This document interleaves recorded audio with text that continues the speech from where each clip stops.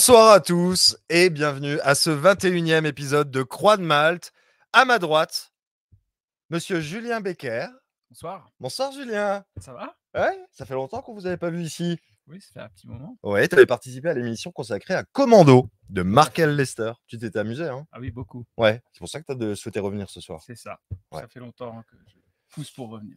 Et alors, j'ai entendu dire que tu faisais des versements Tipeee euh, tous les mois et que tu ne figurais plus C'est un scandale. au Hall of Fame. Ouais. Ouais? Ouais, ouais, je croyais que tu étais fâché. Mais... Euh, non, bah écoute, on va essayer de, de vérifier ce qui s'est passé. Mmh. hein. Alors, bonsoir à tout le monde hein, sur le chat. N'hésitez pas à nous dire s'il y a des problèmes de son. hein, On n'est jamais à l'abri d'avoir des problèmes de son. Bon, ça arrive jamais. Jamais. Mais bon, voilà. Et à ma gauche, monsieur Jonathan Becker. Bonsoir. Jonathan Becker, avant de commencer, est-ce que tu as des conflits d'intérêts? Alors, il va falloir que tu m'expliques ça.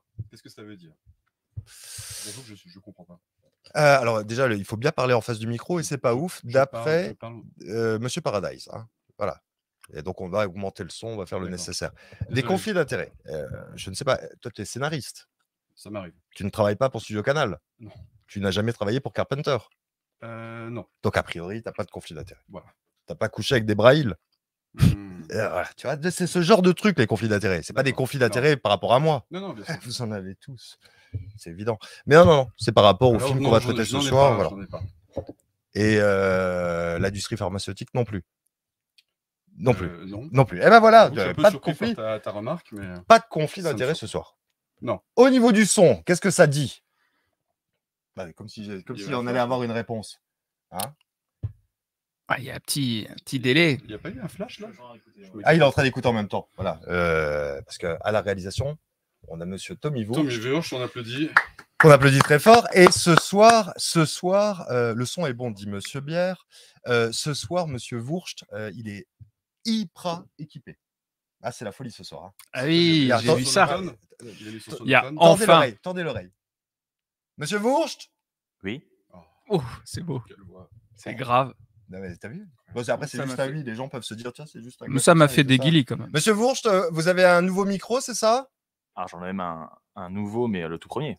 Oui, c'est ton tout premier micro, monsieur. Alors, Ben voilà. je, je- je vois que Louis Egoïne est en train déjà de me critiquer. Il dit que Jonathan est faible, c'est ça? Ouais. Ouais. Ouais, ouais, il est faible. Attention, Louis. hein. Attention. Attention à toi. Ouais, il va falloir l'augmenter légèrement. Ouais, De toute façon, il parle de toute façon plus. Et tout au max. Alors, Ouais, il je va suis falloir. qu'il- désolé, mais je parle pas tellement plus fort non plus. hein. Ouais, mais tu vas le faire ce soir. Tu vas parler comme un gueudin Pendant deux heures. pendant pff, deux heures. pendant Pendant deux heures. deux heures. Et après, pendant cinq heures, je vais faire la sieste. Ouais, ouais. Non, non, mais ça va bien se passer. De toute façon, là, il fait des, il essaye de voir avec le retour son et compagnie. Euh, hein, il fait On lui des fait tests. confiance. Ben, on va essayer de lui faire confiance. Voilà. Donc ce soir, On va essayer de lui faire confiance. on va essayer. Voilà. Je te promets rien, mais on va essayer. On va essayer. Ce soir, c'est une émission exceptionnelle, les amis. Ah, mais j'entends euh, ma voix Le en clash. retour là. Qu'est-ce qui se passe? Ah, ça commence mal, hein C'est parce qu'il écoute fort. Comment? Ben voilà, il met le casque, on l'entend plus. Voilà, c'est bon, tu nous entends bien? C'est surtout Jonathan qui est important. Ouais, bah, bah, Jonathan, parle voir un petit peu. Euh, T'as pas de conflit d'intérêt avec non, euh, aucun- Non, non, aucun. Dé- Débradil, elle est morte. Donc, euh, j'en ai plus. Ouais. disons. Ah, mais il y, a Ouais, eu- il y a eu pas mal de morts là. euh, hier. Beaucoup, ouais. Hier, il y a eu pas mal de morts. Dont Vis- Viviane Westwood, Ah, bah oui, tiens, justement. haute figure du, du punk. Exactement. Et euh, j'avais tout préparé. Viviane Westwood. Alors, est-ce que je peux avoir la Pazuzucam, s'il vous plaît? Alors, si c'est pas trop vous demander, Pazuzucam. Donc, nous rendons un hommage solennel à Viviane Westwood. Voilà. Ça, c'est un DVD à la gloire de Viviane Westwood hein, qui, qui parle de sa carrière. euh, tu sais. Elle a fait des Arte. fringues. Édité par Arte. Édité par Arte. Bah, toi, t'as bossé avec Arte. Ah oui, conflit Euh, d'intérêt. Conflit ouais, c'est vrai, je peux pas m'exprimer sur ce. Et toi aussi, vu que t'as Bah écrit un moi scénario aussi, pour Arte. j'étais- en partie payé par Arte.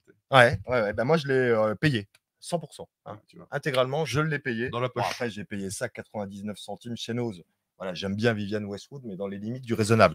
En tout cas, euh, nous rendons hommage à Viviane Westwood. Et c'est pas la seule, Monsieur Wurst.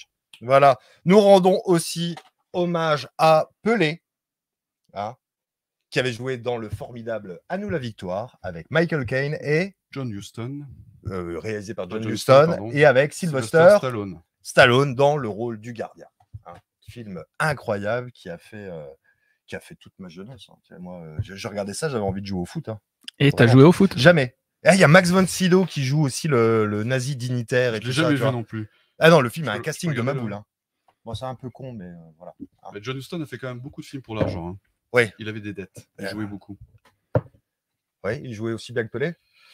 Bah, au casino. Euh, je sais pas. compris. Voilà. Toi, t'avais compris, hein Bah, Eh, quand toi, oui, même, mais parce que tu as ouais. déjà participé à l'émission. C'est ce est. pour ça, voilà. Et euh, on doit rendre hommage aussi à qui? Euh. Ruggero Deodato, bon sang. Cannibal Holocaust. Ah, il est mort hier. Ah, je savais pas. Dans l'anonymat. Ils en ont pas, par- ils en ont pas parlé sur Je BFM. pensais qu'il était déjà Ils ont mort. préféré parler de Pelé. Tu vois? Donc, Ruggero Deodato, hein, on pense très fort à toi, réalisateur de Cannibal Holocaust, réalisateur de Amazonia, Amazonia euh, la jungle. euh, Ah putain, c'était quoi le titre français? De Amazonia, la jungle blanche La Oui, c'est ça, je crois que c'est la je sais jungle pas, blanche. Je peux pas t'aider, je suis désolé. Le titre original, c'était Cut and Run. Avec euh, Richard Lynch et, euh, et, et, et, et bon sang, merde. euh, tout- Personne va t'aider sur ce coup-là. la colline a des yeux, la colline a des yeux. Michael Berryman. Michael Berryman. Et c'est bien euh, Amazonia. la, C'est bien. jungle, la jungle blanche. La jungle blanche, oui, c'est un film qui parle de drogue, de cocaïne. Un Ah. truc que vous devez connaître chez- Arte. Bah, dans le cinéma, tu sais, tout le monde. Tout le monde. Voilà. Donc, euh, Je bois même pas de, de boisson énergétique, moi. c'est vrai? Bah non, Tu consommes pas de drogue? Vraiment pas. Que Vraiment du pas whisky. Tu dis ça parce qu'il y a, il y a Non, ta non, famille non. qui regarde l'émission ce soir Ils le savent tous. J'ai tiré deux tafs Oh là. sur un joint à 30 ans. Et j'ai c'est trouvé- Bill Clinton, le gars. Ah ouais, Ah vraiment. oui, oui, voilà, 30 ans. euh. Vraiment. Bon. Par contre, je picole. Ça, Ah, ça, t'as un problème Ouais, avec l'alcool Ouais, ouais, un petit peu. Ouais, comme Carpenter. Alors, euh, Non, bonsoir Carpenter, il a à. le cancer de la peau. Ouais, C'est la même chose. ouais, ouais, ouais, ouais. Only the strong survive. Alors, euh, bonsoir à Tueur de Rôdeur, à Monsieur Bière, à Melinda et Cédric, à, Max Nevan, euh, à Mr. Paradise. euh, Il y avait Seb Caverne tout à l'heure, lui, Egoïne de Large. Julien Chaudet aussi. Xavier, bien évidemment, Xavier. Seb Caverne, lui, Egoïne de Large, il a fait une vidéo qu'il a uploadée cette semaine. Sur, T'es euh, concentré sur le chat ou sur ce que je dis Non, sur ce que ma- tu dis. Voilà. Maman, j'ai raté la viande. uploadé, Sur voilà. Maman, j'ai raté Tu vois, l'avion. Est-ce que la tu l'as viande, regardé La viande. La viande Ma, fille l'appelle comme ça. Maman, j'ai raté la viande. Ah, C'est pas mal. Ouais. C'était la nouveauté de cette année. C'était Maman, j'ai raté la viande. On Et, dirait à euh, titre de, j'ai- de j'ai entendu- de- j'ai entendu ça. années 80. J'ai entendu ça parce que j'ai regardé le, le dernier euh, Go fuck yourself. Go Fuck Yourself. Merci. Et euh, je suis assez curieux de regarder cette, euh, cette vidéo, mais je suis encore plus curieux de lire ces, ces nouvelles. C'est nouvelle Ouais. Ouais. Non, mais en tout cas, la vidéo, elle est vachement bien. Ouais. Et euh, a fait un travail de cochon. Alors, c'est certainement disponible à. euh, c'est quoi l'adresse? Au commencement était le verbe tout attaché.fr ou un truc comme ça. Enfin, c'est c'est la chaîne YouTube. Donc, à mon avis, tu tapes au commencement était le verbe et puis tu dois tomber dessus. Lui, Going de large. Eh ben voilà, tu vois. On va Ouais. trouver ça. Qui a plus d'abonnés que la chaîne Croix de Malte. Putain, ça ne fonctionne pas la chaîne Croix de Malte. Les gens ne veulent pas s'abonner. hein. Quelque part, pas. ils ont raison. Non, mais ils ont raison. Toi, t'aimes pas quand ça a trop de succès, de toute façon. Mais non, tu sais, moi j'aime bien le côté confidentiel, Ah un oui, petit oui. peu élitiste. Bah, je Je comprends. connais des gens, enfin en tout cas je connais une personne, pardon, Ouais. qui regarde très régulièrement, peut-être qu'il regarde ce soir, Et il refuse de s'abonner. et il refuse de s'abonner. Par snobisme. Il te connaît depuis très longtemps, il te suivait même à l'époque où tu euh, faisais de la musique. Ouais. Mais j'en fais encore, ça m'arrive de temps en temps. Je Mm. pousse la chansonnette chez moi. là. Oui, mais tu ne produis plus sur scène. Non, je me, je- j'ai décidé de, Je parle, de, je de parle devenir donc, rare. je parle hein. donc de cette période-là Ouais. où euh, effectivement il allait à tes concerts et tout ça, et puis du coup, naturellement, il allait euh, Ouais. au Nuit Bis, puis. Et il m'aime pas beaucoup. C'est ça? Si, si, Bah alors pourquoi il s'abonne pas? Mais de très loin. Pourquoi il donne pas d'argent? Ah, C'est ça aussi la question. peut-être un radin. Ah mais ça doit être ça. Ça doit être ça. Ouais, ouais, ouais. Moi, je suis pas radin, en tout cas. Non, toi, t'es pas radin, toi? Non. Alors, il y a Vince Peno qui est au restaurant à l'heure où on parle. Voilà, tu vois. Eh, Mais les watts, faut que tout le monde puisse entendre cette émission. Elle va être incroyable. Ah, ils sont 70 personnes en ligne et ils ont envie euh, d'entendre parler de Carpenter et The Fog. Eh oui. Ah oui, ouais, ouais, ouais, Ah, ouais. une longue discussion s'annonce. C'est la première émission de Croix de Malte euh, où on va aborder un film que, voilà, moi, ça me laisse un petit peu de marbre. Hein. Mais bon, c'est pas parce que ça me laisse de marbre qu'on a n'a pas mis les, les petits plats dans les C'est grands. pas pour ça que t'as rien à dire. Non, non, parce que là, on va passer le niveau au-dessus. C'est pas une blague. hein. Regardez bien votre écran, vous allez avoir des effets spéciaux. Ah oui, je vous le dis. Regardez. Ah bah oui. Ça, c'est- ça, c'est un bel hommage. Incroyable. Hey, on a du brouillard euh, pendant l'émission. On dirait du vrai. hein. Eh ben, bien sûr qu'on dirait du vrai. En plus, il est il glow aussi. Ouais, ouais, ouais. ben, euh, il l'a fait vert. Tu vois. Il Hmm. m'a dit, tiens, je vais le mettre un petit peu en mode verdasse c'est et tout ça, tu vois. Bon, bah, j'étais pas hyper C'est convaincu. pas un plugin fog. Non, non, non, non. Ça, c'est directement. C'est lui hein, qui l'a fait. hein. Ah, plugin, Plugin Bourge. Et si on change de caméra, par exemple, si on passe sur celle-ci, bah, il va le faire, hein, tu vois. Et ça fonctionne aussi. Incroyable. Moi, je trouve ça, moi, je trouve ça dingue, tu vois. Cette émission, on a commencé, on était, on était là. Bah, je trouve même la là, table, là. tout ça, les tasses. Au fur et à mesure, il y a, Ouais, chaque fois, il y a quelque chose de plus. Et il va y avoir des trucs incroyables bientôt. hein. Vraiment. Comme quoi Ah, je préfère ne rien dire. Oh. Mais on va avoir un personnage en image de synthèse qui sera autour de la table et qui animera avec moi. Et donc, tu veux rien dire Non, mais parce que c'est une blague. Ah, c'est bien dommage. J'aurais adoré qu'on ait une sorte de Jar Jar, tu vois, qui fait comme ça. Missa Wagati J'aurais trouvé ça formidable. Voilà, non, on n'aura pas. hein, ouais. Il est là. Il est C'est là. quoi? Tu devrais le faire parce que je suis sûr que ça existe. Tu mets une caméra Ouais. et du coup, c'est euh, Tommy Bourge qui l'anime en direct. Oui, en motion capture. Ouais, en Ouais, motion capture, ouais, ouais, avec un téléphone, il y a moyen de le faire, je suis sûr. C'est qu'en fait, ils sont pas assez bons. Tu dois avoir des trucs avec des bras comme ça. Toi, t'aimes bien les Si trucs euh, si- Ouais. Comme ça, en fait. Hein, là, tout le monde m'entend. Là, il n'y a pas de problème de voix. Voilà. Ouais, ouais, mais t'as l'air. Euh, que- Ça fait un peu variétoche, tu vois. c'est- C'est-à-dire que je, je suis censé normalement me tenir comme ça. Je vais pas pouvoir tenir deux heures comme ça. hein. C'est vrai? Une heure et demie comme ça. hein. Ouais, il est vieux. hein. Ça fait T'as quel âge au fait, toi? 44 ans, mon petit pote. Ah putain, Ouais, j'en ai 43. Tu vois, Donc au Ça moins, commence à euh, grisonner là. Moi aussi. 43. Là aussi. Bon, écoutez, euh, ce soir, c'est euh, Carpenter. Donc avant de commencer. Pas seulement. des- Rupert Wainwright aussi. Oui, bien sûr, oui, on va faire les deux. Malheureusement. Non, mais nous, on fait ça bien. Donc on fait tout. Surtout toi. Parce que nous, on est des amateurs, nous. Je sais. T'es assidu, en tout cas. Tu travailles. Ça, on peut. Je pas dire le je contraire. peux, Je, fais ce que je peux. Donc nous allons. euh, Vous voulez commencer maintenant ou t'as Oui, envie de nous parler un petit peu de ton actualité, toi? Mon actualité? Ouais, Il semblerait que tu es au chômage en ce moment. et Ah que oui, tu cherches un poste. Non, je cherche pas. Tu cherches rien? Non, non, je T'as envie de profiter du RSA et Ah, tout mais, ça? euh, J'ai même pas du RSA, rien du tout. J'étais freelance. J'ai juste dit, vous m'oubliez. C'est tout. T'as travaillé au Luxembourg, toi. Ah oui. Tu revenais le soir, t'étais fatigué Ouh, Ah ouais. énervé. et riche. Euh, non, pas vraiment. Pour ça, tout à l'heure, quand Non, il est arrivé, il a dit Putain, mais c'est tout petit. tout ce- tu vis dans un palais, tu vois. pas dit ça. Non, C'est faux. c'est faux. C'est faux. Tu veux faire un petit coucou à tes enfants et à ta femme? Oh, mais c'est faux. Ils sont... Non, ils sont peut-être pas. au- Bah non, il est pas tard, il va t'en Coucou la famille. Ouais. Il y a Et- Julien Chaudet qui est là, on l'avait pas vu tout à l'heure. Il y a Dark Souls. Il y a Loman. euh, pas tout jeune, les gars. Lol, bonsoir. Ah oui, il doit être probablement plus jeune que nous. Il y a aussi Daryl. Don- Donné sur le Tipeee. Et il y a plein de messages. Ce soir, tu les fais passer, hein, les messages. hein. Ah, tu les as mis? Ouais, bah, celui-ci, c'est piqûre de rappel. Je veux que le message de Daryl qui incite les gens à donner de l'argent apparaisse toutes les trois minutes. C'est comme les pubs YouTube. Je veux qu'il y en ait à fond. Faut, Ah. faut l'automa- automatiser comme ça. Non, non, non, ne le mets pas. Ne le mets pas. C'est un petit peu ça, la magie de Noël. Alors, les, euh, vous avez passé un Noël correct? Très bien. C'est Vraiment vrai très bien. C'est un des meilleurs Noël que j'ai passé. C'est vrai? T'as Ouais, été gâté Pas du tout. J'ai eu des cadeaux vraiment euh, pourris. Mais en dehors de ça, c'était une très, très, très, très, très, très, très belle cérémonie. Non, je plaisante, pas de cérémonie. Non, non, c'était une belle soirée. Donc, un Noël de chien.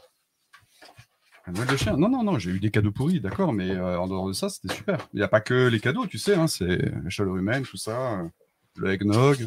Ouais. Bon, alors moi, euh, je suis assez réceptif euh, à l'esprit de Noël. Moi aussi. Voilà. Donc, j'ai décidé de vous faire un cadeau. Ah soir. Oh, ça, c'est beau, ça. Voilà. Donc, euh, je vous ai offert en Blu-ray le film Véronica de Paco Plaza, hein, Ah, réalisateur de, de Rec. Donc, vous avez Bah, c'est gentil, ça. un Blu-ray et euh, Monsieur Vourch aussi, vous avez un Blu-ray de Véronica. Non, non, tu te lèves. Comme ça, les gens verront ta, ta, ta patte. Je peux te faire un bisou. Hey, je voulais faire la même chose. Viens, Ouais, il fait la bisou en même temps, Faites- comme ça. Faites-moi un bisou. C'est Oh. Vous êtes content? Ah oui. Ah, c'est formidable. Eh oui. Eh, Je pensais pas Incroyable. repartir avec un cadeau. Bah si, si, si. Tu Bah, la dernière fois, déjà, j'ai. Tous les un autres cadeau. invités, regardez. Ah non, mais c'est c'est- c'est ça aussi la magie de Noël. Hein. Bon, moi j'ai fait tomber mes notes, ça va être. tomber euh, tes notes, c'est Ah oui, c'est hyper galère. Qu'est-ce mais- qui se passe là? La page ne correspond pas. Ah bon, ne me fais pas. euh, Non, c'est rien. c'est juste les notes, c'est juste pour te rassurer, tu sais tout. Non, je sais rien. En plus, le film il m'intéresse tellement pas que. T'as le droit. Ah oui, oui, oui. Objectivement, t'as le droit. Alors, Alors, avant de commencer, les amis, vous allez me parler de votre euh, rapport à John Carpenter.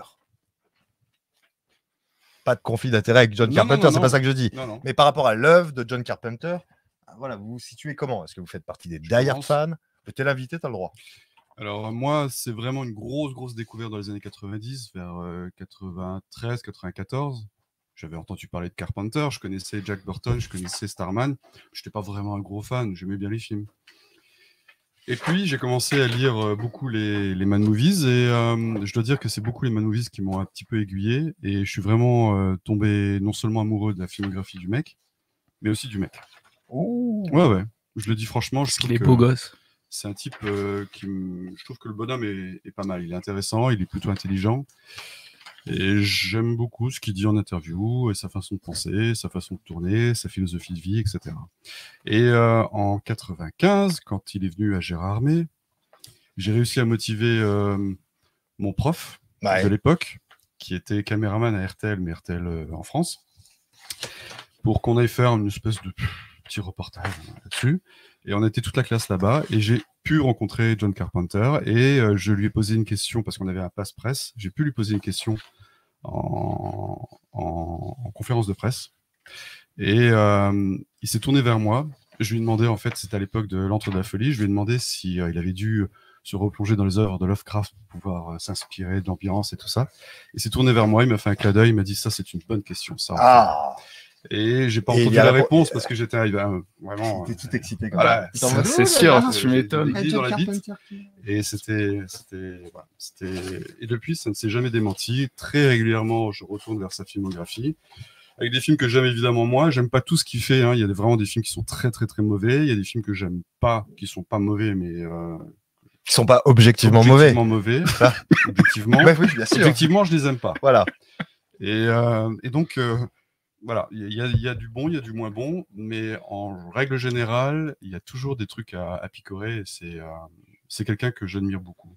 C'est un des rares, en fait, que j'admire vraiment. Ouais. Ouais. Tu sais qu'il risque de pas passer l'hiver. hein. C'est tout à fait possible. Moi, je pensais qu'il était déjà Qu'est-ce mort. qui se passe là? Ça lag C'est le PC qui lag Ah, c'est pas moi.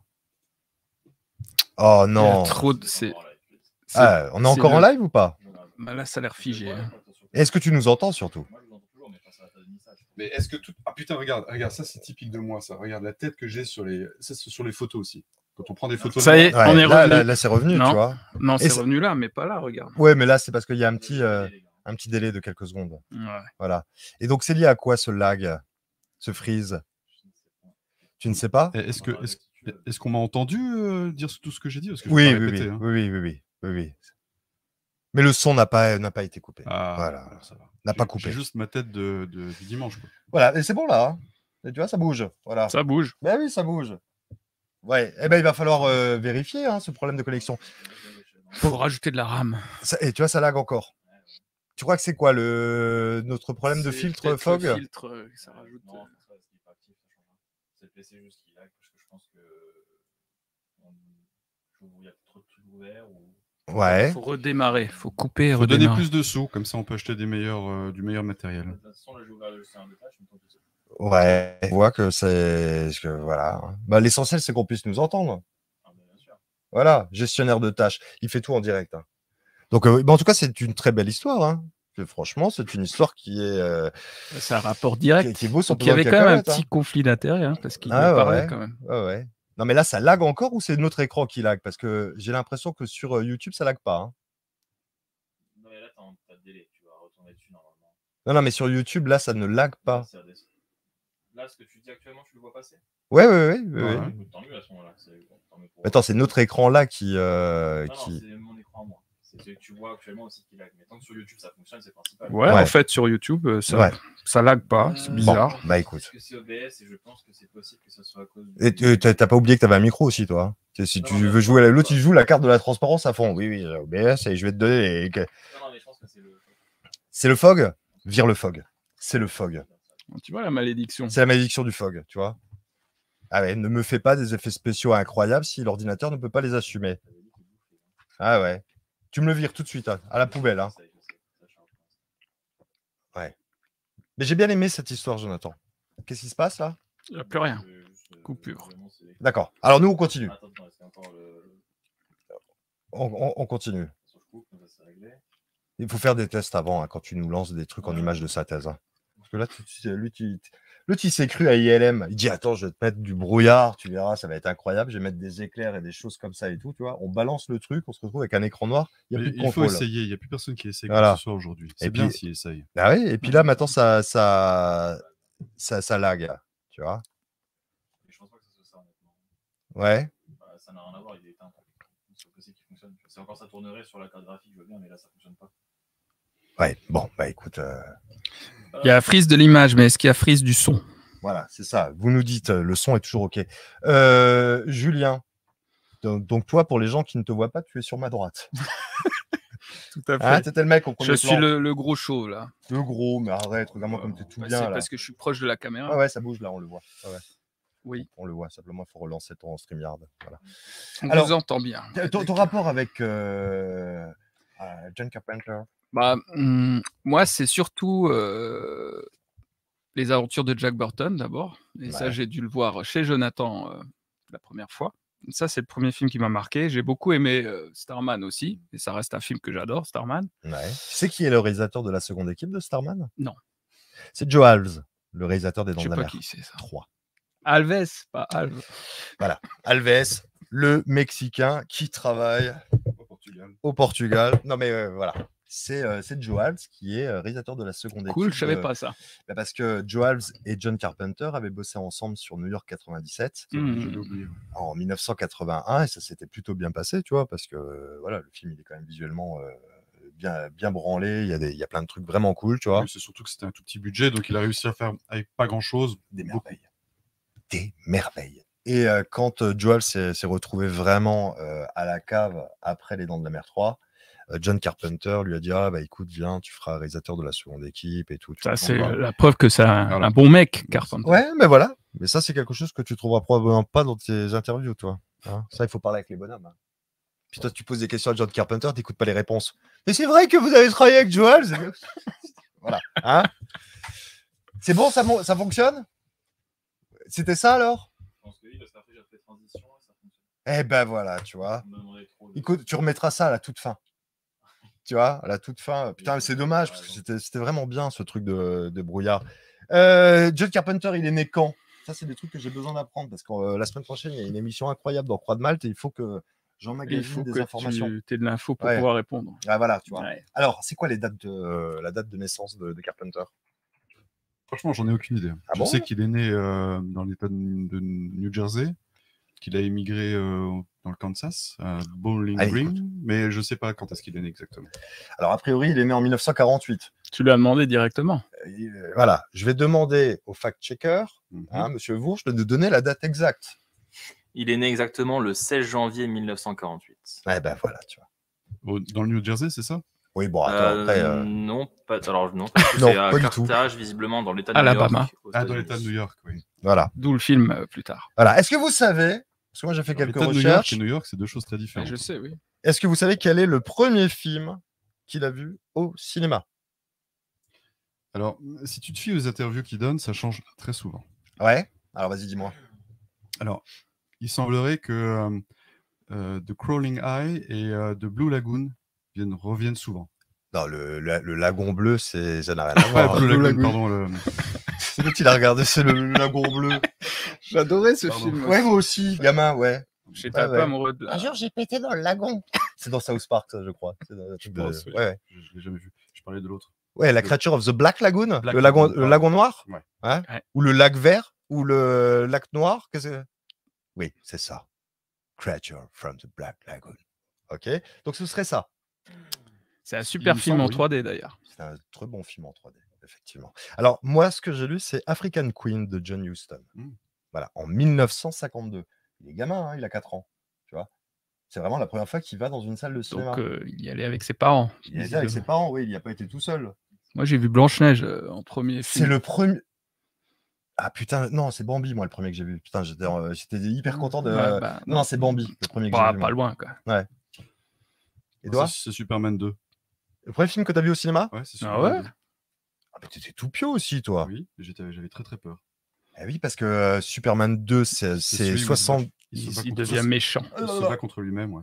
c'est 79 C'est Richard Donner. Bah, il est né en 78. Alors, c'est pas Richard Donner, c'est euh, Markel Lester Markel avec Lester. euh, Richard Donner qui Ah a fait oui, la première version. oui. Mais c'est c'est plus tard. hein. Le premier, c'est 78. euh, le troisième, c'est 83. Donc, euh, 80, forcément, le doit être 2 80, et 80, euh, 80. 80. Oui, oui, je crois. Ouais. J'étais effectivement très, très 80. petit et je me souviens, je me souviens encore que j'étais vraiment planqué derrière le, le- les fauteuils. Je me Ouais. souviens que quand il se bagarre avec lui-même, en fait, dans la casse auto, j'étais terrorisé.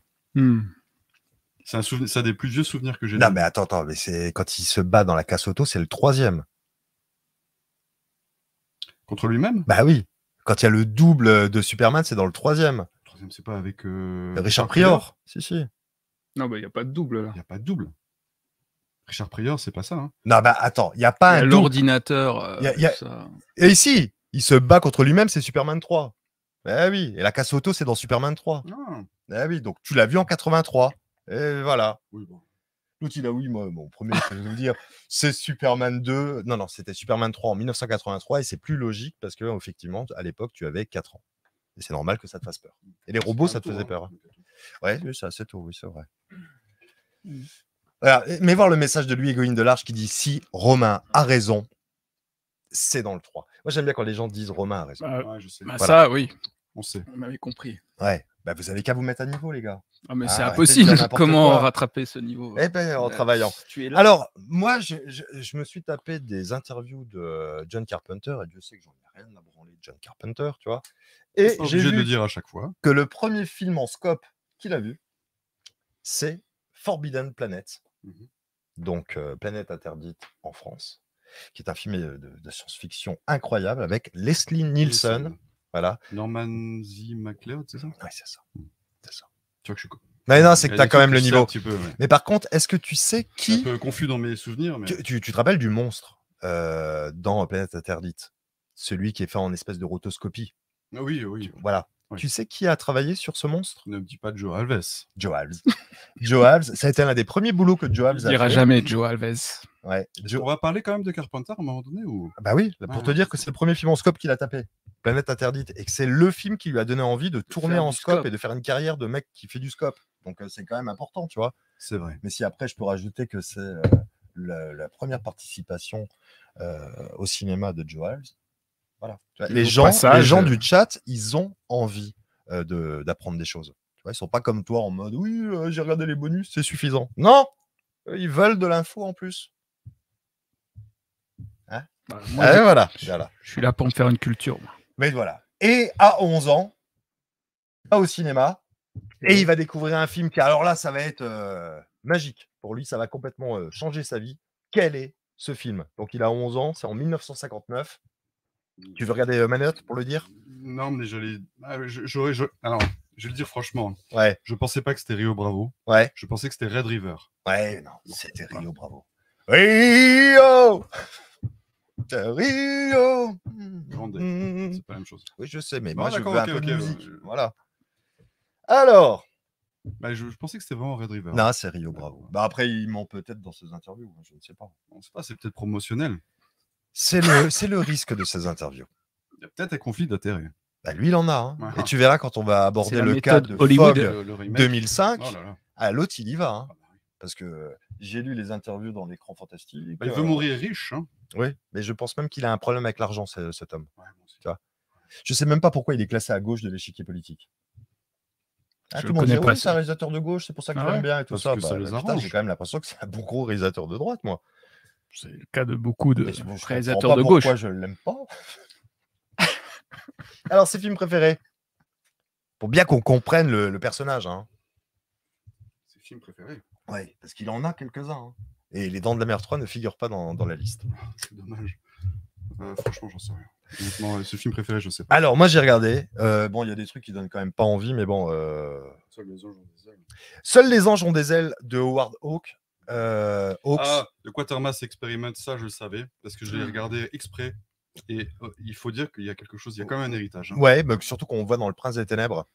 euh, Il y a le final qui se Oui, passe dans une église et tout ça, tu vois. Et il aime bien hein. aussi euh, La. Marque, qui est le deuxième. Ouais. Ouais, que- qui, sont pas- des films. Je euh, l'ai pas vu le 2. Moi, je les, je les ai. C'est des films qui, qui sont sortis chez Seven Set sur le Mhm. territoire français en DVD. C'est C'est des films de la Hammer. Et effectivement, c'est plutôt cool. Tu vois. Mm. C'est, Oui, oui, euh, c'est assez rafraîchissant en fait. hein. Et d'ailleurs, Quatermass lui-même va utiliser le pseudonyme de Quatermass pour signer le Mhm. scénario de Euh, Asso. Prince des Ténèbres. C'est pas Asso. Non, c'est pas Asso, c'est Prince des Ténèbres. Bon, je crois que je vais parler qu'à toi ce soir. T'es le Ouais, seul non, qui mais moi, avoir le niveau ici. euh, non, c'est euh, c'est Prince des Ténèbres. Et euh, ensuite, donc, il y a Rio Bravo, il y a Le Grand Sommeil, qui fait partie de ses films préférés. Tu vois, il aime bien le, le- le cynisme qu'il y a dans euh, Le Grand Sommeil, enfin, c'est ce qu'il dit. hein. Il y a La Rivière Rouge, que tu mentionnais tout à l'heure. Il y a 100 dollars pour un shérif. Il y a Chinatown de Roman Polanski. Et La Dame du Vendredi. Bon, moi, ça, ça, je Alors ça, je sais même pas ce que c'est. Je n'ai pas vu. Je dois dire. Fais semblant que tu sais, La Dame du Vendredi. Oui, si, je l'ai vu. Ouais, tu l'as vu, toi Ouais, j'ai pas trop aimé. Ouais, ouais, ça se ressent dans zéro. On sent que Ah, non, dans le a- rejet, tu vois. voilà, il n'y a pas. Non. Martine Quatermass dans les commentaires. Tu vois, il y a des gens qui étaient au courant. Il faut virer les commentaires qui, qui m'invitent à aller euh, visiter, des, visiter des sites porno. Voilà. Ah ouais, Ouais. ça n'arrête pas. Comment ça marche ça? Bah, tu cliques. Tu cliques et puis. euh, Non, mais qui. Il veut pas l'enlever. Hein. Ouais. L'erreur s'est produite. Il est fort. Il est fort, le bâtard. Il a hacké Croix de Malte. Et tu peux pas mettre l'utilisateur en dépassement de, de truc. Voilà, il a été bloqué. C'est parfait. Il a été bloqué pour 5 minutes. Il pourra revenir, le robot. Pour dire cliquez sur le lien, vous verrez du zob. Non, mais parce que je pense que c'est le premier message où j'ai bloqué le deuxième. Ouais. Ok, très bien. Très bien. Alors, c'est quoi un peu la, la carrière de. Non, mais de- fais ton travail un petit peu, mec. C'est toi qui as fait les. Ah non, non, non. Non, non, j'ai ouais, je suis- rien fait, moi. Je suis là pour parler de The Fog. Hein. De The Fog. Euh, car- J'aimerais bien qu'ils nous remettent du brouillard, mais là, j'ai peur que ça fasse tout planter. Donc, ce mec, ce mec, il, tout aurait pu euh, le mener à faire un travail de charpentier. Hein il était prédisposé. Mais non, il a finalement euh, s'orienté vers le cinéma. C'est sa passion numéro un. Tout de suite, il s'est dit je veux faire du cinéma. C'est pas la musique, le... c'est pas son numéro un. Il me semble quand même que son père est, est musicien, enfin, Ah bah, prof je- de musique. Et des profs de musique. Et donc, euh, il me semble qu'il a monté un Parce que l'autre, il joue comme un autodidacte. hein. Ah oui, oui, complètement. Oui, oui. J'ai pas parlé de talent, j'ai parlé Ouais. de passion. Non, mais son père, qui est prof de musique. Ouais. Je pense que moi, mon père, prof de musique, il te voit jouer comme ça, il te met des gifles. Arrête, Johnny Papa, c'est- Écoute le thème Écoute le thème C'est peut-être pour ça qu'il a fait des films après. Ouais. C'est pour ça que maintenant il fait de la musique. C'est tout le niveau, il a s'est tellement baissé que maintenant il est hyper à l'aise musique et tout. Et le générique? De Croix de Malte, il est signé par qui? Par John Carpenter. Ouais. Mais c'est pas moi qui l'ai choisi. Non? Non, euh, non. Euh, moi, ah, je vais te raconter pour le générique, Ah ouais, parce que moi j'écoute pas de musique raconte-nous. électronique, rien à, rien à foutre, tu vois. Il y a euh, Berlin Alexander Spatz qui me dit Ouais, je t'ai fait le générique et tout ça. Et puis Berlin Alexander Spatz, il fait de la musique aussi. Tu vois. J'ignorais. Ah ouais, non, non, Si, il, compose. fait ça. des études. Il a fait des études en musicologie, Musicologie. et tout ça, tu vois. Il me sort ça et je lui dis Putain, c'est vachement bien euh, et tout. Et je pensais que c'était lui qui l'avait écrit. Minimalisme, c'est ça Ouais, Ah, voilà. Et, euh, et euh, non, bah, après, je me suis rendu compte tout de suite quand la vidéo elle a été claim que c'était pas, euh, Ah oui. c'était pas euh, Berlin Alexander Spatz. C'était. euh, Il a omis de te le dire. Ouais. Non, non, mais après, moi, j'aime bien les partitions de, de Carpenter. hein. Oh, je trouve que c'est vraiment de la musique euh, top. Moi, ça me parle, tu vois. Mais par contre, c'est vrai que techniquement, c'est pas non Oui, plus euh, la folie. hein. Ouais, mais la technique. euh, Ouais, c'est vrai, la technique. Parce que j'ai regardé un live de Carpenter cette semaine. Donc l'autre, il est derrière son saté, Moi, j'ai même, même ça, sincèrement, j'ai même pas fait ça. Il y en a deux autres là qui sont avec le, le saté qui font tout le job. hein. Mm. Et puis l'autre, il est là, tu vois, avec des lunettes de soleil, avec des nappes synthétiques. Ouh, ouh, ouh. Bon, Oui, oui. Je, je- je le- je le crois volontiers. hein. Franchement, ça m'attire pas beaucoup. J'ai écouté une fois un truc qu'il a sorti là euh, récemment, un clip, et c'était. ouais. Bah, après, il y a... y a de la musique qui marche bien aussi dans l'ambiance du film, Ah, quoi, oui. et tout ça. Mais écouter ça tout seul, sans Non, l'image. mais même, même certains. bon, peut-être si ça te Ah, rappelle le si, film. moi j'écoute beaucoup d'OST, moi. Oui, mais euh, il n'y a pas tout qui marche sans l'image. Ouais, Oui, mais il- a vieilli. Disons, franchement, clairement, même les, ses derniers films, il a fait pas forcément toujours la musique, mais c'est naze. Euh, Ghost of Mars, la musique qu'il a faite, c'est. Pourtant, j'aime bien le film. il C'est est, encore un des rares que j'aime. il est dur. hein. Ce soir, il est en colère. hein. Ah, Il a décidé ce soir d'être Tous en les colère. deux, vous êtes durs. Je- euh, écoute, je crois qu'on va euh, marquer une petite pause. qu'on arrête? Non, on va marquer une petite pause parce que je te sens très en colère Non, et on va passer. Non, parce que tu vois, on a eu des problèmes techniques ce soir. Oui, j'ai remarqué, oui. Il y a des gens qui euh, qui comprennent pas. Oui, moi j'ai donné de l'argent. euh, il passe où cet argent? Ouais, je sais pas. Je me Pas pose dans la la question. technique, visiblement. Tu vois Mm. Donc, euh, bon, on va rendre hommage aux gens qui ont donné de l'argent. Puis toi, tu vas te calmer un petit Ah, c'est pour ça, les la défraiements. hein. peu. Ouais, je, je sens un peu de colère. C'est le Hall of Fame.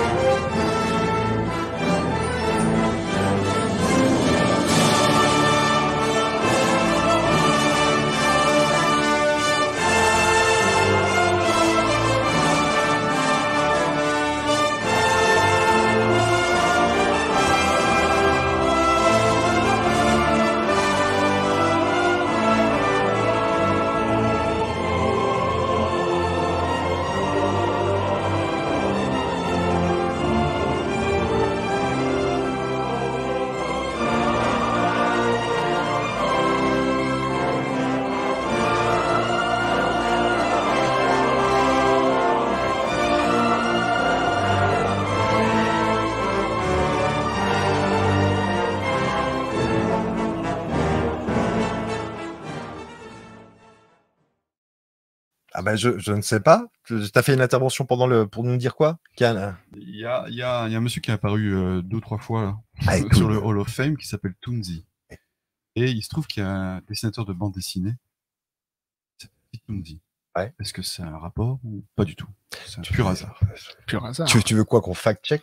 Bah, je pense qu'il va répondre, non? Mais il a qui te dit qu'il Il est, est euh, sur le chat pas là. Il est pas là. Bah, Comment il vois aurait fait pas, un Il donne de l'argent, mais il en a rien à foutre. Il regarde jamais aucune émission. Voilà. C'est juste. C'est un toi. puriste. Voilà. C'est un puriste. Tu as tout à fait raison. Bon, les amis, euh, John Carpenter, ça va? T'es calmé là? Je te sentais en stress là, en mode euh, ouais putain, je vais me le faire. T'as pas encore dit de trucs méchants, hein, c'est pour ça. Donc, bon, même si c'était un musicien pas ouf, il s'est orienté vers le cinéma. Il paraît. Et il a été dans une école prestigieuse.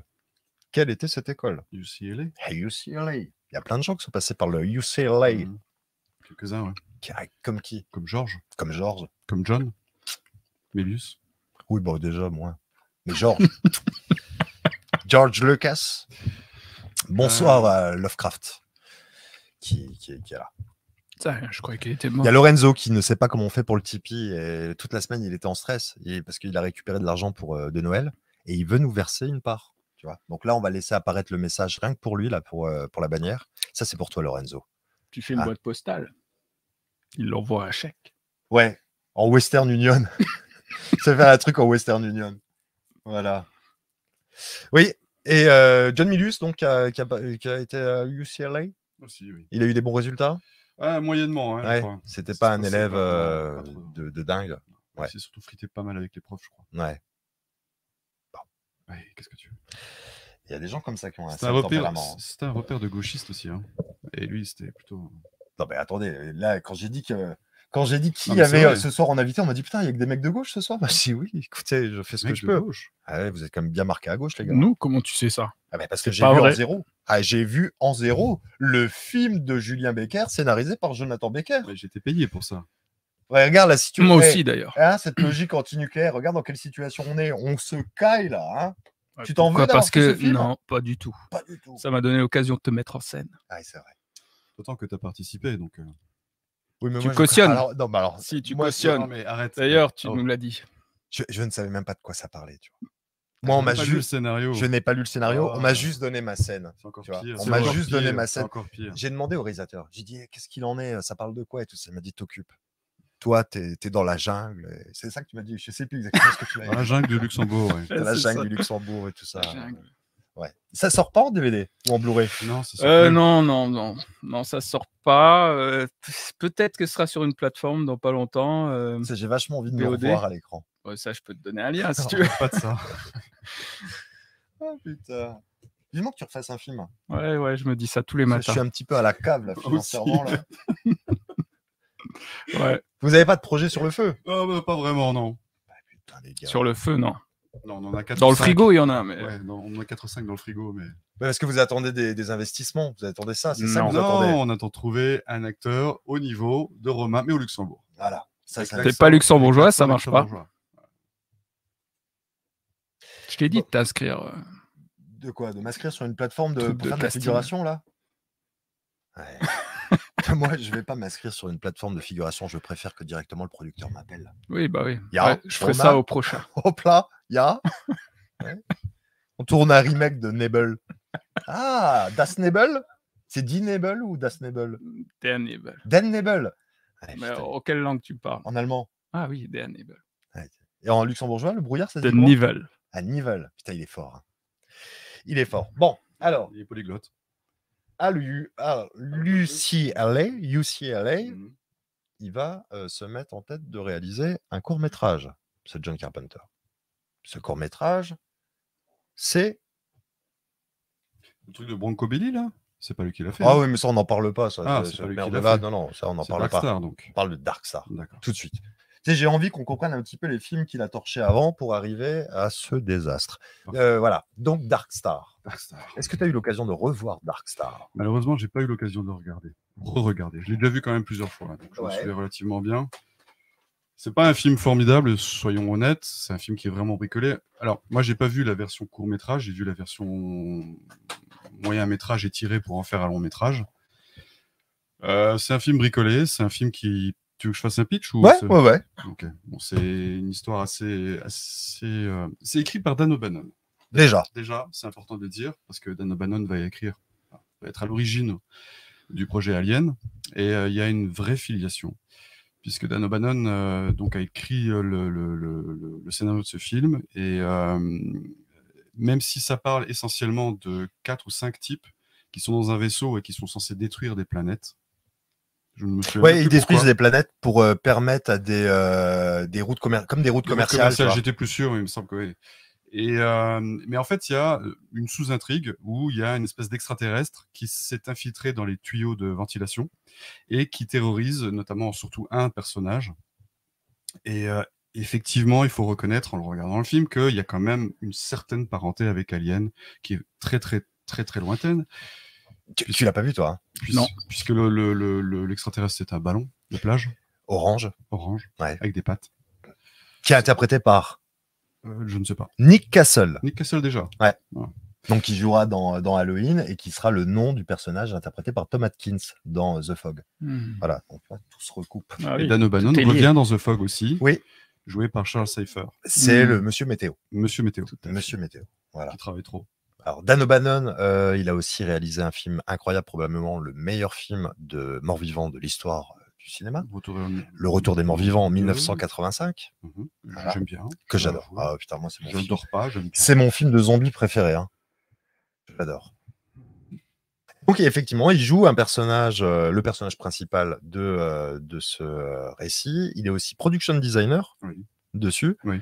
Euh, à bien des égards, on peut considérer que c'est même plus Plus son un film, film de Dan O'Bannon, je suis assez d'accord. Ouais, ouais. Parce qu'en plus de ça, c'est un film, c'est clairement une comédie, assez potache, euh, même si le terme est un peu euh, vague, mais euh, c'est une comédie qui ressemble vraiment très très peu au film de, de- de Carpenter. Je saurais même pas spotter en fait, vous dire euh, voilà, il y a ce moment-là où on peut vraiment dire que c'est un film de Carpenter. C'est vraiment euh, très très loin, très très très très loin de tout ce qu'il va faire par la suite en fait. Alors, c'est euh, c'est un film qui, euh, dans un premier temps, durait 68 minutes, qui ensuite a été euh, remonté pour en faire 83, pour obtenir une, une diffusion, enfin pour devenir un long métrage et Mhm. obtenir une diffusion, une diffusion sale. La musique est signée John Carpenter, Mhm. mais alors, tu as quand même vachement de mal à, à reconnaître la... La patte. le doigt Carpenter. Ah, même hein. la musique. C'est vraiment Pas que le film. C'est très clairement un film qui est bricolé dans tous les sens du terme et ça se sent quand même. Mais c'est quand même bien branlé. hein. C'est pas hon- honteux. Franchement, c'est pas honteux. C'est vraiment un film qui est vieux quand même. On parle vraiment du début des années 70. Il y a des incrustations, il y a, il y a, il y a des vaisseaux spatiaux. C'est c'est pas dégueulasse, dégueulasse, mais c'est vraiment un film bricolé. Ça n'a pas vieilli comme 2001, quoi. Non, mais c'est euh, c'est un peu lent. C'est une parodie de 2001, si on C'est veut. hein. c'est littéralement un film euh, en réaction à 2001, c'est d'espace, Mm. que Carpenter n'aime pas spécialement. Alors, c'est pas vraiment de la musique, cette BO. Effectivement, ça ressemble un petit peu à de la musique concrète et ce genre de truc. Ah oui. Voilà. C'est un peu Anthropophagus de Joe D'Amato.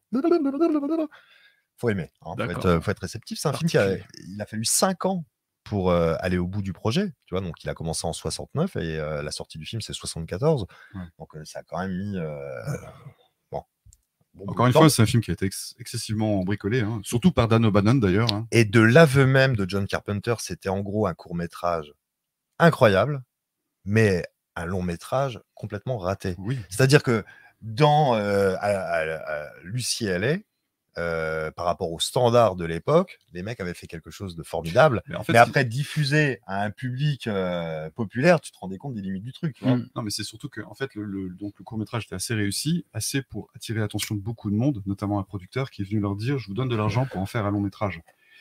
Seulement, effectivement, il leur a dit oui, mais vous partez du, long, du court métrage. Et c'était déjà très compliqué. euh, Dès le départ, ils savaient qu'ils ils, ils en tireraient pas vraiment un long métrage, donc ils ont fait un moyen métrage qu'ils ont étiré au maximum pour, euh, pour être dans les limites. Ouais, c'est surtout dans le deuxième acte, hein, c'est le truc avec l'extraterrestre Oui, et tout ça qui c'est un. c'est le- vraiment, euh, tu sens les, tu sens les, les coutures en fait, véritable- véritablement. Alors, le, le producteur, c'était Jack H.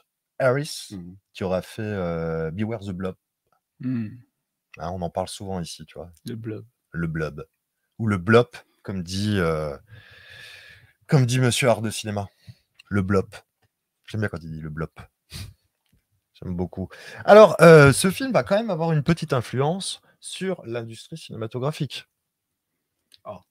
Ah, tu trouves Bah, tu l'as dit tout à l'heure par rapport déjà à Alien. Ah il y a des similitudes, Oui. tu vois. Oui, oui. Mais il y a aussi des gens qui auront travaillé sur Dark Star qui vont après bosser sur Star Wars.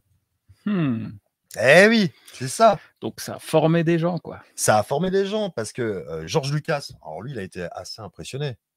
Tu sais, il a regardé ça comme ça d'un œil un peu distrait. Il y a d'ailleurs une référence à George Lucas dans euh, Dark Star.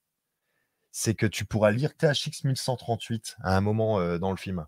Ah Voilà. ouais. Je- je Ils font une référence à, au court métrage de, de, de George Lucas. Donc euh, c'est quand même plutôt sympa. En Et donc George. Lucas demandera à Dan O'Bannon de venir bosser sur son Star Wars. Et donc Dan O'Bannon, il s'occupera des plans tactiques des X-Wing en espèce de 3D Oui. euh, euh, fil, euh, fil de fer, comme on disait à l'époque. Et John, John C. Walsh, qui a bossé sur, euh, sur Dark Star, fera les plans de l'étoile de la mort sous la supervision de Larry Cuba, qui se chargera, lui, de l'animation 3D. C'est pendant le briefing à la fin de Star Wars Mhm. épisode 4. Mhm. Hop, ça, c'est des gens qui avaient bossé sur Dark Star. Et tu retrouves le même type de graphisme dans le, le film de Carpenter. Oui, c'est vrai. Donc ça, c'est plutôt J'avais pas cool. fait le lien, mais oui. Tu as Ron Cobb qui, euh, qui s'est chargé du Mm. design du vaisseau de, de Dark Star, qui ressemble un petit peu à la. Enfin, c'est un vaisseau triangulaire qui ressemble un peu à la nef royale. Naboo, tu vois, Mhm. euh, ni plus ni moins, mais pas chromé. pas- Voilà, tu vois. Et le gars, il bossera donc sur Star Wars pour des extraterrestres de la cantina. Il en fera trois, dont un qui restera un concept art euh, jamais porté à l'écran, tu vois. Ron Cobb a fait aussi une- quelques, quelques, quelques décors de, de vaisseaux intérieurs, il me semble. Les intérieurs des vaisseaux. euh, Ron Ah, ça, c'est fait pas mal. possible, ouais. Oui, oui, je crois qu'il en a fait pas mal, en fait. Je, je sais juste qu'il a fait, euh, il a, il a fait les maquettes, il avait bossé sur le Dune de Jodorowsky. On a bossé sur le Dune de Jodorowsky, de toute façon. Pas moi. Hein. Pas moi non plus. Euh, il a fait le design du Nostromo. Hmm. hein? de quel film? Je sais plus, Nostromo, c'est quoi? Voilà. Et euh, il a fait euh, l'avion nazi de, euh, des aventuriers de l'Arche perdue. Il a fait aussi, le, il était production designer pour Conan. Mhm. Et euh, il a fait la DeLorean de Back to the Future. Ah oui, aussi. Ah oui, il a fait ça. Il a fait, alors ça c'est un film que j'adore, il a fait les mechas de Robojox, un film de Stuart Gordon. Ouais, je connais, oui. Voilà, tu vois, c'est lui qui a conceptualisé les mechas. Ça, j'aime bien, tu vois. Puis il a fait aussi une base dans le, le Aliens de, de Cameron. Mhm. Donc, tu vois, tous des mecs qui ont bossé, qui ont commencé dans Dark Star.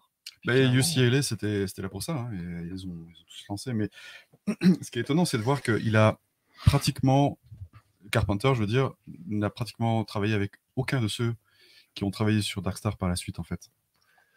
C'est ça qui m'a toujours un petit peu. euh, je me suis toujours questionné là-dessus. Je me suis dit, c'est étrange. Donc finalement, c'est peut-être vraiment le film de Dan O'Bannon, et pas. C'est c'est quand même. Même euh, Carpenter, ne, ne- ne- je pense, ne renierait pas trop. hein. Alors, euh, Carpenter dit que c'est son film, que c'est lui qui l'a réalisé et que Dan O'Bannon ne s'est jamais. euh, oui, sur la réalisation, bien sûr, mais dans l'esprit du film, c'est quand même très Dan Bannon. Mais ils se sont pris la tête, les deux. Je sais. Parce que Dan O'Bannon Je parle, considérait. pas, je parle pas de Dan O'Bannon, je parle de tout le reste de l'équipe. hein. Pas seulement Dan O'Bannon, hein, mais vraiment tout le reste de l'équipe, en fait, n'a plus jamais collaboré en fait, avec, euh, avec Carpenter. Sauf Nick Castle. Bah oui, Nick Castle, bien sûr, mais c'était un ami d'enfance, hein, Castle. Et au moment de The Fog, ils étaient encore brouillés? Parce que c'est du coup étonnant qu'il ait donné le nom. euh, Non, Dan euh, O'Bannon a un ça- personnage. Ça faisait un an que ça allait mieux, tu vois. Ils avaient eu une Hmm. petite discussion ensemble. Du coup, c'est genre ça. pour dire, Mm. je te fais un petit hommage parce que. Non, mais Parce que voilà, on s'est un peu rabiboché. Oh, Ouais, Hein. Dan O'Bannon en parle assez ouvertement. Où je me demandais si c'était encore une petite pique parce que le personnage Non, est un non, peu. Un peu con euh, Puis un peu, il sert à rien. Voilà, un peu. Ouais, ouais. Non, non, Bah, il sert à mourir. Il sert à mourir, à augmenter le body count. Voilà. Euh, Ah, c'est toute la soirée, ça va être comme ça, les gars. Ah oui, c'est sûr que ça va être ça. hein. Euh, L'histoire qui est sympa, mais tout le monde la connaît parce qu'elle est dans les bonus, c'est euh, quand ils ont eu besoin de, de tirer sur le, le métrage pour en faire un long métrage. euh, John Carpenter a été euh, en mode ganté, euh, masqué, tout ça. Il s'est infiltré dans l'université UCLA, tu vois, pour voler les négatifs. Parce que les, né- les négatifs appartenaient à l'université. Elle n'appartenait pas au réalisateur et tout ça. Donc le mec, il a fait Metal Gear Solid, il a été récupérer ses négatifs, est tous vous faire enculer. Puis après, il a, euh, il a essayé de faire son film. Voilà. Hein, tant bien que mal. Ce film-là, alors il est disponible. C'est quelle caméra? Est-ce que je peux avoir celle-ci pour euh, montrer? Euh, Ça, c'est un zone 1. C'est un zone 1 qui comporte les deux montages ainsi que un, un bonus excessivement long de, de près de. J'ai pas envie de dire de bêtises, mais je crois qu'il fait au moins deux heures le, Plus long que le film. le making of. Il faudrait que tu me le prêtes, celui-ci. hein. Oh bah ça sert à rien parce que c'est ressorti en Blu-ray Je ne l'ai- ne pas trouvé chez Carlotta. à un prix décent. Voilà. Voilà. Dark Star. Alors là, tu as la version cinéma de 83 minutes et le director's cut de 71 minutes. Voilà. Euh, moi, j'avais marqué 68, 83. Bon, euh, voilà. hein. Je peux jeter un œil Oui, Ça te oui. dérange pas Je ne sais pas. Et, oui, et le making-of fait 117 minutes. Regarde. À quoi tu veux? Oui. Hop. 117 minutes le making-of. Il est incroyable. On a des interviews de la femme de Dan O'Bannon, parce que Dan O'Bannon est, mort hein, depuis, tu vois. Et euh, voilà, c'est assez émouvant. euh, et Carpenter ne participe pas vraiment au, euh, documentaire. Par contre, tu as une, une interview audio de Carpenter qui date de l'époque, tu vois. Donc, c'est entrecoupé d'interventions de Carpenter. Mais lui, il a dit Je me tiens éloigné de Dark Star. De toute façon, il- il- de, de moins en moins, il donne d'interviews. hein. Ouais, c'est vraiment pas euh, quelque chose qu'il. euh, Sauf, sauf, sauf quand il doit promouvoir un film qu'il a produit. Ouais, Dire que c'est bien, ouais. comme un remake de, de 2005. ou même un comique inspiré de- d'un de ses films. Dès qu'il s'agit de faire un peu de mamaille, Carpenter, il est là. Tout hein. à fait. Ah bah oui, il aime l'argent. Il aime l'argent. Donc Dark Star, tu le conseilles aux spectateurs de Croix de Mal qui ne l'auraient pas vu? Pas spécialement. Pas spécialement. Franchement, les gars, c'est pas incroyable. Bon, bah, alors, je vais peut-être pas le regarder. Mais je pense qu'il faut tout voir. Il faut tout voir, il faut faire comme moi. Il faut taper de la Alors, merde. comme toi, euh, c'est dur de faire comme toi. Ouais, je sais. Je sais. je sais. Non mais franchement, moi je trouve que c'est pas si désagréable que ça. C'est assez drôle. J'ai pas dit que c'était désagréable, j'ai juste dit que c'était pas Ah, incroyable. je et que m'attendais ça, pas du tout à ce que ce soit drôle, en fait. Ah, mais c'est drôle. ouais. C'est drôle parce que tu as dedans un. Alors attends, parce que il y a quand même des gros liens avec Alien au de- au- au-delà de cette histoire d'extraterrestres qui, euh, qui se promènent dans les, euh, dans les couloirs. le- L'intelligence artificielle, le- le- Non. l'ordinateur qui parle. Non, non, euh, ce que je pense, c'est surtout au fait que ce soit une équipe en mode crasse-pouille. Tu vois, c'est Ah, vraiment oui, ça, pas vrai. la science-fiction euh, propre. les cheveux de longs, 2001. la barbe et tout ça, mais c'est surtout Hmm. des hippies en fait. hein. Ils fument des joints euh, à longueur de temps. Ouais, mais le vaisseau, il est un petit peu euh, tombé en C'est clair, il il est un peu cradoc et tout Ouais, ça, tu vois. Et, et c'est vraiment l'esprit de vrai. Alien et même de Star Wars quelque part. Tu vois, cette, euh, dans Star Wars, les vaisseaux, ils ont vécu. C'est euh, c'est presque une routine pour les gens d'aller euh, faire un vol spatial et tout ça, tu vois. C'est leur quotidien, tu vois. Mhm. Et là, on est dans le quotidien de mecs qui sont là pour faire péter des planètes. Et est-ce qu'il y a un lien avec euh, l'humour qu'il y a dans Jack Burton ou ça n'a Non, rien à non, voir? non, Non, c'est vraiment pas le même c'est humour. vraiment pas le même, même truc, tu vois. On te dit, c'est Dan O'Bannon. Hmm. Oui, j'ai bien compris. mais- Non, et puis tu sais, il y a un mec dedans, son rêve numéro un, c'est euh, de faire du surf dans l'espace et Ah tous les oui, trucs comme vrai, ça, tu oui, vois. Et, euh, et à la fin, donc, il se retrouve amené à parler avec euh, l'ordinateur, tu vois, et qu'il y a toute une réflexion hyper philosophique sur. euh, tu sais, ça dépasse vraiment 2001. coupole hein. comme ça, et puis il regarde les étoiles, et l'ordinateur lui parle, et il parle de métaphysique. C'est Moi, je trouve que c'est plutôt cool et c'est assez intelligent, tu vois. Donc, il faut le voir. Et puis, Il faut pas, si vous avez envie Tiens, de voir, regarde, tu vois, Arcania, il est d'accord. C'est des routiers de l'espace. Effectivement, ce sont C'est des routiers de l'espace. Voilà. C'est un peu quelque part euh, Han Solo dans Star Wars épisode 7. tu vois, des routiers de l'espace. Bon, sur le papier, ça vend pas, euh, ça vend pas du rêve. Voilà. Alors, qu'est-ce qui s'est passé après ce Dark Star? Mais Han Solo, c'est un pirate, c'est pas du tout un routier. Oui, Routier, mais c'est dans Alien. oui, c'est un pirate dans la Sainte Trilogie. euh, ça, il n'y a pas de souci.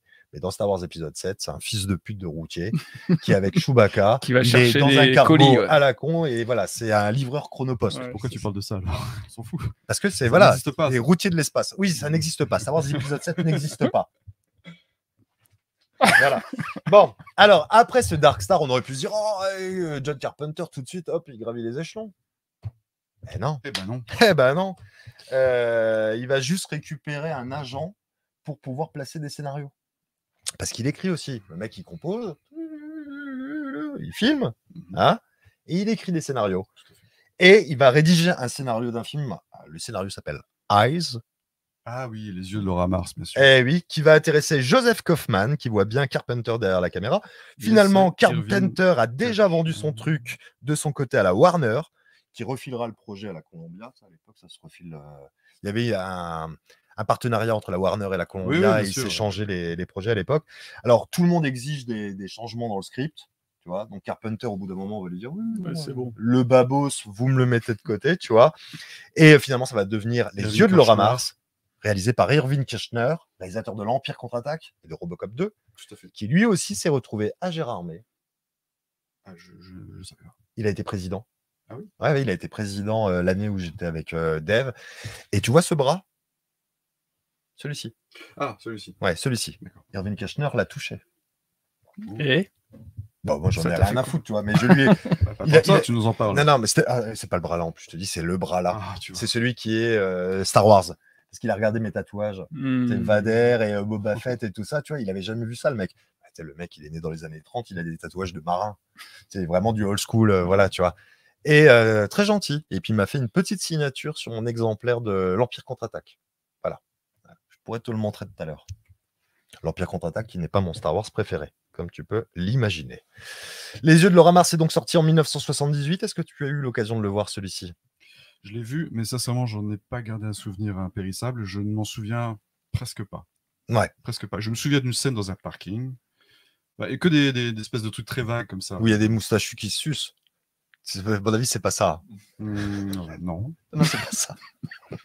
c'est pas ça. Eux, ils mélangent tout.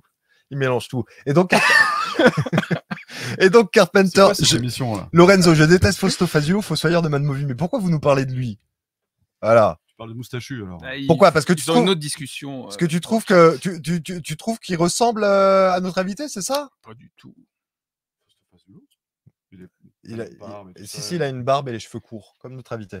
Voilà. Et alors, il y a- ça arrive à des gens Il très. y en a plein. Et donc, à l'époque, le mec, il rédigeait d'autres scripts. Il a fait aussi Meltdown et Prometheus Crisis. Crisis. Et Philadelphia Experiment. Non, c'est après qu'il le fait ça.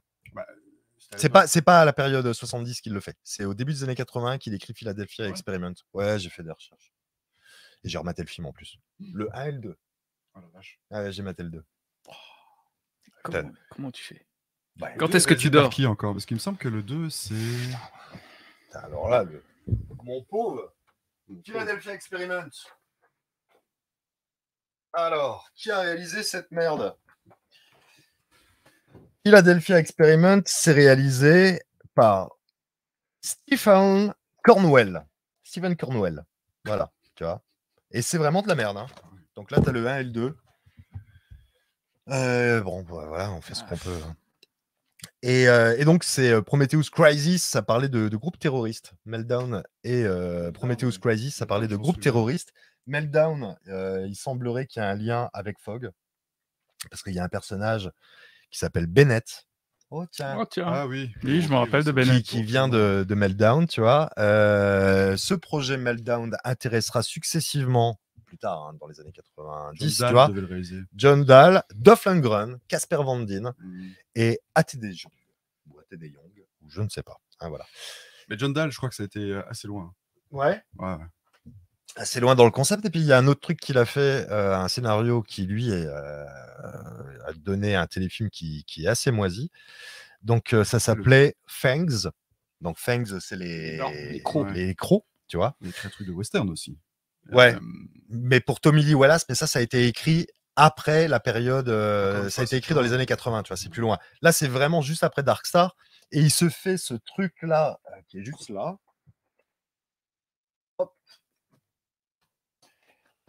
C'est sur une période de combien de temps là? Oh bah là, c'est euh, deux ans, mais il a dû en faire plein d'autres. C'est Morsure, Silent Predators. Ça existe en fait comme film. Ouais, ouais, bien sûr.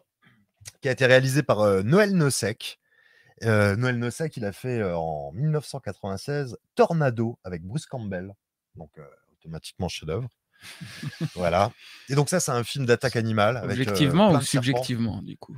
Ça, c'est objectivement un chef-d'œuvre. D'accord. Dès qu'il y a Bruce Campbell à l'écran, voilà, hein, t'as compris le concept.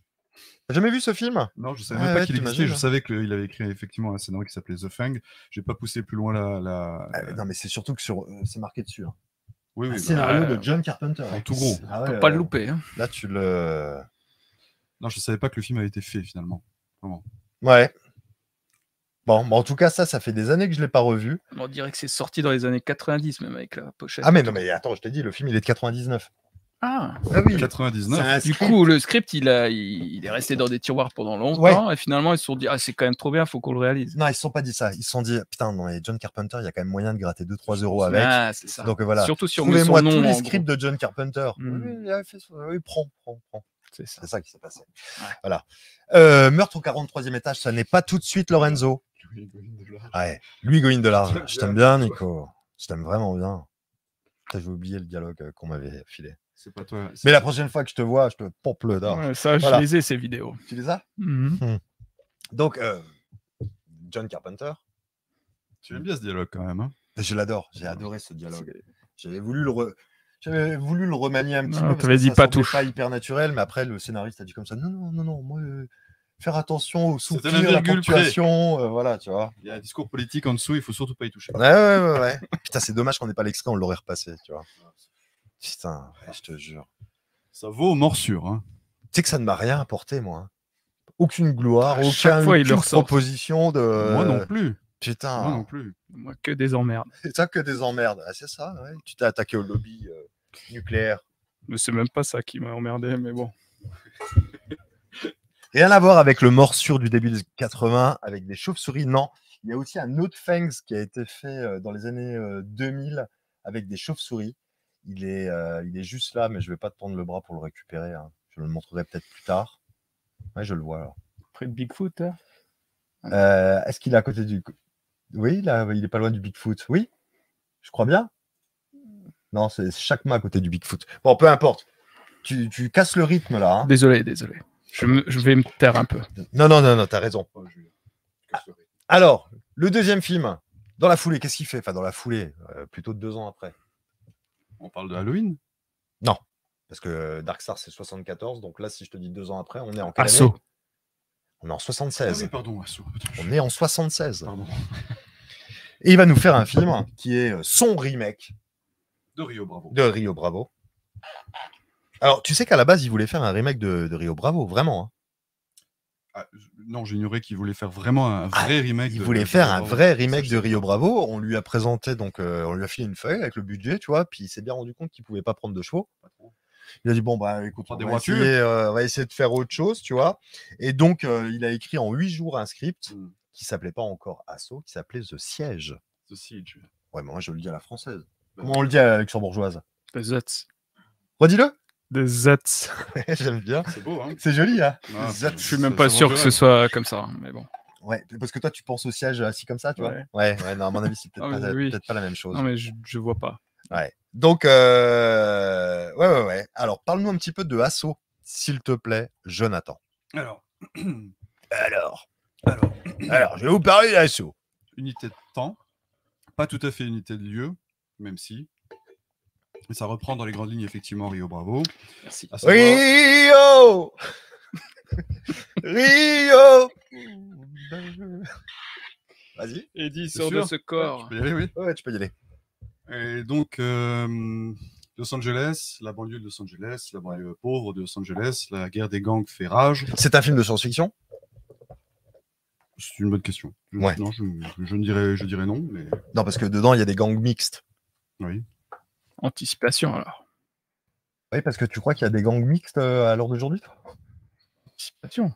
Ah oui, c'est vraiment. euh, de- oui, c'est un film d'anticipation. Parce qu'on ne l'a pas encore vu. Le film a exactement le même, euh, le même concept que The Warrior, c'est-à-dire de faire des gangs multiethniques. Et ça, c'est une volonté de la part de, de Carpenter. Ça oui, hein, mais parce que, de là à dire que c'est un film de science-fiction, je sais pas, mais bon, en tout cas, ça ne s'inscrit dans aucune réalité. on est bien d'accord. Mais Voilà. De toute façon, le film ne s'inscrit pas dans une vraie. Enfin, c'est pas. C'est- Il s'inscrit pas dans la, dans la réalité, Ce serait véritablement. tout à fait possible. Hein. Eh, tu regardes pas assez la télé, toi T'as pas vu ce qui s'est passé à Montpellier? Hein On a des gens de Montpellier là qui, qui regardent. Hein D'accord. voilà. Désolé pour les gens de Montpellier. hein. Département 34, les amis. Donc continue. Sais ce que je voulais dire du coup. Là. Je Unité de temps, ça unité de lieu. souvenirs. Unité de temps, de lieu, des gangs. Pas tout à fait unité de lieu. Ouais, je sais plus. Unité de temps, ça commence le matin, ça finit vraiment Ouais. tard le soir. Donc une journée. Et c'est euh, un jeune flic noir qui prend possession du dernier euh, euh, commissariat Ouais. de banlieue, de quartier, je sais pas comment on appelle ça en fait, de quartier. Et euh, ce, parce que ce, ce, ce commissariat va déménager en fait, ils vont tous partir, donc ils sont en plein déménagement. Il faut qu'il reste, il faut qu'il reste une seule personne. C'est ce flic noir avec une secrétaire, si je me trompe pas, et puis encore un mec, je ne me souviens plus exactement. Bref, euh, très très peu de monde. Euh, un père de famille euh, va se balader avec sa fille. euh, l'un des, des mecs du, l'un des chefs de gang en fait euh, dégomme la, la gamine. Tu as déjà vu le film? Non. Il va, C'est une scène assez nerveuse. hein. il va devenir Hmm. fou. euh, il va essayer de les, les, les, les Qui attaquer, ne deviendrait pas fou? Mais ça va pas bien se passer. Ils vont le pourchasser. Lui, il va se réfugier dans ce fameux commissariat où il y a euh, quatre pelés et vraiment euh, pas suffisamment d'armes pour se défendre. C'est des policiers municipaux. En même temps, en même temps, en plus de ça, parce que il y a une grosse C'est coïncidence. donc un siège. Tout à fait. Il y a en plus de ça euh, une bande de. Mais le commentaire de Max Nevan, je t'en supplie. Ah bon, voilà. Romain a raison. À propos de quoi? Mais parce de- que- bah, il y a écrit c'est Romain a raison, donc Romain a raison, voilà. Ah oui, pardon. Je Et donc, il y a en plus de ça un transfert de, de, de, de- de- de prisonniers. Et donc, il y a ce fameux Napoléon Wilson, qui est euh, un proto-Snake Plissken, clairement, qui sera euh, parmi les, les, euh, les, les, euh, les détenus euh, et, euh, et qui va finalement lier une alliance. Lier une alliance. Ouais. Faire alliance, en fait, faire alliance avec euh, le flic pour pouvoir se défendre contre l'invasion des gangs de rue. Très, très violent mixte. mixte. Mixte. Et dont on ne voit quasiment jamais les visages, à, à quelques exceptions près. Alors, c'est euh, c'est autant un remake de Rio Bravo que de La Nuit des Morts Vivants, quelque part. On peut dire ça, effectivement. ouais. J'avais pas préparé la question, mais je trouvais que ça sonnait bien. Ça sonne Hein, bien, c'est plein de Oui, références, c'est profond. part, hein, Objectivement. objectivement. Oui, non, mais c'est vrai. A raison. Ouais. Et donc, quoi d'autre? Et est-ce que, du coup, j'entends souvent que il faut le voir absolument, que c'est un super film euh, de Mm. Carpenter. Vous en pensez quoi? Moi, je trouve que c'est parmi le, vraiment le haut du panier. C'est vraiment, vraiment un très, très, très, très bon film. Et en plus de ça, ça a plutôt bien vieilli. Ouais. Hmm. Ça a vieilli, ça a pris un coup, mais ça a bien vieilli. Il y a Dans une certaine patine quand même qui est les pantalons. Les pantalons ont vieilli. Ouais. Bon, bah, Non, mais ça- a vieilli comme le film de Walter Hill. hein. Tu vois Voilà, si tu regardes ça un petit peu en mode, oh, regarde le look. Voilà, mais autrement, non, c'est bien. Et est-ce qu'il y a déjà sa patte, du coup? Ah oui, il y a ça. Par rapport à. Dark Star. C'est là, c'est là qu'on retrouve véritablement le, le- le style de Carpenter. Le film est tourné en scope. Donc tout de suite, Il aime le scope. il aime le scope. Grâce à Planète Interdite, on l'a dit tout à l'heure. Hmm. hein. Donc tout de suite, c'est tourné en scope. Il y a la musique euh, euh, de Carpenter hein, qui est pas si Encore mal. Ah oui, oui. Il signe le montage avec un pseudonyme, d'ailleurs. John T. Chance. Et tu sais, ça vient d'où, ça? Rio Bravo. Eh, il est fort. Hein. Il l'a bossé, le truc. Hein. Non, mais ça, c'est inné. Ouais, ouais, ouais, ouais, il a une petite référence.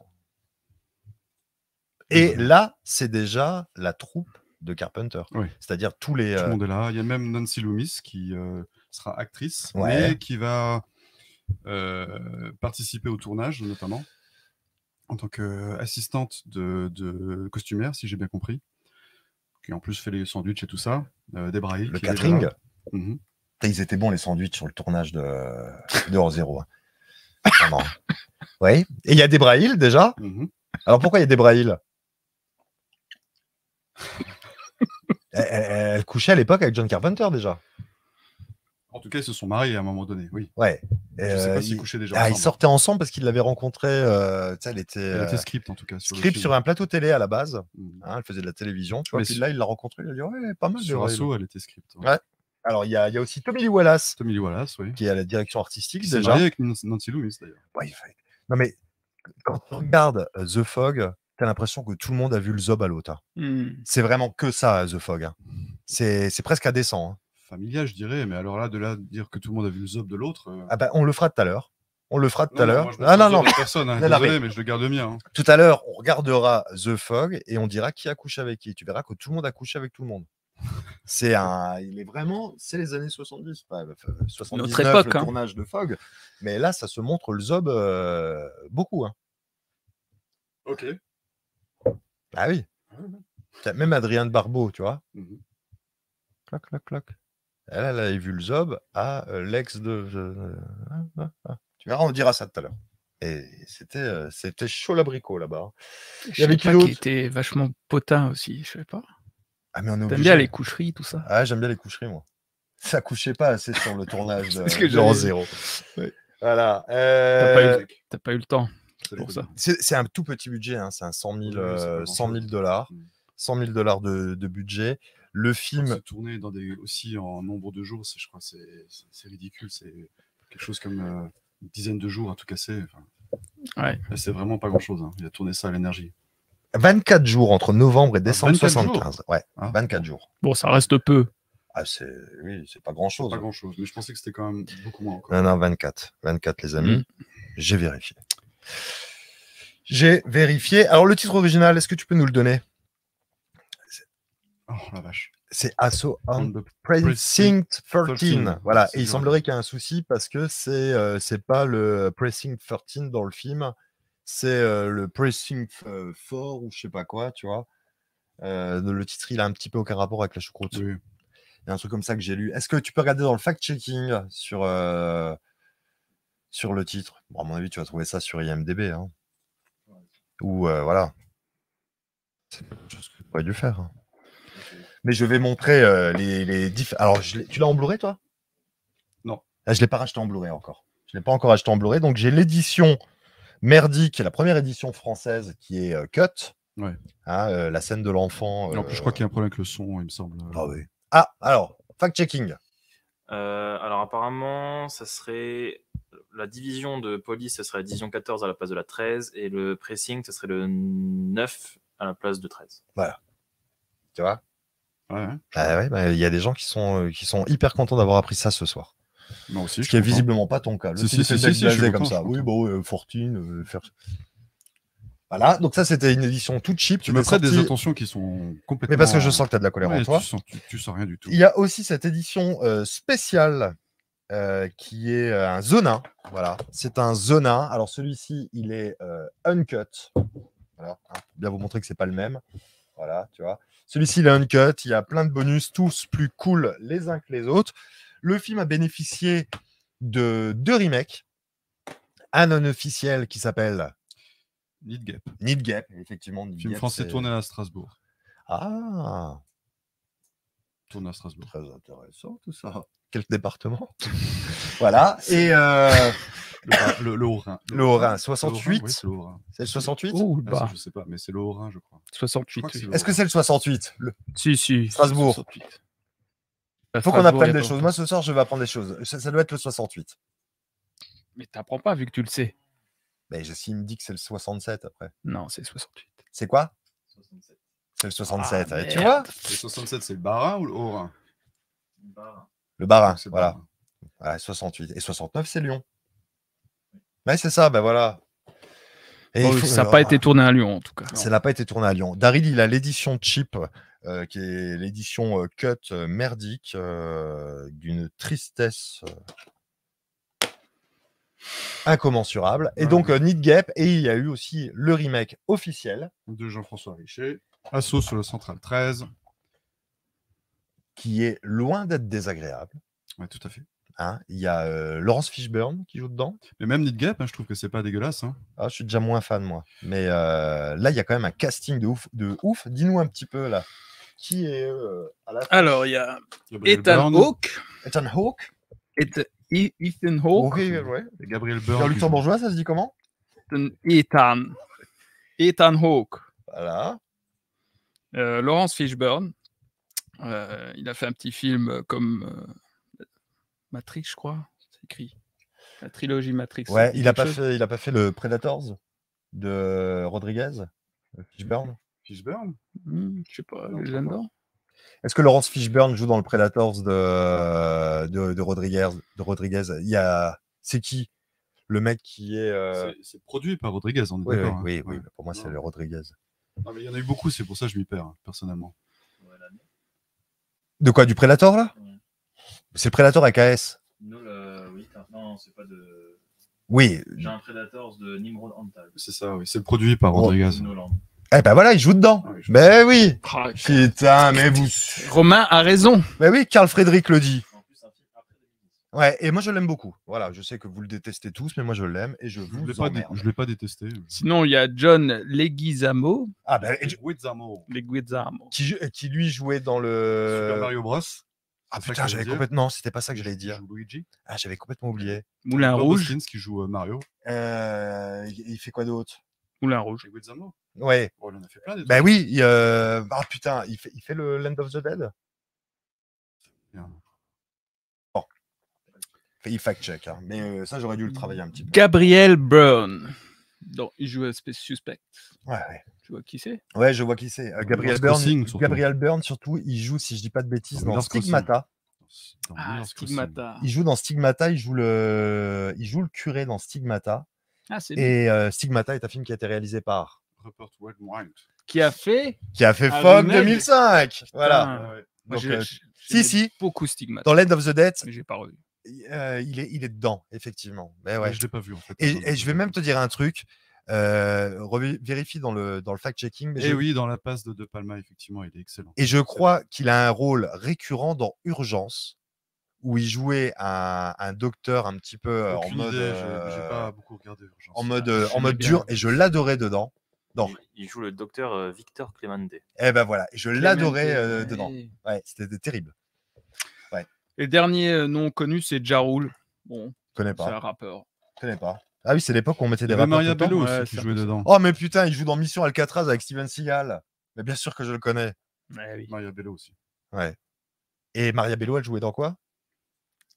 Eh, il y avait aussi la nana dans Soprano. Comment elle s'appelle? Ah bah ça, je regarde pas de série télé moi. À part Ah, pas- Urgence. Et Et les- Et Bern est dans. Usual. Suspect, et voilà, tu vois. L'impasse, putain, il dit Monsieur Bière. Mais je, je l'ai dit. Ah mais il a été plus rapide que toi. Il a Non, non, plus- il l'a dit. T'écoutes pas les dit autres. que Arcania Il avait l'a dit juste raison avant. de dire que Linguizamo avait joué dans la passe de Voilà. Brian De Palma.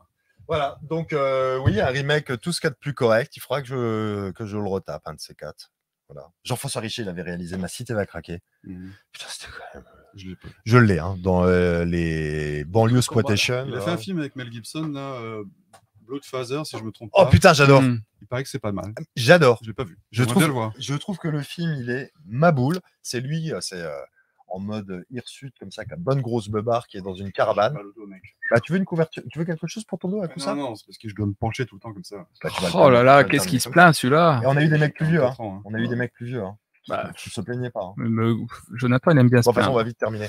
On va Ouais. Fog 2005. Fog 2005. C'était bien. C'était bien. Donc après, en 78, il va faire Halloween. Alors Halloween, nous n'aborderons pas le cadre d'Halloween ce soir. Ah, ça D'accord. me- Voilà. Ça me soulage. C'est parce que Halloween, euh, en tant en parler, que c'est ça franchise, nous en parlerons Mm. probablement, même si moi je ne, je ne fais pas partie des fans d'Halloween. Je peux dire ce que j'en pense? Ah oui, bien sûr. Mais on n'écoute pas de toute façon. Toi et moi, on n'écoute pas. Vas-y, alors. Il y, a, il y a 70 personnes qui crèvent d'envie de savoir ce que tu penses de Halloween de John Carpenter. Certainement. Voilà. Alors, je trouve que c'est un bon film. Bah Oui. Non, justement, je trouve que c'est euh, c'est vraiment un film qui, moi, me laisse particulièrement froid, même si, effectivement, au niveau technique, il est quand même très, très, très, très réussi. Et là, il y a la patte Carpenter qui commence véritablement à s'affiner. Et, euh, et je trouve que c'est un sacré, sacré, euh, sacré film techniquement, mais beaucoup de Pourquoi tu dis ça? Pourquoi tu dis que techniquement, c'est. euh, Parce qu'il y a des mouvements de caméra, il y a euh, un montage, il y a, il y a vraiment quelque chose qui, Mouvement euh, caméra. Oui, tu as une c'est une caméra c'est une vraie en mécanique, c'est une vraie mécanique de précision en fait ce film. Et euh. À ce niveau-là, il est vraiment impressionnant. Bah, c'est une mécanique de précision où tu sens les minutes défiler. Hein. Il y a un peu, ouais, Oh un autre vache. rythme que ce qu'on a l'habitude de voir Qu'est-ce maintenant. que c'est plan-plan Mais ça a toujours été plan-plan. hein. Chez Carpenter, ouais. Ah non, mais quand moi j'étais gamin, tu vois, euh, ouais, on regarde Halloween. Voilà, tu vois. Je préfère largement Halloween 2 de Rick Rosenthal et mon préféré reste bien évidemment Le 3. Halloween 3 de Tommy Lee Wallace, qui est Tommy. probablement Il y a un, film un le- acteur euh, qui est dans The Fog. de- Ouais, a plus Tom que ça. hein. Il y en a Avec même ou sans deux. Il moustache y a aussi Nancy Loomis. Oui, qui joue la femme, de Tony qui joue la femme de Tom Atkins, exactement. L'ex-femme, Oui, l'ex-femme. Il lui ramène les masques de loup un peu à la con. Et il y a aussi Jamie Lee Curtis effectivement. qui fait un caméo dans Halloween 3. Elle fait la voix de l'opératrice. Tout à fait. ça. Je crois que je l'ai vu euh, à Thionville. Ouais, à la Scala, en double Ouais, programme avec. Halloween 2. Mhm. Voilà. Formidable. Donc, euh, Halloween, on n'en parle pas. Il y aura un croix de mal spécial Halloween. Et puis, c'est tout. Et euh, on est en 78. Toujours. Et là, il y a un téléfilm. Someone is watching me. Il le dit bien. Hein Ah, mais ça, euh, honnêtement, c'est, c'est, je même, je préfère Someone is watching me que, que Halloween. tu, C'est vraiment un téléfilm que j'apprécie beaucoup. tu- tu connais le premier nom de ce Someone? C'était I Rise, si Ah, c'est ça. pas. Il a bossé. Il a bossé.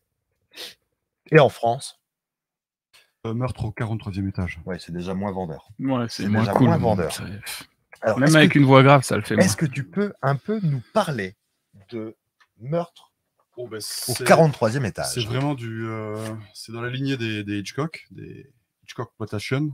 Je sais pas si on peut dire ça, mais, C'est d'ailleurs probablement le film de Carpenter qui ressemble le plus à du Hitchcock. ah, hein. mais clairement. Générique à la sol basse, c'est vraiment. Totalement, il, euh, il reprend même euh, le, le- plan du générique. C'est littéralement un décalque de celui de North by Northwest avec les lignes des immeubles, sauf que lui, il le fait en fait en- avec un plan euh, en, en contre-plongée sur un immeuble comme ça, qui est très très très beau, très classe. Prends-en de la graine, Et toi. en gros, c'est une productrice de télévision, une réalisatrice de, de- de- de télévision qui euh, débarque à Los Angeles pour un nouveau job et euh, qui prend un appartement au 43e étage. Euh, qui donc euh, commence à se faire sa nouvelle vie à Los Angeles, qui a d'ailleurs une amie euh, lesbienne qui s'appelle, euh, je sais plus comment elle s'appelle, mais, Mais qui est interprété par Adrienne Barbeau. Ce qui était rare à l'époque. des lesbiennes? Ouais, Ouais. dans des téléfilms. Ah, dans des téléfilms. Au cinéma, moi. Et, euh, et puis elle va finir par découvrir au fur et à mesure qu'un mec en face d'elle euh, l'observe et Ouais. lui passe des coups de fil. Qui est tellement dangereux. Il va finir par être dangereux vraiment. Alors lui, il a complètement oublié qu'il avait le, le micro. Et vas-y, qui. Ah bon Parce qu'on l'entend. euh, re- Oui, je croyais qu'il s'énervait. J'ai l'impression qu'il s'énervait aussi, tu vois. Ah bon, voilà. Ouais, et euh, c'est Fenêtre sur cour de Carpenter, en fait. Oui, c'est vrai que là, il y, a- il y a quand même quelques ressemblances, hein, quelques emprunts. Ouais, ouais. Voilà. Euh, alors, c'est un film que j'ai vu une seule fois à la télévision. Alors, euh, ça a été diffusé en France en 1982. Ça a Tiens, été tu peux faire péter le café s'il te plaît parce que- il est juste là. Voilà. Ça a été rediffusé le 8 novembre 1984 sur Antenne 2. Et en 1987 sur la 5. La blague là a déjà été faite plusieurs fois, donc euh, n'hésite pas à faire du recyclage. C'est un, vieux, c'est un vieux classique qui fonctionne toujours. Non, je suis pas sûr, sûr, mais voilà. Et euh, en 87 sur la 5, le 15. Euh, voilà, j'ai pas la date. Ouais, c'est en 87 sur la 5. Donc, je ne sais plus. À la 5. Je ne sais plus sur quelle chaîne je l'ai vu, mais euh, en fait. euh, Tu l'as vu à la hein, télé. Je l'ai vu à la télévision, en seconde partie de soirée dans mes souvenirs. Et moi, Donc, j'ai tu- l'impression que c'est sur TF1, mais c'est trop Parce bizarre. que ça existe sur support physique? C'est sorti en DVD et je crois même que c'est sorti en Blu-ray. C'est sorti en DVD sur le territoire français. Blu-ray, euh, DVD, oui, mais Blu-ray, j'en suis pas sûr. Ouais. Et sur le DVD, il y a, euh, je crois que le film, il n'est pas en 1.33, il est en 1.85. Ça, je m'en souviens. C'est un film qui tournait en 1.33, Oui, oui, enfin, oui, bien bien sûr. film de télévision, tu vois.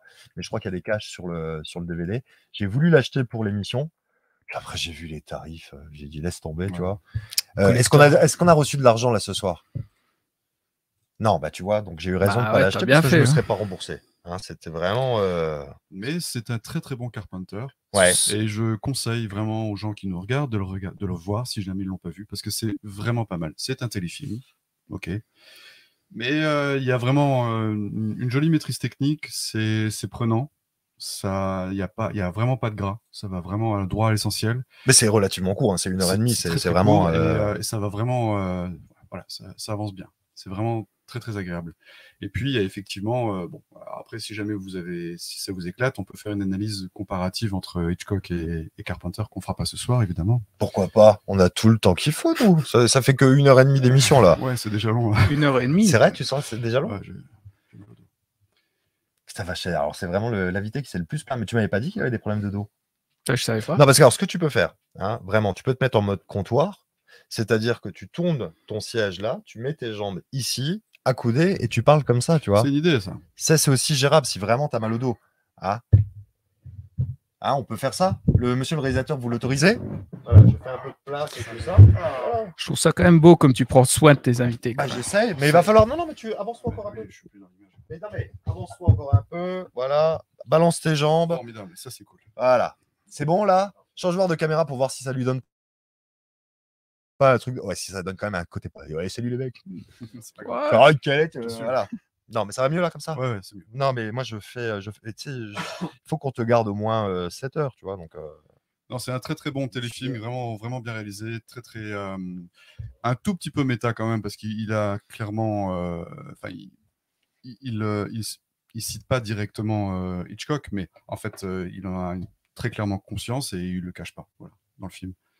Et euh, à quelques notamment euh, avec ce, ce plan qui cite directement le, le- le- le générique de, de North by Northwest, mais à d'autres moments aussi où il cite véritablement Hitchcock. Donc pour dire voilà, je, je sais que je fais un, un film à la Hitchcock, Ouais. mais il le fait bien. ouais, un film à la De. Palma. Ça, ça fait un petit peu. Tu pourrais croire que De Palma a torché ce truc-là. hein. Je trouve pas. Tu trouves vraiment. Alors, toi, tu, tu sens Je le sens style. Carpenter? Ouais, ouais. Ah, tu vois, bah, Non non non non. de non, non, non, non, mémoire. J'ai pas dit le style Carpenter, j'ai dit une différence entre ce que De Palma en aurait fait. Ouais. D'ailleurs, il l'a fait puisqu'il a fait Sisters. La pr- première partie de Sisters, c'est vraiment euh, Bah, ouais, ouais. euh, fenêtre sur cour. Et euh, c'est beaucoup plus euh, sophistiqué dans le sens euh, premier du terme, à savoir euh, que chez, chez, chez Brian De Palma, il complique beaucoup les choses pour les rendre intéressantes. Hmm. Ce qui est une bonne chose. Moi, j'aime beaucoup Sisters. hein, c'est vraiment pas du tout une critique. hein. Et Carpenter, lui, il est vraiment dans un, un truc inverse, c'est-à-dire que c'est tout est rien n'est surligné, tout est suggéré, et en fait, il travaille véritablement dans, dans l'attente, comme Hitchcock. Il travaille dans l'attente. Il prépare le spectateur à quelque chose qui va arriver, et il a suffisamment d'intelligence et de métier pour pouvoir avancer su- dans son récit sans qu'on se pose trop de questions, mais en ayant toujours quand même cette petite attente. Qu'est-ce qui va se passer? Et boum, il te la scène de manière très très euh, Très bien. très très bien dosée, très très bien équilibrée. Non, mais surtout que là, il m'a convaincu qu'effectivement, j'avais dit une connerie. Ah oui, tu vois. Ouh, parce que tu pour vois, moi- je croyais que. Non, mais pour tu- moi, pour bah, moi, là, euh, Tu pouvais être convaincu. comme c'est un produit, la un question tout à à destination de la télévision, tu vois, j'avais l'impression que quelque part, Brian De Palma aurait pu se mettre derrière la caméra et obtenir le même résultat. Et non, il a raison. Il y a des différences fondamentales, tu vois. Hein de, de Palma, il aurait foutu un plan séquence euh, zinzin pour que tout le monde dise Oh, regarde, il y a un plan séquence. Voilà, c'est ça. Non, mais C'est il, ça, oui. il a parfaitement raison. Tu es un invité incroyable. Et euh, tu sais que grâce à ce téléfilm, il va obtenir sa carte au SACG, SAGD. Ouais, la guilde. Oui, la guilde, je sais plus comment ça s'appelle. SAGD ça, Je, je sais pas, il y en a plein. Le syndicat. Oui, le Le syndicat. syndicat euh, là-bas. Je savais pas que c'était pour ce film-là, mais Ouais, c'est grâce à ça qu'il va choper ça, tu vois. Voilà. Donc, euh, une belle année 78 pour John Carpenter. Ah Ouais, bah, arrête écoute, plus, hein. Il arrête. moi c'est ça qui me, qui me fascine, c'est ce qu'on a vérifié encore juste avant de partir, c'est que il a fait donc Halloween en 78. 78, enfin il est sorti en 78, mais à l'automne 78, ce qui voudrait dire qu'il l'aurait probablement tourné en début 78, je Ouais, pense. hein. ouais, ouais. Mais c'était vraiment une année où il a fait que ça. ouais. Et ensuite il a, il a fait euh, Someone is Watching Me. Qui, a été, euh, qui a été diffusé le 29 novembre 78 aux États-Unis. Ouais. Donc, euh, voilà. Et, et, euh, Ouais, il a dans la enchaîné. foulée, il a fait euh, Elvis. Le roman d'Elvis. Alors, on va y arriver. Eh ben, tu, tu imaginais bien qu'on n'allait pas faire l'impasse sur Elvis. non, Eh, attention. Alors, il y a 78, c'est aussi une année où certains de ces scénarios vont être adaptés au cinéma. Hmm. Des trucs que j'ai pas vus, comme Zuma Beach. Ah oui, Zuma Beach. Zuma Beach réalisé par Lee Katzin. Hmm. Tu l'as vu? Non. Bah voilà, tu vois. C'est l'histoire d'une chanteuse qui va chercher Ouais. l'inspiration sur les plages et elle va y rencontrer des nanas en bikini. Alors il y aura Rosanna Arquette, il y aura Mmh. Tanya Roberts. Donc vraiment, euh, c'est déjà le haut du panier. Et des mecs en slip. Il y aura Michael Bean et Timothy Hutton. Donc euh, ça, moi, ça me donne envie euh, à fond, tu vois. Zuma Beach. Très envie de voir Zuma Beach. Je l'ai pas vu, je t'avoue. Ouais, bon, bah écoute. Ce sera probablement l'objet d'une prochaine émission. Donc une belle année quand Qui même. dit pour euh, Zuma. Beach avec Bruce Campbell Non, je crois pas que c'est. Il y était avant que tu en parles. Ah, ouais. ce Ah bon, commentaire. D'accord. Alors, ensuite. Pour il- l'anecdote, juste, c'était euh, Ah. Screen Directors Guild, SDG, c'est devenu ensuite Directors Guild of America, DGA. Putain, tu vois, c'est ça qui est bien avec le fact-checking. Ouais. Ah. T'as bien fait de mettre un micro à notre ami Mais Vauche. ça, c'est grâce, au... c'est grâce à l'argent qui a été donné. hein. Parce que moi, de moi-même, j'aurais pas été... j'aurais été dans la capacité de sortir de la thune pour un micro. Ouais, hein. J'imagine bien. Mais là, on a tellement été gavés, tu vois. Prenez, prenez, mais on pourra pas les dépenser. Achetez des micros. Achetez... C'est ce qu'on a fait. hein. D'ailleurs, tu vas bientôt arrêter d'être projectionniste. Je ne suis tu pas projectionniste, moi. Je suis un artiste. je suis un artiste polyvalent, je- Acteur, astronaute. acteur, astronaute. Le roman d'Elvis. Voilà. Voilà un film que j'ai dans une édition moisie. Hein, parce que j'ai cette édition-là. Euh, On dans- mieux là. Ouais, on va... mais il veut plus changer de caméra, tu vois. Il veut plus. Le roman d'Elvis. Et je trouve qu'il est quand même impressionnant. euh, Kurt Russell? Bah, en- Physiquement, je trouve que. Ah, mais il est top. J'ai pas vu le film, mais euh, les images que j'ai vues, j'ai vu des extraits. C'est Là, c'est le Ah ouais. montage cinéma parce que c'est c'est un film à destination de la télévision qui a eu une exploitation en, En salle Europe. en Europe. Mm. C'était euh, le lot de plein de films à l'époque. hein, euh, On cite bien évidemment Duel, on peut citer aussi euh, L'été de la peur avec Linda Blair réalisé par Wes Craven qui a eu euh, sa diffusion. euh, Je pensais que c'était un film, ça, par contre. Non, c'était un téléfilm. Ça se voit, tu le mets dans le lecteur, ça, ça se voit. hein. Tu sais, t'as les gros lettrages jaunes euh, typiques euh, du- des téléfilms des années 70. tu vois. Et donc, euh, ouais, c'est le montage cinéma d'une heure et demie, alors que ça dure bien plus longtemps, ça. Ouais. Est-ce que tu peux nous en parler un petit peu du roman d'Elvis? Pas vraiment, je suis désolé, mais euh, c'est un des films de Carpenter que, avec lequel j'ai beaucoup de mal. J'ai vraiment plusieurs fois essayé de tenter de regarder, donc dans sa version longue, hein, pas la version Ouais. courte, et j'ai jamais réussi à aller jusqu'au bout. Vraiment euh, dur. Moi, j'aime bien. Et non pas que je sois réceptif à l'œuvre de, de Elvis.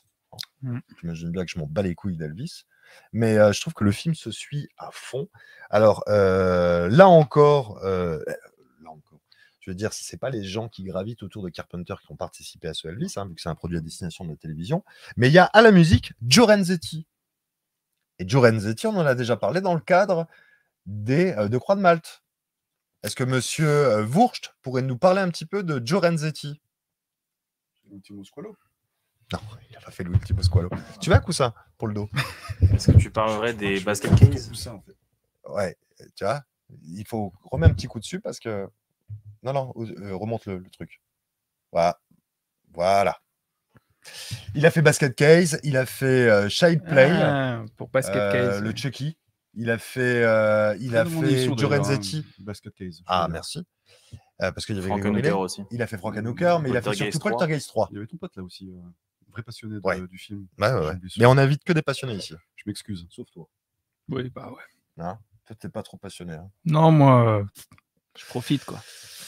Là, tu profites. Il y a t'as du vu de la café. lumière, La lumière qui. Tu vois, il va falloir changer le spot aussi. Ah. Tu vois? Il ne fonctionne pas très bien. Donc, ouais, Joe Renzetti, j'aime bien faire des, des piqûres de rappel, tu sais, par rapport aux précédentes émissions. Et Le droit de tuer aussi. Le droit de tuer, euh, The Exterminator. euh, voilà. Formidable film qu'on avait passé dans le cadre des Nuits. Lequel? Le droit de tuer. On l'avait vu passé en double programme avec euh, putain le film de Alan Parker, Angel Heart. Ah merde, oui, Ouais, j'ai loupé ça. Angel Heart.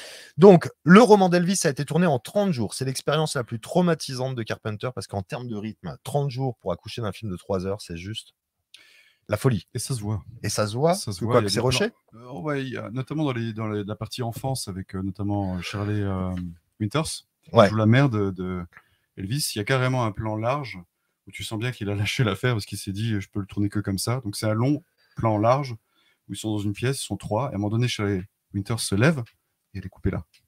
Donc elle parle, mais on voit juste le bas de son visage en fait. Donc, euh, effectivement, c'est pas. Puis ils ont pas recommencé. Ils ont pas recommencé. quoi. Ouais, c'est bon. C'est de la bon, merde, on, la garde. On C'est la bon. garde. C'est de la merde. On n'aura pas mieux. Ouais. Et euh, l'audience télé de ce téléfilm a dépassé celle de Autant en emporte le vent. Paraît-il, oui. C'est vraiment le truc. Euh, mais Elvis aux États-Unis. Elvis était mort en 77. Là, ça a été diffusé euh, le, le 11 février 79, faut dire que Kurt Russell là-dedans est vraiment bluffant. Là, là-dessus, c'est incroyable. neuf jours après la mort de Sid Vicious. Faut-il le rappeler? Ah, Ce soir, on va parler de Il punk a, rock. il a vraiment, il a vraiment, euh, il s'est accaparé le rôle et il s'est glissé dans la peau de, de Elvis, alors que physiquement, il ressemble pas tant que ça. Mais malgré tout, c'est Ah ouais, mais- Alors, Mais- la voix, ouais. la posture, tout est là. quoi. ça n'est pas euh, un choix de Carpenter, Kurt Russell. Parce que Kurt Russell, Ça, je ne sais pas. Kurt Russell cas, avait déjà été embauché avant, après, hein.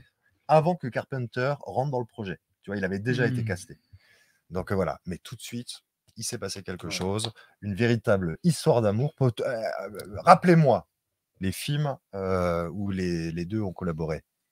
Donc on a Ah, The Thing, The Thing après, Sing, on a New York 97, surtout. New York 97. Enfin, le Los Angeles 2013. Jack Burton.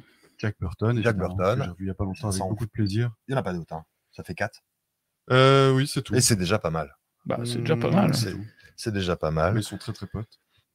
Ouais. Ouais, ouais, ouais. Tel, tel point d'ailleurs que dans The Thing, il ne devait pas jouer hein, Kurt Russell. Euh, John Carpenter lui parlait régulièrement du projet. Il euh, discutait avec lui du, du- du film parce que c'était son pote tout simplement. Et en fait, euh, je sais plus qui avait prévu au départ, qui s'est désisté. Et il a demandé à son pote de le sortir de la panade et de lui dire tu veux pas jouer le rôle principal?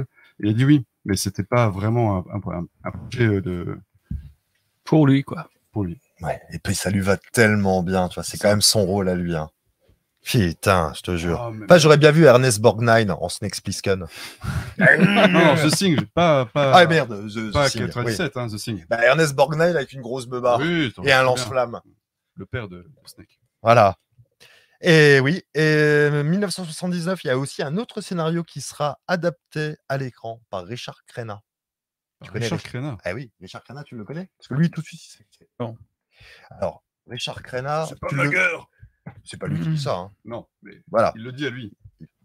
Ça te dit rien. C'est le colonel Trotman dans Rambo. Oui, Rambo. Richard Crenna. Que j'ai revu je vois. il y a pas tellement longtemps. Qui est dans Cocoon aussi, non? Rambo? Rambo. Oui. j'adore Rambo. Ça C'est fait, lui? ça fait très longtemps que je l'avais pas revu. Vous avez pas écouté. De quoi? L'acteur, euh, c'est, il est dans Cocoon.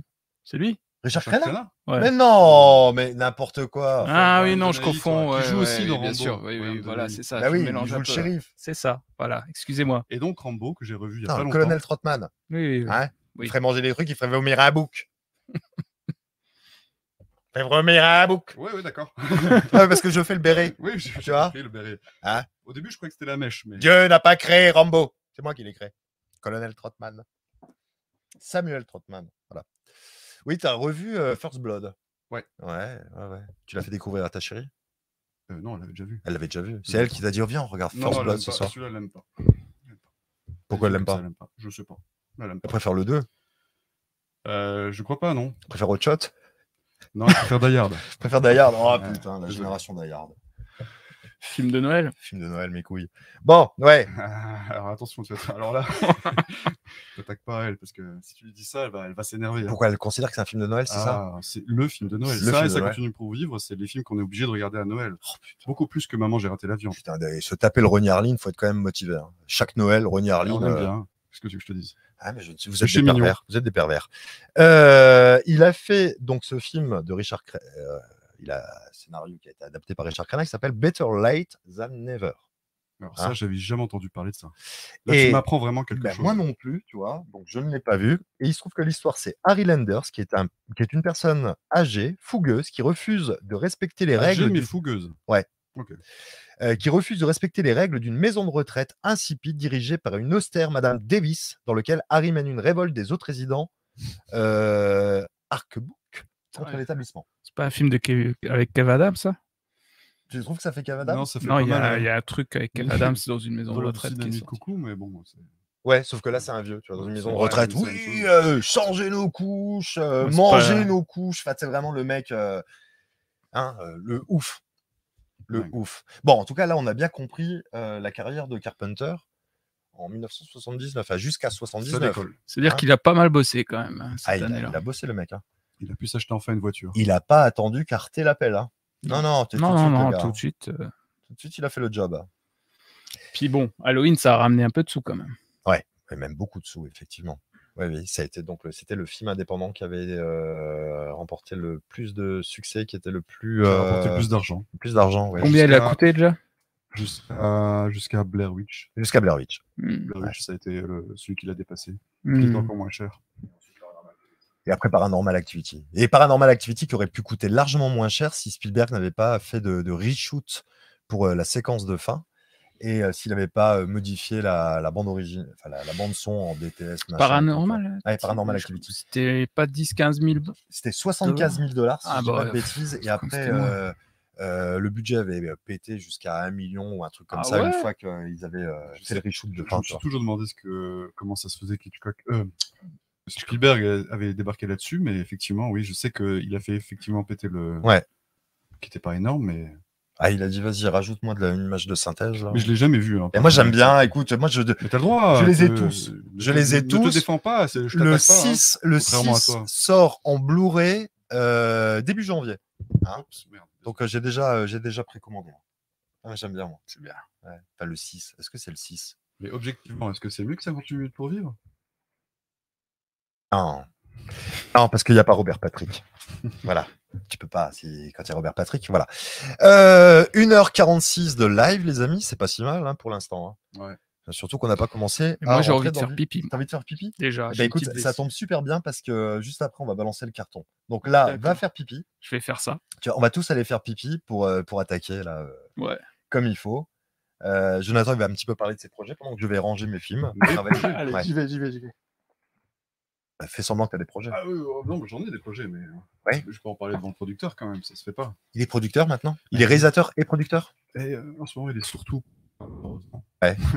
J'aimerais bien le revoir euh, derrière une caméra, faire des trucs, tu vois. Ouais, Vu, quoi. ouais, ouais. ouais. Mais non. Non? Non. La mayonnaise prend pas en ce moment? Écoute, il faudra que tu lui en parles. Malheureusement, c'est vrai qu'il est coincé avec beaucoup de coproduction, production. Ouais. Et le pauvre, c'est pas simple comme situation. hein. Producteur. Il va nous faire pleurer. Ah oui. Il va nous faire pleurer. Bon, ça se passe bien pour l'instant, là, cette émission? Très bien, très bien. À part mon mal de dos, tout se passe très très bien. Est-ce que tu veux un coussin, Écoute, éventuellement? Je sais pas de refus. Mais tu. euh, votre- Je vais. euh, un coussin pour monsieur. Euh, Non, je vais y aller. Je vais y aller. Je, je vais chercher un coussin. Mais faites une petite conversation pour remplir un petit peu. Mais de quoi? On parle de quoi? Ah ben parlez de ce que vous voulez. hein. On parle de saucisses? Ouais. De Tommy voir. Wurst C'est mon nom, effectivement. J'en ai Je n'ai mangé pas des bonnes. Je n'ai Très pas. très bonnes cet après-midi. C'est Mais vrai. malheureusement, j'ai quelques renvois. Et ça. Ça pique. On l'entend pas. hein. Non, on T'inquiète l'entend pas. Mais je le dis. Hmm, Julia, parle-nous de tes projets. J'en ai pas. Et si? Euh, quel projet? Je, je vais produire un formidable court métrage de Jonathan Becker cette année. C'est bien, on, se, on reste entre nous. C'est ça, entre nous. Entre nous. Euh, voilà, On a Alors le titre après- ou pas? On peut le dire ou... on peut le dire. On hein. peut le dire. Vas-y, il est beau le titre. Tu trouves? Oui, oui, moi je trouve qu'il est. Moi j'hésite beaucoup. hein. Ah, moi, je le trouve très bien. Ça s'appelle La bête qui sommeille en nous. Et c'est pas un film de boule. Et c'est ni. C'est pas un film d'horreur non plus. C'est pas un film d'horreur non plus. Non. C'est un film de gauchiste. Encore? Ah oui, Il faut arrêter avec ces conneries. désolé. mais Je peux pas m'en empêcher. Ouais. Et euh, tu connais les projets de Romain? Non. C'est ce qu'il va faire? Tu as Romain, qu'est-ce qu'il a à comme la projet? sol basse. Ça ressemble un petit peu à la sol basse. hein, voilà, voilà, tu vois? Est-ce qu'il en faut plus Non, Papy, il est content. Non, non, Papy, il est content. En tout cas, encore une fois, tu prends soin de tes invités, c'est beau. Non, non, attends, va, va faire pipi. Voilà. Donc, euh, Julien me dit que tu avais des projets. Ah, bon, moi, je serais bien curieux de savoir c'est quoi mes projets. Non, non, je, je ne sais pas. Non, moi, j'ai pas de projet, pas de projet d'avenir. euh, Pas de projet d'avenir? Non. Ah, Non. Bien dommage. Julien a un, un- un film qu'il aimerait, euh, qu'il aimerait faire, Ah ouais? Un projet, Non, je suis pas au courant. une espèce de, de- Pas une espèce, un, un thriller de science-fiction familiale. Comme ça, comme ça. Encore avec des chiffres?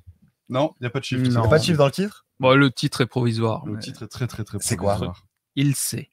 Il sait? Il sait. Ouais. Ça, ça peut que être moi, ça. hein. Ouais, C'est- C'est ça. ouais, c'est ça. Ouais. Bah, celui qui sait, ça peut être toi. Ouais, ça peut être que moi. Ouais. Bah, je vais peut-être euh, Romain- changer de titre, ça va être Il a raison. Romain a raison. Romain a raison. Oui, eh ben écoute, moi, si, si tu cherches, euh, si tu cherches quelqu'un, euh, pas de souci, hein. On cherche toujours quelqu'un. même gratuitement, je te le fais. Ah, c'est ça le Par problème. amitié, franchement, je te le fais gratuitement. Non, mais Je prends moi, une semaine moi, de tout, congé, tout travail mérite salaire. mais je te fais tout en une prise, tu le sais très bien, tu vois. Ça, c'est vrai. Je fais même le ventriloque. On, fait... on fait le tournage en, en 18 jours. À 18 jours, je le fais, je fais même mes propres cascades. Par contre, le scénario, on va l'écrire probablement en 3-4 ans. hein. Ouais, c'est euh, c'est un peu ça le problème. Du C'est coup, euh, t'arriveras encore dans 4 ans à faire des cascades? Ah, je, je ne sais pas. Je, ne sais T'as quel âge, toi? Euh, je vais avoir 43 au mois de février. Tu les fais pas du tout. hein. Ça- Ah oui, mais c'est ça. Encore les yeux qui pétillent, c'est c'est- c'est fantastique. Oui, il est vif encore. Et tu je sais que. Non, mais ça. oui, oui, mais tu as tout à fait raison de me regarder. Je serai à ta place, je ferai la même chose. Et, euh, Romain qui a raison, c'est Jonathan qui a raison de regarder Romain. Euh, oui, non, mais. euh, je s'éloigne prends- pas un peu du sujet. Là. Non, non, non, non, ben, c'est la pause. Ça reste brumeux. c'est la pause. Et oui, je prends soin de, de moi. hein. Tous les jours, je fais des tractions, des pompes. euh, Ça se voit. Non, c'est faux. C'est faux. Je fais un petit peu de pompe parce que là. euh, Ah, monsieur Vourche, vous nous sauvez la vie. Voilà, on était en train de digresser. Ah, complètement. Complètement digresser. Tout à fait. Voilà. Tout ce qu'on a dit est vrai. tout est vrai. Tout est vrai. Alors, euh, est-ce que tu peux dire un message à tous euh, nos viewers, c'est-à-dire Max Nevan, Xavier, Karl, Arcania euh, qui- J'ai pas vu les, les autres qui sont encore euh, en ligne et qui sont euh, nombreux. Pac-Man.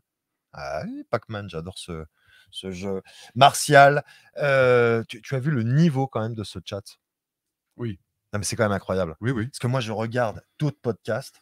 J'ai l'impression qu'il n'y a que des teubés dans les commentaires. tu Ah, vois. complètement. Je suis assez d'accord avec ça. hein. Mais c'est un truc de fou. Il y a de très très bons podcasts, mais les commentaires sont souvent euh, ras des pâquerettes. Ah ouais, c'est vraiment des mecs. euh, euh, euh, voilà. Ou des filles. euh, euh, mais c'est souvent. euh, Oui, oui, je suis d'accord. Alors que nous, on a la Là, il crème y a de la crème. Il y a de la culture. hein. Ouais, mais c'est pour ça qu'on n'a pas beaucoup d'abonnés. C'est ce que j'allais dire, on n'est pas beaucoup. Mais c'est un cercle d'initiés, c'est comme ça. Ouais, c'est ça.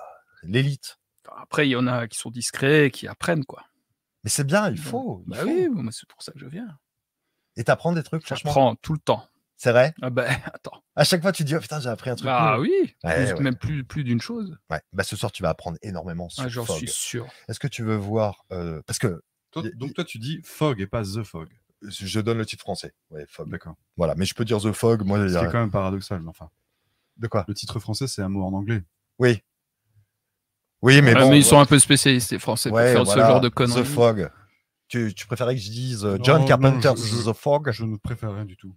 C'était juste une simple question. Non, mais c'est plus facile, la Fog. machin. Fog. Fog.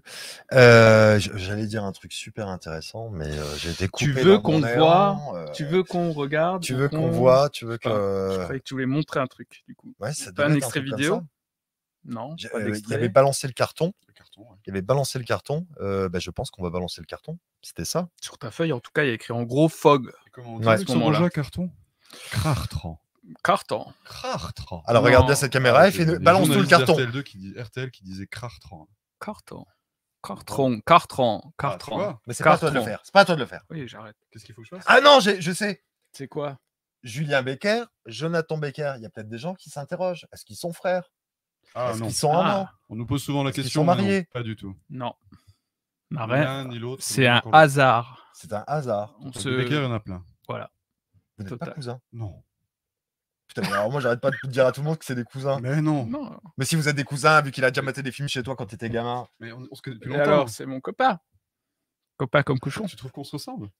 Et alors, tu tu crois que euh, tu ressembles à un cousin? Que c'est- c'est. Ouais, Un petit peu quand même. hein. Ouais, je sais pas. ouais. Vous n'êtes pas cousins alors. On est cousins. Vous êtes cousins, voilà, voilà ce que j'aime entendre. On est surtout amis. Ouais, c'est le plus important. Parce qu'on a des cousins qu'on qu'on voit même pas. Cousins, amis et collaborateurs. Tout à fait. Tout Voilà. ça. ouais. Et là, co-animateur de ce 21e épisode de Croix de Mars. Il Incroyable. faut vraiment que tu achètes des. En fait, des. Oh si là là. Le, le- le truc là, ce serait trop cool. Non, non, c'est pas ça la question. Il faudrait que j'invite juste des plus jeunes. Tu vois, des mecs qui peuvent rester voûtés comme ça entre ouais, machin, tu vois, qui arrivent à bouger. Mais mets-toi sur le côté. Moi, et on t'entendait bien. hein, non, mais ça va côté. pas. C'est Et pareil. Je suis par terre. comme ça. Cette sera la bonne hauteur. Et si tu veux, on, même on bouge une caméra, si tu veux. C'est- ça, ça fait beaucoup de bruit si jamais je tiens comme ça le micro. Pas bah alors plus. tu peux même le prendre comme ça, tu vois. Ah. Il n'y a pas de déparasite. Non, Oui, bah c'est ça que je Ouais, demandais, écoute, si tu- si- ça te donne un peu l'air con, mais si tu préfères, C'est pas grave, envoie le carton, le craton, le carton. Comment il faut que je fasse? Normalement, tu, tu montres avec euh, ton, ton doigt comme ça, tu dis carton. Hein, celui-là Ouais. Carton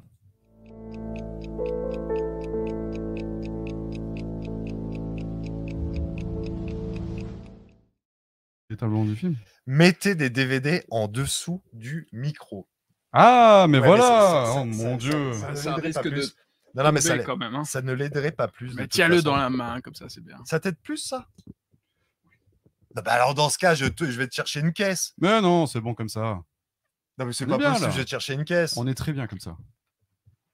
Papy, il est content. Et si on parlait de The Fog? Ah, bah si oui. on parlait de The Fog et pas de mon dos. T'as vu le, le carton Ouais. comme il était propre? Ouais, y a- c'est en beau. Il y a des changements de caméra. J'adore cette émission. J'adore cette, cette émission. C'est mon émission Bon, préférée. et Je c'est la quand regarde tu tout le temps. auras les tipeurs, faudrait qu'ils qu'ils donnent un peu plus, parce que comme ça, tu pourras avoir une caméra motorisée, tu pourrais faire un plan serré. Ouais. Et tu changes comme ça, tu vois, parce que là, tu as deux valeurs de plan identiques. C'est un peu bizarre. Ouais, je sais. C'est juste là, c'est juste pour un Ouais, petit peu visuellement, euh, machin. Ouais. Il y a peut-être des gens qui. Mais j'aimerais bien te voir de près. Comme ça. Ouais. L'inviter aussi, des fois. T'as pas envie d'investir? Le producteur de l'émission. Oui, mais il faut arrêter avec les gros mots. Ah bon? Tiens. Alors, Fog. La cigarette, arrête la cigarette. Est-ce qu'on peut parler un petit peu de la pré-production de Fog avant tout ça? D'où vient cette idée farfelue de brouillard Alors, au tout début, il semblerait que c'est pendant la promotion en Angleterre de Assaut. Assaut, avec Debra Hill, euh, Carpenter va visiter Stonehenge, ou en tout cas un site. euh, sur- Stone- c'est c'est Stonehenge. Lu- J'ai lu que ça. moi.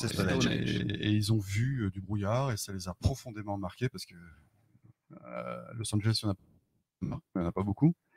Et donc, euh, ils ont commencé à se, se- se poser des questions. Elle, très grande fan de, se poser des questions sur est-ce qu'il n'y aurait pas un potentiel Pardon, j'ai pas fini ma phrase. Est-ce qu'il n'y aurait pas un potentiel là-dedans? Et ils ont commencé à, s'in- à- à s'interroger à voix haute. Et Carpenter a dit, grand fan, en tant que grand fan de Lovecraft, c'est ce qui se cache derrière le brouillard qui est intéressant, c'est pas le brouillard. Et elle, c'est une grande fan de, de Edgar Allan Poe. Ça a eu quelques résonances en elle. Et euh, donc, c'était une idée qui, était, euh, qui, a, qui a mis un certain temps quand même à germer, parce qu'ils l'ont pas écrit tout de suite. Oui, parce que là, on est en 77, hein, Voilà. la promo de Assaut en Angleterre.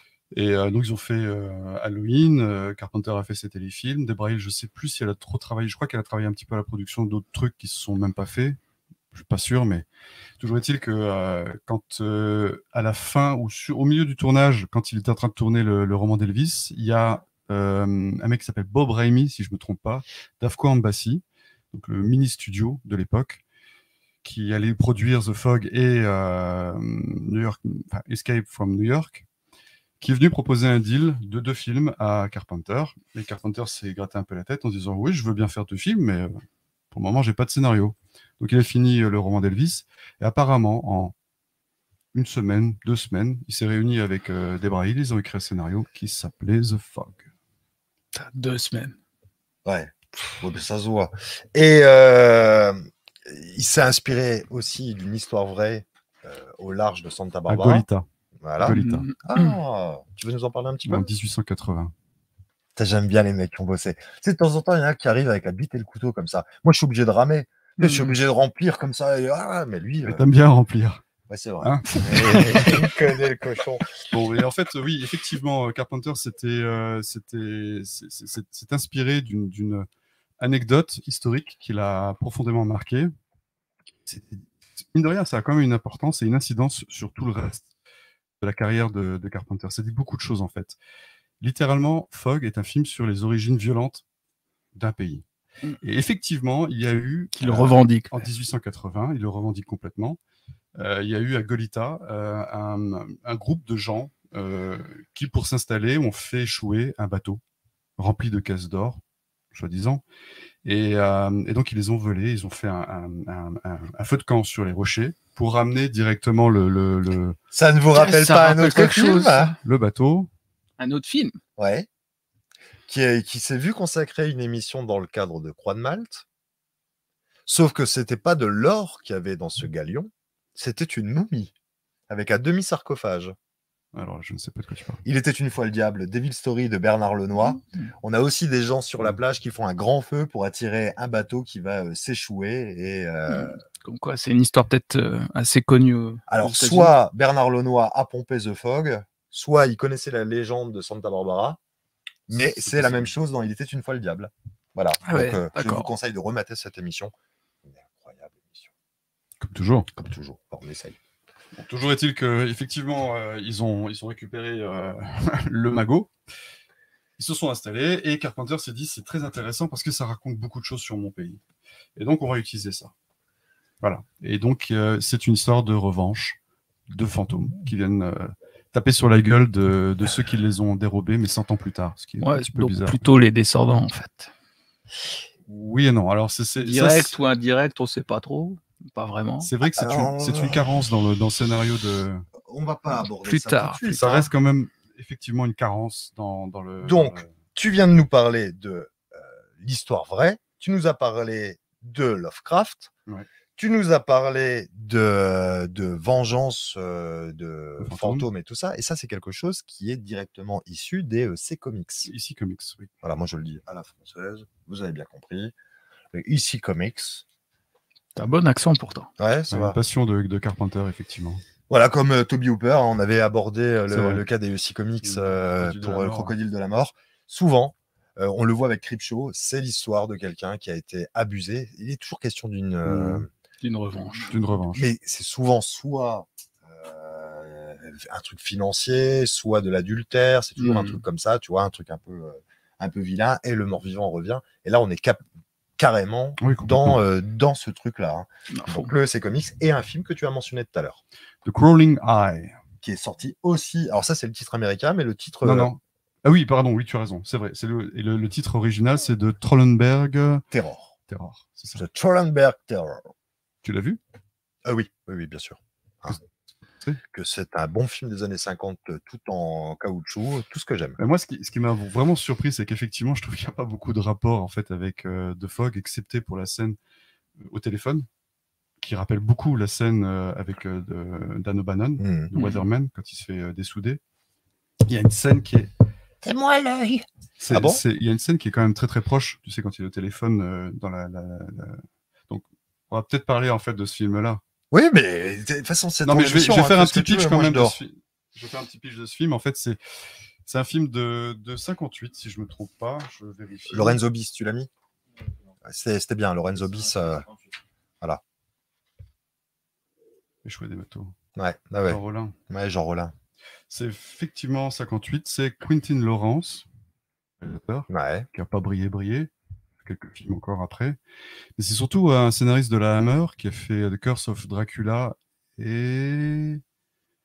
Non, The Curse of autre chose. Frankenstein, probablement. C'est plutôt avec euh, Peter Cushing, c'est The Curse of euh, Frankenstein. Frankenstein, t'as raison. et Il a fait aussi le Dracula pour la Hammer. Ouais. Un des Dracula pour la Hammer, ouais. c'est Joseph Jimmy Sangster. Voilà, Jimmy Sangster, qui est effectivement un scénariste qui a beaucoup travaillé pour la Hammer.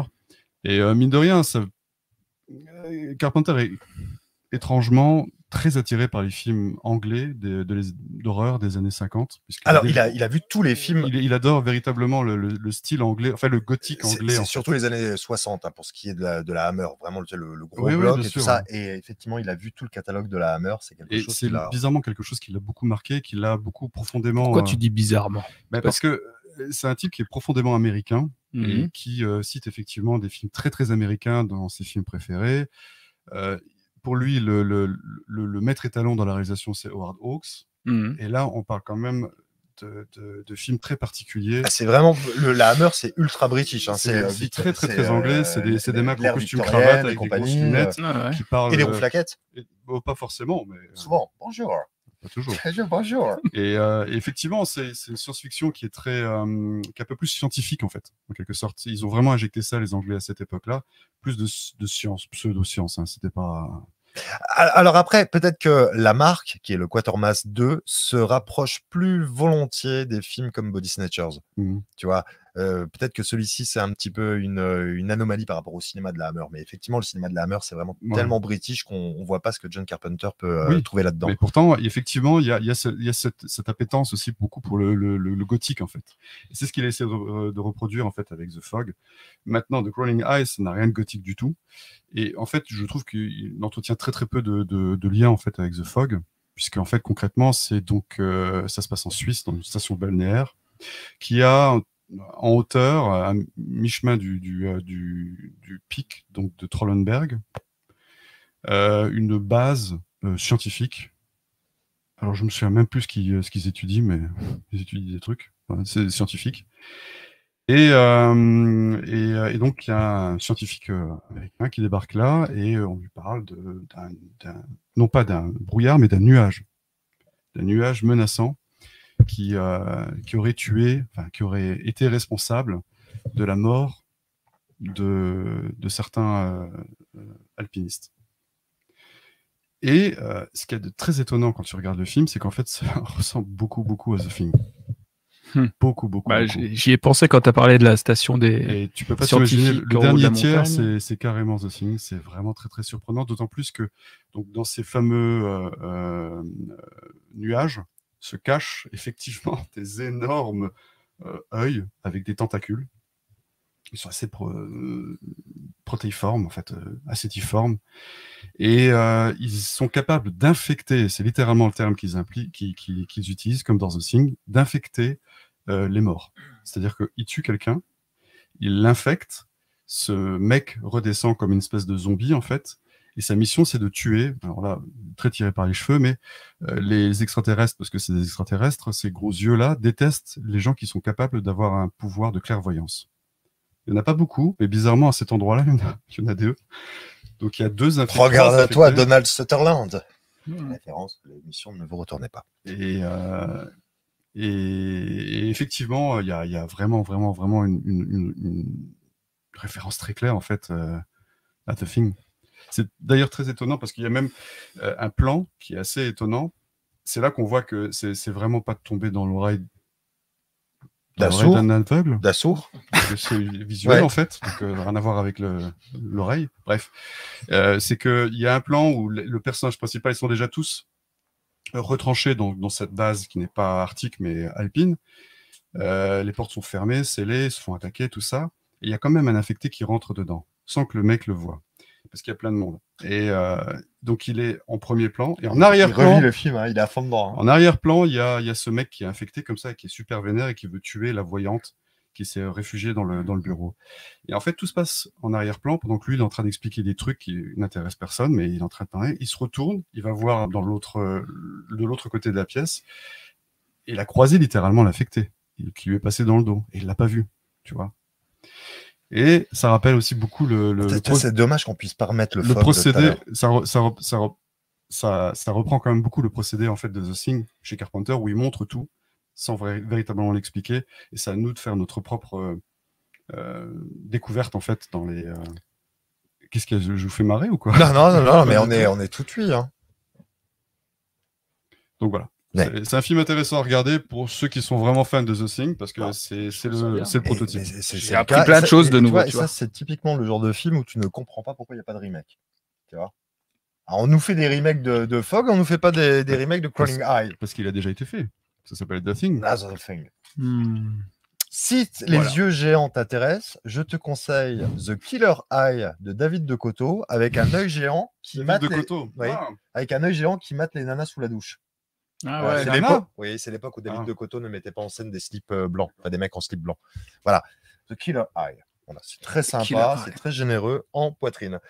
Euh, la première annonce du projet de Fogg date du 11 janvier 79. Hein, On a déjà ça dans la presse. Ouais. Alors, tu sais que ça va mettre en colère quelqu'un, hein, ce, ce projet? ah bon? C'est Irving Yablens, le producteur d'Halloween. Bah oui.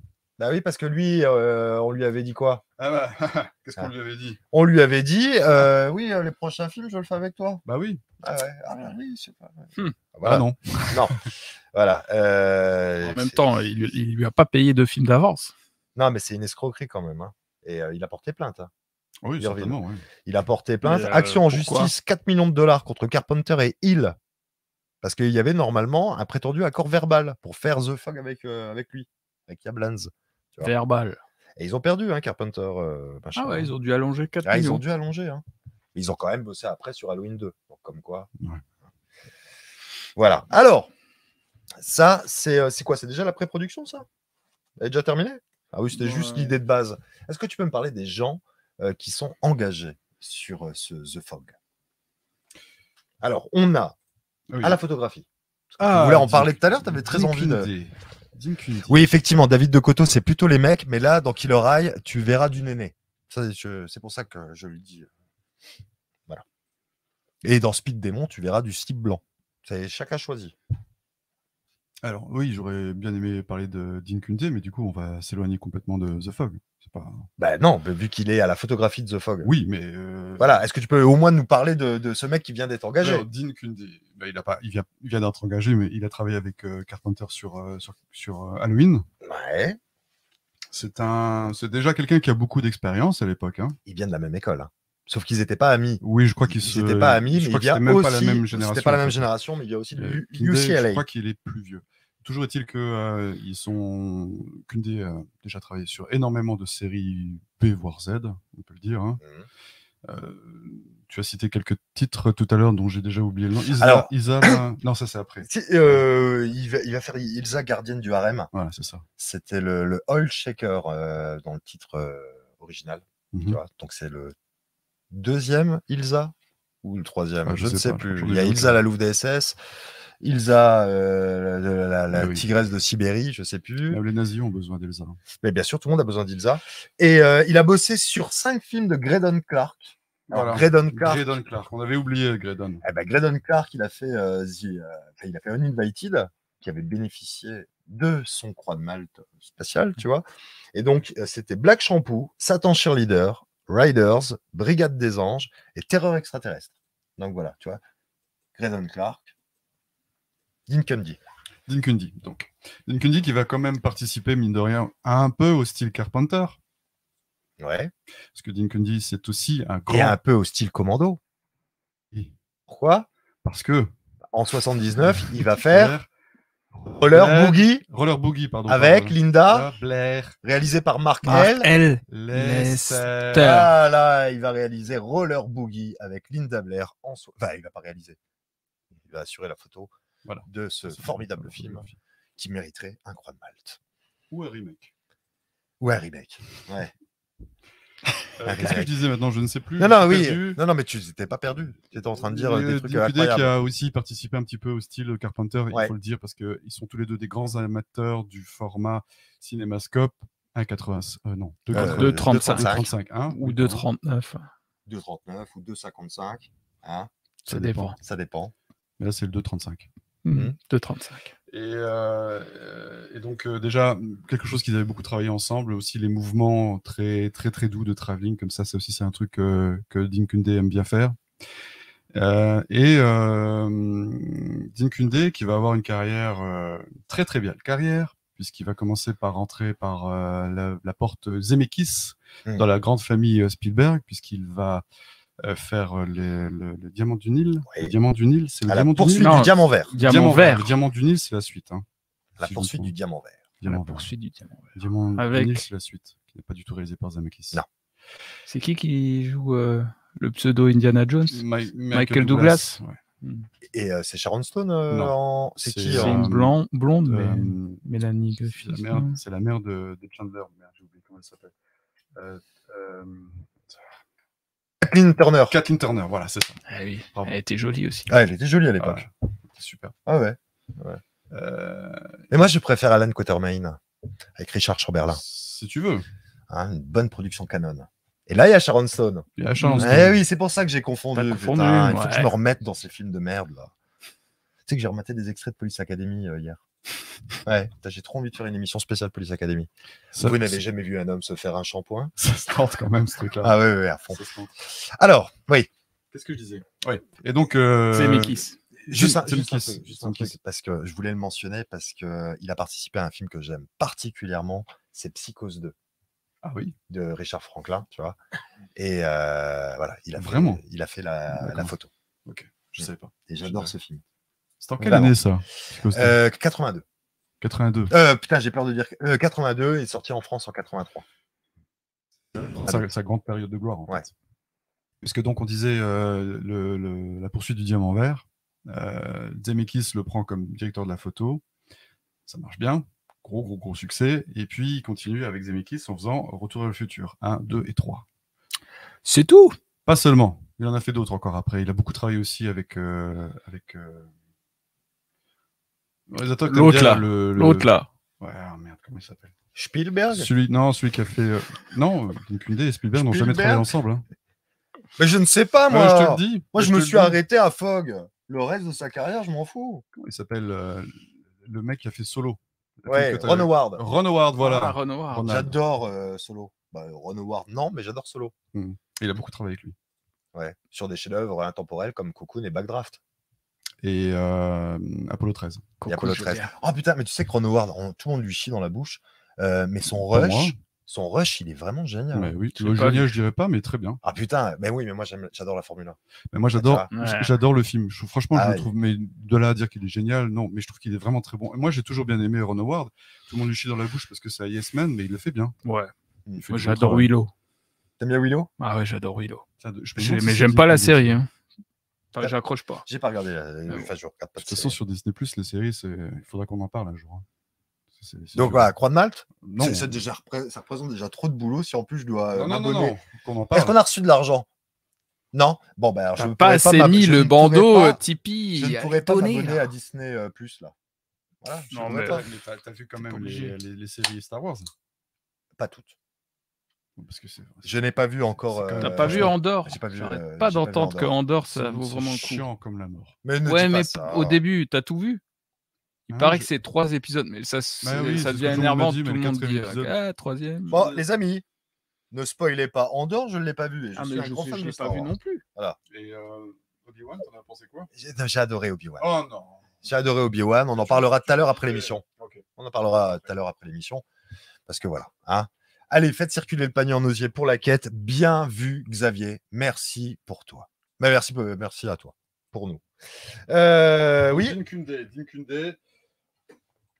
Qu'il est bien ce garçon, Ouais, bah oui. il travaille bien, Travaille bien. bon travail. Donc là, c'est déjà un mec de l'équipe Carpenter Tout qui rejoint fait. le projet. Oui, ça va, ça va être ce qui va constituer un peu la famille euh, Carpenter jusqu'à. Il a travaillé avec Carpenter jusqu'à Jack Burton, si je me trompe pas. C'est le dernier film qu'ils ont fait ensemble, puisqu'après euh, il va faire Starman avec avec euh, avec un autre directeur de la photo. Non, mais Starman, c'est avant euh, Jack Burton. C'est 85 Starman et c'est 86 Jack Burton. Mais c'est déjà effectivement un autre directeur de la photo. Et c'est après Jack Burton Donc, que, qui va se retrouver euh, à faire les Des poubelles. gros films, quoi. Non, les poubelles. Qui? Carpenter. Ah, Carpenter. Carpenter, les de- poubelles et l'autre, euh, Ouais, voilà. lui, il est parti. il va hein. péter dans la soie. Voilà. Il va faire comme ça. Hey John, Ouais, c'est où je suis? J'en veux bien. un Tu peu. sais ce que je fais? Ah les gars, si vous voulez encore du café, va falloir qu'on marque une pause pour aller en refaire. Hein Hein? Non, mais Après, ça va être du café. euh, si je ferai une bouilloire de- d'eau chaude, là, on se mettra du. l'instantané. Voilà. Très bien. Alors, il y a aussi euh, le retour de Tommy Lee Ah Wallace. oui, ce fameux Tommy Lee. Tommy Lee Wallace, donc euh, compère. Hein, réalisateur de Halloween 3. Tommy Lee Wallace qui fait un petit peu tout, qui fait du montage, euh, qui fait. euh, Qui joue Michael Myers dans Halloween. Oui, entre autres. Ouais. Voilà. Pour dire qu'il fait tout. Oui, non, mais sur le film Fog, Ouais, il fait déjà aussi pas mal de trucs. Il fait le montage, il est co-monteur avec un Il y a autre deux monteur. il, joue ouais. les, il joue les fantômes. Il joue les fantômes, une partie des fantômes en tout cas. Pas Ouais, Blake, pas parce que Blake, Non. c'est quelqu'un oui, d'autre. oui, oui, oui, on va y arriver, on va y arriver. L'autre, tout de suite, il veut se Et euh, mais ça, tout le monde le sait qui c'est. Ouais. Et, euh, et euh, il va aussi euh, faire le, le pro- production design, c'est-à-dire en fait en gros euh, le travail de Joe Alves. Joe Halves. Voilà. Mais là, c'était pas Joe Alves. Non. C'était c'était Tommy Lee, C'était Tommy Lee, ouais. le bon redneck. Donc à la production, tu l'as dit tout à l'heure, c'était Debra Hill. Debra Hill qui a Hein. coécrit le scénario évidemment. Ouais. Et puis, D'ailleurs, dans le scénario, c'est c'est un petit truc euh, qui est rigolo, c'est que dans le scénario, euh, le film commence par une, euh, une mention qui n'a rien à voir avec ce qu'on voit dans Alors, le film. fait. déjà, si tu nous parles du scénario, il faut nous dire de quelle version du scénario. Euh, Ah ben, c'est, il n'y en a pas qu'un des scénarios. Non, mais les autres, tu les trouves pas. Il y a que celui qui. euh, Donc qui- c'est le shooting script de Shooting Reshoot. Script, bien sûr. C'est seul que Reshoot. tu trouves. C'est celui de Reshoot. C'est pas celui de Reshoot. C'est celui de Reshoot. Je suis désolé pour Bah, toi. c'est sûr que c'est pas celui de Richout que j'aime bien. Bah, montre-moi. Ça, montre-moi. Allez, pâtez-vous. Jean-Paul. Montre-moi. Déjà Non, non, laisse-moi. C'est celui de Richout. Non, c'est pas celui de Richout. Bon, d'accord, si C'est pas veux. celui de Richout. Il manque tout- tous les éléments qui sont dans les Richout n'y sont pas. Alors, juste pour te dire que la scène avec euh, Arthur Machen, Ouais. hein, ça fait partie des reshoots. C'est un personnage qui a été écrit après coup, après le premier montage du film. Donc, à partir du moment où tu as cette scène-là, c'est pour euh, le reshoot. C'est pas le Richout. Alors, si tu veux. Écoute, je l'ai lu, je l'ai lu encore cet après-midi. Mais il n'y a pas de souci. toutes les scènes qui sont rajoutées Oui. ne sont pas dedans. C'est Oui. aussi simple que ça. Non, mais oui, oui, oui. Donc, euh, oui, a pas de souci. voilà. Le personnage de Maren, ça fait partie des reshoots. hein. Si tu avais pris la peine d'écouter le commentaire audio, tu le saurais. Oui, Voilà. mais tu sais qu'il faut Et pas même- croire les commentaires audio, c'est de la même- promo. Même dans les coupures presse de l'époque, tu vois, où ils annoncent que le film va bénéficier de reshoot, ils te disent qu'il y a euh, l'ajout d'un personnage, tu vois. Et en l'occurrence, c'est ce personnage. Bah, après, si tu me dis que toi, c'est le, le- le first draft, il n'y a pas de souci. Hein. First c'est- draft. C'est pas le first draft. Non, mais je l'ai lu. Effectivement, le. le- Je l'ai lu. Je l'ai lu, mais c'est pas le cas. Mais si tu veux, on va, si ça te fait plaisir, on dira. hein. C'est ça, ça me fait plaisir. On le dira. On dit ça comme ça. Voilà. Voilà. Ensuite, casting. Ensuite, euh, casting Jamie Lee Curtis qui revient. Ouais, et pour quelle performance? Oui, euh, Jamie Lee Curtis donc, qui avait bossé sur Halloween. hein. voilà. voilà. Nick Castle qui revient aussi.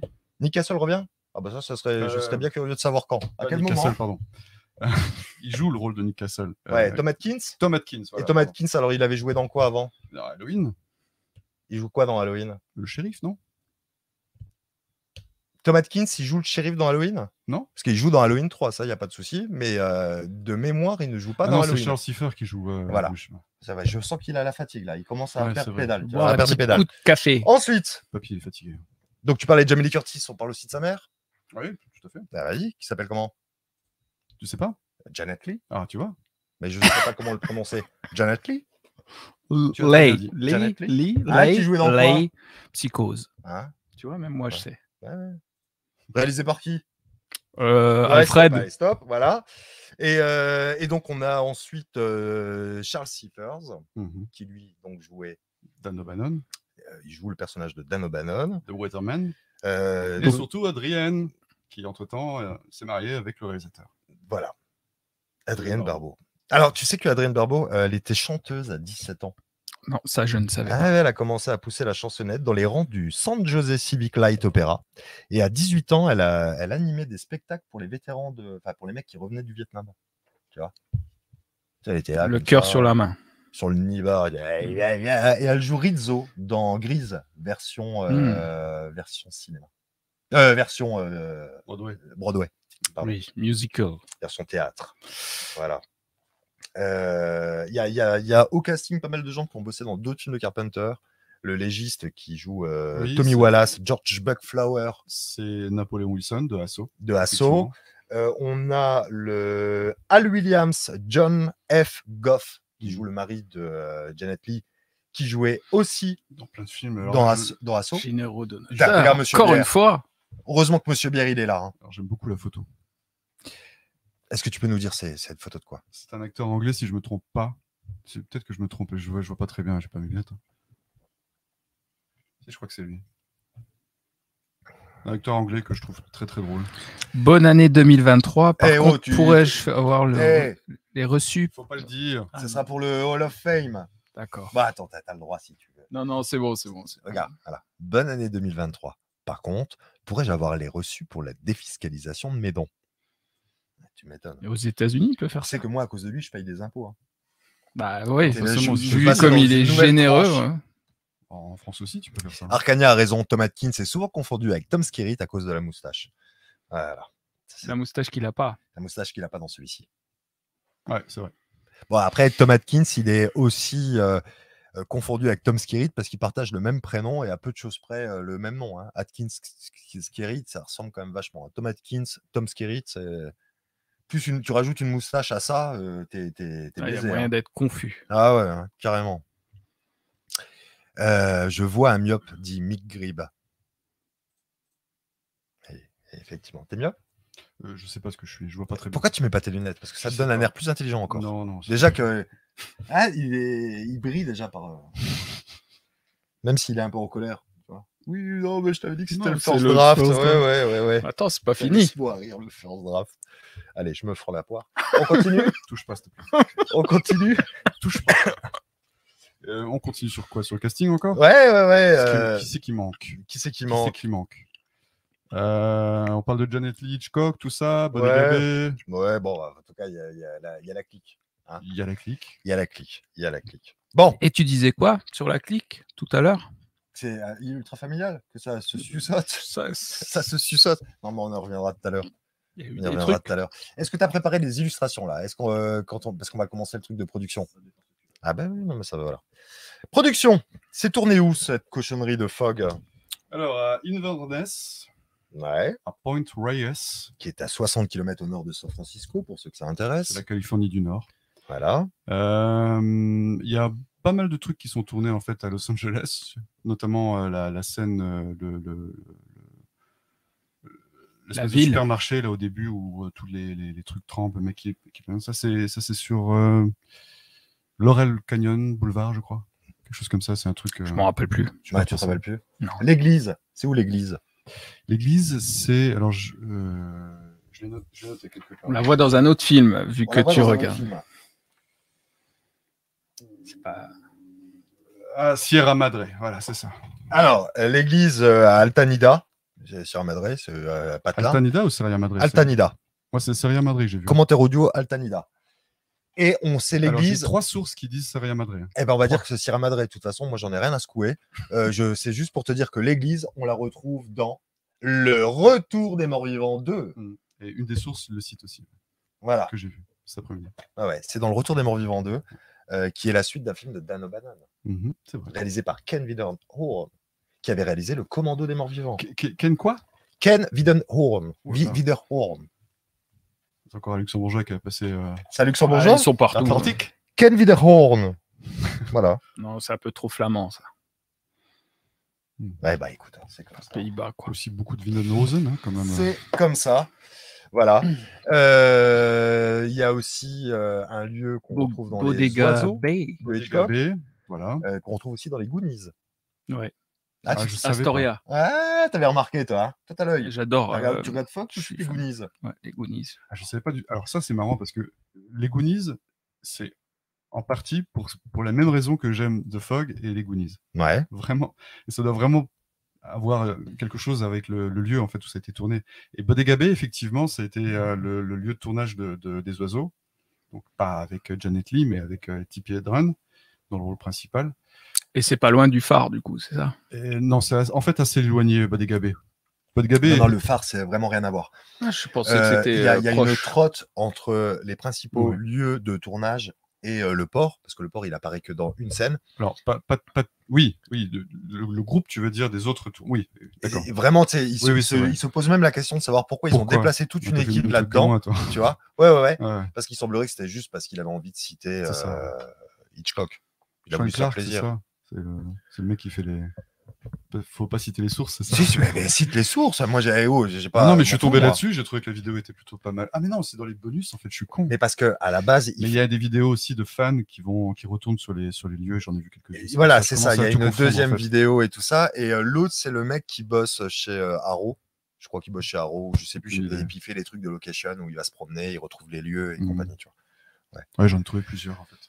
Mais mat- il faut tout mater de toute façon. Il doit tout mater. J'ai regardé ce que je pouvais. hein. Euh, ouais. Mais euh, oui, euh, Bodega Bay, effectivement, pour une scène qui aurait pu être tournée à peu près n'importe où. Pourtant, il a, il, a, il a fait plusieurs kilomètres pour aller tourner cette scène-là. C'est littéralement la scène où euh, Tom Atkins, Tom Skerritt, Tom Atkins. pardon, je me suis trompé, Ah, euh, bah, tu vois. arrive avec Jamie Lee Curtis et demande des nouvelles de son pote. Il dit pourquoi il n'est pas rentré. Hmm. Ben, on sait qu'il est mort. Ouais. Et, euh, et donc, euh, c'est quoi? C'est trois plans cassés, je pense? Alors, j'ai presque envie de te dire que c'est un Même plan. Un plan, ouais, je crois. Parce que c'est un plan séquence, plan si je dis pas de bêtises. C'est un plan large. Non, je crois qu'il y a quand même un. Il y a, il y a une coupe. Ouais, ouais, je crois qu'il y a quand même un. Parce que moi, j'ai vraiment l'impression qu'il l'accompagne, l'autre, il se met contre la rambarde et après, il remarche. Et puis, Effectivement, euh, oui. donc, Oui, pour moi, c'est un plan séquence. hein. Oui, c'est- T'as peut-être raison. quand même, Ah je crois. ouais. Je crois aussi. Oui, je dans mon Oui, oui, vague souvenir. Je crois que c'est un plan séquence. Peut-être que quelqu'un pourrait écrire Romain a raison. Ça me ferait du Pour bien. une fois, ça changerait. Voilà. Ça arrive si peu souvent. D'accord. Et donc? Et donc? Euh, oui, et donc, on, effectivement, Ouais, on- ouais, a je pense que c'était un peu pour faire la blague. Il avait envie. Donc, il a été tourné à, à Bodegabé pour faire un plan, un plan séquence. Euh, Voilà. Non, mais c'est euh, plutôt intéressant. Romain a raison, je crois. je crois. voilà. Euh, alors, tu vas. euh, Alors, c'est intéressant dans le commentaire audio parce qu'il y a aussi des scènes en mer. Tu Mhm. vois Il y a des scènes en pleine mer et tout ça, tu vois. Et il se trouve que John Carpenter, il a le mal de. Le Ah, mal, ça, de, le mal de l'eau, tu vois, le mal du bateau, machin, il- ça lui fait des, Des guillis dans des le ventre. guillis dans le ventre. Tu vois donc, euh, ils ont tout de suite tourné en mer Ou ils ont tourné plus tard en mer? Non, ils ont tourné en mer des trucs ils en studio aussi, besoin, hein. tu vois. En studio? En studio, c'est pour le remake. Tout ce qui est dans le bateau, non, c'est euh, en studio. Quand euh, ils, Ah, ils dans, ont dans la cale. Non, mais quand on voit de la flotte, quand on voit Ah de la- bah, euh, Ah oui. oui. Bah oui, tu me dis bah oui, mais dans le remake, par exemple, tu as des scènes qui sont tournées dans Oui, un mais- bassin à Vancouver et en pleine mer. Oui, bien sûr. Voilà. C'est ce que je te dis. Il y a la- cale, effectivement, mais c'est c'est quand même dans- sur le bateau. Il aurait pu tourner ça sur un bateau aussi. Oui, non, mais Bon. ce que je veux te dire, c'est que tout est tourné à la flotte, tu vois, pas en studio ou quoi que ce soit, contrairement au remake. Toi, tu me dis ça comme une évidence. Euh, Je, suis désolé, j'ai pas compris ta question. En fait. Je, je posais pas une, une question. Je te dis que c'est tourné en, en pleine mer, tu vois. oui, quand euh, il, il se rapproche du bateau et tout ça, oui, évidemment. Voilà. Ça, d'accord. ouais. Alors que dans le remake, même quand il y a des, des scènes où tu as euh, un bateau à la flotte, il peut être tourné dans un bassin à Vancouver. Bien sûr. Voilà, tu vois. Bien Mais là, en l'occurrence, le mec, il s'est fait chier, il a été dans, dans les ça où il y a des dire, vraies vagues. Tu vois. Avec son mal de bide. Ouais, super. ah, tiens, je me sens pas bien. euh, voilà. T'as envie de me mettre à mal devant non, euh, non, les non, viewers, non, non, j'ai vraiment, j'étais vraiment confus. Je comprenais pas. Oh je- putain, il y a Olivier Labbé qui. euh, pas. Ah, Olivier. Voilà, il y a Olivier Labbé. On lui non, je, passe je un comprenais vraiment pas ce que tu disais. Ça, Oui, ça, Je me suis pas- certainement mal exprimé, Non, ça m'arrive aussi. Je, hein. je commence un petit peu à être. euh, Voilà, je veux pas jouer mon relou, dit Monsieur Bière, mais on est 80 sur le chat et seulement 48 likes. Mais ça, c'est pas grave, parce que je pense qu'il faut aller au bout de l'émission pour voir si tu mérites le like ou pas. Oui. Non, non. Ah, pour euh, pour, euh, pour l'émission. Donc voilà, si à la fin les mecs se disent ouais bon c'est pas si mal, mets- déjà, tu peux en mettre un. mais non, tu vas pas quémander du like. Si franchement, Moi, j'ai pas dit que tu devais quémander. si par exemple on a on n'obtient pas 78 likes, c'est que t'as pas été bon ce soir. Et je, je mettrai tout sur ton dos. Tu peux, il n'y a pas de problème. hein, je J'ai le dos euh, solide. Voilà. Euh, Déjà, tu vas me résumer un petit peu ce, ce- ce film-là. Fog. Ça parle de quoi, Fog? Et tu verras que à la réalisation, ils vont mettre quelques extraits, euh, tous plus cool les uns que les autres. Euh, Merde. Résumer ce Allez, film. Pitch. Ouais, alors euh, en gros, ce sont, euh, ce sont les revenants du bateau l'Elizabeth Ga- Ga- euh, Dane, Dane. Dane, qui viennent se venger 100 ans après, donc euh, pendant les festivités de, de, de, de, de Le qui s'appelle. Antonio Bay, euh, qui fête donc euh, la, la, la fondation de la ville et euh, qui euh, célèbre les fondateurs, les six fondateurs, 12 dans le scénario, 6 dans le, Je pense pas que c'était nécessaire de parler tout de suite des 12. D'accord, Mais, ok, euh, on en voilà. parlera. Et, euh, et effectivement, ben, il y a, euh, y a, y a ce, ce brouillard qui arrive sur la ville. En plus, le fait que tu parles de, de- et qui... des, des six, ça n'est vraiment pas euh, mentionné. On sait juste que Six must die. Ouais, et voilà, tu c'est vois, ça pourrait très bien être six fantômes. Ils sont six, euh, Hmm. les fantômes dans, dans l'église. Donc je vois pas d'où tu sors ça. Après, dans C'est très bien le... d'où je sors ça. Ah oui, mais je- ça ne se justifie pas. Après, le père Malone, et Ouais. quand il lit... euh, Ouais. C'est dit qu'ils il- sont six? Si, si, il le dit, oui. Ah, il le dit plus tard. oui, oui, il il le le dit. Ah, il le me dit. semble. Il dit pourquoi on est six? Ah ouais, bon. Pourquoi non Non, mais, pourquoi euh, non? Ah oui, pourquoi non? Bon. Allez, résumé, le dit. toujours. Donc voilà, il y a brouillard qui arrive sur la ville. Il y a Wayne qui est sur son, dans son, dans son, dans son, dans son euh, Phare. phare, qui a été transformé en radio. Et Comment euh, s'appelle cette radio? Oh putain. Bravo. C'est ça. Et euh, C'est un t-shirt sous licence ou tu l'as fait tout seul? Non, non, c'est un truc que j'ai acheté. Ah ouais, ouais. Ah veux savoir. Ils ont vraiment réussi à vendre des, des- des t-shirts de phoque? Il y a des fans. Putain, il y a des fans. J'en reviens pas. Oui, oui, vas-y, vas-y. J'en ai même deux. Ouais. Bon, prépare-moi des, des, des screenshots là. Il, il a lancé déjà. Voilà, tu vas nous montrer des screenshots, euh, comme ça, euh, ça va, permettre, ça va lui permettre de résumer le film euh, du début et tu lui mets des illustrations toutes plus cool. Mais déjà les tiens, je suis sûr que tu as fait un meilleur boulot que moi. J'ai pas un petit peu déjà résumé le film là Il faut Non. encore que je résume plus Oui, parce que comme ça, Faut après, que je on... présente Stevie Wayne, faut que je présente oui, euh, bien sûr. tous les personnages. Bah eh oui. Hein Et que tu, que me parles par exemple de cette séquence. non. Tiens, relève là. Euh, on reviendra à ça après. Donc, euh, bon. Le tournage du film, je peux parler des personnages aussi si tu veux. on va revenir sur les personnages, on fera l'analyse après. Je vais changer le plan, parce que là, je sens qu'on va nulle part. On Ça est dans le brouillard, j'ai envie Là, de on est dans le brouillard. On est dans le brouillard. Dans le sujet. On est dans le, le brouillard. Voilà. Donc, euh, ce film, le personnage principal de ce film, c'est le brouillard. Est-ce que tu peux nous expliquer comment ils ont fait pour obtenir ce brouillard? Oh, bah Dieu, non. Ah bah si, tu vas le faire. Bah non. C'est certainement le truc le plus intéressant. Tout le monde a envie de savoir comment ils ont pu faire ce brouillard. Franchement, euh, j'ai pas du tout envie de me lancer dans des explications techniques, surtout que c'est vraiment pas mon fort. Je sais qu'il y a de la, de la- Je sais même pas en fait. Voilà. Neige Bon. carbonique, non Quelque chose comme ça Bon, voilà. Ouais. Ça, ça ne l'intéressait pas, alors que moi, j'avais euh, j'avais vraiment prévu de Désolé, consacrer mais non. 30 minutes sur les Vas-y, lance-toi. Non, euh, mais on s'en fout. On s'en fout complètement. Mais- Euh, Par contre, il y a eu un peu d'incrustation il y a eu des incrustations, il y a eu des maquettes. qui marchent Bon, pas trop mal. Ouais, les maquettes, je trouve ça C'est pas mal. cool avec les silhouettes Ouais, je trouve que c'est pour que ça colle bien bien. branlé, ça. hein. Ouais, quand même. Bien Et branlé. ça a plutôt bien vieilli. Le... Bon. Avant qu'on fasse l'analyse, il faut quand même juste dire un truc, c'est ça le plus important. Ils vont tourner une première version du film. Oui. Voilà, donc ça se passe bien, euh, enfin, tant bien que mal. Et, hein, ils font le nécessaire. Part en vacances. Et Carpenter va être amené à regarder sa copie de travail avec les associés et tout. Et qu'est-ce qu'il va faire à l'issue de cette projection? Il va recommencer son film parce qu'il trouve que c'est pas bon. C'est de Il la va se lever, et il va dire aux autres, bon les gars, On se fait chier. ça ne marche pas des masses. Romain avait raison. Voilà.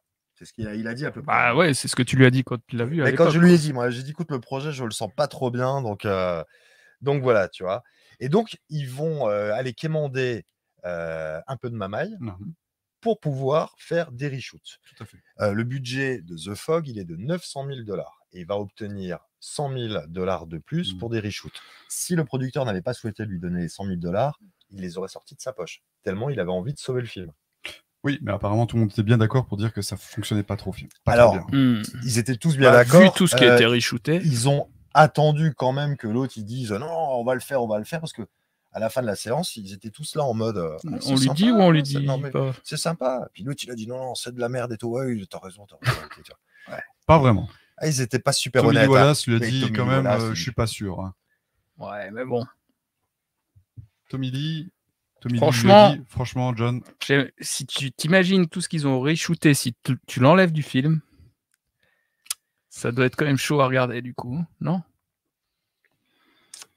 Il n'y a plus grand chose qui se passe. Donc, ils vont, euh, ils vont euh, effectuer un reshoot et un reshoot colossal. Donc, ils vont rajouter un personnage.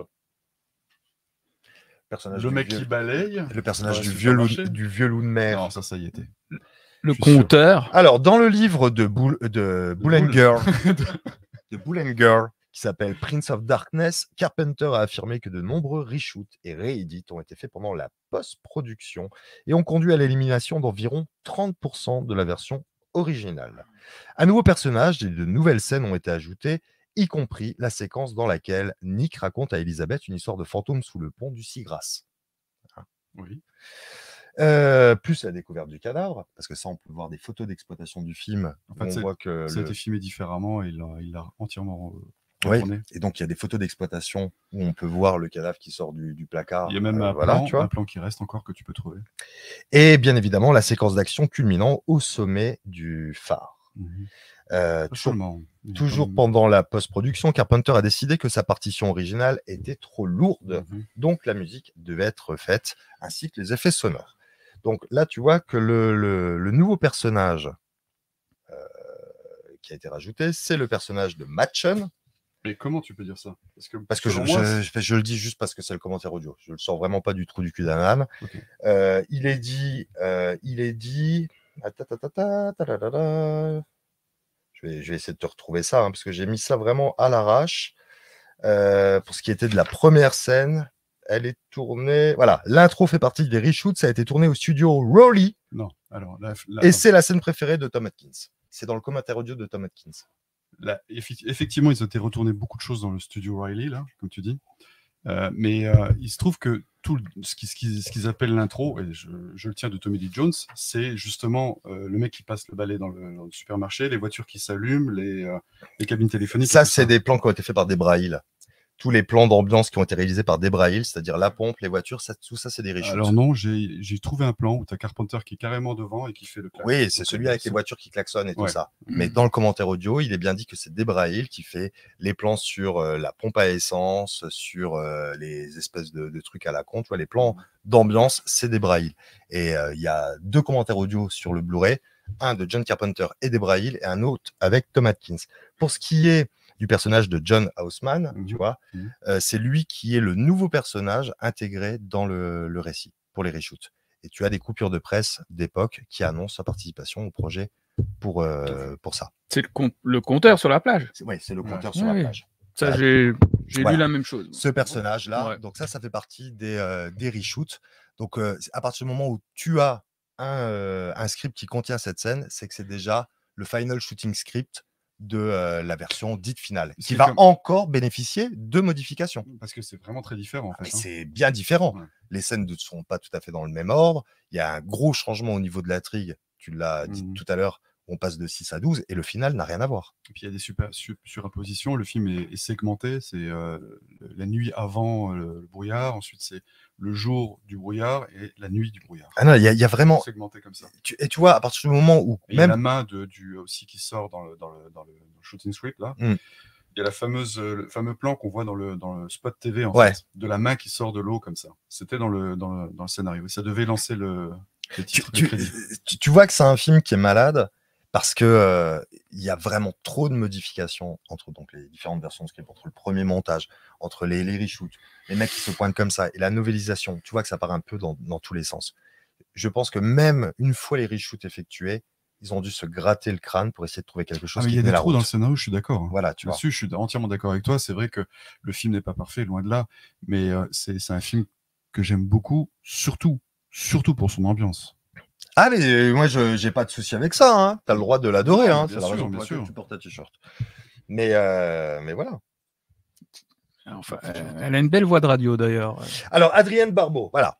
Euh, non, euh, remets-nous voir Wayne. juste euh, la, la photo de, du compteur sur la, la plage, s'il te plaît, qui est interprété par John Houseman. Alors, il semblerait que John Houseman soit un des, des acteurs, les, les acteurs incroyables de cette période-là. hein. Il a eu un Oscar. Hein. Ce mec-là a eu un Oscar. Il était euh, hyper doué. Tu vois, sais, il arrivait comme ça, tranquillou loulou. Il clame son, son speech, euh, hyper à l'aise et tout ça, tu vois. C'est avec euh, Orson Welles. Oui, Voilà. Orson Welles. Et dans donc, euh, Ci- Citizen Kane. Non, non, c'était euh, dans ses pièces de théâtre en fait. Ah, d'accord. Et il joue le personnage de Matt Chun, qui est un personnage qu'on retrouvera dans le remake. Bon, qui n'a pas du tout le même rôle, hein, Mm. mais euh, en Mm. tout cas, il a le même nom, tu vois. Et, euh, et autour de lui, donc, il raconte euh, aux enfants la légende du, de, de ce bateau, hein, de l'Elizabeth Dane. Et euh, donc, on a une multitude de gosses, dont le fils de, euh, Stevie Wayne. de voilà, qui est interprété par. Il est interprété par qui ce Andy Wayne, qui est interprété par T. T. euh, Mitchell, qui il semblerait il était adorable le gamin, puisqu'il a eu une petite carrière. euh, il a eu une petite carrière sympa. Bon, moi ça m'a pas, euh, Je me rappelle pas non plus. ça ne m'a pas marqué du tout ce, ce gamin, même pas dans quoi il joue. Bon, c'est pas pas bien grave. Tu vois, je l'ai même pas écrit Hmm. Pour dire à quel point j'en ai euh, rien à secouer. Euh, Mets-nous des autres images qu'on puisse commenter, si- s'il te plaît. euh, voilà, si tu, les, si tu les as mis dans l'ordre. Donc lui, il raconte, il raconte euh, la légende au gamin. Tout de suite, ça met l'ambiance. La musique de Carpenter, là, elle fonctionne. Là, Ça Mhm. fonctionne super bien à bloc. Et après, on va faire la connaissance d'un personnage, qui est un personnage de curé, euh, qui est imbibé, interprété Père Malone. Brooke, le père Malone. Alan Brooke, on l'a vu dans un milliard de films, dont l'un de mes préférés qui est Creepshow, de George Ah oui. Romero. Ouais. Tu vois dans le sketch de la caisse. Et il a un assistant, et cet assistant, on va le revoir en photo. Bennett.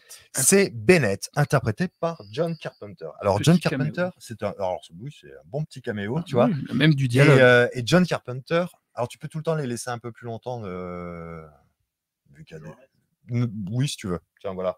En mode euh, beatnik. Euh, ce, ce Bennett, alors il y a Carpenter dans le commentaire audio, il revient sur cette performance, tu vois, pour dire à quel point il était euh, pas à l'aise, Ouais. désastreux se de trouve mauvais, retrouver, ouais. de se retrouver en face de Holbrook, c'était euh, hyper compliqué pour lui, tu vois. Mais bon, Pourtant, ça passe. hein, moi, je- moi je trouve que ça va, tu vois. T'as des bon, faut pas que ce soit bien grave, tu vois. Quand est-ce que vous allez me payer? Ouais. Hmm. Ouais, pas tout de suite. Et là, on voit que le, le curton, il a un problème avec l'alcool. Pas qu'un peu. Ah ouais, ouais. Et lui, c'est pas justifié. hein. Lui, c'est vraiment c'est de l'alcoolisme Mais c'est simple. ouais, il a déjà quelque chose à se reprocher. Il- En fait, oui, c'est ça. Il, a... il porte le poids de, de, de l'histoire, en quelque sorte. Ouais, sans, le savoir. sans Sans le savoir. Sans le savoir. Donc là, pour moi, déjà, il y a un problème de.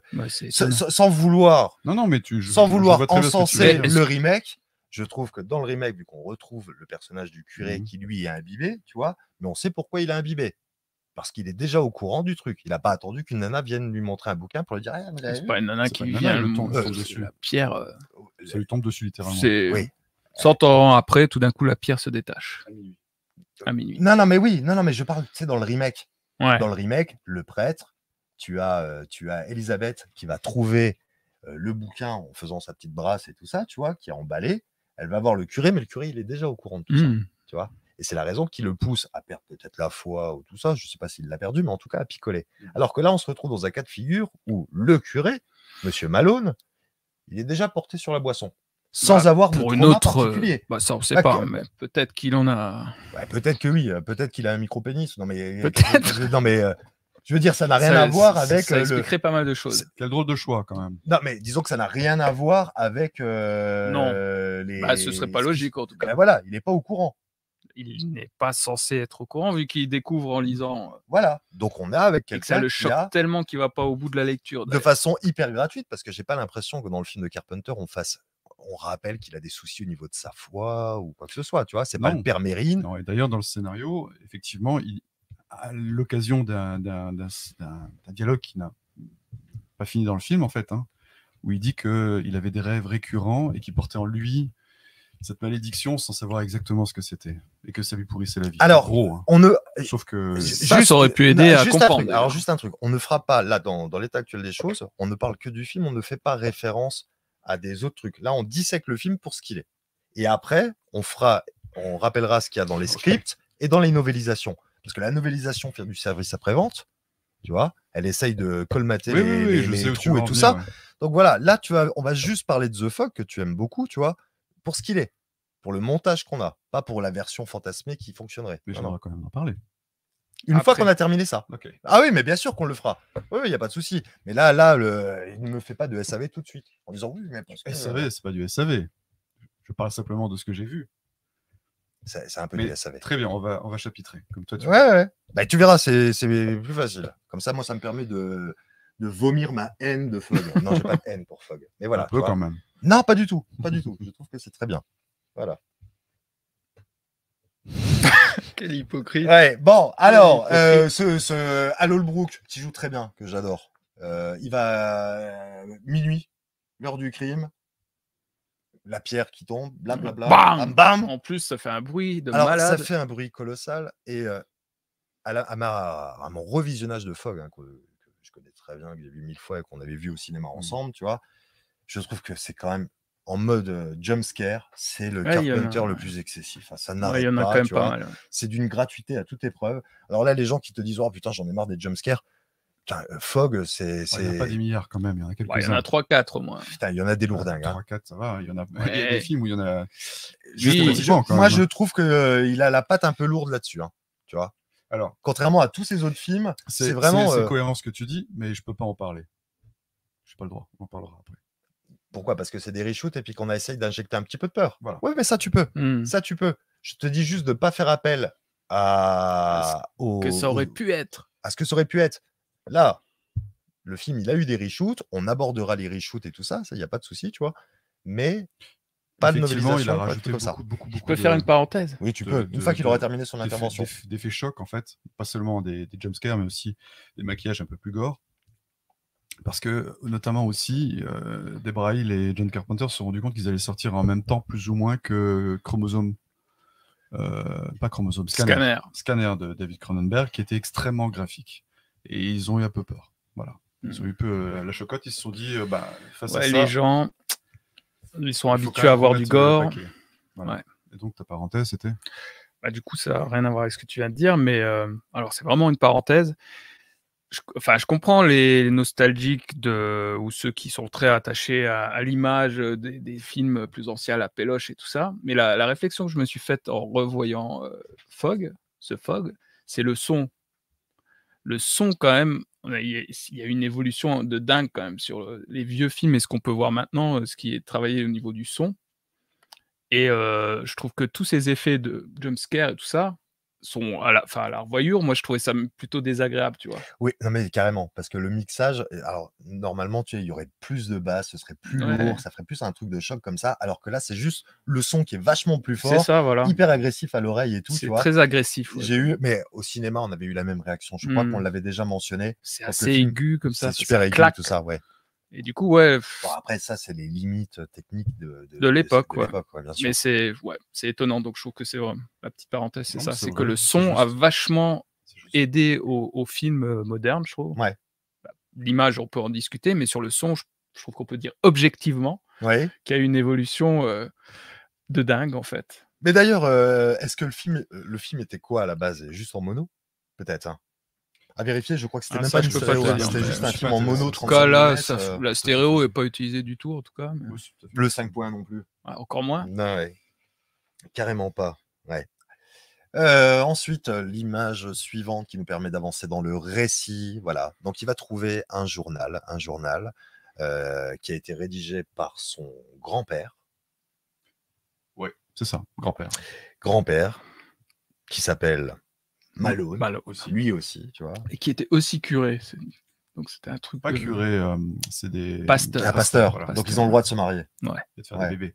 Ça aurait été Mais ils bizarre. sont autrement, pasteurs de père en fils. Mais c'est Curé de souvent- père en fils, C'est souvent le cas. Pasteur, hein, ouais, c'est le cas, ouais. Non, Ouais, c'est vrai, c'est vrai, vu dit comme ça. Oui, le c'est cake vrai. à la banane. C'est dans The Last Exorcism. et, euh, et je sais pas, alors ça, vous l'avez certainement lu. Ce journal, le- l'accessoiriste s'est fait plaisir à un moment, tu vois. Et il a écrit des, des cochonneries dedans. Non, je, je ne savais pas. Un alors, truc que tu m'apprends. c'est super drôle parce que ah, quand tu verras ce journal, c'est tu as Al Holbrook qui tourne les pages et à un moment, si tu fais un freeze, tu pourras euh, voir l'accessoiriste qui a écrit Je commence à en avoir ras le sac d'écrire ces trucs de merde. Je préférais parler de chatte rasée et de gros nichons. Enfin, c'est un truc comme ça, tu vois. Euh, le screenshot, on l'a probablement pas, mais on devrait pouvoir le trouver sur Google Images, peut-être. Voilà. Et donc, ça, je trouve que c'est euh, c'est assez fun, tu vois, que, que c'est terminé dans le Final Cut. Euh, ouais, du coup. Après, imaginez que le père Malone ait pu écrire ça sous l'emprise du cannabis. Bon, voilà, nous saurons rien de plus. Euh, tout à l'heure, on a vu le personnage de, de Matt Sean. Alors, je suis obligé parce qu'autrement, on ne l'évoquera plus. hein, ce personnage ne revient pas, tu vois. Dans un article du 25 janvier 1980 du Los Angeles Times, euh, euh, l'article décrivait les défis posés à la coiffeuse Tina Cassaday par le brouillard sur le plateau. Cassaday a prescrit à Janet Lee un shampoing avec œuf. Al Holbrook utilise un shampoing pH Scale Formula. Voilà, je n'ai pas réussi à le traduire. Adrienne Barbeau, c'était de l'huile de germe de blé. Et Jamie Lee Curtis rince quant à elle avec du vinaigre. Oh la Voilà, vache. afin de garder les cheveux des acteurs en place dans des conditions humides. Et malgré les efforts de Cassaday, la barbe artificielle de John Houseman s'est décollée à plusieurs reprises pendant sa scène en raison de l'humidité excessive des machines à brouillard. Alors, cet En article, studio? Cet article, il est hyper bizarre parce qu'effectivement, c'est une scène qui est tournée en studio. Bah Je ouais. n'ai pas l'impression qu'il y ait de brouillard, Non. à moins que ce soit la fumée euh, de. Voilà. Oui, oui, l'humidité, je vois pas en Ils ont, quoi. raj- ils ont inventé des anecdotes. quoi. Je pense que c'est un petit peu inventé et ça date du 25 janvier 1980. Mhm. Voilà. Tu trouves ça où? Dans euh, un article de, de presse. Et Sur l'internet ou euh, Sur Internet, ouais. Ah, Ouais, ouais. Alors, tu peux, ce que tu fais, tu vas sur, euh, euh, tu vas sur livres, je crois, dans la section Google. Ça, c'est un truc que vous devriez faire. Et tu vas dans la section livres et tu peux regarder différentes publications, extraits. magazines et trucs comme ça. Et il y a des journaux. Et les journaux, tu peux tomber donc sur les coupures presse d'époque. C'est Hmm. toujours hyper intéressant de, C'est un- c'est un bon truc, je savais pas. de, de trouver Je des, des le- informations comme ça, tu vois. Je connaissais les trucs de livres là de Google, oui. Ça, euh, oui, mais euh, je savais pas qu'on pouvait trouver des. Ouais, tu trouves les, les- intéressants, les ouais. trucs de journaux, tu vois. Et donc là, je trouvais que c'était intéressant de parler de shampoing. C'est dingue. Voilà, ça fait longtemps que t'en as pas entendu parler, toi. Je sais pas ce que c'est. Ah ouais, bah, oublié. Non. C'était juste pour faire la vanne. Non, pas du fait. tout, pas du tout. Ouais, J'aurais pas fait tout ça pour ça. C'est vraiment cruel. hein, Non, mais pas du tout, pas du tout. Oh, plus, mais moi j'aime être chauve. mais, mais tu l'es pas en plus. Toi, tu le fais parce que tu trouves ça esthétique. Est-ce que tu Non, peux c'est nous dire ce que tu as eu comme cadeau à Noël? Une tondeuse à crâne. qui s'appelle un Skull, Skull Shaver? Ouais, Skull Shave. Voilà. Avec Voilà. quatre têtes rotatives. Tout à fait. Ouais, putain, je trouve ça hyper euh, badass. moi. Ouais, Je te la prêterai si tu veux. Bah, tu me l'achèteras pour euh, c'est bientôt mon anniversaire au mois de février. Ah. T'as qu'à me donner la tienne. Non, je peux pas. C'est ma chérie qui me l'a Je peux offert. pas. Alors, euh, oui, après cette coupure de journal, ah bah il l'a trouvé Voilà, tu vois. Et euh, je crois. Dumb shit. Ouais. Voilà, tu arrives à lire. je crois que tu vois Beaver euh, à l'avant, avant-dernière ligne. Tu vois Je crois qu'il y a Beaver. Unshaved. Je vois Tits. Il y avait un truc avec unshaved ou shaved. Shaved. Shaved là. Ouais. Ouais, c'est shaved. Shaved cunts Non.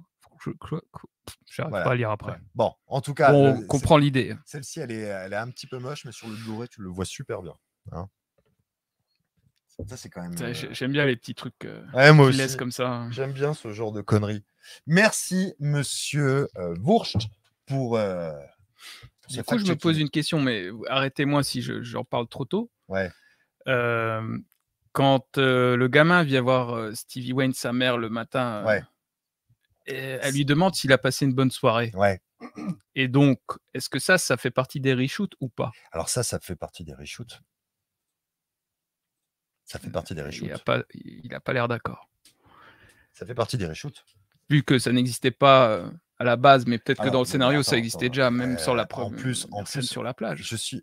Est-ce que Parce c'est. qu'il parle des histoires, il Oui, dit oui, qu'il oui, nous a raconté des histoires qui faisaient et, peur, euh, de et Il fantômes. mentionne le nom de, de. Ah, Il dit oui, Mm. machin. euh. C'est la D'ailleurs- voisine qui est venue le chercher, qui l'a ramené. Voilà.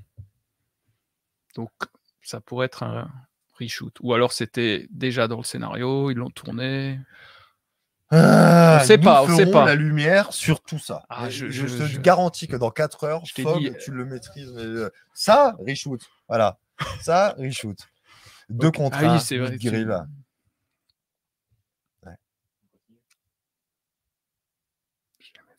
Ouais, mais je ne comprends pas. Je ne comprends pas cette blague. On continue. Et donc là, on va. euh, Ah, putain, ça c'est vraiment une séquence. Attention les yeux.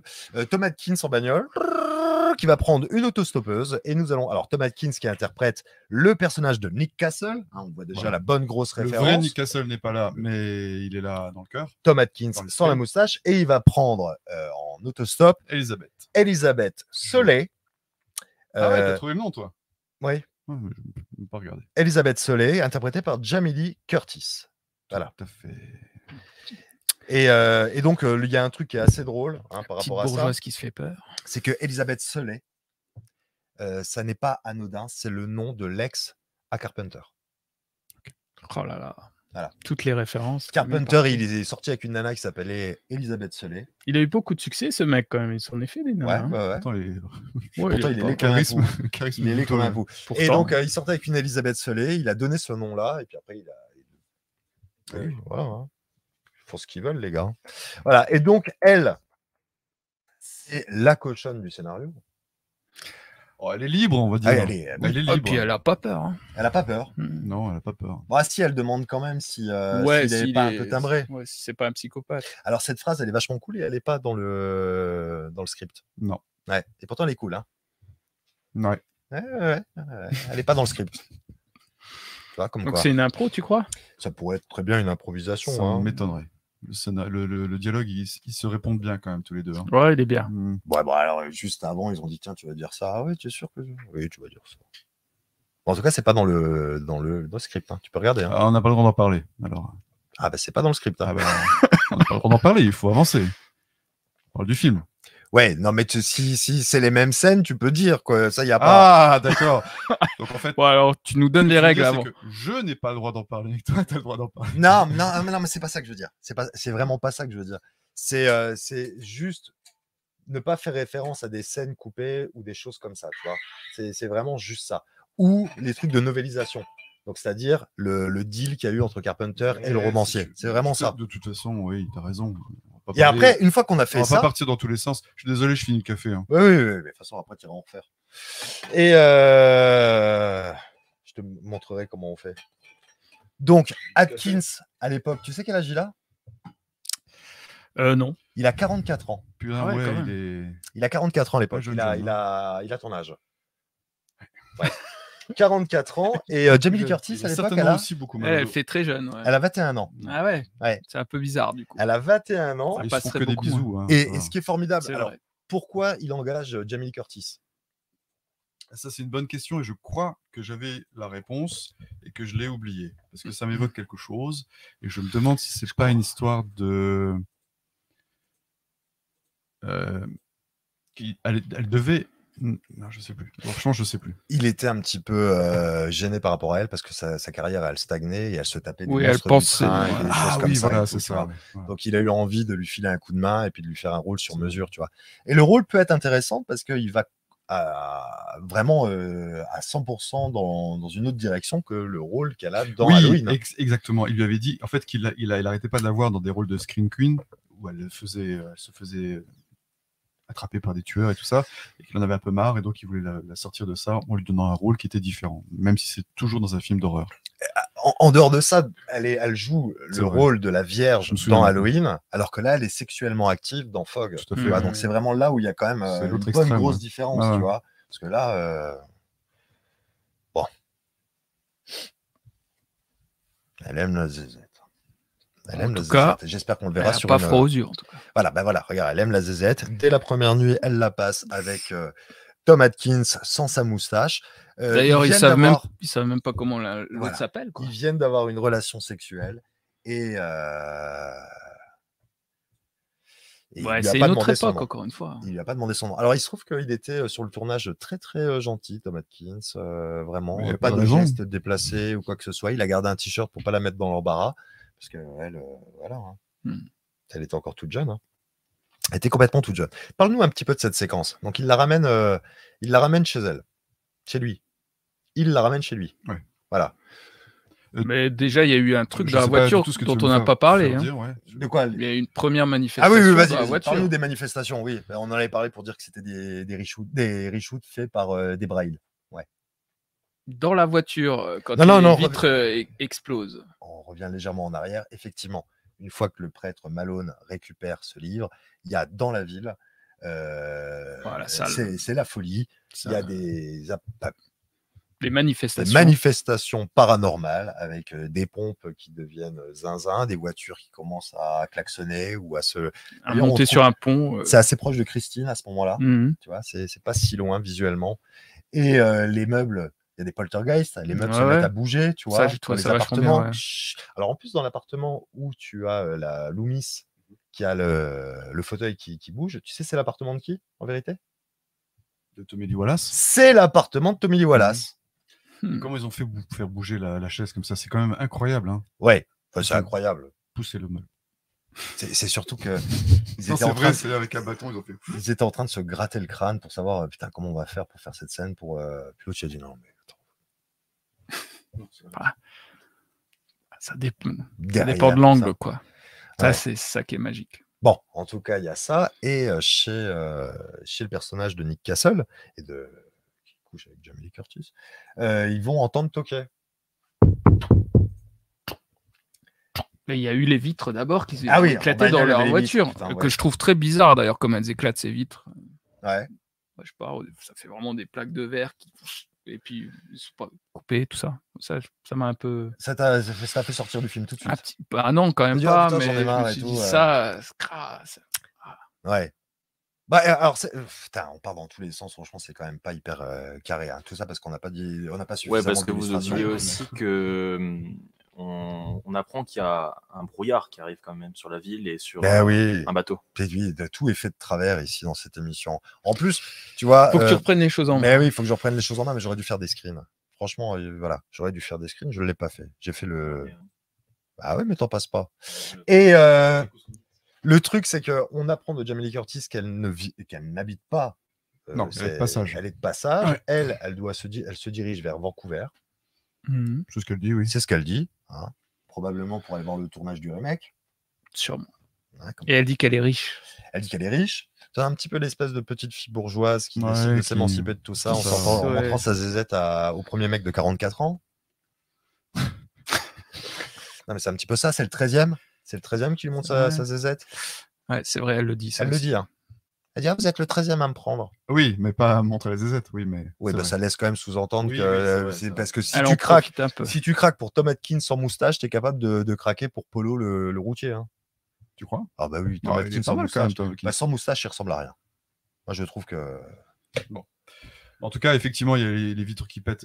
J'avoue que j'ai toujours pas compris exactement pourquoi les vitres pètent. Et parce que c'est les manifestations paranormales. Il y a des cadrans de- d'horloge qui Oui, pètent. Mhm. Tout pète. Ouais.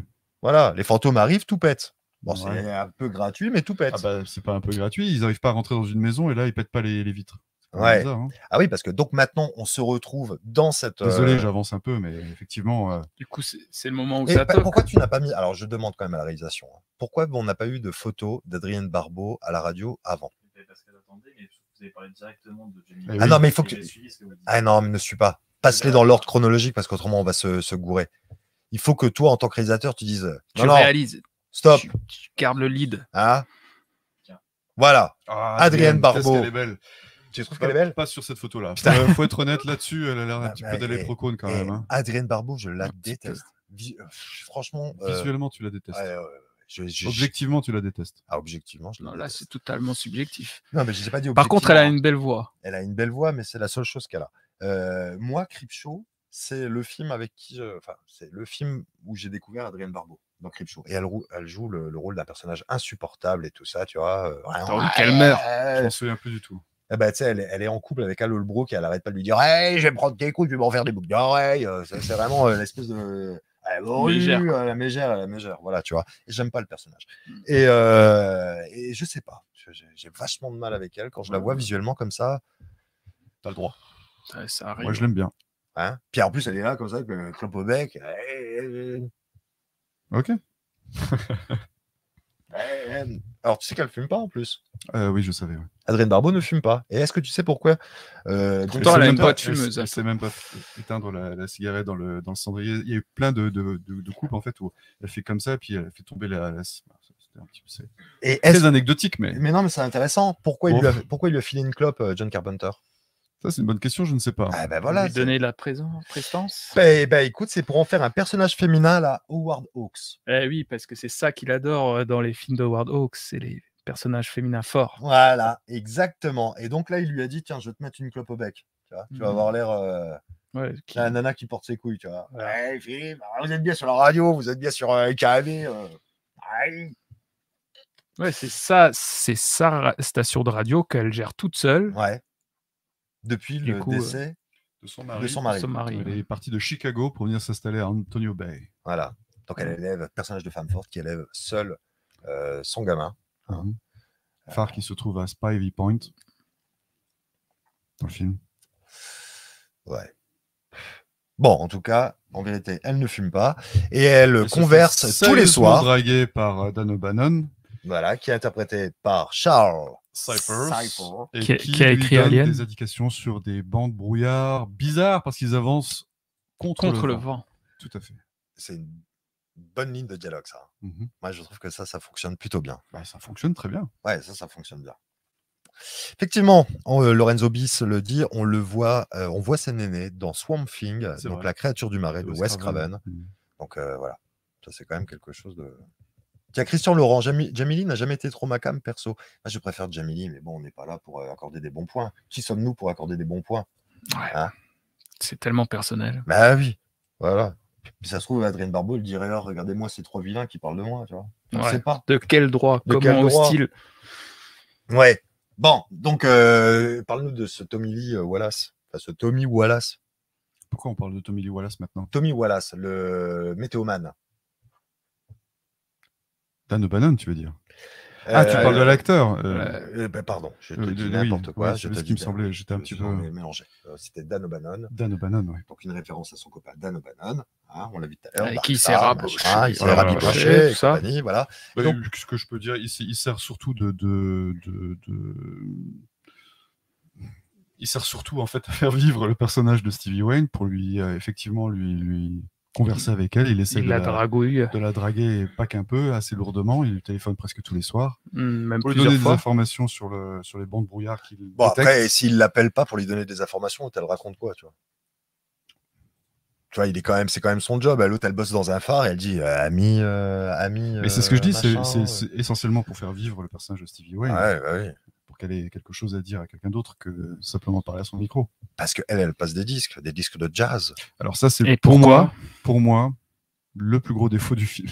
C'est, euh, lequel? C'est la musique que- que- qu'elle Il y a une raison Il pour y a des ça. raisons, oui, bien sûr. Oui, bien sûr qu'il y a des raisons, mais ça reste quand même quelque chose qui, moi, personnellement, en fait, en tout cas en tant que spectateur, je trouve que c'est quand même euh, de la musique un peu de merde. Ouais, c'est de la musique de merde. Vraiment. Est-ce que tu peux nous dire pourquoi ils ont passé du jazz? Alors, parce que c'était pas cher. Eh Parce qu'il fallait oui, acheter les droits. Bien sûr. Et du coup, Mais ça, euh, c'était gra- presque quand même, c'est que Le mec, gratos. il est musicien, qui en plus, il, ça, il- plus de ça, pardon, il a un, un groupe qui s'appelle le Coupe de Ville. Ouais, mais Il euh, y, a- des- il y a dedans, hein. Il y a, il y a des extraits de lui, hein, de son groupe. hein. Je suis pas sûr. Ah, je l'ai lu, hein, alors euh, je. Je suis pas sûr. Je sais que dans. Ah, on n'a pas le droit d'en parler. Dans le scénario, Ouais. scénario, c'est effectivement euh, précisé qu'il y a le nouveau hit du groupe Coupe de Ville. Hmm. C'est vrai. Il se fait de l'autopromo. Mais Ouais. dans, le, dans le film, je ne l'ai pas entendu. Toi, t'aurais fait ça? T'aurais réalisé, t'aurais dit dernier single de Néophyte. Non, je l'aurais pas fait. Non. Je l'aurais pas fait. J'aurais écrit quelque chose, mais je me serais sorti les doigts du cul. D'ailleurs, Il aurait pu. J'aurais pu. Il aurait dû. Euh, puisque toi, tu fais référence au scénario qu'on n'avait pas le droit d'aborder, Ouais, je vais aborder aussi, hein. la novélisation. Parce que dans la novélisation, euh, c'est génial parce que dans la novélisation, il est dit que euh, c'est de la musique vieillotte, tu vois, à l'image de cette ville qui est euh, vraiment en mode, euh, voilà, en mode endormi et compagnie. Donc ils ont réussi à le légitimer euh, grâce à, grâce à la. Ah, moi, ça me dérange pas plus que ça. Dire que. Non, moi, ça, ça m'emmerde un peu. C'est vraiment le seul truc qui me. Qui me, qui me... Ah, c'est pour ça que je préfère le remake. Ouah, bah, bah, bah, bah, bah, on va vous mettre de la musique. Ah, voilà. voilà. tu vois. Ouais, c'est affreux. C'est encore pire. Bah, alors pourquoi c'est pire? Tu aurais préféré qu'ils mettent du jazz dans le remake? Ah, Qu'est-ce qui est le pire? La musique populaire? Non, mais c'est électronique? pas une question ou de le musique jazz? populaire ou quoi. T'essaies de me coincer avec un truc pareil. C'est ridicule. C'est juste que la musique est pas très, très, très. Pas très. Elle est un peu énervante, en fait. Je De, trouve. bon, de toute façon, qui écoute cette radio à part son fils? Non, mais c'est Bah, vrai. visiblement tous, parce Bah, qu'ils sont au aussi, courant hein. après tout. Bah oui. Dans la voiture, il est seul, le, le mec qui balaye euh, la nuit dans le supermarché. Ils ont vraiment pas de goût. Bennett aussi. Ils ont vraiment pas de goût, les pauvres. Bah, ils ont pas le choix, ils captent rien sur leur. Je crois qu'il n'y a rien d'autre. Quoi là Non, mais c'est vrai, ils captent rien d'autre. Bah, c'est ça. Mais le c'est ça le truc. Bah, y Ah, tu vois, tu y avait déjà pas MTV. l'idée. Ouais. Euh, mais moi, j'ai aucun souci avec la musique jazz, euh, Monsieur Bière. hein. Ça- moi, franchement, je trouve qu'effectivement, ça passe bien. Tu sais à quoi ça ressemble, de toute façon? Ça ressemble vachement à, au film de Clint Eastwood, Un frisson dans Play- la nuit. Play Misty for Me. Voilà, tu vois. Mhm. Où il- l'autre, il joue aussi un DJ. Ah putain, c'est vrai qu'il y a quand même un gros, gros lien entre les deux films. hein, sauf que Clint Eastwood est un meilleur DJ que Adrien Barbeau. Ouais. Et on fait, ici, on fait souvent référence à Lang. C'est sur RTL. Bienvenue à RTL Radio. Hein? C'est quoi son prénom? Euh, Jacques, Michael? Mi- Ma- c'est- Michel. Michel, c'est Michel Lang. Michel Lang. Et on va vous passer de la musique rock toute la nuit. Ce soir, on aura ZZ Top. C'est ZZ Top ce soir ou Adrien. Barbeau? Adrien Barbeau. Tu le fais bien. Voilà, non, je le fais bien, bien sûr que je le fais bien, je le fais à chaque émission. Et euh, tiens d'ailleurs, juste pour info, Ouais. tu sais l'escalier Ouais. qui mène à Mhm. cette euh, phare, Ouais, cette Hein phare. hein, ce phare qui est tourné en studio. Tout à fait. Qui est reconstitué en studio. Oui. Voilà, tu vois, L'intérieur, tu crois. ouais, les escaliers Ouais. en colimaçon. Ouais. Tu sais, ils viennent de quel film? C'est du recyclage. Oui, j'en sais rien. 20 milieux sous les mers. Ah. c'est un escalier qui vient de 20 milieux sous les mers. oh, Tu vois, ils ont dit, tiens, on a Chouette, besoin d'un ouais. escalier en colimaçon, prends, prends celui-ci. ah, c'est bien. hein. Ça, c'est pas mal, ça. Ça, c'est le genre d'in- d'information plutôt cool. Ouais, c'est cool. Ouais, je sais. Je sais. D'ailleurs, en parlant de ce C'est une phare, bonne information, effectivement. en parlant de ce phare, Par contre, euh, Oui ce, ce- ce- ce rez-de-chaussée n'est pas terrible. je trouve, Non, en termes de terrible. décor, à part le Ouais. l'escalier qui est chouette, j'aime beaucoup euh, l'endroit, le haut du phare, mais Ouais. alors le bas là avec la porte, Ouais, c'est un peu vide, hein. c'est un peu vide. Bon, et t'as une armoire. ouais. Tout de suite, tu rentres à gauche, t'as une armoire Bah. qui s'ouvre à un moment, comme ça, toute seule. Mais C'est le Mhm. vent. Le vent qui s'engouffre et tout ça, tu vois. Voilà. Bon, après, l'hôtel grimpe. C'est vrai. Je trouve pas que ce soit euh, dingue. Mais bon, on continue. On continue. Alors, euh, on, on va voir juste ça. C'est pour revenir à la scène où ils venaient de se montrer la nouille et ils entendent toquer. Ouais. Oui. Alors, ça, ça fait partie des reshoots. Ah ouais? Ouais. Ouais. Mais Là, il y a un truc qui m'a choqué, moi. je- Alors, il y a une partie qui est filmée dans euh, l'appartement de Adrienne Barbeau. Dans l'appartement de, de Adrienne Barbeau à l'époque. Ah oui? Une partie. Pas, pas les, les deux, mais euh, parce que Tu parles de quelle partie Dans la chambre ou bien euh, justement Euh, quand on voit la silhouette? Alors, la partie où euh, il marche vers la porte, tu vois, Mhm. c'est pas le même décor que euh, l'image qu'on a vue tout à l'heure sur le lit là. C'est Mhm. pas la même chose. Quand il se dirige vers la porte, ça a été tourné dans l'appartement de, dans la maison d'Adrienne Barbeau. D'accord. Voilà. Et ça, ça fait partie des reshoots. Ça, voilà, exactement. Là, il y a un truc qui me gêne, moi. Ah ouais, moi, il y a plein de choses qui me gênent. Alors, euh, n'hésite pas. hein.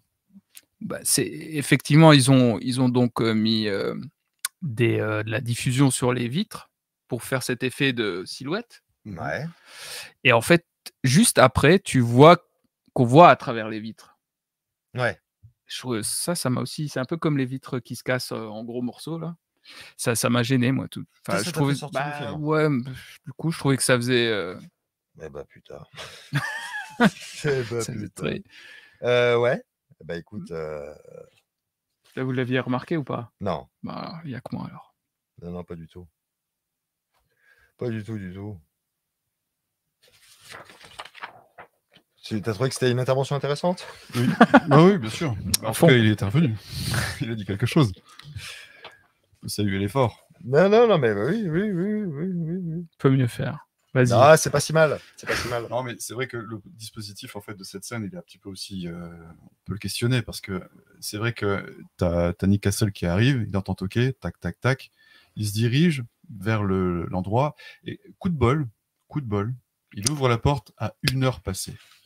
Et à une heure passée, ils repartent tous. Pourquoi? On ne sait pas. Ah, c'est l'heure du crime. Bah, c'est ce Ça dure dit. qu'une heure la malédiction. Bah non, parce qu'après, euh, Bah ouais. euh, Ce n'est pas le brouillard qui rend les, vies opaques, les, les vitres opaques? Non. Enfin, pas pour moi. D'accord. Non, on sort de la, di- la- la diffusion collée. euh, Euh, là, on n'a on pas eu l'attaque du bateau, là, pour l'instant, hein, bien sûr. Ouais, ouais, ouais, ouais.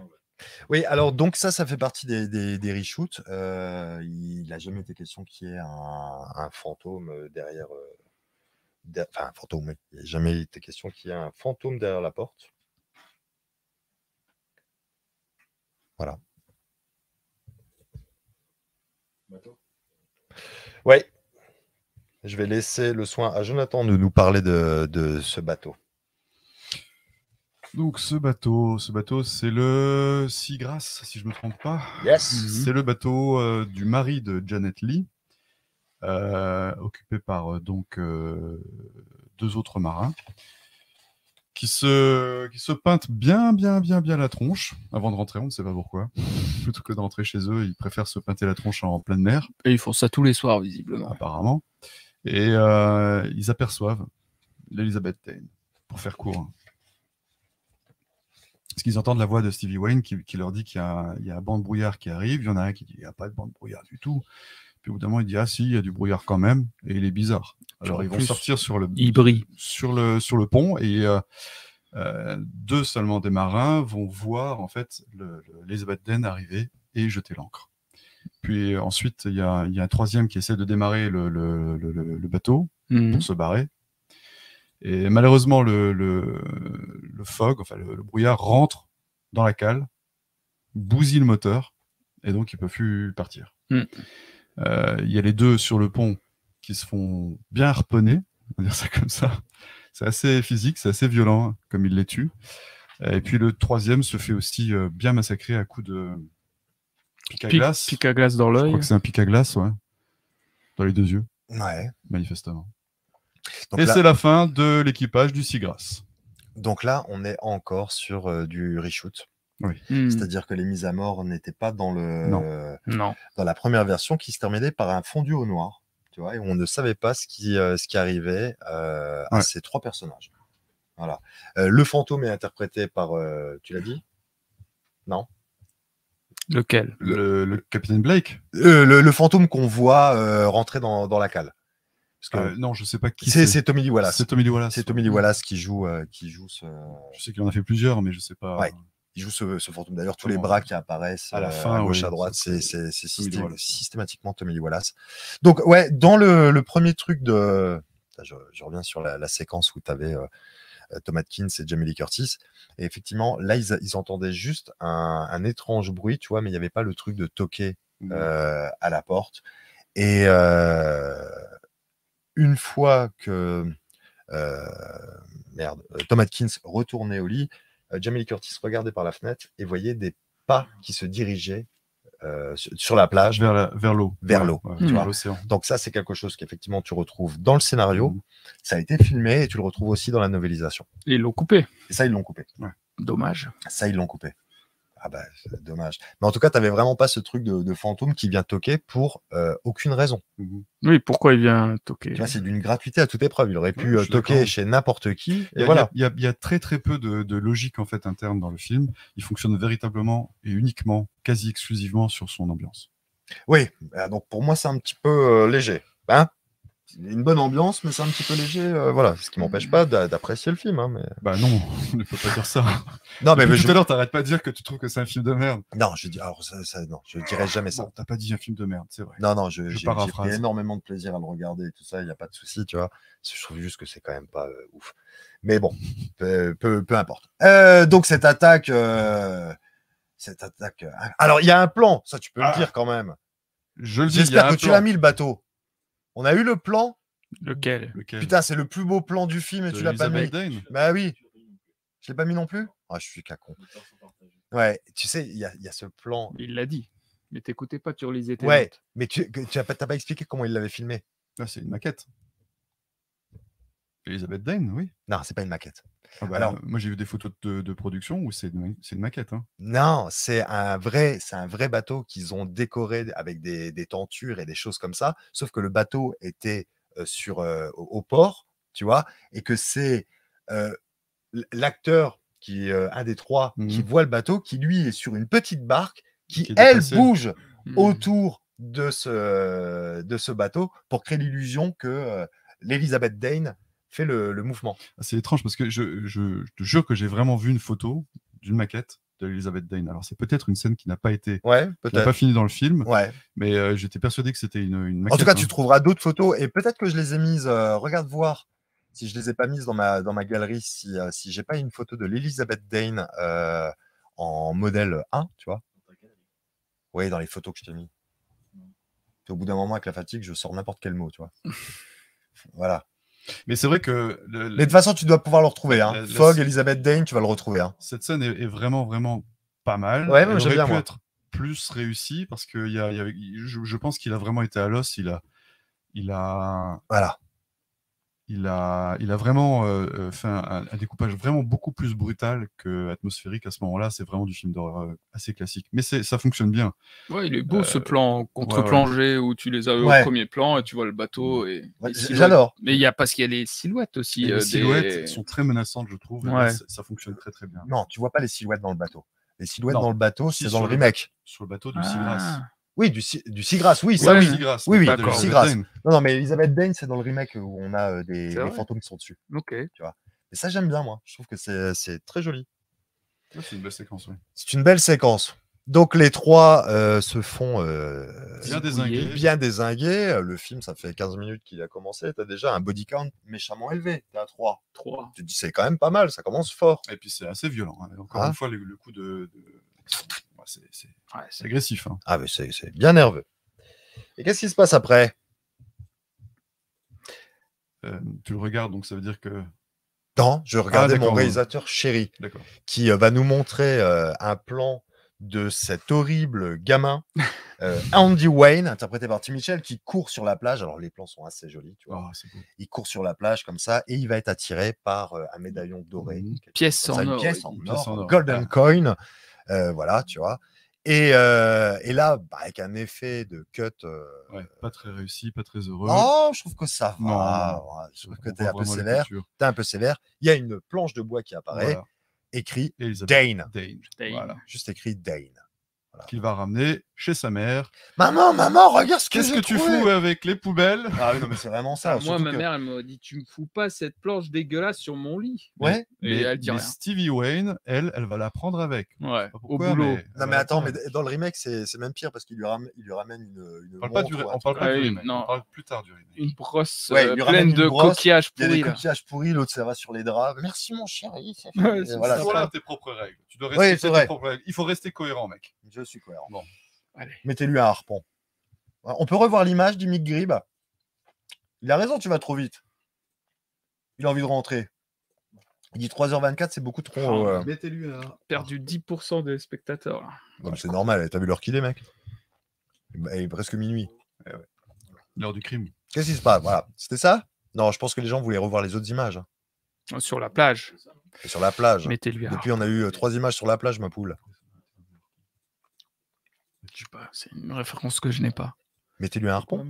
C'est quoi? Non, je, poussais- je pense qu'il voulait voir la, la plaque avec le Dane. Mick Grip voulait revoir cette image-là, je- là, je pense. Je pense qu'il voulait le bateau. Il voulait revoir le bateau? Je pense. Putain, il va être obligé de se retaper la rediffusion du live. Ça nous fera un clic Oh, de plus. pauvre. Un clic de dur. plus. Ça va être dur. Ouais. Donc il va, il va ramener euh, cette, euh, cette euh, planche à maman, hein, maman célibataire. Ouais. Parce que moi j'avais mis, euh, j'avais mis un plan qui nous permettait de comprendre un petit peu. euh, Voilà. Oui, on voit son histoire. quoi. Alors, Eh maman tu vois ce plan-là, il est intéressant. Donc tu as une photo euh, à côté, tu vois, Du papa? du papa. Et tu sais qui est ce mec? Eh non, c'est une question que je me suis posée, effectivement. Alors c'était l'ex de euh, Adrien Adrienne Barbeau Barbeau. à l'époque. Ouais. Et ce mec-là va coucher avec. John Jamie Lee Carpenter Curtis. Non, pas- ni avec John Carpenter, Janet Lee ni avec Janet Leigh. Oh, Dommage. Non, j'en sais rien. Bah, qui Qui? Debra Hill. Ah. Ce mec-là, donc l'ex de Adrienne Barbeau, va se Ouais, retrouver avec s'est- Debra Ils Hill. font des tournantes ou quoi? Exactement. Et euh, Barbeau, Adrienne Barbeau dira que c'était une époque qui était assez particulière parce qu'ils sortaient tous les quatre ensemble. Tu vois, t'es à faire des soirées ou des trucs comme ça. Donc, tu avais John Carpenter qui avait vu la zézette à Debra et la zézette à Adrienne. Et tu avais ce mec-là qui avait vu la zézette des deux nanas. Ah ouais. L'histoire ne dit pas s'il a vu la saucisse à John. Bah, on Peut-être qu'ils ont fait un truc à 4 Mais je pense que c'est fort probable. à l'époque. est- Ou alors il y a en pissant à côté. Comme ça, tu vois. Ah, En mode discretos, en mode euh, Udokir. est-ce que. En mode Udokir. voilà. Ah, je l'avais oublié, lui. Ouais. Ludo. Eh, bravo, Elle est où, ma Udokir. veste Eh, Elle est où ma veste? Elle est où ma veste? Ah, c'était bon ça. Voilà. Un gros cochon du Dokir. Il avait les yeux vraiment euh, Vitreux. vitreux. Ah ouais, il était démonté le soir-là. Mais bon, là, c'est un peu trop privé de joke, les gens, ils comprennent pas. Non, ils comprennent pas. Bon, tu étais obligé de raconter cette histoire. Ah, moi, non. Donc, on était au festival de Gérard Armé, c'était il y a quelques années, tu vois. Et Udokir était président du jury. Il était président du jury. Il était était pas à plutôt- l'honneur, non, il parce qu'il y était- avait Master invité of Puppets, Il a reçu un, un prix. Oui, il y avait euh, Puppet Master. Il y avait caractère. Puppet Master, ouais, euh, c'est ça. Et euh, qui était le président? Argento, non? Non, c'était l'année après. On a déjà regardé ça mille fois la dernière fois. À chaque fois, on oublie. Euh, qui était le président de Ouais, cette. C'est pas très grave. Non, on s'en fout. Non. Passons. Christophe Lambert? Christophe Lambert, non. Possible. Le Master? Non, mais que- Quand c'était en 2019. quand il y avait eu Dokir, euh, voilà, 2019. Ouais, on s'en fout. Euh, Passons. L'histoire avec Udokir est le plus rigolote. Ah, il faut qu'on sache. On sache, les gens veulent savoir. Jusqu'au bout. Père Armé, 2019, Udokir, invité d'honneur. Et le président, c'était? Euh, visiblement, c'était Benoît Delphine et Gustave Carré. Ah oui. Ah c'est bah ça. voilà, tu vois. Ah oui, ont le... mis ouais, donc, ouais, ouais, c'est vrai. Udokir était beurré comme un Ah, porc dans le comme- Hôtel. comme tout le monde au Grand Hôtel. Il avait. euh, Sauf toi, parce que tu bois pas. ben voilà, exactement. Et euh, il avait envie de mater de la tub. Donc il accompagnait les gens quand ils allaient faire pipi. C'est ça. Et discrètement, il regardait leurs obes. C'est ça. Tout ce qu'il y a de plus normal. Tout à fait. Et euh, bah, il était distrait par la vue de ses obes et il en a oublié sa veste. Chez nous. Donc, Alors pourquoi On ne sait pas. on ne sait pas. Il a donc à En tout 3h cas, du matin, il cherchait sa veste. Nous- Antitubant. Eh, oh, bah, on lui avait jacket caché à Grégory. C'est les mecs de Groland. voilà. Et nous, on lui avait caché sa veste. Et il faisait comme ça, Where is my jacket? Where is my jacket? Voilà. Et d'ailleurs, Grégory avait fait une, une petite, euh, Un petit dessin un petit dessin euh, de très, Udokir. très très fidèle à, à la réalité. Ouais. Ah ouais, en mode Where is my jacket? Ah ouais. C'est beau. C'était beau. C'est- pas Raph qui lui avait couru après dans l'ascenseur et puis. Si, coup- pour lui faire signer du sang pour Dracula. Ouais, c'est ça. Voilà. Et mater son zob, je sais pas, Je ne qu'ils jamais là. Dans l'ascenseur, on ne sait dans pas. l'ascenseur. Ouais, donc euh, fini cette parenthèse Udokir et donc euh, il a ramené à sa mère euh, Madame Wayne euh, le, le machin, voilà. La suite. Ah, voilà. Et donc il y a un bateau qui n'est pas rentré au port, C'est ça, le Sigras. le Sigras. Ah, il doit être bourré en mer. Il va être bourré en mer, Non. probablement. Non, non, non. Il ne va jamais jusque-là. Toujours rentrer au port. Donc, On euh, dirait sa femme. tu vois, donc du coup, il y a quand même euh, un plan de plus, Oui, parce que ça, c'est pas le plan pas- large, tu vois. Oui, alors c'est peut-être le, le plan qui nous permet de voir l'action et après on suit. Je pense qu'il y euh, a ouais. un peu plus qu'un seul plan, mais Ouais. enfin bon. Il me semblait. Mm, mm, ouais.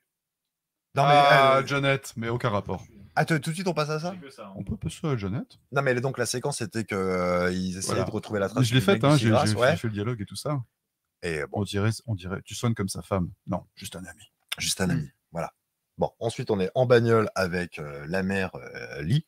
Alors, elle, j'ai pas trop compris Ah oui, Ce- son rôle. son Ah. rôle, parce qu'il y a le maire, et elle, elle fait quoi? Alors, ce qui, C'est est, ce qui est trop drôle, c'est que Debrail non plus ne connaît pas son rôle. Parce que Debrail, dans des interviews, elle parle d'elle en tant que mairesse. Ouais. Voilà. Elle dit, elle est la que mère non. de la ville et Bah tout ça. non. Non, elle n'est pas la mère de la ville. La mère, on l'a, enfin, le maire, on le, on le voit, tu vois. Ouais. Donc, il semblerait que ce soit une sorte d'agent immobilier, tu vois, euh, qui est chargé de- du rayonnement, machin, euh, En fait, ou je sais pas quoi. À vrai dire, il y a un truc, peut-être à l'urbanisme. il y, a, il y a un truc qui est très très américain, c'est qu'en fait, il y a des, des- des civils qui s'occupent effectivement de certains trucs, certaines actions comme ça, euh, dans, comme par exemple la rénovation de certains lieux historiques, des choses comme ça.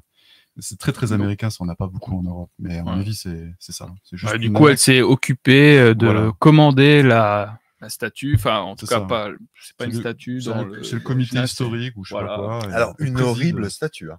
euh, oui, plutôt. Oui. Une horrible statue qu'on ne verra pas dans le film, ou en tout cas pas clairement. Tu elle, vois. ouais, elle lève un coup le. Ah, c'est pas mal. Et elle était Non, tellement dégueulasse que c'est John Carpenter qui a dit non, mais franchement, on peut rien faire. et tout, tu vois. On peut pas montrer ça. Il y a une conversation en bagnole. Ouais, ça y est, ça commence à ramer. Alors, Mais non, mais non.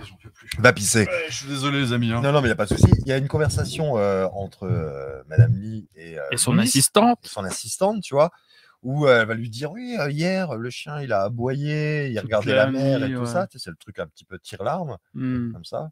Le chien, il a aboyé. Donc, elle, euh, pour rappel, son mari. Son donc mari est mort en mer. Donc, c'est le bateau de son mari. elle, Et elle, elle le sait pas encore. Ouais, ouais. Elle le sait pas encore. Et Mais puis, bon, elle- euh, elle doit continuer à faire ce qu'elle a à faire. Et elle, elle dit, euh, la Loomis, elle dit, euh, oui, euh, c'est quoi d'ailleurs le nom du personnage de, de Nancy Loomis? C'est Sandy Sarah- Fadel. Sandy. Sandy Fadel. Et euh, organi- organisatrice de la cérémonie du souvenir. Voilà. Voilà, tu vois. Mais bon, même Debrail se trompe. hein.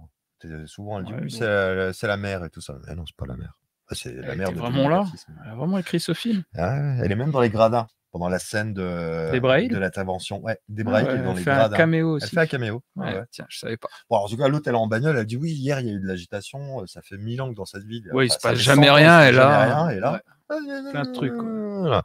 Et donc, ils vont se retrouver euh, dans euh, la cérémonie du, du souvenir, enfin les préparatifs de la cérémonie du souvenir. Alors, si tu es attentif, tu pourras voir. Alors, il y a déjà la camionnette de Nick Castle qui est, euh, qui est du, du vrai Nick Castle, je crois. hein. Ou d'un vrai technicien, putain, j'ai oublié le nom. Tu as sa camionnette qui est aussi dans le film Halloween. C'est la même camionnette. Ah ouais. Et tu as Tommy Lee Wallace, le vrai, qui fait un caméo où il repeint. euh, Oui, on voit le, un poteau là ouais. à l'entrée. Ouais. Et c'est Tommy ouais, Lee ouais. Wallace Je me disais qui- qu'il peignait très mal ce peintre. Eh ben, c'est Tommy Lee Wallace. Ah bah voilà. Tu vois, il fait son petit caméo. Est-ce qu'on a un plan de ce petit truc-là? Rien de, de, de tout ça. L'église. T'as l'église? Ouais. Parce que de toute façon, qu'est-ce qui va se passer juste après Elles sont sur le chemin de l'église. Elles sont sur le chemin de l'église. Elle Non, veut elles sont aller- pas sur le chemin de l'église. Après, elles partent et elles vont direction l'église. Ouais, voilà. voilà. Et Donc on arrive elles à cette veulent- église, cette église qui... Pourquoi elles vont voir le père Malone à ce moment-là? Parce qu'il doit Bah, parce qu'il doit faire bénir. une intervention. il, doit ou- bénir en fait euh, la statue, un truc comme ça. Oh là là, c'est vraiment un truc aussi con? On va Bah écoute, c'est ce qui. Parce que euh, quand elles partent, elles disent bon, finalement, euh, vous n'allez pas bénir la cérémonie. euh, Ouais, vous n'êtes pas en état. Elle dit non, c'est pas grave. Donc, je crois Alors, ça, Arcania en fait. rappelle, et effectivement, on l'a pas dit tout à l'heure, l'assistante, euh, c'est euh, Nancy Loomis, la babysitter de Halloween. Tu, tu vas demander à Jonathan, il va t'expliquer Non, non, la raison pour laquelle euh, ils vont chez le curé. Pourquoi ils vont voir le père Malone toutes les deux? Est-ce que tu t'en rappelles? Oui, il est censé donner sa bénédiction durant bénédiction. la cérémonie. Ce qu'ils vont vite abandonner finalement parce qu'il est un peu psychotique et bourré. Ouais. Donc euh, ils vont finir par s'en passer. Puis Surtout, surtout, qu'il a euh, découvert le fameux journal de son grand-père qui lui dit que tout ça est une travestie. Cette commémoration est une travestie. Pas une travestie. Si, en, en anglais, ils disent ils Ah. cette travestie. Ah, il est comme ça, Ouais, d'accord. Je, je traduis euh, du français. C'est moche. Oui, donc il leur lit des passages carrément. Ouais, et c'est plutôt, Ou, bien- euh, c'est plutôt étonnant à quel point ça fonctionne bien ce passage-là, parce que c'est quand même chiant de voir quelqu'un qui lit quelque chose au cinéma. Hmm. Et moi, je trouve que ça marche très bien. C'est grâce à la musique aussi, peut-être encore une fois. Oui, l'acteur aussi. Et puis, euh, c'est réalisé aussi de manière très, très, très efficace, très douce, très simple. Euh, rien n'est surligné. Tout est vraiment dans le, dans le mouvement, en fait, de, de caméra, dans les mouvements de caméra. Et, et ça marche du tonnerre, hein, moi, je dois dire. On Bon, en tout cas, euh, oui, vraiment tu. Ça fait partie des séquences qui fonctionnent vraiment très, très bien, je trouve. Mais moi, j'ai l'impression, alors, Quand j'ai dans- revu au cinéma, je trouvais que ce, ce moment-là était vraiment, euh, était vraiment fort. bah, quand le père Malone euh, lit en fait les extraits du, du journal de son grand-père, et que- donc à ce moment-là, j'ai l'impression qu'il explique qu'il y, a les six personnes. Vous avez déjà, vous avez déjà parlé du, euh, du jump scare de la mort euh, réalisé en post-prod? De- Lequel? je- Non, on n'a pas parlé de ça. Alors, celui, alors est-ce qu'on peut avoir l'image euh, avec les éclairages à la Argento, s'il vous plaît, dans l'église? Voilà, celui-ci. Ah, quand il se planque derrière. Ah enfin, oui, bien quand sûr, quand il, sort du, Voilà. euh, du euh, comment on appelle ça, où tu vas te confesser. il sort d'une alcôve. Non, non, pas, non, même pas, C'est- même pas. Ils ont, c'est une simple bête chaise et ils ont mis du, euh, du, du molleton devant.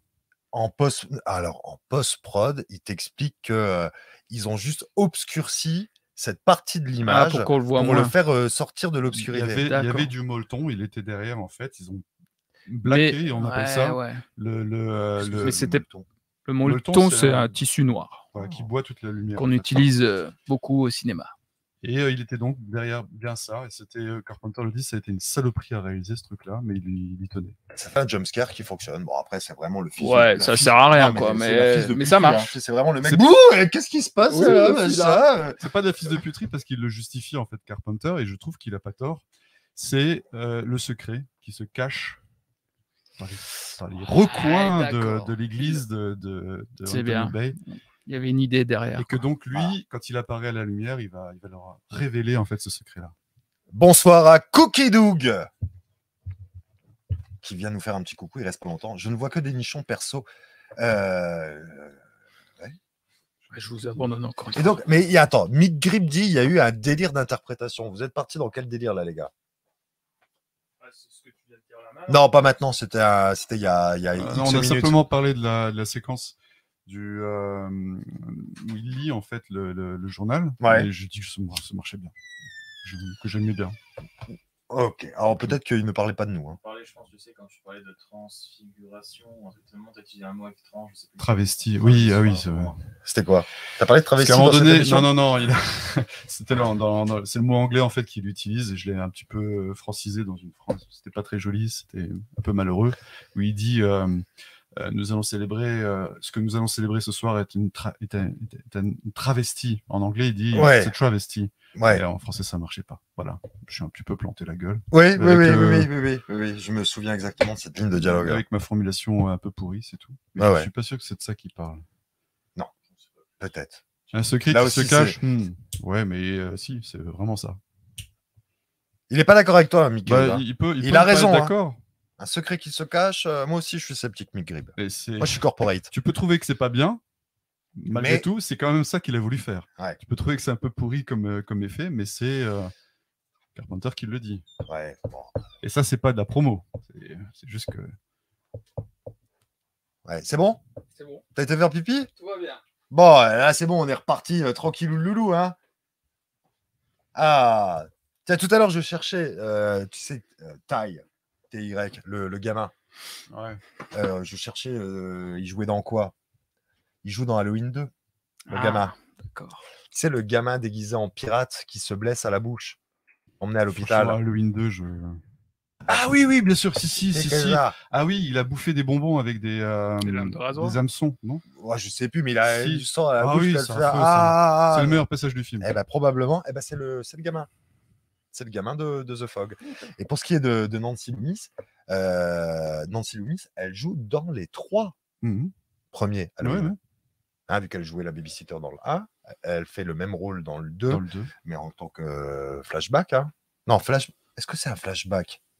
Bah, c'est la suite directe, elle est censée être morte, donc euh, j'imagine que c'est un flashback. Oui, mais je me demande si c'est pas une scène où elle serait euh, sur un brancard en mode autopsie ou quand l'autre il, Je m'en souviens Euh, plus assez le- bien. Franchement, il le sort et qu'il la voit, euh, il voit sa fille euh, morte ou un truc comme ça. Je me demande s'il voit pas sa fille morte. hein. Je sais pas. Et elle joue dans le souviens 3, ça on l'a dit tout, tout à l'heure. Je m'en souviens plus du tout. Bon, oh, écoute, Le 2 m'a pas franchement euh, moi j'aime bien le 2, marqué. mais je vais le remater. Euh, voilà, donc il va voir le curé. Le curé lui parle de cette légende. Donc cette légende, il lui explique euh, que en gros. Donc là, il dit euh, clairement les 6. J'ai ce souvenir-là, Ouais, mais bon. Clairement, je, je- je t'avoue que c'est plus. c'est ça. Nancy Lomi joue une infirmière dans Halloween 2. Infirmière Ah, bah voilà, tu vois. Elle joue une infirmière. Est-ce que tu vas pouvoir nous retrouver une photo de cette euh, Nancy Loomis en inf- Elle est créditée sous Annie Brackett dans le 1 et dans le 2. Ouais, donc c'est la fille, Oh, c'est la fille du shérif, Brackett. Donc on doit la voir quand euh, il sort le, le corps C'est euh, possible, je ne me souviens pas du tout. dans un body bag ou un je truc sais comme qu'elle ça. joue dans, le- dans, dans le 2 aussi, mais euh, je ne me souviens pas. Vérifiez si elle fait aussi un- un- une apparition en tant que- qu'infirmière. hein. Ce serait quand même bizarre qu'il qu'elle ait vraiment deux rôles. Bon, après. Bon, bref. Elle est pas- en tout cas, elle n'est pas. euh, Elle n'est pas elle créditée est comme pas ça. créditée comme, comme ça. Ouais. Eh ben, écoute, euh, mystère, nous allons continuer notre, notre enquête. Et, euh, et donc, un peu d'infirmière serait le bienvenu. Et donc, il parle de cette légende. Des, des six conspirateurs. Putain, j'ai vraiment du mal à croire qu'on fait mention des six à ce moment-là du récit. Franchement, je, je suis plus, je suis pas catégorique. Euh, Salut, moi, Pierre. euh, pour moi, euh, il, Il me est, semble. hein. il est, il est pas fait mention de ça et il faut à tout prix qu'on le vérifie tout de suite. Euh, il doit y avoir un moyen de, de choper ce dialogue euh, quelque part. hmm. Monsieur, euh, Il est relativement long. Je suis Monsieur sûr que tu vas pouvoir le trouver sur, euh, sur YouTube. hein. Il faut vraiment regarder le film, à mon avis. hein. On faire ça. non, il va pas faire ça, il va, il va trouver une autre technique dessus. Voilà, mais je suis pas Pardon. sûr qu'on fasse référence aux six conspirateurs. Euh, des conspirateurs, oui, mais le chiffre 6, j'ai. Alors, il peut, je sais qu'il cite les noms des. Si, il me semble qu'il le dit. hein, euh, les cinq autres. euh, Non. Avec mes cinq. euh, Elle est morte sur un brancard dans le 2, dit Monsieur Paradise. Exactement. Merci, Monsieur Paradise. Et euh, je pense que je, pense qu'il cite quand même les gens avec qui. Ça, on l'avait dit. Et Alors, est-ce qu'il dit on est 6 Ça, je suis pas Je suis- sûr, sûr, sûr. Je mais- suis pas sûr qu'il y ait 6 et je suis pas sûr qu'il y ait les noms en dehors du nom de, de, Malone. de Malone. Et en tout cas, quoi qu'il arrive, il n'y a pas les noms de Castle, il n'y a pas les noms de Williams, il n'y a ça, pas les noms sûr. de, des personnages du. euh, Non, Oh, écoute, je tu veux dire plus. pour comprendre que c'est des descendants C'est ça que tu veux dire? Oui. Non, je crois pas non plus qu'il y ait tous les noms. Mais bon, Désolé, je me suis trompé, j'ai confondu avec un autre rôle d'infirmière, mais dans Halloween 4. Putain, elle joue aussi dans Halloween 4 Putain, Alors l'autre, elle a vraiment tout fait. Euh, Halloween 4, réalisé par Dwight Little, qui a fait l'un des meilleurs Steven Seagal possibles, qui était Justice Sauvage. C'est lequel ça, Justice Sauvage? Moi j'aime bien. Non, franchement. Piège en haute mer. bras, bah, Bah oui, c'est ça. hein. Piège en haute mer, moi j'aime bien. T'aimes bien Piège en haute mer? Ouais. Enfin, un spécial Seagal. Euh, ça, ça cherche C'est le seul que j'ai eu. Il est sur le script. mais je trouvais pas, visiblement, pas de truc. euh, J'ai cherché dans la barre de recherche 6, visiblement, j'ai pas de mots qui sont sortis. Il cite sous la dénomination de conspirateur, dit Olivier Bondio. Blondio. Donc euh, voilà, conspirateur, on ne dit pas Ou six. alors il dit ouais, nous sommes des. Ouais. Il, il dit, il dit, en gros, nous sommes des conspirateurs, ça il le dit. Tu vois, Il Hmm. prend la culpabilité de ce truc-là, mais jamais il y a dans le lore Fog question de six conspirateurs ou quoi que ce soit. C'est une donnée qui arrivera bien plus tard avec le truc de la planche. Tu vois, ce truc 6 must die, euh, six must die. Voilà. Ah Mais- Mais pour moi, il n'y a pas ça dans le discours de... du prêtre. Voilà. Bon, écoute. En tout cas, de toute manière, c'est que ce soit dit à ce moment-là ou pas, toute façon, c'est pas super clair. Non, mais oui, mais surtout, si là, euh, si, si là on n'arrive même pas à avoir l'information pour savoir si c'est dit, c'est qu'il y a quand même déjà un souci là. Mais euh, c'est clair que le. le Ah, scénario- c'est pas dit. Non, non, je suis dessus. là, il est dessus, c'est pas dit. Oui, oui. Romain avait raison. Encore une fois. Encore une fois. Ah, ça, devient, ça devient. un peu- Ouais. Il fait, de toute façon, il commence du, au 12 avril et il va jusqu'au 21 avril. Et le 21 avril, rappelons-le, c'est l'anniversaire de Jude. Qui, qui est. Voilà. Ah, mais non, mais ça va pas, ça. Mais ça va pas, ma poule. Ça, c'est un scénario, c'est pas un transcript. Non, non. Le transcript, ce serait euh, d'avoir les sous-titres du, euh, du film. Tu vois Ah, l'ai. Non, tu nous as dit le transcript. Ah non, je dis, euh, j'étais sur le storyboard, je vous ai dit. Le storyboard Pas le storyboard, sur le. hum, J'ai pas entendu de transcript, moi. Mais peu importe. Plus, pas. Peu importe. Euh, continuons parce Continuons. que effectivement, euh, c'est euh, possible qu'effectivement ils disent les conspirateurs et non pas les six conspirateurs. Ok, c'est tout à fait probable. Mais ce qui est vrai, c'est qu'après il le dit dans le quand le- la, la planche J'essaie brûle en fait et que euh, l'eau euh, se mélange aux, aux bandes. Et il regarde, il regarde prendre mal ton Je direct. vais, je, vais, je vais essayer de trouver cette scène, mais je vous laisse euh, Est-ce continuer. que- ouais. Mais t'inquiète pas, on va trouver. On va trouver. Euh, moi, je l'ai. je- J'ai j'ai le script. J'ai le. Voilà, je l'ai, c'est bon, je l'ai.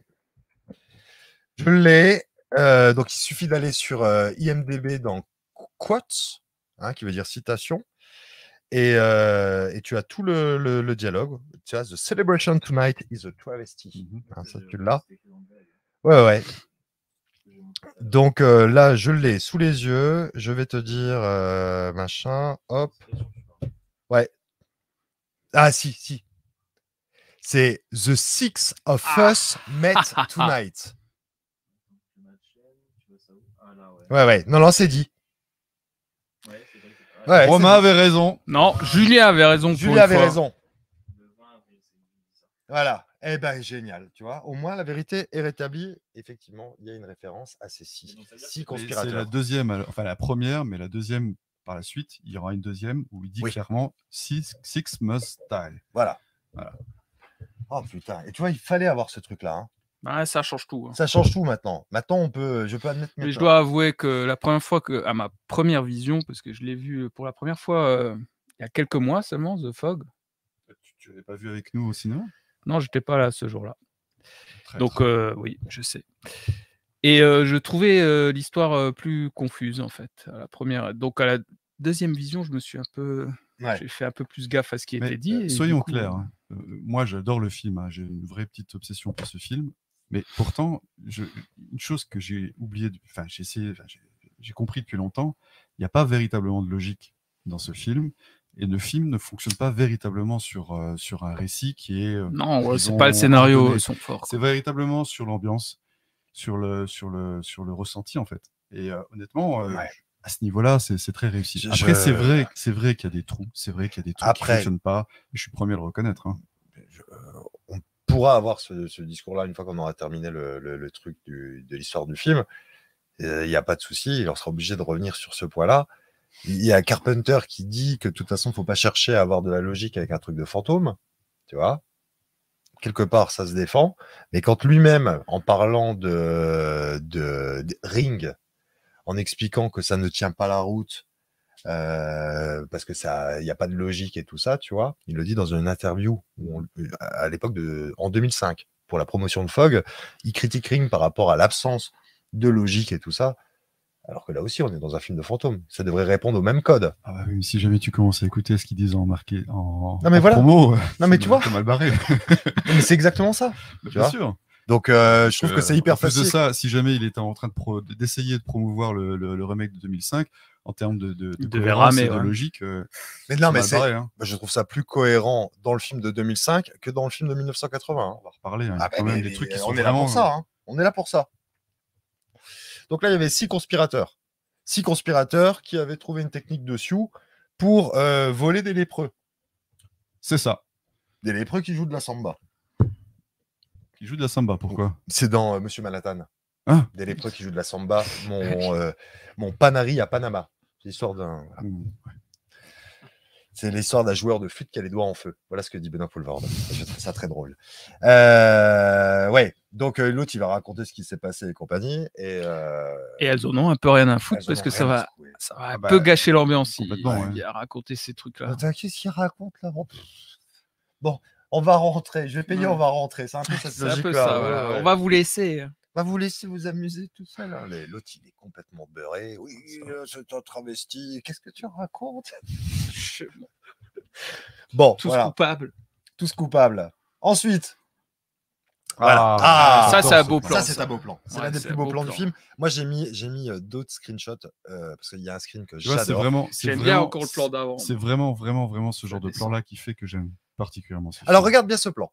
Regarde bien ce je le plan. Ça, c'est la magie du scope. Tu vois Ça, Ouais. c'est la magie du scope. Dans mes screenshots, et euh, mon ami euh, Monsieur Vourch va te montrer le même plan, voilà, Ouais. en 1.33. C'est la version recadrée du Ça, film. c'est le plan d'avant. hein. Ouais. Ça, c'est le plan où euh, on monte au-dessus de la porte. Non, mais oui, mais tu vois surtout que c'est un plan en 1.33. tu Bien vois. sûr. Moi, j'avais fait un a un screen format poil dégueulasse. mieux foutu sur les deux miens, c'est ça? Ou t'as t'as pris un des tiens? Le premier, c'était le mien. le Voilà. Et je crois que le, mon premier mien était euh, premier mien. plus proche à vérifier. Euh, ah, C'est-à-dire, tu parles euh, celui-ci? Enfin, c'est- Ouais, voilà. Pour mon comparatif, il y a celui-ci, donc il y a le plan en scope, et euh, j'ai mis le plan en full frame. Hop. Ça fait chier quand même, ces Voilà. recadrages. Moi, ça m'aurait. Et les gens ont découvert, euh, ont découvert le film comme ça. Moi, j'ai racheté le film en DVD pour avoir ce format-là, tu vois. Euh, parce que j'aime bien, euh, j'aime bien faire le fou. moi. Donc sur le, Mais t'es pas ça, collectionneur. sur le sur le DVD américain, tu as le full frame et la version scope. Ça Mais tu vois, mais- Si ça sert à quelque chose, tu sais, c'est à voir à quel point à l'époque on coupait à C'est l'arrache. pas hein, du on- full frame, du coup. Mais Ça, c'est du full frame. hein. Pour téléviseur à 33, tu vois. Pour, euh, pour téléviseur 4 tiers. Euh, Enfin, c'est croppé. Vu que l'original, c'est de l'anamorphique. Bah, full frame, c'est qu'il remplit tout ton cadre. Full frame. J'ai pas dit qu'il était open mat, hein, mec. hein. D'accord, t'as raison. Open gate. Ou open mat. Open mat, on retire les bandes noires pour laisser plus d'informations à l'écran. C'est ce qu'on fait par exemple sur les Dents de la Mer 4. Euh, les Dents de la Mer La Revanche, qui est tourné euh, en... en- scope, mais en Hmm. retirant les, les cadres, il peut remplir ton, ton téléviseur. Et tu euh, crois que les réals. Genre euh, Carpenter, il a supervisé le recadrage en full Non. frame? Non, les euh, James Cameron supervisait systématiquement ces recadrages en 4 tiers et préférait d'ailleurs qu'on puisse voir, à l'époque où il y avait des téléviseurs 4 tiers, il préférait qu'on regarde des versions euh, en full frame plutôt que des versions au format respecté. Ah ouais, pourquoi? Parce que, alors ça, ça date de la période, ça date du début des années 90 avec le, le, le Laserdisc et il avait, euh, il avait fait une publication, je crois que c'était bah, à l'époque de Terminator 2 et tout.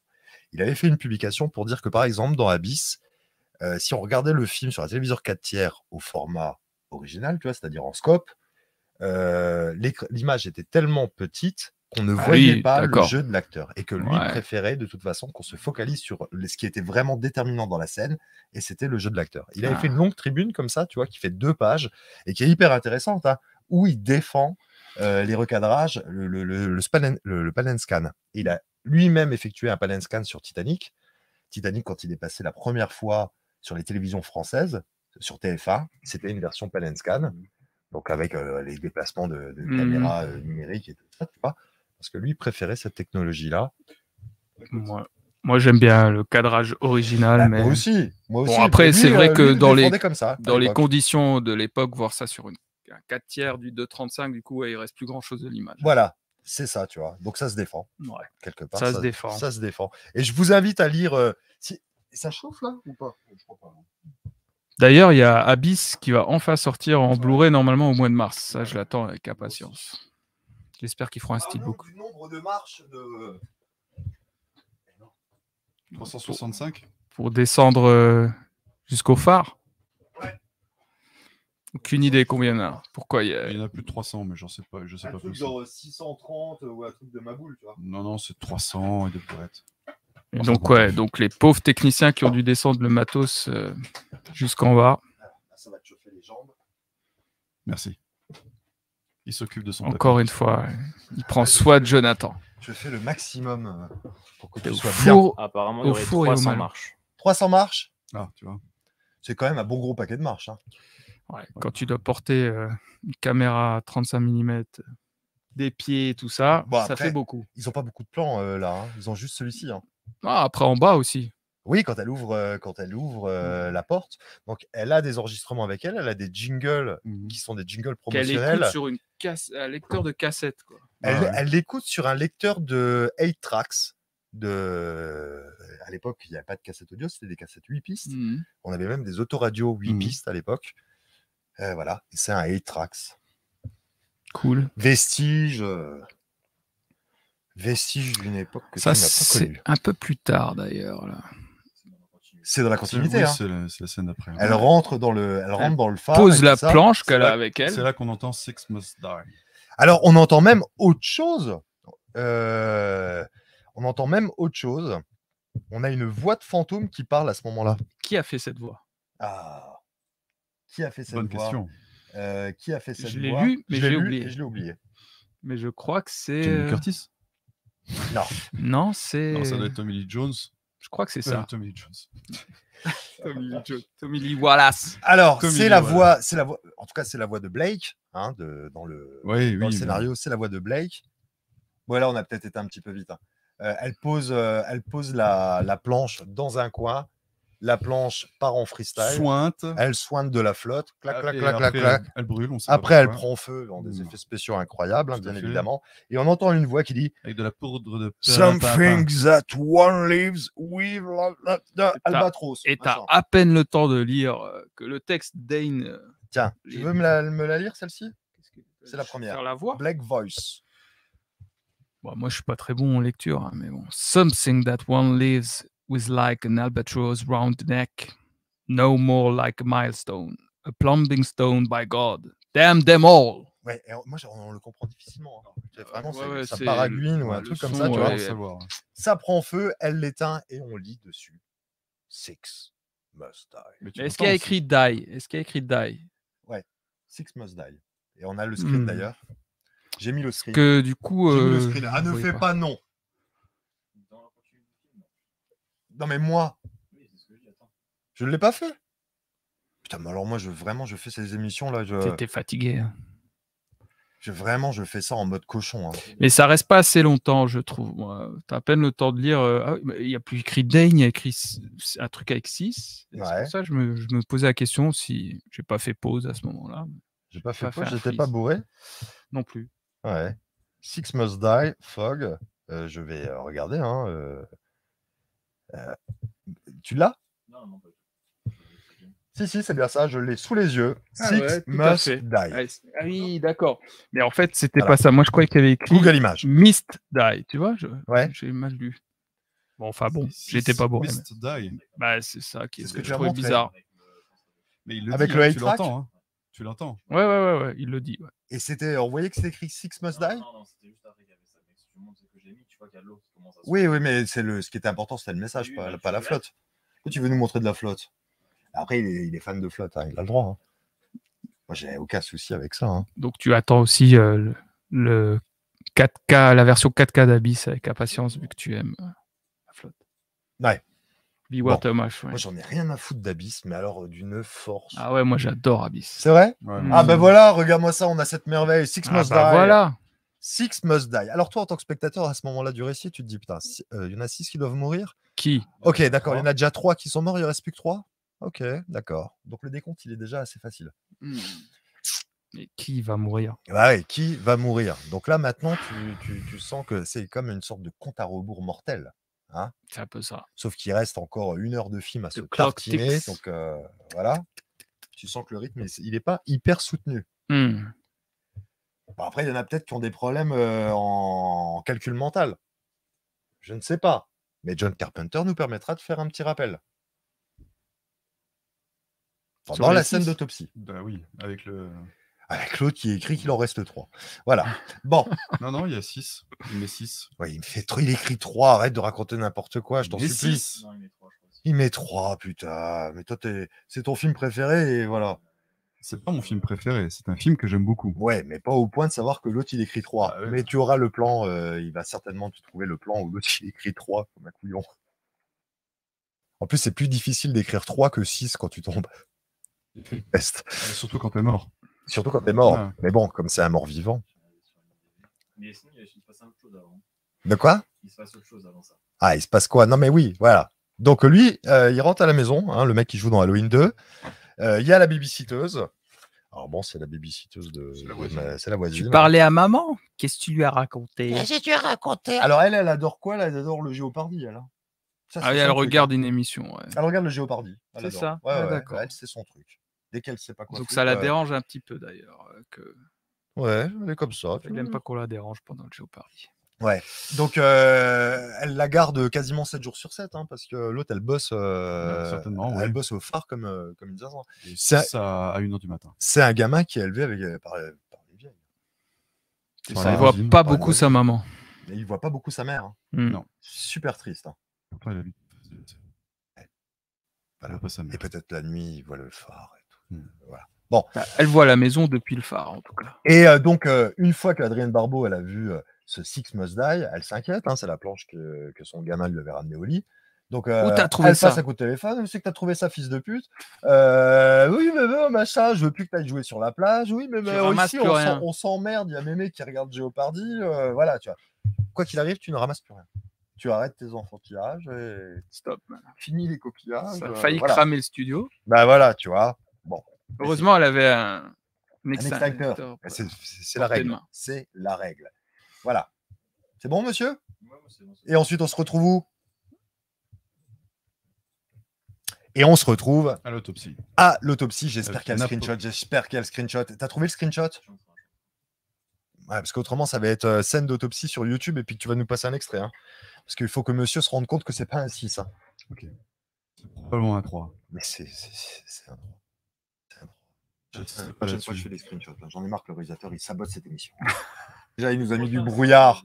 Il nous a mis du brouillard. Putain, j'adorais qu'ils nous remettent le brouillard là, mais j'ai peur que ça flingue tout, tu vois. Ça risque de tout flinguer? Je vais essayer sur une caméra, là, ça sur une, une caméra? Ouais, viens, viens, on, on re- on retente. Voilà, tiens. Parce qu'il y a peut-être des gens qui savent pas qu'on est capable de faire apparaître le brouillard. Le brouillard The fog Fog. Fog Non, il faut que tous qu'on fasse comme ça, hein, visiblement. Alors attends, faut, tu, de- tu, tu comptes? Je compte, je fais un décompte? Allez, faire. Un décompte de, de quoi? À partir de 3 3, 2, 1, brouillard. Ouais, Ouah, ça marche bien. Génial. Bon, ça, on le laisse. Ne change plus de caméra. Voilà. Ça va ramer? Ça sent la saucisse. Bah, si ça rame, tu peux. Oui, ben laisse, laisse-le là pour l'instant. Voilà. Tant que je... on n'est pas bloqué comme ça, tu vois.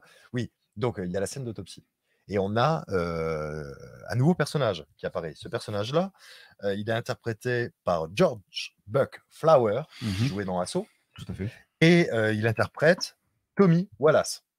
Je n'ai même plus de son nom. Si, c'est Tommy, Tommy Wallace. Wallace. Ouais, tu vois, Tommy Wallace. Le Donc, euh, légiste, Tommy Wallace. L'autre, il s'est fait plaisir. Il a mis tous ses potes dedans, tu vois. Non, c'est surtout que c'est une grosse feignasse, Carpenter, il le dit lui-même. Il déteste chercher des noms Chercher des noms, ouais. pour les, les personnages, donc en fait, il va piocher euh, ce qu'il a autour de lui. Quoi. Bah, le mec, il lève la tête, il se dit Toi, comment tu t'appelles? Ok, t'es dans le film. Ah, mais euh, par exemple, euh, Madame Kobritz, qu'on a vu tout à l'heure, Ouais. tu vois, la vieille, Ouais. tu sais d'où ça vient? Non, Eh ben, Kobritz, c'est le, nom, le nom du producteur de du téléfilm de 1978.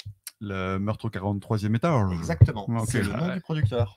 Putain, il Ah, est ouais. génial ce brouillard. Ne change plus de caméra, ma poule. hein. C'est c'est juste incroyable. hein. Ah ben, tu vas même le laisser, puis regarde que ça va faire comme ça, tu vois. Voilà. Ça, j'aime bien. Euh, alors, le légiste, si tu peux nous mettre une photo du légiste, parce que euh, ils ont. ah, ça, c'est vraiment euh, les années 70. Enfin, c'est 1979. En 1979, la mode était à la chemise euh, Ouais. en flanelle, hein, la chemise à carreaux. Moi, j'aime bien. moi. Euh, c'est exactement la même chemise que porte euh, Nick Castle. Voilà. Est-ce qu'on a un plan avec les deux ensemble? Non? Je je suis pas certain que dans la même temps sur ta ferme. Bon, en tout cas, ils ont. Ah putain, mais tu sais qu'on a oublié l'essentiel là Bah, On n'a même pas eu le truc de la cale dans le bateau, tu vois. Ah. On, va Ah, faire tout le film. Non, non, mais là, on avait quand même le truc hyper important de la- de, de l'enquête et de la cale dans le bateau. hein. Toi, t'es sûr que tu as fait des screens comment toi? Tu as dit je vais faire un, un screen à 15 minutes, un à 45 et un. honnête, j'ai fait confiance parce que j'ai vu que tu avais fait le premier, j'ai fait tout le deuxième. Et je me suis dit, bon, le premier, il a fait des, belles, des beaux screens, ça sert à rien Ah, putain. Bon, alors on va évoquer rapidement cette scène dans, Ouais. la, dans la cale. Oui, parce que Effectivement, qu'est-ce euh, qu'ils foutent chez le légiste? Il y a des gens qui se disent. Ils ont été tournés à Bodega Bay. Euh, T'as t'as Tom Skerritt qui arrive et qui dit. Tom Skerritt ou Tom Atkins? Tom Skerritt. On a dit que c'était Tom Skerritt. Ah, moustache. Je préfère que ce soit Tom Atkins. Alors on va dire, on va, on va revenir à Tom Atkins. Atkins qui dit, oui, oui, oui, Sigra c'est pas revenu, c'est pas normal. Monsieur, il doit être bourré. Non, non, non, je le connais bien. Et donc il va voir un mec, Ashcroft, je crois. Ouais, c'est ça. Qui Ashcroft. lui doit un service. Qui lui doit. oui, enfin, mais de toute façon, aux que- États-Unis, c'est comme ça que ça marche. hein. Ouais, ils leur tu fais doivent des trucs tous parce des que trucs. tu, tu sauvais du Vietnam ou un truc comme ça. donc. Et euh, ils vont chercher le Sigras, ils tombent dessus. Il y a personne. Il y Et a personne à bord. Ouais, c'est pas personne. Oui, il y a personne. Ouais, Il y a Par personne contre- de vivant. Non, oui, voilà. On ne sait pas tout de suite. Et En fait, effectivement, il n'y a pas de trace des, de- des deux qui sont morts dans, sur, le, sur, le, Le sur le deck. pont du, du Sigras qu'on a vu au début. Euh, en revanche, euh, Nick Castle Il euh, fait très très étrange que tout soit pété, les jauges, etc. Et qu'en plus de ça, le moteur soit complètement euh, plein de flotte noyé. Pourtant, le pont est sec. et le pont est sec. Et il y a surtout des seaweed Mhm, c'est vrai. à gauche à droite. Des algues. Des algues. Je suis Incroyable. Comment est-ce que le, le brouillard a apporté des, des- Ah non, c'est les, c'est les fantômes qui sont venus. hein. Ouais, Oui, c'est les fantômes. pleins d'algues. Ouais, c'est les fantômes. ouais. Et, euh, et donc, euh, pour, une Sur la raison, chaussette. pour une, une raison... Ah, salut chaussettes. Pour une raison qui m'échappe encore, d'ailleurs, pourquoi est-ce qu'ils restent sur le bateau? Qui? Ben, Ils Nick attendent Castle et les. Parce que Ah ah, ils oui, attendent le- les gardes-côtes. Pour, Ah le- oui. pour remorquer le bateau, oui, vrai. Voilà. Et donc, ils vont attendre dans la cale du bateau et tout ça. Puis ils vont un petit peu discuter. Je crois qu'il le loup. des trucs, et puis... euh, Et on va avoir le On droit. voit que dans la canette de bière, il y a de l'eau salée. Ouais, Gustave, c'est salé ça? Ouais. D'abord, je me suis dit, il Moi, va rentrer dit, par le mec, il trouve une canette vide, euh, une 8-6 de Clodo. Ah, tiens, je, bah, je- ok. Non, il voulait tester pour voir si c'était de l'eau salée. C'est ça. Et c'est de l'eau salée. C'est d'eau salée. C'est de l'eau salée. Ouais, de l'eau salée partout, dégueulasse. Et euh, donc, Ils se euh, mettent assis. Elisabeth est prête à partir à Vancouver cette fois-ci parce qu'elle en a vraiment un peu plein le cul de tous ces jumpscares. c'est jumpscare. Et c'est pas fini parce que y a une porte qui s'ouvre et qu'elle essaie de la fermer, une autre porte s'ouvre derrière elle. Ouais, Et ouais, là, avec un cadavre. Avec un cadavre qui a, Qui a les yeux crevés. Qui a les yeux enfoncés. Ouais. Ou oui, ou crevés. oui. Crevés, Normalement, euh, ils sont crevés, mais c'est vrai que là, ils On a l'impression que c'est enfoncé. Ben, on a même l'impression qu'on lui a cousu les yeux. Ouais. Ça ressemble à des. Ça, res- ça ressemble un petit peu, tu sais, dans Millennium et dans X-Files saison 4, les Bounty Hunters euh, qui ont les yeux euh, euh, Oui, machin contre l'huile noire. Il a Ah oui, cette tête-là. nord, ouais. Wow. Bon, bref, toujours est-il qu'il trouve donc le, un premier cadavre. Ouais. Ce cadavre est ramené un peu plus tard. Alors, est-ce que tu peux juste me dire quel est le récit que euh, Tom Atkins fait à Jamie Lee Curtis quand il est dans le bateau? Il lui raconte une espèce d'histoire de fantôme. effectivement. Je- je t'avoue que là, pour la raconter, je m'en souviens plus assez précisément. Mais bon, il raconte une espèce d'histoire de fantôme à la con. Ouais. Voilà. J'ai Voilà. entendu gratter, c'était un fantôme. C'est ça? Je, je me souviens. Honnêtement, je me souviens. Ça fait partie bien. des reshoots? Oui, ça oui. Ça fait partie des reshoots. euh, Et on peut trouver encore sur Internet ou ailleurs des plans de la scène comme elle a été filmée avant. Ouais. Et c'était pas fameux, fameux, il faut dire. Mais c'était vraiment le, le- Il sortait d'un placard, là, de façon hyper évidente. Oui, en fait, elle s'est énervée parce qu'elle n'arrivait pas à l'ouvrir, le- la porte. Elle dit Je déteste les portes qui ne s'ouvrent pas. Elle tire un grand coup sec, en fait. Et puis, il y a le cadavre qui.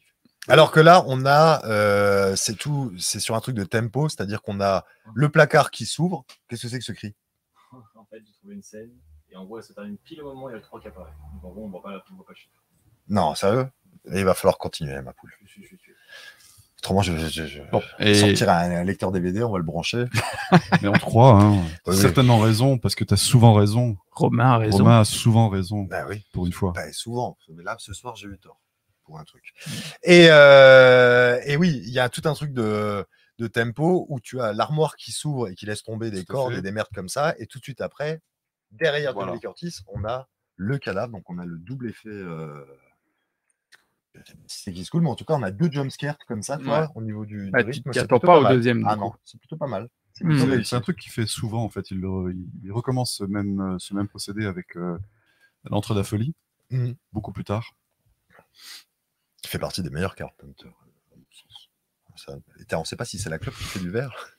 C'est génial, hein, là ça fonctionne bien. hein. On dirait vraiment que c'est Hmm. la clope. Je pense que vu qu'il est sur deux, ça fait bugger un peu, là, ça va mieux. Là ça va mieux, tu vois. Tu vois que tu l'as pas fait pour rien.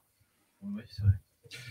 Et, Ouais. euh, Et donc il ramène ce cadavre il chez ramène le légiste. cadavre Chez le légiste, le légiste euh, qui est un habitué des, enfin un habitué qui a déjà joué dans un, un Carpenter donc Ouais, dans Assaut. dans Assaut, qui joue le fameux Napoléon Wilson, Voilà. si je ne me trompe pas. Euh, le proto Snake Plissken, je tiens à le dire parce que c'est vraiment ça. Et puis voilà, à le redire même. Ouais, je vais encore le redire encore fois. J'espère que tu le rediras d'ici Bien la sûr, bien sûr. voilà. Et, euh, et il lui dit euh, Je ne comprends pas, je ne comprends pas. Il a de l'eau salée dans les poumons Ouais. à Nick Castle. Ouais. Et pendant qu'ils discutent de ça dans le couloir, on ne sait pas pourquoi, euh, Jamie Lee Curtis est toute seule avec le cadavre. Le cadavre Elle se lui- réveille. Elle lui tourne le dos tout le long. dos, ouais. Ouais. Et l'autre, il, il descend de sa petite table.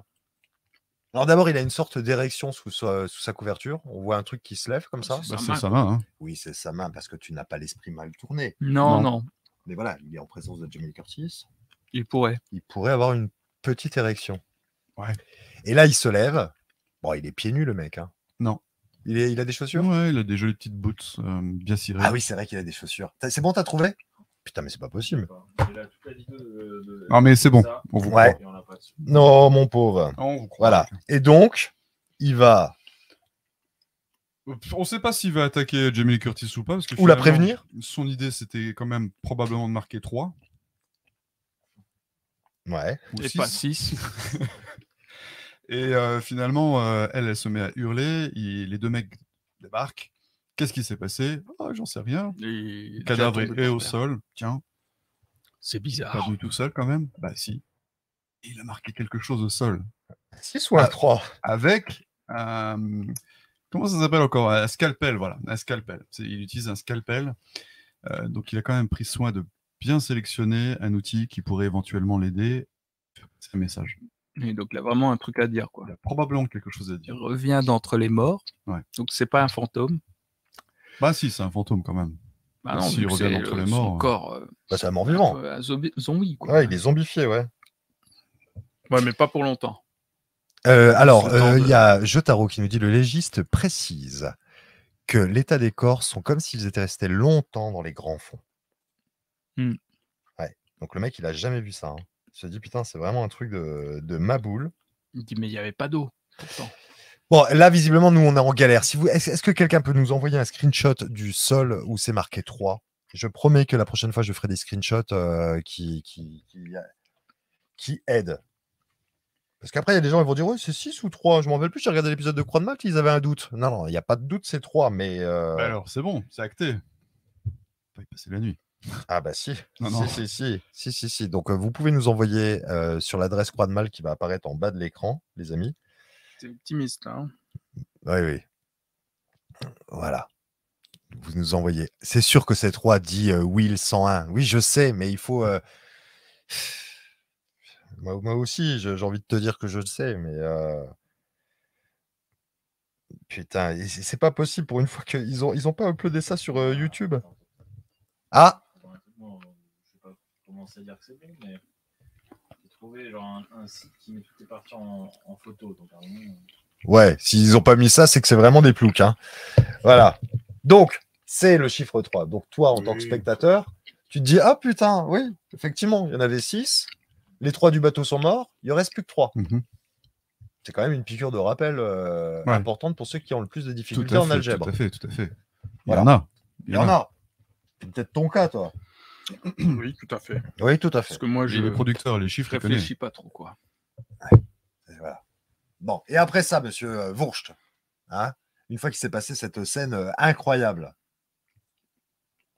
le brouillard Arrive sur la ville. arrive sur la ville. Voilà. Donc là, pour moi, il y a, ça devient vraiment problématique. Euh, c'est là où je, dé- je commence à décrocher. Tu vois. C'est le brouillard qui arrive sur la ville où tu as l'impression que ça représente une menace pour les gens qui habitent la ville. Puis finalement, ça, ça Et tu représente vois une pas trop la menace ville. pour personne. Tu vois. Sauf pour les gens qui sont à l'extérieur de la ville. Ok, ça se tient. Hmm. Voilà. Tu vois? Donc là, ça va représenter une menace pour Adrien Barbeau qui est dans son phare. Mhm. Ça va représenter une menace Pour son fils. son fils. Tu l'as? Bah, mais voilà. C'est pas plutôt Ah, M. Il, il fait un- Ouais. il Bah, fait- c'est le, voulait- Golden Arch de Mad Movie. Non, de fait, McDonald's, il voulait- pardon. Il, il De- voulait faire un cœur parce qu'il. Ouais, ou Pour ou qu'est-ce que voilà, il a fait un 3, tu vois. Non, c'est un M. C'est un M. Ah oui, c'est sûr. Ou c'est le B Le de M de Malone. C'est le B de Blake. Ah oui, Ouais. pas Ah. de faire la- Ouais. Ah, Bon, les gars, c'est un On 3. saura Je suis jamais. désolé, c'était un 3. Merci. Euh, voilà, le brouillard. Lorenzo dit la scène du cadavre avec le drap qui bouge fait penser à l'enfer des zombies de Fulci. Bon, je sais, je me répète. Oui, ça peut faire penser à ça, mais après, bon, les films ont été faits en 79 euh, tous les deux. Bah, fait- L'enfer des zombies sort en 79, peut-être en février 79, donc il a dû être torché en 78. Donc, euh, est-ce que Carpenter a vu cette scène? On ne sait pas. on ne sait pas. Moi, cette scène, elle me fait plus penser à un film de Gary Sherman qui s'appelle Réincarnation, Dead and Buried, où il y a une scène de morgue euh, avec une nana qui met une aiguille dans l'œil. Je sais pas pourquoi ça me fait penser à ça. D'accord. J'ai pas vu. Qui est un excellent film de, l'œil. de, de mort-vivant. Pour Greg, ça. Il adore les yeux. J'adore. J'adore, j'adore, j'adore. Oui. Et donc, on a le brouillard qui arrive. Et euh, donc, Adrienne Barbeau, elle est menacée. C'est vrai, non, mais tu... ça fait Euh, sens ce que tu dis. Son fils et euh, la vieille qui habite une maison au bord de plage isolée sont menacés. Et nous avons euh, ce Weatherman, Mhm. donc euh, Dan O'Bannon, qui, euh, qui, lui aussi, trucidé, lui, ouais. qui lui aussi est menacé. Par contre, en ville, c'est tranquillou le loulou, tu vois. Ils vont juste avoir une panne de courant. Hmm. Pourtant, il y a une figure d'autorité. Il y a le maire, il y a... euh, D'ailleurs, dans le remake, euh, Oui, oui, on va y arriver, tu vois. Voilà. J'aime vraiment bien euh, les effets de brouillard dans le film, ils sont quand même incroyables. Ça, il faut, il faut reconnaître. Voilà, on peut avoir un autre plan tout de suite après. Voilà, on a l'autre au téléphone. Dan O'Bannon. Dan O'Bannon. qui Oui, fait le malin. Ah, encore ce brouillard hein, qui revient, machin. euh, Il est épais, il a, coûté, il a coupé au couteau. Ça, Donc, il est vraiment épais, lui. hein. Et euh, là, c'est la folie. On a des pires éclairages de la mort. Tu vois. Et donc, c'est cette scène-là, en fait, qui ressemble beaucoup à, à Trollenberg euh, Ouais. Terror ou Crawling Eye. C'est à peu près le seul lien véritablement qu'il y a entre les deux films, je trouve. Et effectivement, les deux scènes se ressemblent, mais c'est tout. Mais là, en tout cas, le brouillard, il est vraiment ultra convaincant. Moi, je l'aime beaucoup. Très, très épais, ouais. Ah, est- Bon, on sent un petit peu le côté fumigène, mais, euh, mais euh, Passe j'aime en dessous beaucoup. de la porte comme ça. Ouais, j'aime bien, moi. T'aimes bien? Ouais, j'aime bien, moi. C'est menaçant. C'est hyper menaçant. Et donc là, il va faire le mec viril au téléphone. Il va dire Ouais, j'entends quelqu'un qui toque, euh, je vais lui vais botter le cul. Je vais aller voir, lui botter le cul. Et il sort et il se fait trucider. Donc euh, Charles Cipher se fait trucider. Euh, le personnage de Dan O'Bannon se fait trucider par un pirate. Alors c'est aussi un reshoot, la scène de mort. hein. La scène de mort, euh, c'est aussi un Oui, ils vont reshoot. rajouter, ouais. Il devait juste disparaître dans le, le fog, tu vois. Ouais. Mais Et du coup, ont euh, tourné un plan euh, additionnel, tu vois, euh, un peu plus slasher dans, dans l'esprit. Il se prend un coup de serpe dans le cou. Non, c'est les crochets. Ah, c'est euh, accroché, pour- ouais. pour, euh, Et c'est Stevie Wayne qui dit euh, N'y va à la pas, radio. n'y va Non, pas. mais elle passe un message à la radio même Ouais. pour dire euh, Ah, il est en danger. Ah oui, ça, oui, allez oui. voir, il faut oui. y aller. et Du le coup, shérif en a rien à foutre. le Non, mais le shérif, de toute façon, il est en train d'assister à la Ouais, cérémonie. quelqu'un hein. vient le voir pour lui dire. non? Voilà, bah tiens, le voilà, le shérif. T'es content de le voir? Il est au bar. Il est au bar. Non, mais elle a quand même contacté le shérif. Ouais. Euh, Et donc, ne lui, il passe- pas, ne dis pas qu'il en a rien à foutre. Elle a contacté le shérif. Ah, elle a il dit, en a pas grand chose à foutre parce qu'il pourrait y aller en fait. Il y va pas. c'est juste que le téléphone a rendu l'âme. Oui, j'ai compris, ouais.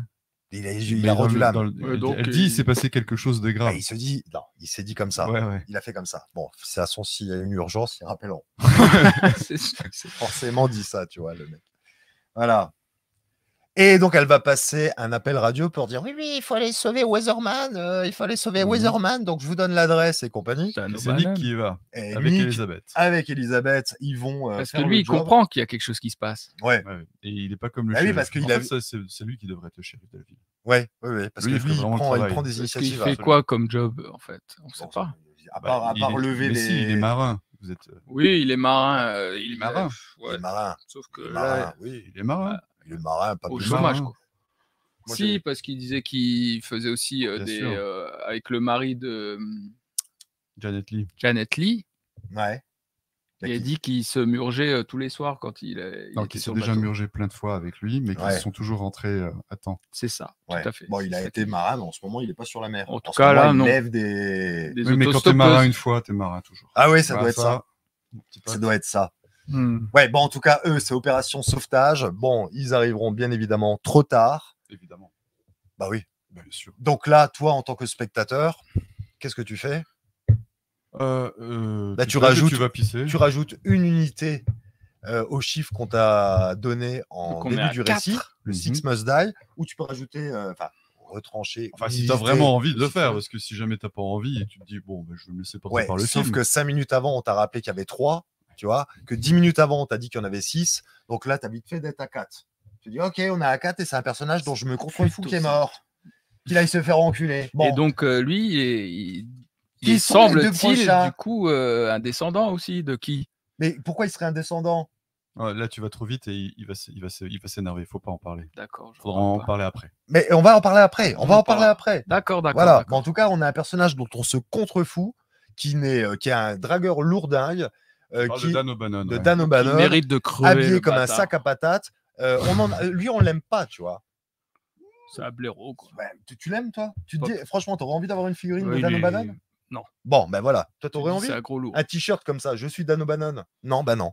Si, mais euh, le vrai. Le vrai, oui, voilà. Mais tu, sais, tu, tu- pourrais avoir un, un t-shirt pour dire je suis Tom Atkins et je lève des nanas de 21 ans alors que j'en ai 44. ça, y est, ça ne dérangerait pas de porter ce genre de t-shirt. Mais je suis Weatherman Non, tu vois. La suite de nos aventures. Alors là, Stevie, euh, Stevie. Donc là, c'est- elle dit que c'est son fils et, et euh, il faut aller pourquoi sauver je son dis fils. Stevie? Parce que c'est son fils. Andy s'appelle son fils. C'est ça. Euh, donc là, euh, Steve Stevie. Stevie, oui, Stevie Wayne.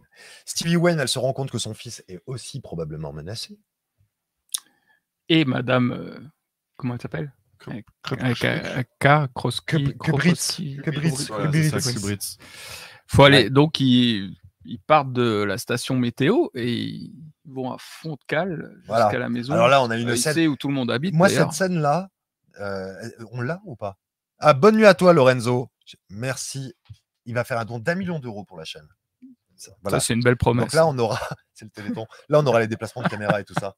Il y aura un travelling. Mais je t'ai Je dit, j'aurais dû, j'aurais dû Je ramener savais euh, pas qu'on avait des trucs. de bonbons ce soir. J'aurais pas dû t'écouter. C'est vrai? Ah ouais. Mais là, c'est l'excitation. Ah ouais, c'est ça. Ah ouais, bah, j'imagine bien. Euh, ce ne sont pas les lieux plus que les descendants qui sont visés par les fantômes? Et je pense que je. Bah non. Bon, ça, on en, fait, on parlera maison après. De, de, de, de Stevie Wayne euh, ne joue pas un rôle. L'église, peut-être, oui. Mais Hmm. Tu penses que c'est la plage, c'est ça? Non, pas du tout, pas du tout. Mais je m'interroge sur les cibles de, euh, ces, euh, de ces fantômes. C'est Bah, juste ça. En fait, euh, oui. Bon, on en parlera après ou C'est pas vrai qu'on peut, c'est vrai qu'on peut se- Mais non, mais c'est- légitimement se poser cette question. C'est c'est- vrai. c'est- C'est c'est- vrai. Bah, Pour moi, c- ça pourrait être la ville entière, quoi.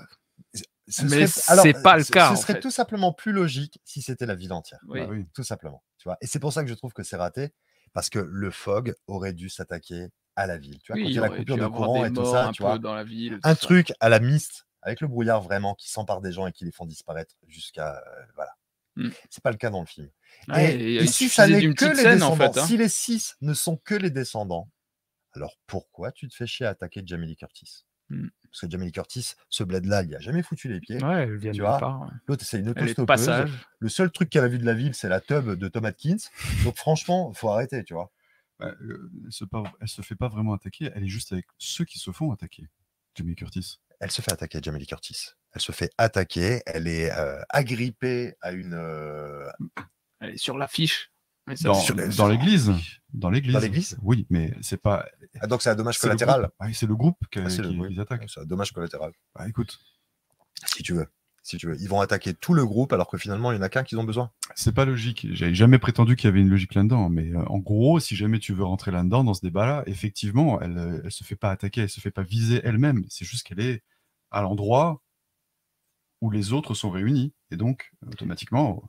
Là, tu vois, ça répond à des trucs vraiment, mais tellement pas logiques alors que. Mais il n'y a rien de logique. Encore une fois, ce, ce- ce- ce scénario, ce scénario, effectivement, a des gros problèmes de Ah, il y a construction. des trous clair. dans la raquette. N'ayons pas peur des Ah mots. oui, bien sûr.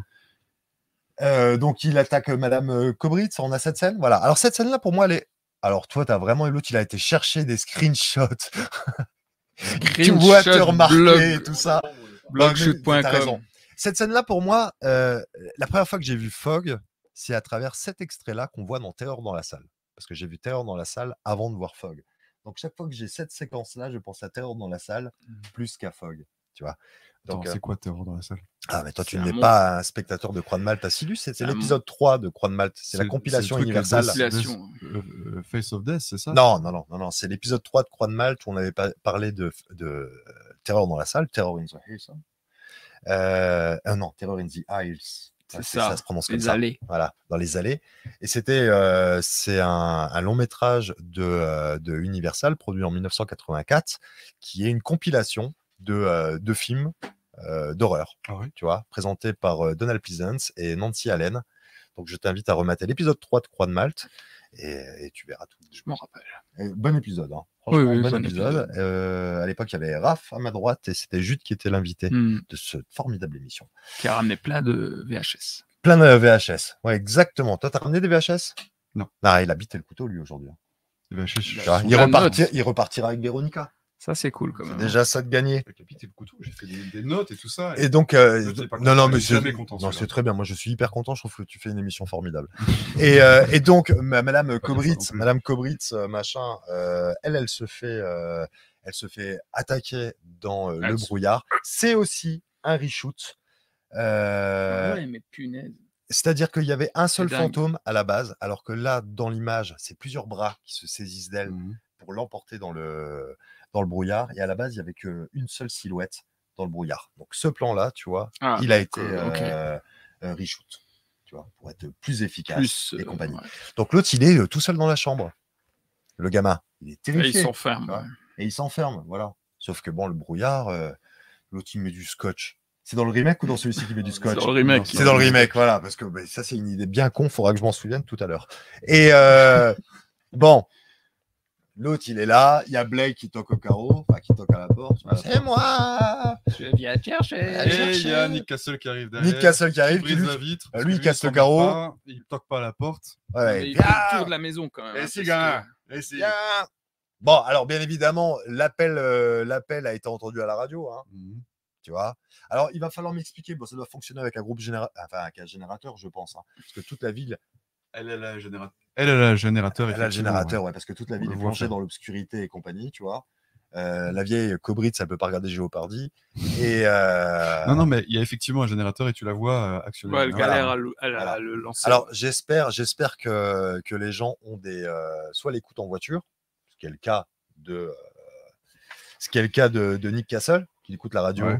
En bagnole, parce que lui, il fonctionne sur batterie. J'espère que les autres, ils ont des postes à pile, parce que ceux qui étaient branchés sur une chaîne IFI n'entendront jamais cet appel au secours. C'est pour ça que la ville n'est pas menacée. Mais c'est pour ça qu'il n'y a Ah, personne d'autre qui arrive. pas. d'ailleurs. mais oui, mais de toute façon, les autres sont rentrés à la maison. Ouais, Il fait nuit, tout le monde a dit bon, allez, fin des festivités, on va se coucher. on va se coucher, vu en fait. On verra ça demain. Voilà, il n'y a plus ça. personne dans les rues, les rues sont désertes, il n'y a que le brouillard. Le shérif, il a été se coucher.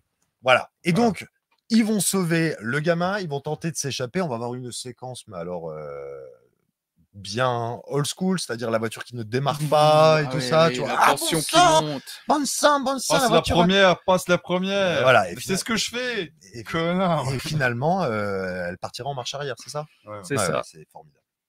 C'est une idée de génie. Moi, j'aime beaucoup ce film. Et, euh, et donc, après, ils vont retourner au centre-ville, c'est ça, hein Bon, moi, je suis déjà à l'église. Ouais, ouais, ils vont retourner au centre-ville, ils vont être attaqués par le brouillard. Là, il y a Euh, des séquences euh, pas mal où ils ont ouais, tourné à l'envers. tourné à l'envers, euh, c'est assez que- réussi. Ouais, ouais, euh, moi, je trouve ça super réussi parce que la galère du brouillard, c'est bien évidemment le vent qui a tendance à le chasser. on voit vraiment pas ça. que c'est des plans à l'envers. Ouais. Ça, C'est c'est étonnant. C'est vraiment très étonnant. On voit vraiment pas que c'est des plans à l'envers. Non, moi, je trouve ça bien. Je vous, je vous trouve plutôt Et efficace. Donc effectivement, euh, donc euh, donc il y a le groupe euh, Nick Castle et euh, Elizabeth avec l'enfant de, de Stevie Wayne dans dans un une coin de la rue, en fait, un coin de, de, de la rue. De l'autre côté, il y a euh, euh, Janet Lee, donc j'ai oublié son nom. Euh, Janet Cathy, Lee. c'est Cathy quelque chose. Cathy, Cathy Williams. Cathy Williams. Et il y a euh, Sandy qui est avec elle, Sandy Fadel. Sandy Fadel. Et ils entendent à la radio parce qu'ils veulent se divertir un peu, on va Mhm. écouter de la musique. On va écouter et là, du jazz. et, et là, ils entendent Tu Stevie Wayne du qui jazz fait Non N'allez pas vers le brouillard Quoi? Et puis là, il y a un gros brouillard qui Ouais. arrive, alors elle fait Fais demi-tour, fais demi-tour Alors elle fait demi-tour et elles partent pas vraiment, vraiment dans l'autre sens en fait. hein. Ah non, non, Elle, non, euh, non, elle fait pas demi-tour. Elle, Ouais, elle elle tourne freine à et elle gauche. tourne à gauche. Voilà, elle tourne à gauche, ouais, Ah, ça. toi, t'as t'as l'œil aussi. Ouais, elle tourne à gauche. Celui qui fait euh, demi-tour, c'est C'est euh, euh, Nick Castle, Nick effectivement. Castle. Et euh, En il se retrouve, Jamie, qui, il se c'est, re- euh, il se retrouve Oui, c'est Jamie Lee Curtis en Curtis qui qui roule. Voilà. qui- oui, Et vrai. puis tu vois, euh, quand- d'ailleurs, tu vois le cascadeur qui roule, Ouais. c'est un homme. Qui, avez pas qui- qui vous fait dire que c'est un homme, monsieur Non, mais voilà. Euh, oui, oui, pas. oui. En tout cas, oui. Bon, En voilà. même temps, Et tout ce beau monde se retrouve À dans l'endroit euh, le plus cool qui est l'église. Alors, l'église, en vérité, elle est en pleine banlieue. Hein.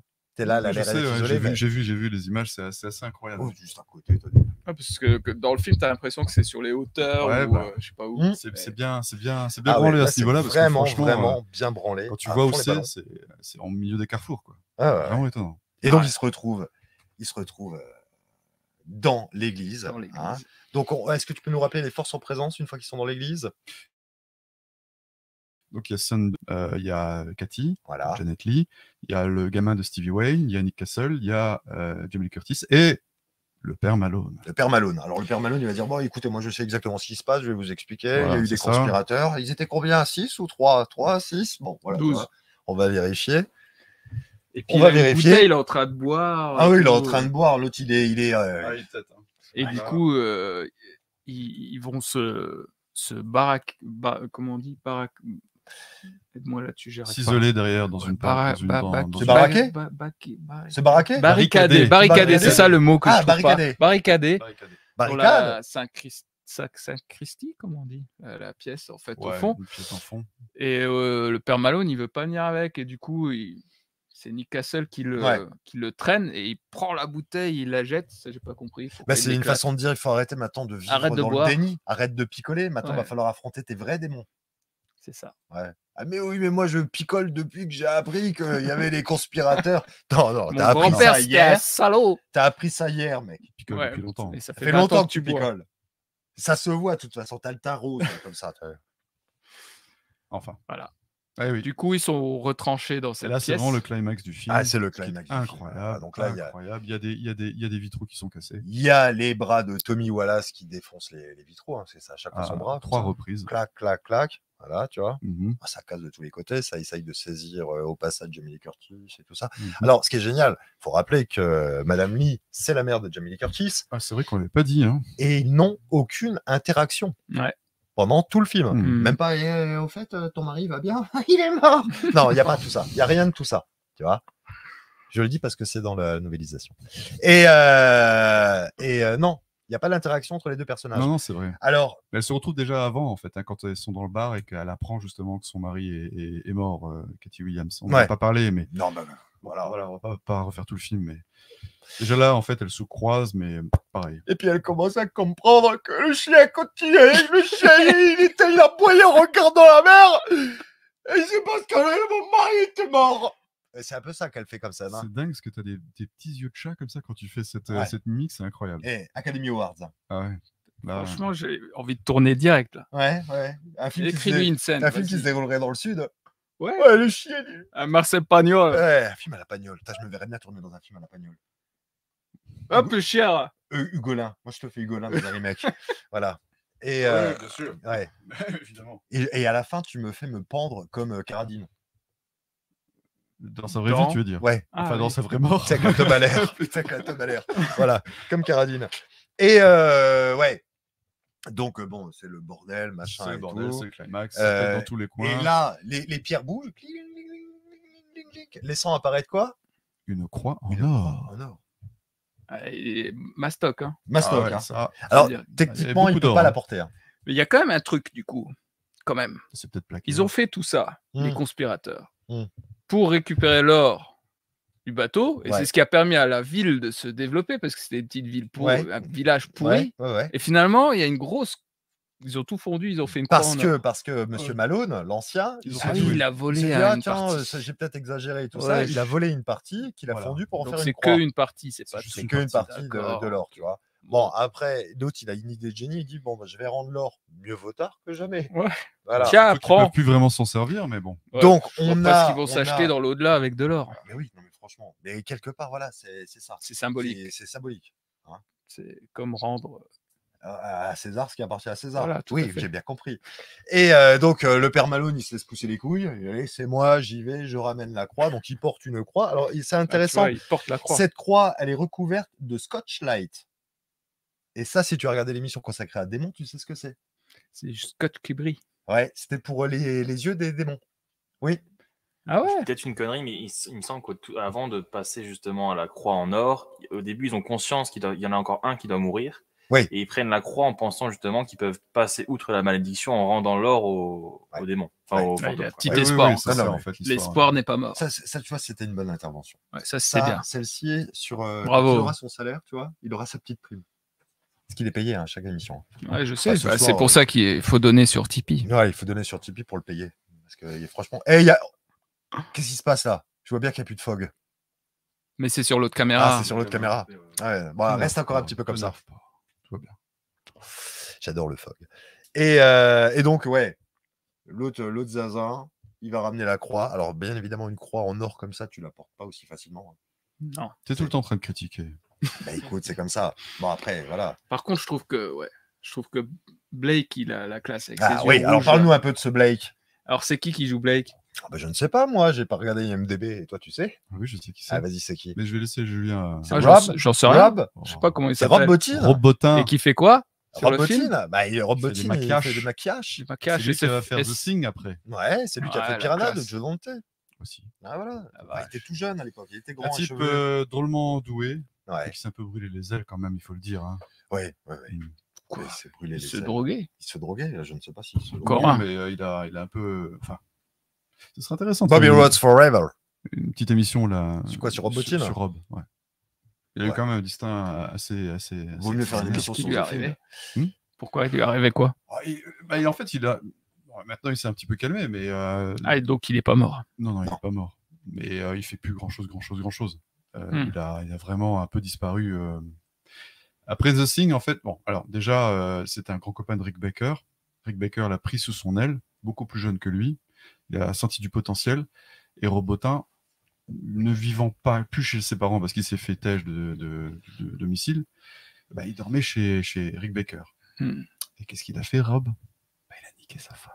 Tra le con. Ouais, ouais. Donc Rick, Truc pas, à pas faire. pas trop Non, mais en quelle année il a couché avec sa femme? Je sais pas, mais il était jeune, hein, Rob Bottin. Et elle était plus vieille. hein. Et donc, il a viré les deux. Et donc, euh, coupé les ponts. Et pourtant, pour autant, il lui a quand même trouvé du bah, travail. Il lui a trouvé sur Hurlement. sur, sur le roman et aussi sur The Thing, euh, sur euh, euh, The Fog. Apparemment, ouais. Rick Baker, c'est lui qui a branché euh, Carpenter et, et Rob Ouais. Bottin. Il- Et ensuite, il, bon. il voulait se débarrasser de sa Alors, femme en fait. Euh, c'est en mode euh, tardif, hein, c'est- parce que c'est pour les reshoots Bottin, Oui, oui, est, oui, euh, ouais, ouais. ouais. Et ensuite, euh, oui, parce qu'il a même rajouté aussi la fameuse tête là avec tous les asticots. Ouais. Ouais. Warm Face, Ah, c'est comme ça qu'elle est Je surnommée. trouve pas ça terrible moi. Moi non plus. Non, c'est pas super réussi. Et, euh, Carpenter dit que c'est génial. Oui, mais Il a vu la tête, il a ah trouvé ça oui, génial. bah, il va pas dire Il que a ramené Non, les ah, verres. ah, alors c'est pas c'est pas exactement ça. hein. Euh, quand euh, quand euh, Carpenter dit à Robotin ce, ce dont il a besoin, Robotin va construire le masque en euh, 24 Oui, heures voilà, et tout ça, vite. tu vois. Et il va lui montrer et euh, Carpenter va lui dire c'est génial, mais j'en ai j'ai pas besoin d'autant parce que ça va être juste un plan furtif comme ça de, de côté. Donc, tu t'es fait chier pour rien. voilà, c'est ce qu'il va lui dire. Et euh, Robotin euh, va faire un masque pour Blake avec encore du scotch light là pour, Mhm. euh, Ouais, pour les yeux, mais en pour les mode yeux. plus évolué que Lamberto Bava.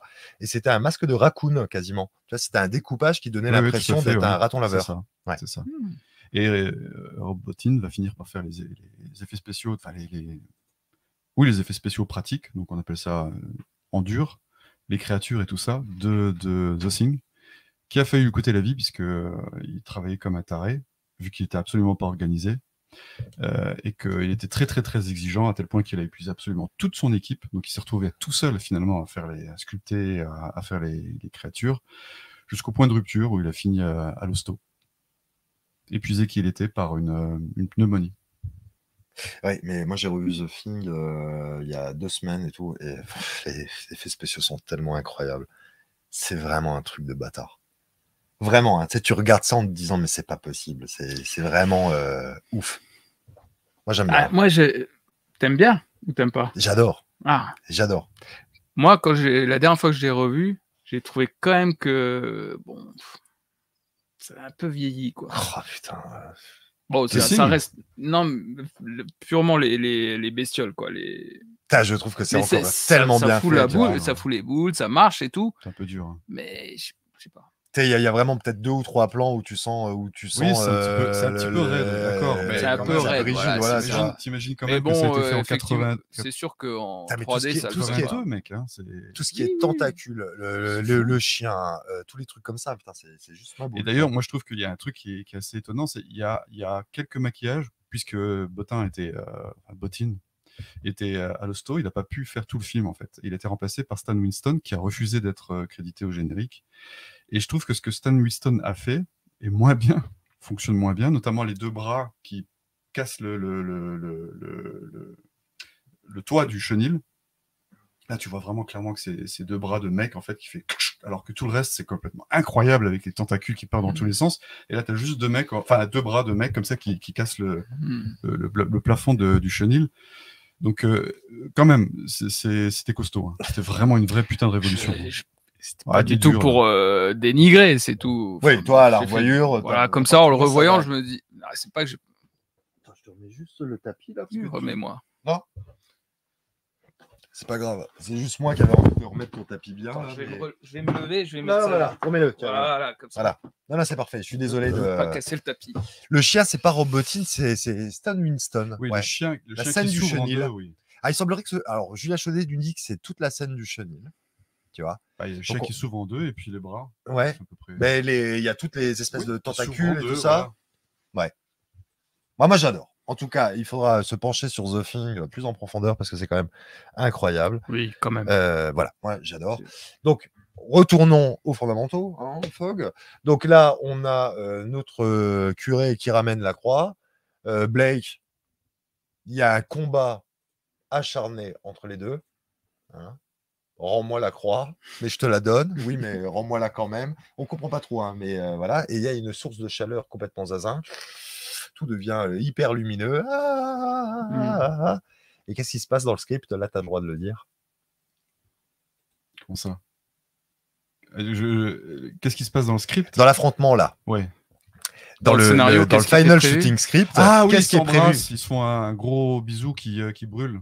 Bon, ils le chopent par derrière comme ça, et puis euh, tous les deux, Blake et, euh, et, euh, et Malone, brûlent ensemble. Ouais, s- sauf qu'il y en a qu'un seul qui meurt vu que l'autre est un fantôme. Bah, L'autre est déjà mort. Voilà.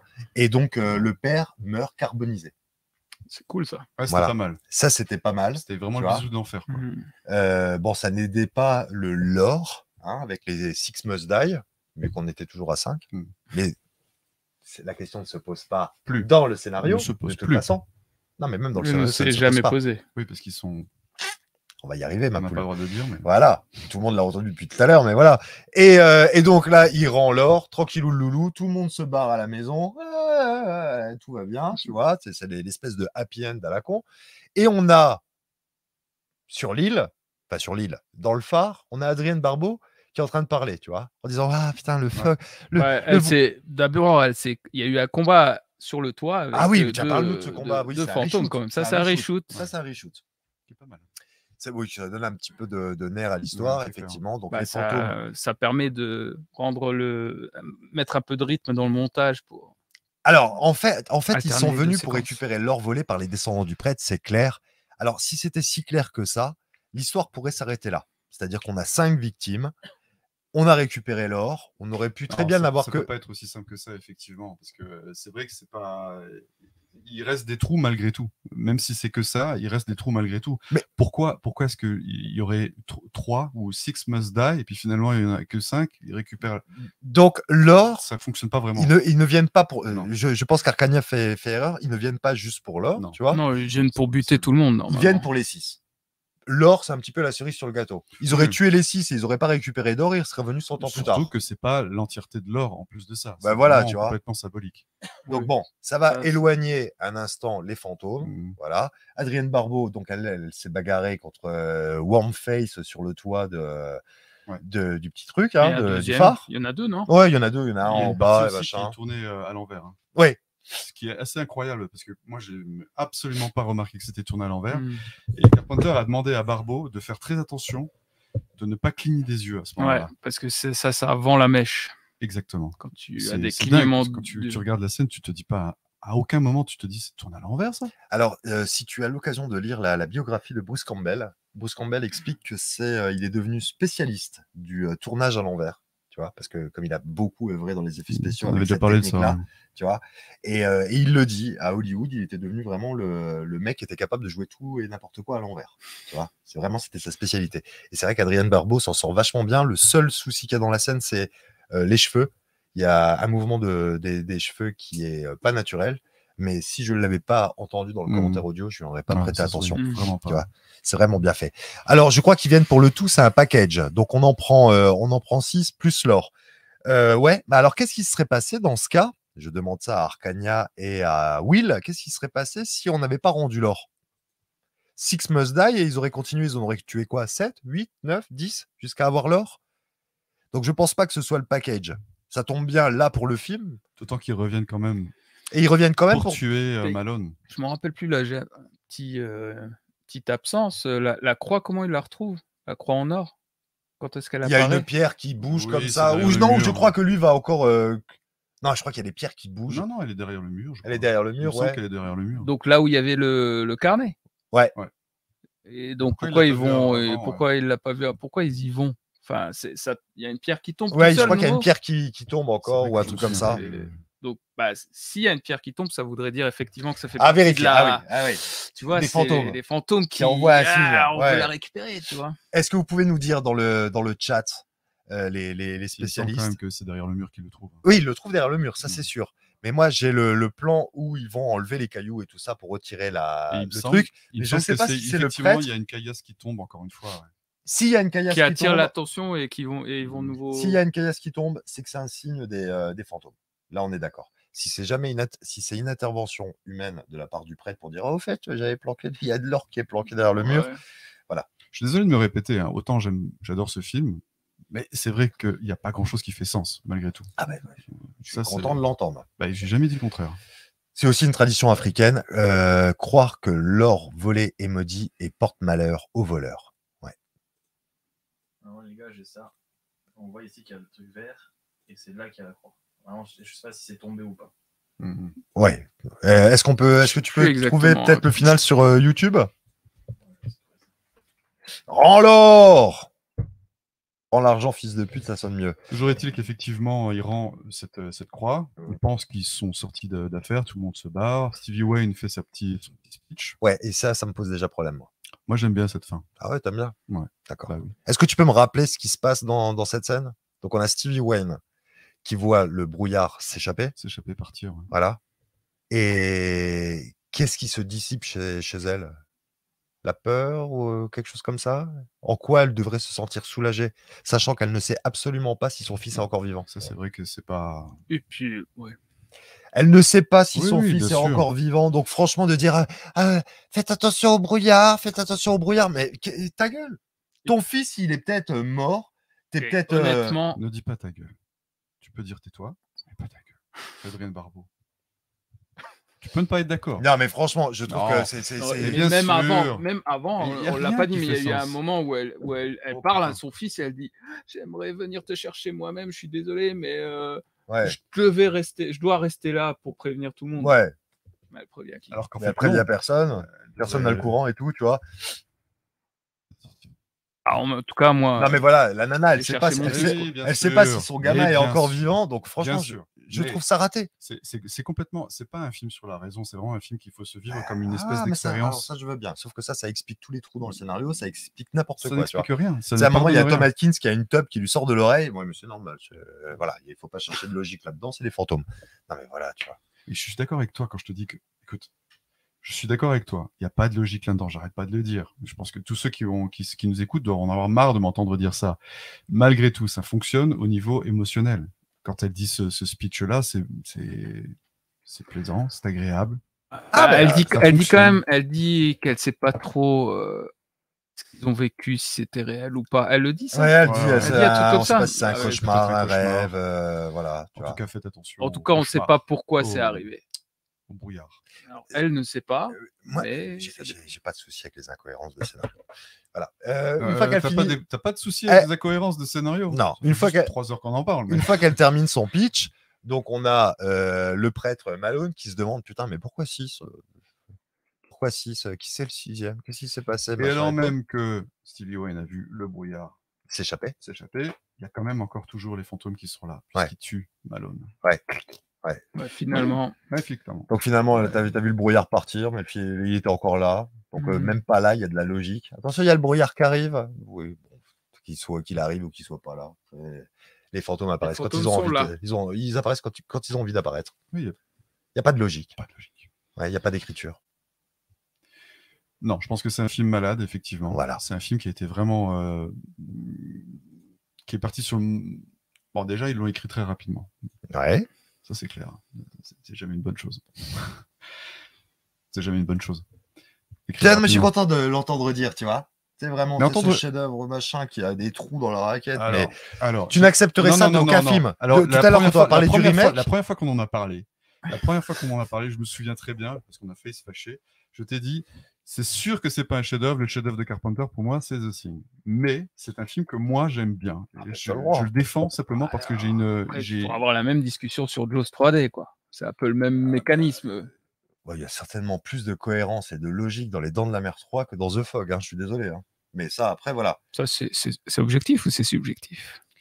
Eh ben, Effectivement, je me- saurais pas me répondre. par rapport aux Dents de la Mer 3. Non, mais Euh, non, pas ça- possible. Ça reste impossible de te, de te Non. Oui, il y a lui, Gwyn Delarge, qui me dit quelque chose. Romain, t'as pas de souci avec les incohérences de scénario et Megan is Missing. Voilà, effectivement, j'ai des soucis avec Megan is Missing parce qu'il est ancré dans la réalité, tu vois? Et il répond à la même logique que celle dans le monde dans lequel je vis. Alors que là, on est dans quelque chose de plus cauchemardesque. Je vais pas chercher de logique dans les films de Lucio Fulci. Tu vois, parce qu'on fait référence à Fulci depuis tout à l'heure, euh, en parlant de l'au-delà et tout ça. Et je trouve qu'effectivement, on peut faire des liens entre euh, The Fog et euh, l'au-delà de Fulci, ou ce genre de truc un peu vaporeux et tout ça. Donc, je peux accepter l'absence de logique quand il est question de fantômes, tu vois. Donc, c'est pour ça que je dis que j'ai pas de souci. J'en aurais plus avec Megad is Missing ou ce genre de truc, tu vois. À mon sens, il faut le prendre comme un- une espèce de, de, de poème sinistre, en fait. Excusez-moi d'utiliser des termes un petit peu pompeux, mais c'est la vérité. Bah, Je surtout pense, alors là. je pense que c'est vraiment pas un film qui, se- qui, Oui, peu. qui cherche une, une logique à tout prix. Vraiment pas. Même si, effectivement, je le reconnais. Et, parce que j'ai- j'ai j'ai- j'ai écouté beaucoup les, les- les- les commentaires et on le sait, Carpenter lui-même l'avoue, premier montage catastrophique. Euh, il y a des problèmes, effectivement, de structure même du scénario et de logique dans le récit. C'est clair. Malgré tout, ce qui fonctionne euh, dans ce film de manière assez miraculeuse, c'est effectivement l'ambiance qui t'emmène, qui te prend et qui te transporte malgré toutes les incohérences. Il y a quand même énormément de fans de ce film. Bon, bien sûr, c'est jamais un argument, mais ça prouve quand même que ce film, malgré tous ses problèmes, Oui, il dit quelque chose d'intéressant aussi. mal- hein, malgré tous ces problèmes, il reste quand même très très prenant. Et tu es pas, tu es vraiment pris dans, dans cette dans cette ambiance avec ces personnages-là qui sont tous un petit peu mal foutus. Et pourtant, ça fonctionne. C'est un petit miracle. Et pour moi, c'est effectivement un petit poème sinistre, un petit poème à, la Edgar Allan Poe, en fait, quelque chose qu'on ne comprend pas forcément. Mais Will il est exactement en train d'abonder dans ton sens. Il le dit, cette introduction dédouane Carpenter de certaines exigences. Et il a tout à fait raison. Et cette introduction, donc, qui est un reshoot, le texte de, de, de Alan Edgar Poe, c'est une idée de Debra Hill. C'est pas une idée de Carpenter. Bien sûr. Mais effectivement, ça aide à accepter à faire passer la pilule. Donc, dans la scène finale, euh, Blake revient euh, se venger de- du prêtre, du dernier c'est d'ailleurs ce qu'elle dit. C'est même ce qu'elle dit. Elle le dit. c'est- Salut Olivier. C'est peut-être, c'est peut-être un cauchemar. On ne sait pas. Je ne sais pas si c'est vraiment euh, réel. Tout ça, il faut le prendre véritablement comme une espèce d'exercice, euh, un peu sur le. C'est c'est comme un, un conte en fait, véritablement un conte. Ouais. Il y a plein d'incohérences. Sauf que pour moi, c'est mais un- tu vis les choses d'une manière plus sensitive que véritablement intellectuelle. Et je vais te dire pourquoi moi je les vis euh, de façon euh, un peu plan-plan. C'est-à-dire que quand on arrive dans la scène finale dans l'église, le body count, il est de 5. Donc on a eu les trois pêcheurs du début. Ouais. On a eu euh, Monsieur de la météo, hein, qui avait plus de scènes euh, euh, à la base. hein. Il avait beaucoup plus d'interventions, mais elles ont été coupées au montage. Euh, et euh, l'autre mort qu'on a eu, c'est Madame Klovitz. Krobitz, Kobritz, Kobritz, voilà. Donc, on arrive avec un body count de 5 sur 6 et on se retrouve dans une séquence de fin où on a 6 personnages potentiellement Mhm. euh, victimes. Oui. Adrienne Barbeau, machin et tout, tu vois. Donc là, tu te dis, OK, il y en a que un sur les 6. Il n'y a pas de raison de trop s'alarmer. Euh, dans l'absolu, je garderai quand même 5 personnages que j'aime bien ou qu'on s'est un petit peu intéressé. Donc, je trouve pas que c'est l'enfer. Tu as tué le gosse si vous avez envie. euh, C'est voilà. pas l'enfer, mais encore une fois, c'est la situation qui est terrifiante. C'est pas tellement ce qui se passe. c'est- Donc voilà, la situation est terrifiante d'avoir une chance sur 6 d'être attaqué par les, toi- les fantômes. Toi, toi, encore une fois, tu intellectualises tout ça. bah oui, tu comptes. Mais c'est pas un film. Moi, sincèrement, je me souviens d'avoir vu la première fois que j'ai regardé, je me souviens même pas de l'histoire. D'accord. Toi, tu- Je- J'étais juste véritablement emporté par tout le truc, par l'ambiance, je, par le, le, le, le, oui, je ne compterais en pas, je ne compterais pas s'il n'y avait pas un putain de mort-vivant qui m'avait écrit 3 sur le sol pour me rappeler qu'il y avait un décompte.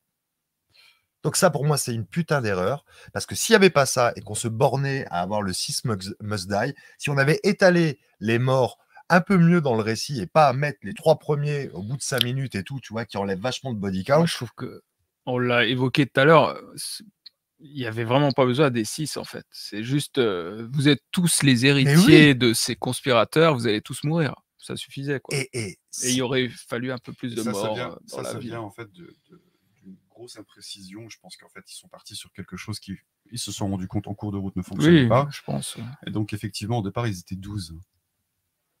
Et il se trouve que dans la scène euh, finale, ils, sont, ils se comptent. Et ils disent il y en a 6 qui sont morts, on est 6. Alors, ils te, ils te disent qu'il y en a six qui sont morts parce que ils, potentiellement, parce que potentiellement ils mettent euh, euh, le personnage dans le phare. Euh, je suis pas sûr de ça. hein. Ah si. Vraiment pas sûr de ça. Bah si. Quel personnage dans le phare? Stevie Wayne. Stevie Wayne, Ah. tu vois. Hmm.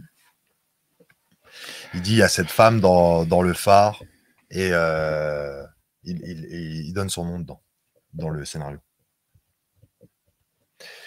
Ce que euh, je peux dire juste vite fait, hein, avant que, qu'on rentre plus en profondeur dans ce film, Alors, Romain avait raison. voilà, Steve in the Lighthouse. ça, ça fait du bien hein, d'avoir raison pas, tout le temps. Au bout d'un moment, ça devient lassant. Pas tout le temps. Non, je t'assure, tu crois souvent. que tu as, souvent raison, mais. Mais j'en ai pas fait la démonstration ce soir. Alors, Bennett, euh, le personnage de Bennett tout à l'heure, parce que j'adore le nom Bennett, hein, comme tu le sais, on a oublié de le dire, c'était un colloque de Tommy Lee Wallace, hein, qui s'appelait donc Bennett Trammer, c'est le nom d'un colloque de Tommy Lee Wallace. C'est aussi le nom du- d'un personnage de Halloween 2. Lequel? Dans Halloween pas te 2, dire. tu as un mec qui est déguisé en. qui a exactement le même déguisement que Michael Myers et il se fait percuter par une bagnole et il prend feu. C'est un jeune et euh, c'est euh, c'est lui. Bennett. Et c'est voilà, c'est Bennett Trammer. Et c'était un personnage qui devait être dans le Meltdown de John Carpenter. Mhm. Ah, C'était le nom Ça, du, oui, ça, je me du- souviens. du personnage. Voilà. Tiens, on a oublié de dire que le plus jeune des trois marins jouait dans Elvis Ah et oui. dans New York 97. Voilà, tu vois. Bon, ça ça n'intéresse pas grand monde. Voilà. Donc maintenant, nous allons parler de la sorte. Je suis pas d'ac- Alors, je suis d'accord avec toi, Romain, sur le fait qu'il ne fallait pas afficher le nombre de victimes. Ah ben voilà, tu vois. Mais j'arrive quand même à adhérer à l'ambiance purement fantastique du film. Mais j'arrive aussi à y adhérer, c'est-à-dire que je passe pas un mauvais moment. Je trouve juste que euh, y a des trucs qui sont un petit peu ratés. Et, Et on est d'accord là-dessus, Romain. Sincèrement, je vais, je vais vraiment pas te contredire là-dessus. Euh, Il y a d'autres choses sur lesquelles je te contredirais. Mais ce que je trouve dommage, c'est de véritablement se focaliser là-dessus. Parce que finalement, c'est vraiment un détail.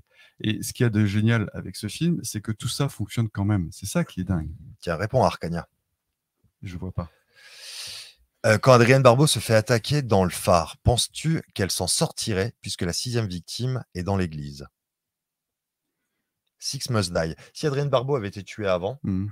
est-ce que Malone, euh, on l'aurait tué, tué on aurait fait du rab et on aurait fait sec- Seven must Bah, die hum, en même temps, Stevie Wayne, on ne sait pas du tout le lien. Si, si les Six Must Die, c'est des descendants, parce que Malone, c'est sûr que c'est un descendant. C'est son grand-père qui était le, le Ouais. pasteur. Mais tous les autres, on ne sait pas. Les autres, on sait était. pas. On ne sait pas si c'est des descendants. Donc euh, Malone, c'est sûr que c'en est un. Malone, c'est le Stevie. Wayne, Ouais. Donc, est-ce que Stevie Wayne, c'est un petit peu juste une attaque à la con, tu vois, et qu'elle ne risquait rien? Ah ouais, mais Parce qu'effectivement, si elle pourquoi elle est s'était- attaquée Mais si elle s'était fait attaquer, Parce qu'elle prévient tout le monde? non, mais si elle s'était fait attaquer, Si elle était morte, si elle était morte, là, il y aurait une incohérence mm, de ouf, de plus. de Et ouf. De plus, voilà, une incohérence de plus. Tu, sais, tu serais là, tu dirais putain, mais on en est à 7. Mhm. Ah, heureusement. Il y a quand même un souci. Là, on deviendrait fou. On deviendrait complètement fou. Ouais, surtout toi, parce que tu t'accroches vraiment à ce genre de choses. Moi, sincèrement, je, je me souviens vraiment, hein, euh, la première fois que je l'ai vu, c'était en VHS, euh, et très sincèrement, je me souviens absolument pas d'avoir compris l'histoire. Vraiment, j'ai pas Non, regardé. Et pourtant, j'ai adoré tout de suite. Co- co- sincèrement, comment tu veux ne pas t'attarder là-dessus alors que tu as un bout de bois qui te dit Six must die C'est comme si c'était une règle du film. Je mais bien sûr, je comprends, ce que, je comprends ce que tu veux dire. Je suis entièrement d'accord avec toi pour le fait que c'est pas du tout logique. Et donc là, moi, j'ai du problème avec Adrienne Barbeau. hein. J'ai un problème avec, euh, avec y a plein de euh, choses comme Jamie ça Lee qui- Curtis. il y a- je il y a- ne comprends pas ce qu'elle fout dans le Il récit. il y a plein de trucs comme ça où tu te dis, mais euh, ok, ça, c'est des détails qui ne fonctionnent pas très bien, et pourtant le film continue quand même à avancer, et c'est pas grave. Qui est le personnage principal du film? Alors, le personnage principal, c'est certainement Adrienne Barbeau. Il paraît, ouais. C'est pas, c'est pas clair clair. Hein. Romain, c'est quoi cette escroquerie Il était censé te convaincre que Fock est d'un bon film, tu arrives à les convaincre qu'il est mauvais. Merci. Mais euh, Je suis vraiment pas d'accord. non, mais il est pas mauvais. Il exagère. Il est pas mauvais. Moi, j'ai jamais dit que je l'aimais. Moi, je l'aime pas non plus des masses. J'ai jamais dit que j'allais essayer de le convaincre. Vraiment pas. Alors, euh... putain, c'est super triste. Mais on va, re- on va revenir. Là, on fait la, la sortie du film. hein. Je vais rapidement.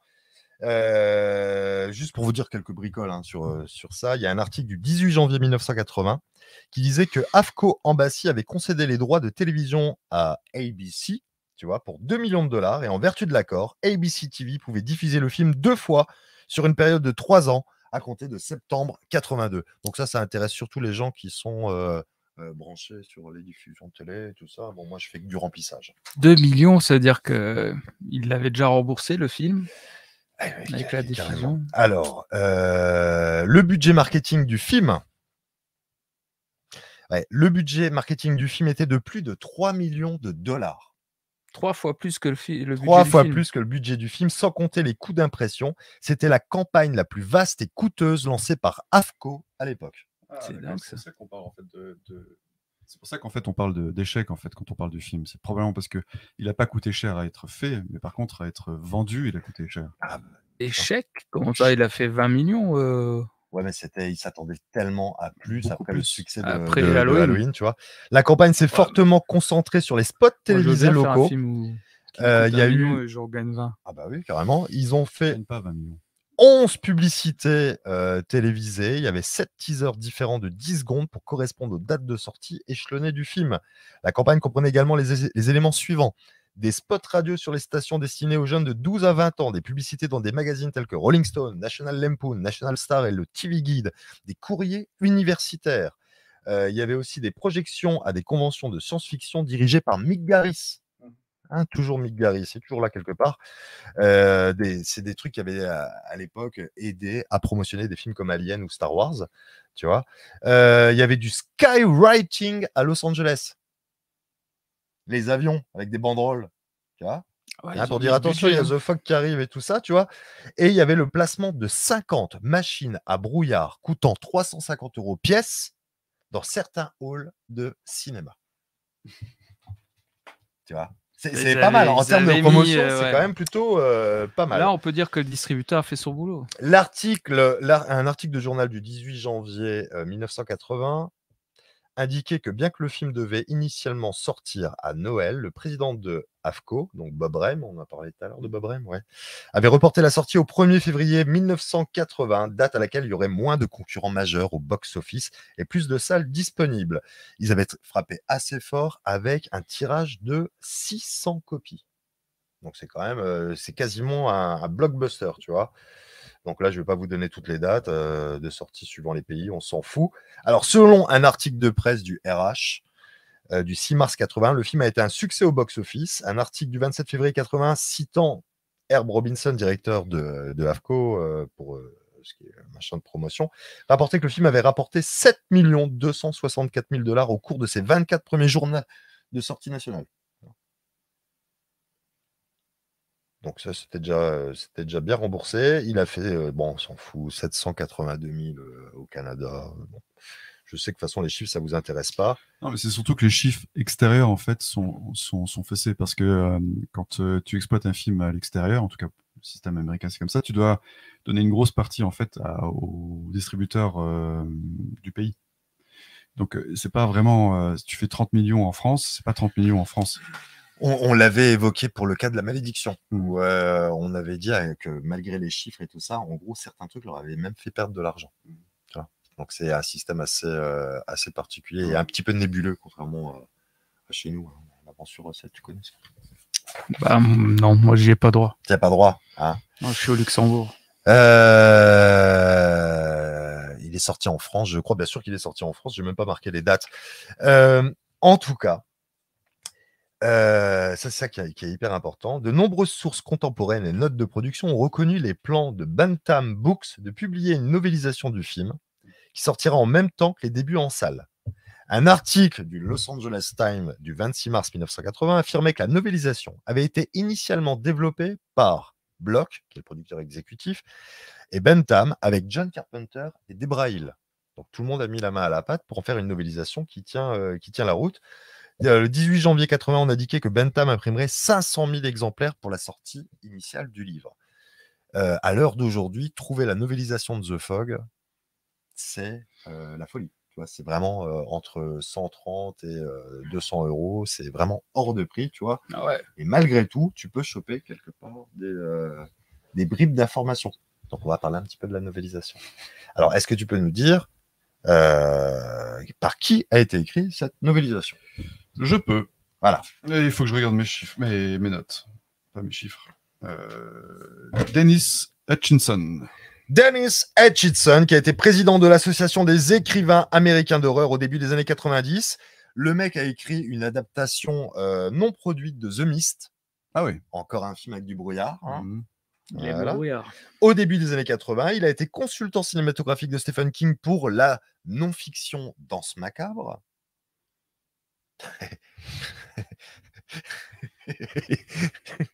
C'est un bon message, ça.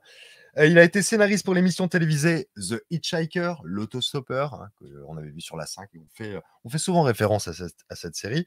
Et plus tard, sous le pseudonyme de Jack Martin, il a écrit les novélisations pour Halloween 2, 3 et Vidéodrome.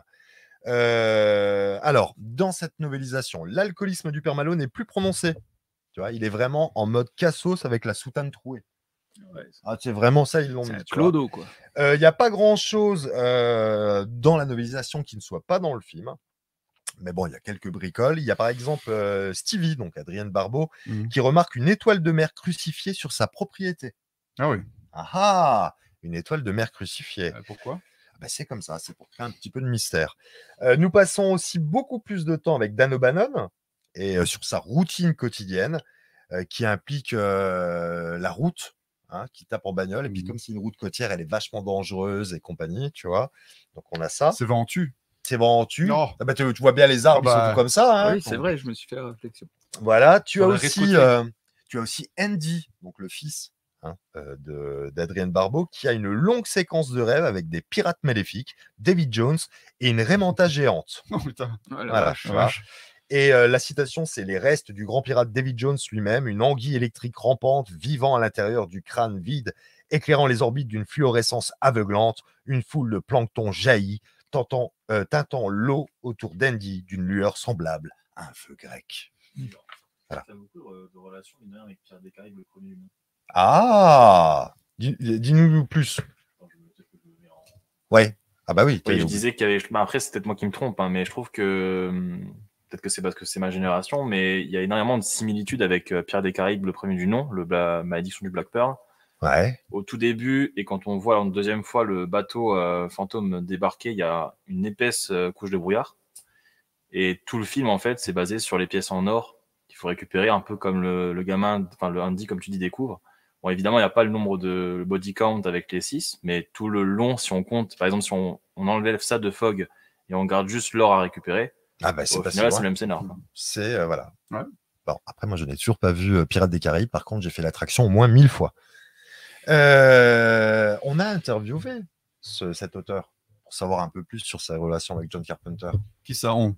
Toi? Pas moi. Ah. non. Par Ah, contre, euh, il s'est- déception. des- de- il s'est prononcé là-dessus. Il a écrit J'ai fait Fog parce que j'étais fan de John Carpenter. Lorsqu'il m'a été offert par Bentham Books, je n'ai vraiment pas pu résister à l'opportunité de le rencontrer. Je l'ai aimé tout de suite. Je lui ai tendu une copie euh, d'une de mes histoires qui venait d'être publiée et qui s'appelait White Moon Rising. Ses yeux se sont agrandis. Il a dit je viens d'écrire un scénario intitulé Black Moon Rising. La voiture. La voiture. Ah. Ah, la voiture avec Linda Hamilton. Et Tommy Lee Jones. Ah ouais, quel film coup, C'est incroyable. vraiment Tommy Lee Jones, c'est pas Tommy Lee Wallace. Ouais, ouais, voilà. Et nous sommes donc tout de suite entendus. C'était une bonne expérience. Lui et son producteur sont revenus vers moi pour Halloween 2 et 3, que je n'aimais pas autant puisque John ne dirigeait pas. Mais à l'époque, nous parlions de mon écriture d'un scénario pour un potentiel Halloween 4 que j'ai fini par faire. Euh, pas, pas le, le script euh, qui. Novélisation. Ouais, euh, voilà, tu vois. C'était, il a fait son scénario pour le, le Ouais, cinéma, ouais. pour Halloween 4. Euh, mais finalement, ils sont partis dans une autre direction. Mais il l'a écrit et on peut le lire sur Internet. Donc ça, je trouve que c'est assez intéressant. John a vendu, son, a a vendu euh, ses droits pour le titre d'Halloween à des partenaires. Et ils ont fini par faire appel à d'autres scénaristes. Pour The Fog, j'ai travaillé en étroite collaboration avec Carpenter et compagnie. Il y en avait en... Alors, il y en Qu'est-ce que voilà. Bon, en tout cas, la post j'ai mal écrit. La post-production se passait pas très loin de chez lui. Il s'est arrangé pour y aller, pour rencontrer les mecs qui, euh, qui y bossaient, tu vois, tu sais, les studios pour le, le- la post-synchro, tous les trucs comme ça, tu vois, et euh, pour le montage. Et euh, il a vu beaucoup de matériel qui n'était pas dans le film fini. Il y a du matériel dans la romanisation. euh, ça, c'est une mauvaise traduction de The Fog, qui a été tourné, mais qui n'est pas dans le film final. Il y a des mots qui étaient sur la bande originale, sur l'enregistrement et tout ça, et finalement qui, qui n'ont pas été gardés. Mhm. Et lui, il avait récupéré tous ces trucs-là pour, pour sa novélisation. Ouais, ouais, bien Donc c'est bien évidemment une version antérieure de la version euh, finale. Tu vois. Euh, il a travaillé avec le preneur de son sur le film, blabla, bon, c'est pas intéressant. J'ai essayé de dupliquer la palette de couleurs, le style visuel, les mouvements de caméra, tout ce qui concerne The Fog, afin que le, le livre reflète fidèlement le style et l'attitude de Carpenter. J'ai eu l'avantage de lui poser des questions sur ce qu'il voulait dire dans une scène particulière. Dans un sens, le livre est une sorte d'extension du film plutôt qu'une simple arnaque. Une espèce d'arnaque littéraire, c'est comme ça qu'il dit le truc. Un jour, à l'improviste, j'ai reçu un appel de quelqu'un du bureau de John qui m'a dit John Carpenter aimerait vous rencontrer. Eh bien, c'était une bonne nouvelle car j'étais un grand fan. Bah, ça, c'est une autre interview qui dit exactement la même chose. Clac, clac, clac, clac, clac, clac, clac, clac, clac, clac, clac. D'accord. Alors, juste, euh, c'est juste ça qui est intéressant. hein. J'aurais peut-être dû me relire avant. Euh, é- écoute ça. Debra m'a emmené dans une autre pièce et m'a fait m'asseoir en disant qu'ils avaient besoin d'une. Euh, comment on appelle ça maintenant Une novélisation euh, de The Fog. Et quelqu'un d'autre en avait écrit une avant lui, tu vois. Et celle-ci s'est avérée particulièrement mauvaise. Et là, il y a Debra Hill qui lui dit euh, l'autre avait un journaliste qui avait des relations sexuelles avec des fantômes sur la plage.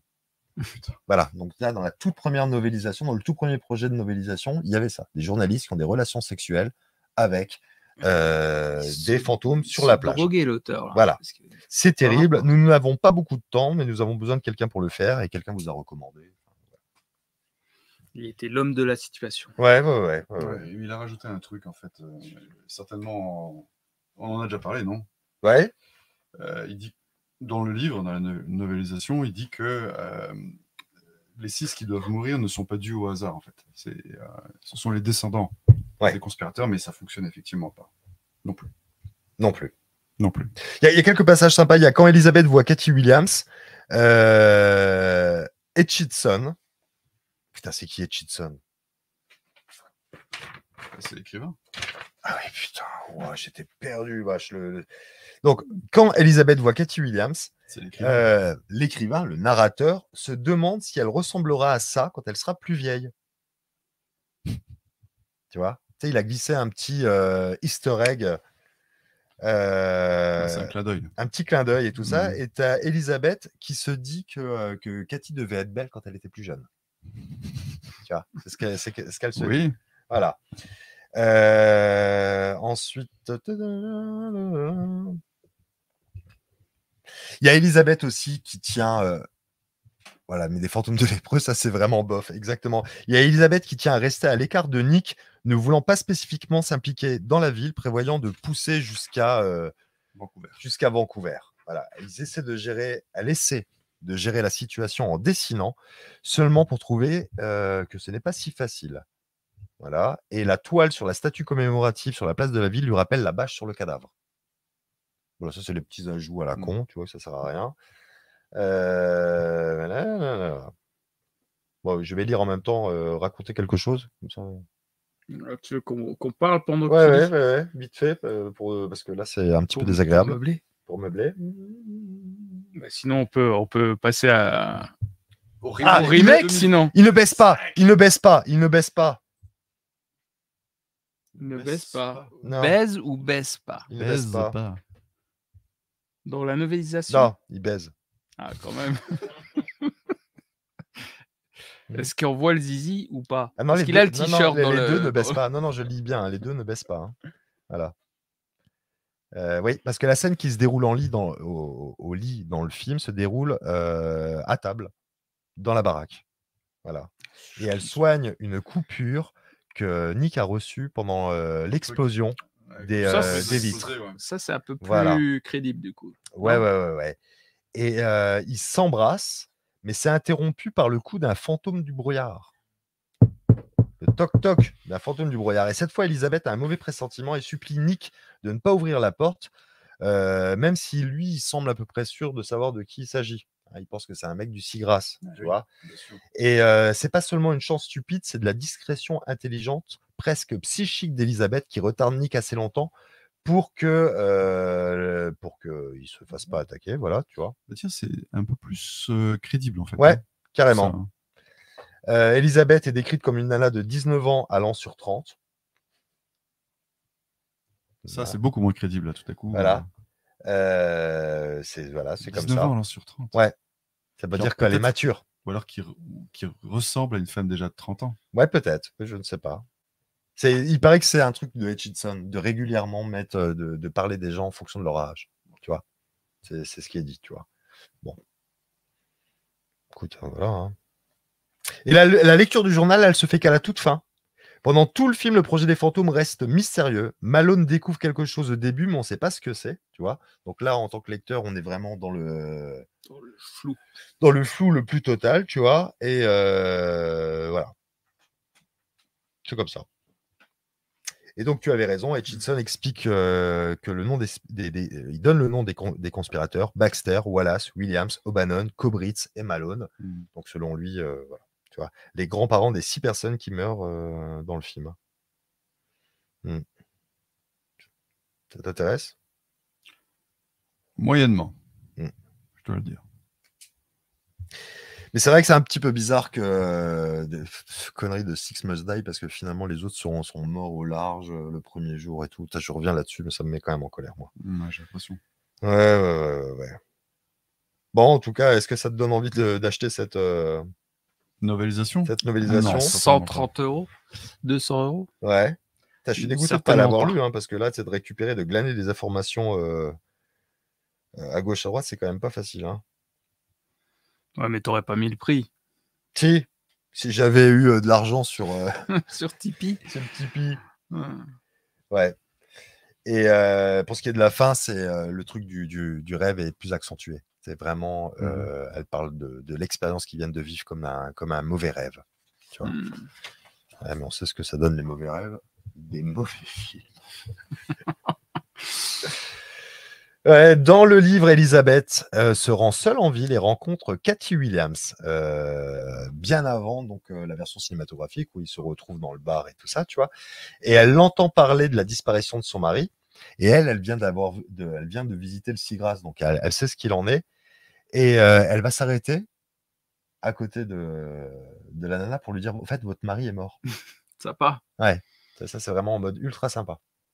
Ouais. Enfin, je trouve pas ça très agréable. Voilà. Alors, tu le sauras pas en matant le film, mais il se trouve que Nick, donc Tom Atkins, trouve Elisabeth ennuyeuse comme l'enfer. Voilà ce qui est dit dans le, dans le bouquin. À peu près à chaque fois qu'elle dit quelque chose dans le livre, il doit se retenir de s'en prendre à elle. C'est un connard, en fait. Ouais, ouais, c'est un bon connard. Une fois qu'il a sorti sa nouille, lui, c'est foutu. Il en a rien à foutre. quoi. Ouais, ouais. Euh, Ouais, dans, le cas, livre, dans le livre, le mystérieux morceau de bois que Andy trouve sur la plage se faufile en fait vers le phare, car ni Andy ni Stevie Wayne ne l'ont mis dans leurs affaires. Mm. Il se trouve que le truc, euh, comme par magie. Ah, merci Karl. Et euh, une fois qu'il prend feu, elle le rejette à l'océan. Je veux pas de cette merde. Elle le rejette comme ça, tu vois?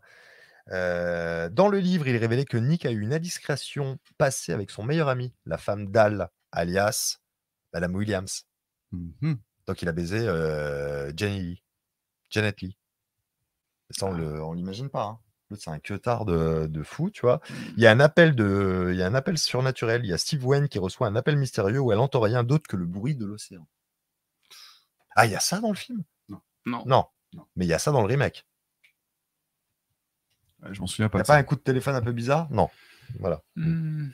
Les dangers du bénévolat. Il est révélé dans le livre que Madame Kobritz refuse de prendre de l'argent pour garder Andy et elle travaille 7 nuits par semaine gratuitement. Voilà, ça c'est dit aussi. Plus qu'une simple voix au téléphone. Dans le livre, lorsque Stevie Wayne entend Dan, le météorologue, joué par euh, Charles Ciffer, on l'a dit tout à l'heure, se faire attaquer, elle se met immédiatement aux ondes, implorant les gens de la sauver. Ouais, bah ça, c'est ce qu'on a expliqué tout à l'heure, voilà. Euh, et bien, machin. Nick ne trouve jamais le corps de Dan. Euh, Oui, ça on a déjà vu. Voilà. Voilà, ça, ce n'est pas intéressant, ce n'est pas intéressant, ce n'est pas intéressant du tout. Voilà, voilà. On Allez, passer voilà. au remake maintenant. On passe au 2005. remake. Oh Parce que, ouais, cette bon, ah non, alors dans le script, dans le script, tu disais que Dans euh, le script. dans le script, Bon, on a déjà fait le tour, non? Que c'était 12 qui devaient mourir. 12 must. Et euh, pourquoi 12 12 must die. Pourquoi 12 Donc il y avait 12 conspirateurs, il y avait 12 quelque chose comme ça? Qu'est-ce que ça change pour vous d'avoir. euh, Si, si on avait eu 12, qu'est-ce que ça. Ah bah, comme, le dit euh, Malone, quand il fait le décompte, il dit il y en a déjà 6, parce qu'il prend en considération le fait qu'Adrien Barbeau soit morte, il dit il y en a déjà 6 qui sont morts, et il nous reste, nous 6, tu vois. Donc euh, les On va 6 tous sont mourir. en danger, tu vois. Enfin, Ils vont, ils vont tous mourir. Donc toi, en tant que spectateur, tu t'inquiètes pour le destin de chaque personnage. Alors que Mm. dans la version cinéma, tu sais qu'il n'y en a que 1 sur 6. Et que forcément, on va pas s'en prendre aux gosses. Donc tu sais déjà plus ou moins qui, euh, qui va clamser. Voilà. Donc je pense que 12 aurait été plus sympa, même si au final, ça fait quand même un bon gros trou dans le scénario, parce que euh, Parce que finalement, il y en aura pas 12. finalement, il n'y en a pas 12, il n'y en a que 6. Donc, À moins qu'ils aient trucidé des villageois, mais ça, on le voit pas. ouais, ça, on ne le voit pas et c'est c'est assez, euh, c'est assez dommage. Voilà. Donc, je pense, pour moi, qu'on aurait dû virer ce truc de Six Must Die. Ça n'était pas important. Euh, la ville s'était construite sur une escroquerie. Il fallait que toute la ville prenne cher, tu vois. Mm. Et euh, voilà. Et que, éventuellement, tu rendais l'or et on te laissait tranquille. Ou tu t'en prenais aux conspirateurs vraiment euh, définis en tant que tels. Voilà, bon, éventuellement. Mais là, comme c'est fait, c'est un petit peu de la merde. Qu'est-ce qu'il en reste? Est-ce que Fog est un bon film que tu conseilles à tout le monde? Absolument. Oui ou non? Oui. Voilà, c'est un Encore une fois, je l'ai dit, il y a des, incohérences dans le, dans le scénario, et malgré tout, tu es quand même emporté par, euh, par l'ambiance, par, par, le, par le récit. Euh, oui, il y a un rythme qui est très lancinant, c'est assez hypnotique en fait. C'est très très. euh, il faut se laisser porter par, euh, par le truc. Et euh, et il y a quand même beaucoup, beaucoup, beaucoup de talent là-dedans. Parce que, mine de rien, si jamais le mec il arrive à faire fonctionner un récit qui est très bancal, c'est que le mec est talentueux quand même. Qu'est-ce que tu penses de la, la bande originale de, de The Thing? Magnifique. The Thing? C'est une des plus Euh, belles. Putain, pas The Thing. Ouais, j'ai compris, de The de Fog. The Fog. Les deux d'ailleurs, mais euh, j'aime beaucoup, Putain, Moi, il y a un truc qui m'embête à fond. évidemment. Bah ouais. Il y a, il y a surtout un thème que, qui pue le repompage. Et c'en est presque honteux, tu vois. Le repompage. Ouais. T'as déjà vu Phantasm de Don Coscarelli? Oh non. Voilà, donc c'est une, c'est, euh, euh, c'est une franchise hein, qui comporte Je connais. cinq films, avec euh, les voilà, boules là et tout avec ça. les boules et tout Mhm. ça. Et le thème, le thème de, euh, de Phantasm, voilà, cette boule-là, tu vois, c'est euh, Ah oui. plus ou moins un thème qui est repris dans, dans Fog. Ouais. Tu vois, c'est quoi le thème de, de Hmm, Phantasm Non, non, non.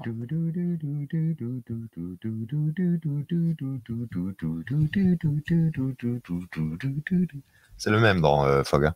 Je suis désolé. Moi pas.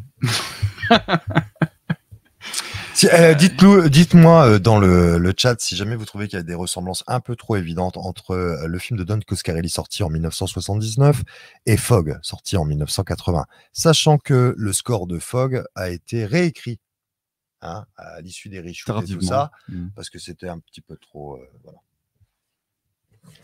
Donc pour moi, même là, c'est raté, mais il y a un autre thème que, que j'adore dans, euh, dans Fog. Donc euh, voilà, je trouve que la partition elle est quand même plutôt cool. J'ai pas arrêté de l'écouter cette semaine. Donc, euh, donc voilà. Euh, Il y a quand même des personnages qui servent à rien. Je suis désolé. Jamie Lee Curtis, le, le personnage ne sert à rien du tout. Bah, À il a donner du travail à sa copine. De quoi? À donner du, du boulot à sa copine. Voilà. Ouais, non mais c'est ça, mais il sert à rien le personnage. Ouais. Tu vois, il n'a pas d'accroche avec euh, cette île, il n'a aucune raison d'être attaqué par des fantômes, il ne sert à rien, il ne prend pas une seule décision, c'est un personnage de suiveur, il ne fout rien ce personnage. Il sert à rien. Mhm. Voilà. Tout comme Indiana Jones. Dans la- les aventuriers Voilà. de l'Arche perdue. Voilà, tu vois. Sauf que Jamie Lee Curtis, là, elle n'a pas de charisme du tout. Elle a que dalle. Tu vois. Écoute, il y a, il y a- il y a- il y a beaucoup de trucs comme ça. Tu peux démonter n'importe quel film, de toute façon. À partir du moment où tu n'as pas, en- t'as pas envie de l'aimer, tu peux vraiment démonter n'importe quel film. Il y a Ah, j'ai envie de y a- l'aimer. Attends, il y, a des, il y a des problèmes dans pratiquement tous les films, même les grands classiques. Mais, encore une fois, est-ce que ça marche ou est-ce que ça marche pas? Est-ce que sur toi, ça fonctionne? Sur toi, ça fonctionne peut-être pas, et ça t'emmerde, cette espèce de décompte. Moi, c'est un truc que je zappe totalement quand je le regarde le film, et je l'ai vu plusieurs fois. Honnêtement, oui, j'en ai conscience qu'effectivement, il y a un petit problème avec le, décompte. Mais j'ai décidé de laisser tomber ça. Ça ne m'intéresse pas. Ce que j'aime, euh, c'est effectivement l'ambiance, c'est effectivement euh, le, le mouvement qu'il y a dans ce film-là. Ce côté hypnotique, cette bande, annon- cette bande, euh, cette bande son qui est incroyable. Oui, il y a des personnages qui servent à rien. Oui, il y a un problème avec le décompte. Ok, tout ça c'est vrai. Mais si jamais tu commences à démonter tous les films comme ça, ça va être difficile de vraiment aimer les films parce qu'il faudrait Moi, que c'est que tout soit l'arpège, hein. parfait en fait. Non, parce que je trouve que je trouve que c'est vraiment dans l'œuvre de Carpenter celui qui a les plus gros trous dans la raquette. Mais vraiment, tu vois. Je trouve qu'il n'y a rien qui tient dans le, dans le scénario de ce film. Même pas Ghost of Mars, même pas Vampires, même pas. Non, non, je préfère mille fois Vampires. Mais euh, À The Fog, tu préfères Vampires à The Fog. tu dis ça, c'est entre la peste et le choléra. non, mais je, je veux, je suis pas, franchement, je vais te dire, je suis pas là pour défoncer tel ou tel film. J'ai pris énormément de plaisir à remater Fog. C'est au moins la, la- dans ma vie, j'ai dû mater Fog dix fois, tu vois. Je mets vraiment pas ça euh, dans les, euh, les cochonneries, tu vois. Vraiment pas. Je trouve juste que c'est quand même un film bancal, tu vois. Et j'aimerais que qu'on soit bien conscient que c'est un film bancal qui a été Je sauvé, compris, ça. qui a été sauvé Je pense, je grâce pense au qu'on l'a- reshoot, au je pense que ça fait quand même un petit peu trois heures qu'on le dit. À aucun moment, à aucun moment, j'ai dit le contraire. hein. Il y a un truc de bancal. Le film a été, 5h25 minutes. le, le film a été véritablement euh, sauvé. Je pense qu'on peut le dire, sauvé par euh, par euh, les reshoots. Oui. Bah, probablement. hein, en tout Ah, cas, mais c'est- euh, c'est on- même sûr, c'est même bon, sûr, parce voilà. que si déjà tu trouves que le rythme il est lancinant dans la version définitive, Ouais, et qu'on te dit que voir le le. premier, le euh, il était euh, pire. Ça doit être particulièrement. euh, ouais. ça, ça doit être l'horreur. Je suis d'accord. Mais euh, voilà, encore une fois, il y a, il y a un truc magique qui, se- qui se produit. En tout cas, sur moi, ça marche très très bien. Euh, tu peux voir les ficelles, ok. Moi, j'ai décidé de pas les voir. Et euh, c'est pas une attaque, hein, c'est pas une non, critique. non, mais c'est surtout du déni. C'est de- dans, dans C'est du déni, oui, bien sûr. C'est vraiment se dire bon, ok, moi le film, j'ai décidé de l'aimer et je veux pas voir euh, Ouais. les autres trucs, tu vois. Oui, bah, et, euh, en quoi ça, c'est un problème? C'est, On parle de film, hein, on parle pas de la réalité historique. On a le droit de se dire, bon, Ah, bah, puis moi j'aime ce film, même avec ses défauts. Hein. Non, mais tu, je- on peut trouver des mecs qui vont te défoncer encore une fois Jaws 3D euh, avec. Ah, bien euh, sûr. et puis, c'est juste parce que toi, tu es attaché. Alors, lui, il l'a vu à un moment où. Moi, je l'ai vu très tardivement, The Fog. J'ai trouvé ça euh, sympa. Euh, C'est vrai que l'ambiance est, chouette. Pas sur toute la longueur. Il y a des moments où, du, coup, ça tombe et tout ça. Et ça, me- ça me plaît moins. Euh, mais j'ai envie de dire, tous les films, en fait, c'est un moment de ta vie où tu le vois, tu peux t'attacher au film et puis euh, tu verras pas les défauts ou tu voudras pas les voir. Moi, c'est un film tu- que j'ai vu gamin, hein, tu vois, donc euh, je pourrais très Ouais, bien mais tu avoir vois, la toi, même tu- accroche. tu l'as hein. vu dix fois. Moi, je, je le verrai jamais dix fois dans ma vie, ce film. Je l'ai vu euh, deux Personne, fois ne- en tout. personne ne vit les films de la même manière. Ah, c'est sûr. Bon, euh, déjà, c'est une C'est chose. sûr. premièrement.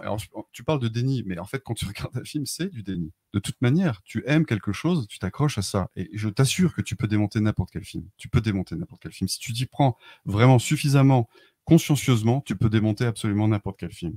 N'importe quel film, tu peux le démonter. Franchement, il y a des trucs, ça demanderait quand même beaucoup plus d'efforts que Fog Probablement. après une première Fog vision. est un film très bancal. Je veux dire, si Ce tu que je veux dire, ce que j'essaie de d'expliquer, c'est simplement qu'effectivement, il y a du déni. Tu peux l'appeler comme ça. Je trouve que c'est un terme vraiment très très fort. C'est simplement que j'ai décidé d'aimer ce film et que les défauts de ce film ne me dérangent pas, ne me Ouais. posent pas un problème pour le regarder. c'est du déni, hein, je suis désolé. Hein. Mais qu'est-ce que tu appelles du déni? Quand tu regardes un film De toute façon, tu aimes ou tu aimes pas. Je veux dire, ça te parle, ça décidé te de faire pas. abstraction des défauts. Ouais. Et voilà. Mais moi, j'ai aucun souci avec ça. Je regarde des films qui sont blindés de défauts Bon, et mais euh, alors? je, Mais je ne dis pas que je fais abstraction. Je les accepte avec leurs défauts, tu vois. Ah bah, c'est ce que je dis, Ah je non, les moi, accepte. Moi, j'accepte. hein, tu vois. Bah, aussi. grogne, C'est exactement ce que je dis. Hein. Ah, mais je suis pas là en train de te reprocher The Bah, Fog. on dirait, j'ai- on j'ai- dirait. Mais on pas du tout, j'ai- ça fait 5 heures que tu me le Non, reproches. j'ai plein de- j'ai Non, non. plein d'amis qui- aiment a- The Fog. Simplement, Bah, il faut arrêter. J'ai j'ai même, j'ai même un Mais- ami qui aime The Ouais, Fog. non, mais donc, euh, le hein, truc, le, le, le, le, le- le truc, c'est que, voilà. vous- je vais te dire pourquoi. Mais dire que c'est du non, déni, c'est quand non, même vais- bizarre. je- parce je- que, je- sincèrement, c'est pas du déni, c'est simplement que j'ai décidé d'aimer ce film pour ce qu'il est, Il n'y a pas de avec ses défauts. Bancal ou Tu pas vois, bancal. je- moi, je n'ai pas. je- même et- pas décidé, ça vient à toi, Oui, tu voilà, l'aimes et c'est tout. C'est pas une décision que Euh, tu as prise. c'est- C'est exactement ça. Je, je suis pas en train de te dire, euh, je, je, je, je décidais que ce film-là me plairait parce que ça, ça dit quelque chose de moi. Ça n'a rien à voir. Je l'ai aimé ce film. Point. Je suis conscient des défauts. Je suis tout à fait d'accord pour dire qu'il est bancal. Je suis même le premier à le dire. Mais j'en ai rien à foutre. Je Ouais. quand même. Mais oui, tu as tout à fait raison. Et on n'est pas obligé d'aimer que des trucs qui soient bien Bah, structurés et compagnie. Mais, mais c'est pas moi qui vais C'est pour expliquer ça ça. qu'il y a des milliards de films. Le, le truc, très tout à l'heure, et euh, Willow dit- euh, Will, sans, sans un qui disait, il manque une dimension à ce film. Non, ça, on l'avait dit tout à l'heure. Effectivement, il y a un message historique, c'est que les États-Unis Ouais. se sont euh, construits sur euh, la violence, sur l'utilisation des armes à feu et tout ça. D'ailleurs, ils n'utilisent pas d'armes à feu Non. dans ce film, mais John Carpenter, qui est finalement attaché au second amendement, hein, le fait de pouvoir posséder des armes à feu, dit que voilà. C'est pas le premier? Non, la première, c'est la liberté d'expression. Second. C'est le second. D'abord, tu peux dire des trucs racistes et après, tu peux tirer. Donc c'est ça pour toi la liberté d'expression, c'est ça? D'accord. Bah, Ah. Entre autres. Voilà, bon, écoute, hein, Entre veux, hein. Et moi, je suis euh, fortement attaché à la ça. liberté d'expression, moi. Toi, oui. ah bah sais. moi, oui. faut liberté Tout d'expression. le monde peut te dire tout ce qu'il veut. Exactement. Hmm. Sauf les appels euh, au meurtre, les appels à la violence ou les choses comme ça, tu vois. Ça, non. Mais autrement, tu dis ce que tu veux. Tu peux même me dire ça si tu veux. Moi, j'ai aucun souci. Ou dire que Fogg est, est- est génial. Non, je vais te dire pourquoi je suis aussi sévère avec Fogg. Je suis curieux de savoir, oui. C'est parce que je trouve qu'on a une tendance à à suçoter un peu trop Carpenter, tu vois, Mm. et à considérer que tout ce que Carpenter a fait est formidable, Alors. tu vois. Suis Non, mais attends, non je plus. laisse- Ah non, ah non, bout mais juste, de mon juste- juste laisse-moi dire que là-dessus, je suis entièrement d'accord avec toi. Et euh, voilà, ça fait un certain temps euh, que n'importe quel euh, gars va te dire ouais Carpenter c'est Dieu et tout ça, tu vois.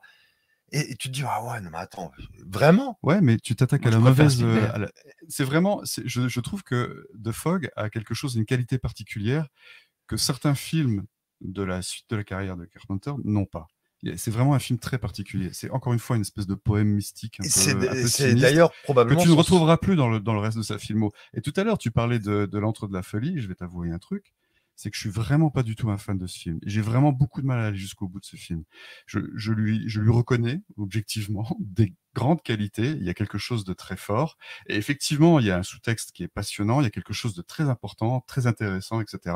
Et pourtant, c'est un film qui me laisse relativement froid. Je suis très très sévère avec Vampires, alors que j'entends des gens le défendre en disant que c'est un des meilleurs films j'ai de Carpenter. J'ai une petite, une petite, une petite tendance à aimer Ghost of Mars parce que c'est un film complètement débile et que là il s'est dit bon, j'en ai plus rien à foutre et ça se sent. Mais il y a beaucoup de choses chez Carpenter.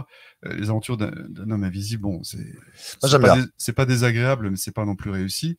Moi j'aime bien. Mais euh, voilà, il y a des films quand même chez Carpenter où tu te dis, oui, euh, c'est pareil pour Halloween. Je suis pas du tout un fan de Halloween. Quand j'entends dire c'est un chef-d'œuvre, ouais, bah. C'est si pas tu- massacre à la tronçonneuse. si, si tu, Mais voilà, tu vois, si tu- moi ça me laisse de marbre. Mais après t'as les si gens tu trouves euh, son compte, tant mieux. Mais je veux dire, moi, c'est pas un film qui me, qui me plaît particulièrement. Et je déteste effectivement cet effet de chapelle comme ça.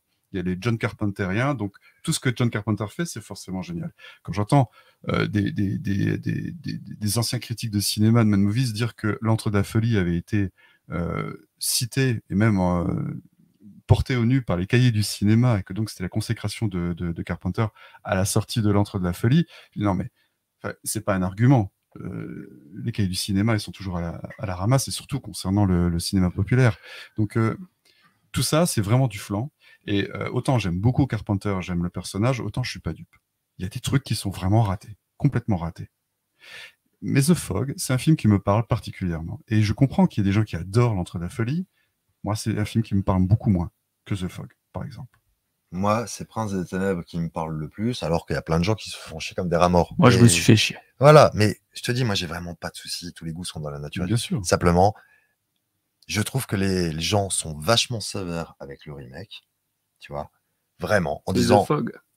le remake de The Fog. Tu vois, ils sont ultra sévères. J'ai entendu dire que c'était le pire remake de l'histoire du cinéma, que c'était vraiment une bouse sans nom et compagnie, tu vois. J'ai dit non mais attends, putain, franchement, si l'original était un putain de chef-d'œuvre sans la moindre faille, ok, d'accord, tu vois. Mais le premier, il est euh, souvent trop moisi et on en a. Et je pense que j'en ai apporté la démonstration plusieurs fois au cours de cette émission, tu vois. Donc, c'est pas un truc inattaquable. Fog de Carpenter n'était pas quelque chose d'inattaquable. Je vois pas pourquoi on est aussi sévère avec le film de 2005. Texas Chainsaw, c'est l'original est un film parfait. Donc que tu sois sévère avec le remake, ça s'entend, tu vois. objectivement. Et c'est objectivement un film parfait. Voilà. Et moi, je suis comme Will 101. Je pense que le remake est supérieur sur quelques points. Ouais, Il y a des trucs qui me plaisent dans le remake. Voilà. Maintenant, euh, Comme je l'ai dit tout à l'heure, enfin tout à l'heure, hier, Tous les goûts sont dans la nature. hier, je le disais, euh, moi, j'avais vraiment Pas pas, avoir du brouillard, ma poule. j'avais pas d'a priori euh, définitif sur, euh, sur, le, sur le remake. Je Ah mais on va, on va- y Je arriver. l'ai pas regardé. Là, là, c'était. On va le faire maintenant le remake. Voilà, bon. Je devais te ramener Mais ta encore une fois, je, je vais, je vais juste te dire un truc, c'est que effectivement, euh, je, je comprends, disons, cette espèce d'envie de démonter un petit peu le, le- le- déboulonner en fait le, Voilà. le, le- le- Moi, je le mythe, déboulonne les statues, moi. le, my- le mythe carpenterien. Je woke. peux le comprendre et après tout, euh, voilà, il n'y a pas de problème.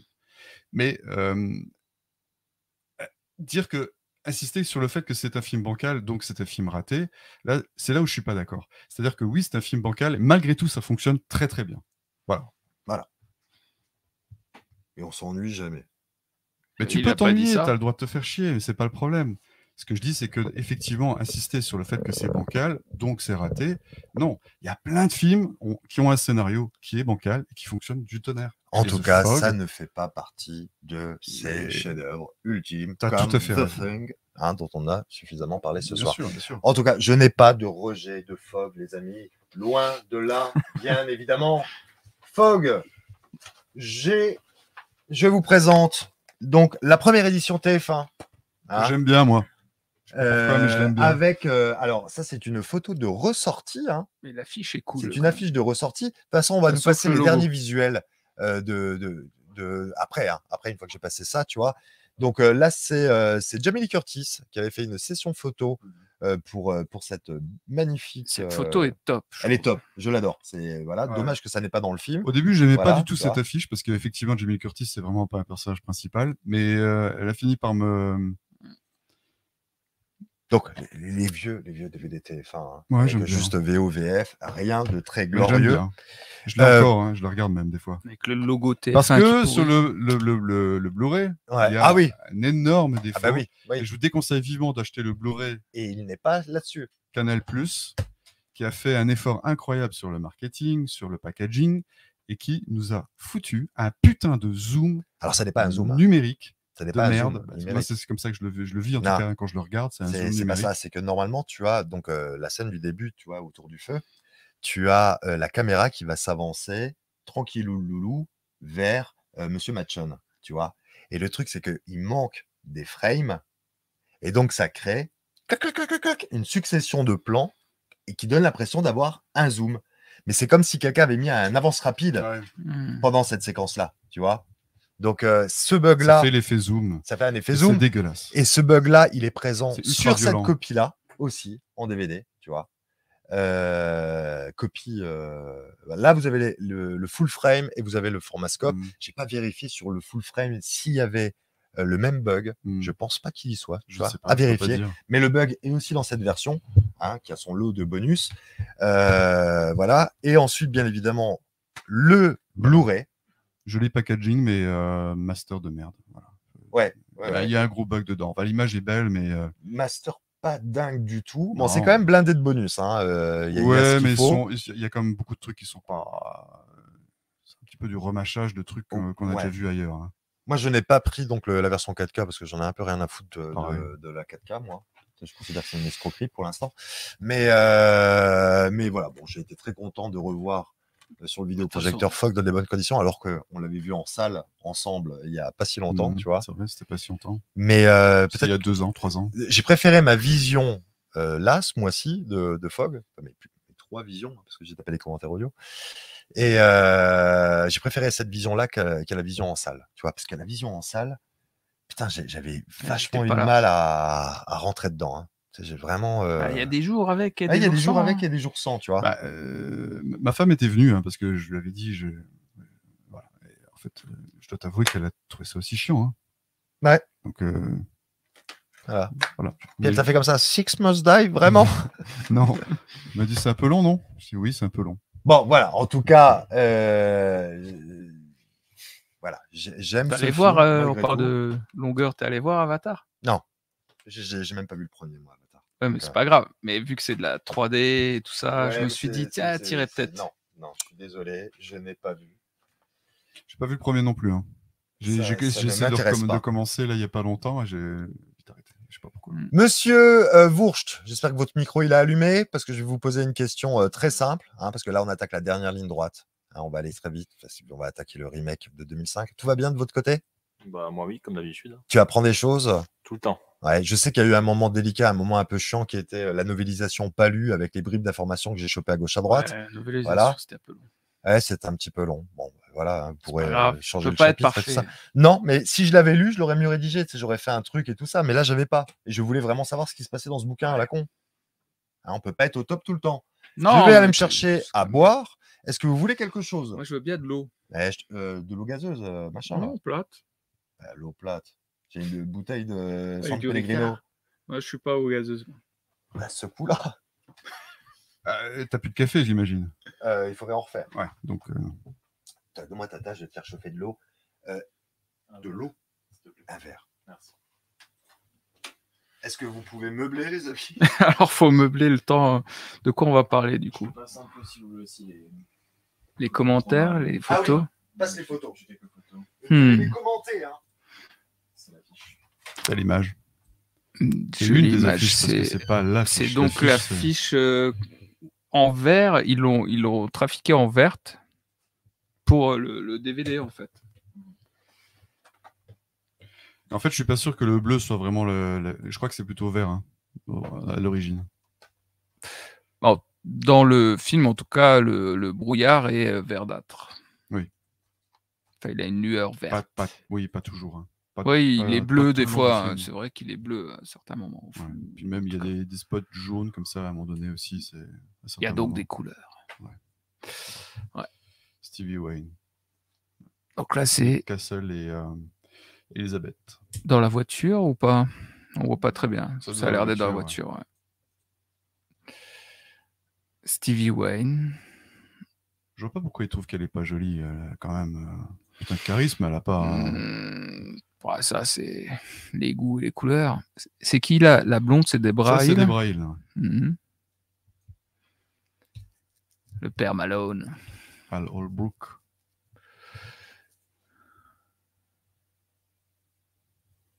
C'est vrai qu'il est, il a autant de, de charme qu'une tôle ondulée, hein, John Carpenter. C'est pas pour dire, mais comment il a fait pour. euh, Ouais, bah, il était John. réel.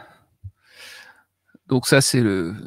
C'est pareil. Fameux reshoot en studio. fameuse euh, barbe de John Houseman qui se serait décollée et tout ça. J'ai l'impression que c'est une vraie barbe. Bah parce ouais, on dirait une vraie, ouais. courte, hein. Ça, c'est dans... C'est dans le climax, c'est dans la fin, Mhm, C'est dans l'église. dans l'église. Est-ce qu'il y a ce plan dans le film? Je Ça, oui, bien sûr. Ouais. Tommy Lee, euh, Tommy Lee Wallace, pas Tommy Lee Jones, mais Tommy Lee Wallace qui, euh, qui a fait tous les bras.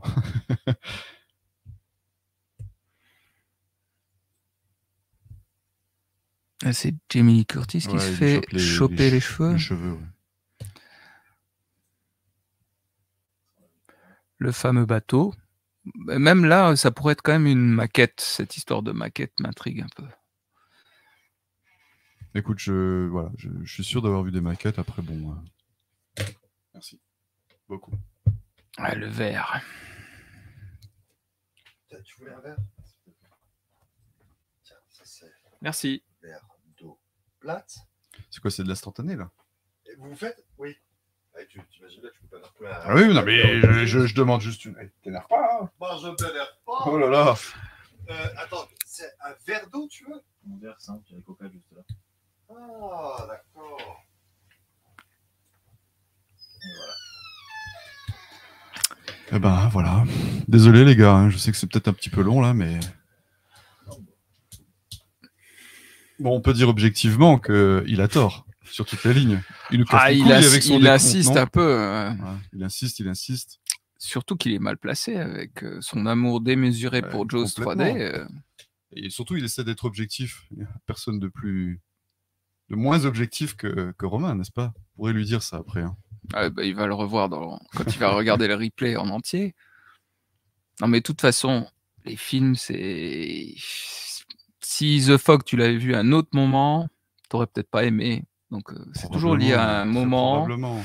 et ça te parle à toi. Après, tu c'est sais vrai pas que je comprends, c'est je tout à fait en fait cette, cette espèce de, de- de- Il y a beaucoup, beaucoup, beaucoup de gens qui sont dans une espèce de dévotion totale sur, euh, sur Carpenter et j'entends beaucoup de conneries. Il, y a, il faut quand même avoir un, un peu de. de- Mais je trouve que c'est vrai pour plein de films. Il y a des chefs-d'œuvre euh, et des films que tu as vus à une époque et du coup tu tiens. Si tu les découvrais maintenant, tu trouverais ça peut-être moins bien.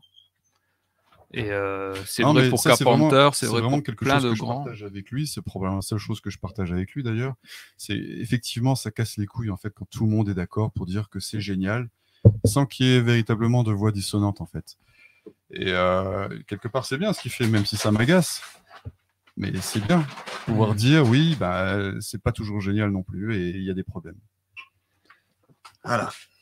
Bon, C'est comme Tim Burton. les amis, en tout cas, C'est comme Tim Burton d'ailleurs. Si je sais pas si vous avez regardé la série, Ouais, j'ai bien aimé moi. moi j'ai trouvé ça naze. hein. Naze, carrément. Ah moi, la, je trouve ça avant la fin du premier épisode, je me suis levé en disant bon, bah c'est pas pour moi. Ah ouais. Non. Ouais. Ah, moi, euh, ça faisait Je longtemps comprends que. même pas du pourquoi coup, ils l'ont euh, foutu dans une école de, de, de, de loups-garous, de vampires et tout ça. Ce qui aurait été génial, c'est de l'avoir dans une école normale. Voilà, c'est ça. Ça fait Harry Potter à fond et je... Ah, Twilight ou je sais pas quoi. Moi, j'ai trouvé ça sympa. Oui, oui, oui, il y a tout un tas de séries comme ça, ouais. Ah, je sais pas, j'ai j'ai trouvé ça Bon, naze. les amis, en tout cas, que les choses, que les choses soient claires. Mais elles sont Euh, claires, Romain. Non, non, mais que les, que les viewers ne se sentent pas insultés euh, par. euh, Qu'est-ce que c'est que cette mousse là? T'en as mis sur la table ou quoi? Attends, on entend que ça le bruit. C'est dingue, hein C'est The Fog. Et non, non, je veux dire, tu sais, des fois, quand tu regardes des émissions avec les gens, ils ont un avis qui va à contre-courant, comme ça, ça te met en colère. Tu dis, mais putain, le fils de pute, il aime pas la même chose que moi. Non. Ça peut arriver, non, mais moi, je suis le premier, tu vois. Quand les Ah mecs bon critiquent les dents de la mer 3, je suis la bande de fils de pute, je vous déteste, je vous chie dans la bouche. tu vois? Donc là, Un voilà, peu comme ça. faut, faut bien comprendre que je ne fais pas. Pour moi, euh, il y, a- il y a certains films où je fais un vrai rejet, tu vois, où j'ai de la colère, de la haine et tout ça. C'est le cas de Star Wars épisode 7. Donc là, effectivement, je Ça, ça, c'est compréhensible parce que c'est vraiment une arnaque. En fait. Là, Voilà. Tu te fais vraiment niquer. hein. j'ai pas du tout ce truc-là avec Fogg. Hein. Fogg, je suis sûr que je le remettrai avant de mourir. Ça, il n'y a pas de souci. Mais tu l'as déjà dit en plus que tu Voilà. as apprécié ce film. Mais T'as pas besoin de le redire, on, on a compris. non, mais je veux juste Mais- pas que des gens se disent oh putain, mais le là où Romain on il abuse. Là où on n'est pas d'accord, là où on n'est pas d'accord, c'est juste qu'effectivement. Putain, 5 minutes Voilà. à me chier dessus. Voilà. Qui a- Bon. qui- qui a balancé? Louis de large. Ah voilà, Louis Egoïne. Vraiment Ouais. une balance. On te note, c'est noté. La petite liste. Alors, les Hmm. amis, je vais demander. Alors, toi, ça, tu as eu ton heure de gloire, mais là, maintenant, j'ai envie que. heure de gloire? Ouais. J'ai envie que. démonté le film en me disant que c'était de la merde. J'ai envie que mon ami Julien balance le carton Ah, du c'était ça, remake. mon de gloire, d'accord. Dans quelle caméra Tu sais que c'est la caméra live, tu dois regarder le point bleu. Il faut arrêter de regarder ta- ton visage. là. Ah, je Systématiquement, tu regarde regardes ton juste visage. à côté là. Ouais, non, regarde le point bleu. Comme Je ça. regarde le point Voilà. bleu et je fais carton.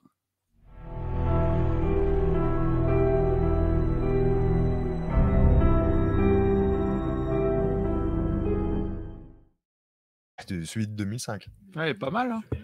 Moi, je trouve qu'elle est bien la musique. Hein. Ouais, je trouve ça pas mal. j'aime bien la musique. hein. Elle est pas si moche que ça, tu vois.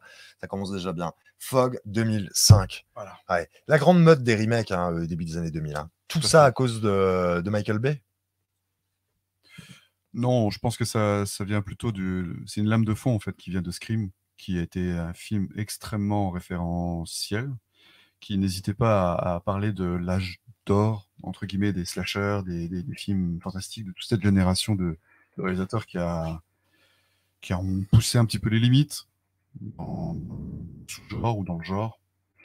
Et euh, à mon avis, ça s'est installé un- auprès du public de- d'adolescents. Et fatalement, bah, ils se sont dit, bon, bah, les adolescents, c'est eux qui payent leur ticket. Donc on va leur resservir des films qu'ils n'ont pas pu voir. Non, mais ça se défend. Pour revenir Mhm. au truc, oui. Tu vois. Donc, c'était la mode des remakes. C'était la mode des remakes. Alors, on peut effectivement revenir à Scream. On pourrait, avec cette logique-là, dire oui, mais c'est peut-être aussi Vampire à Brooklyn qui avait poussé le cinéma tellement dans le nanar, que, enfin, dans le truc chiant, qu'après, on a décidé de revenir aux C'est un petit peu fondamentaux et casse-couille parce que Ah, tu- tiens, regarde. tu poses la question, puis en fait, Et on a les deux caméras ou quoi? Parce que ça a bugué, tu vois je peux. finir ma phrase? Ouais, vas-y.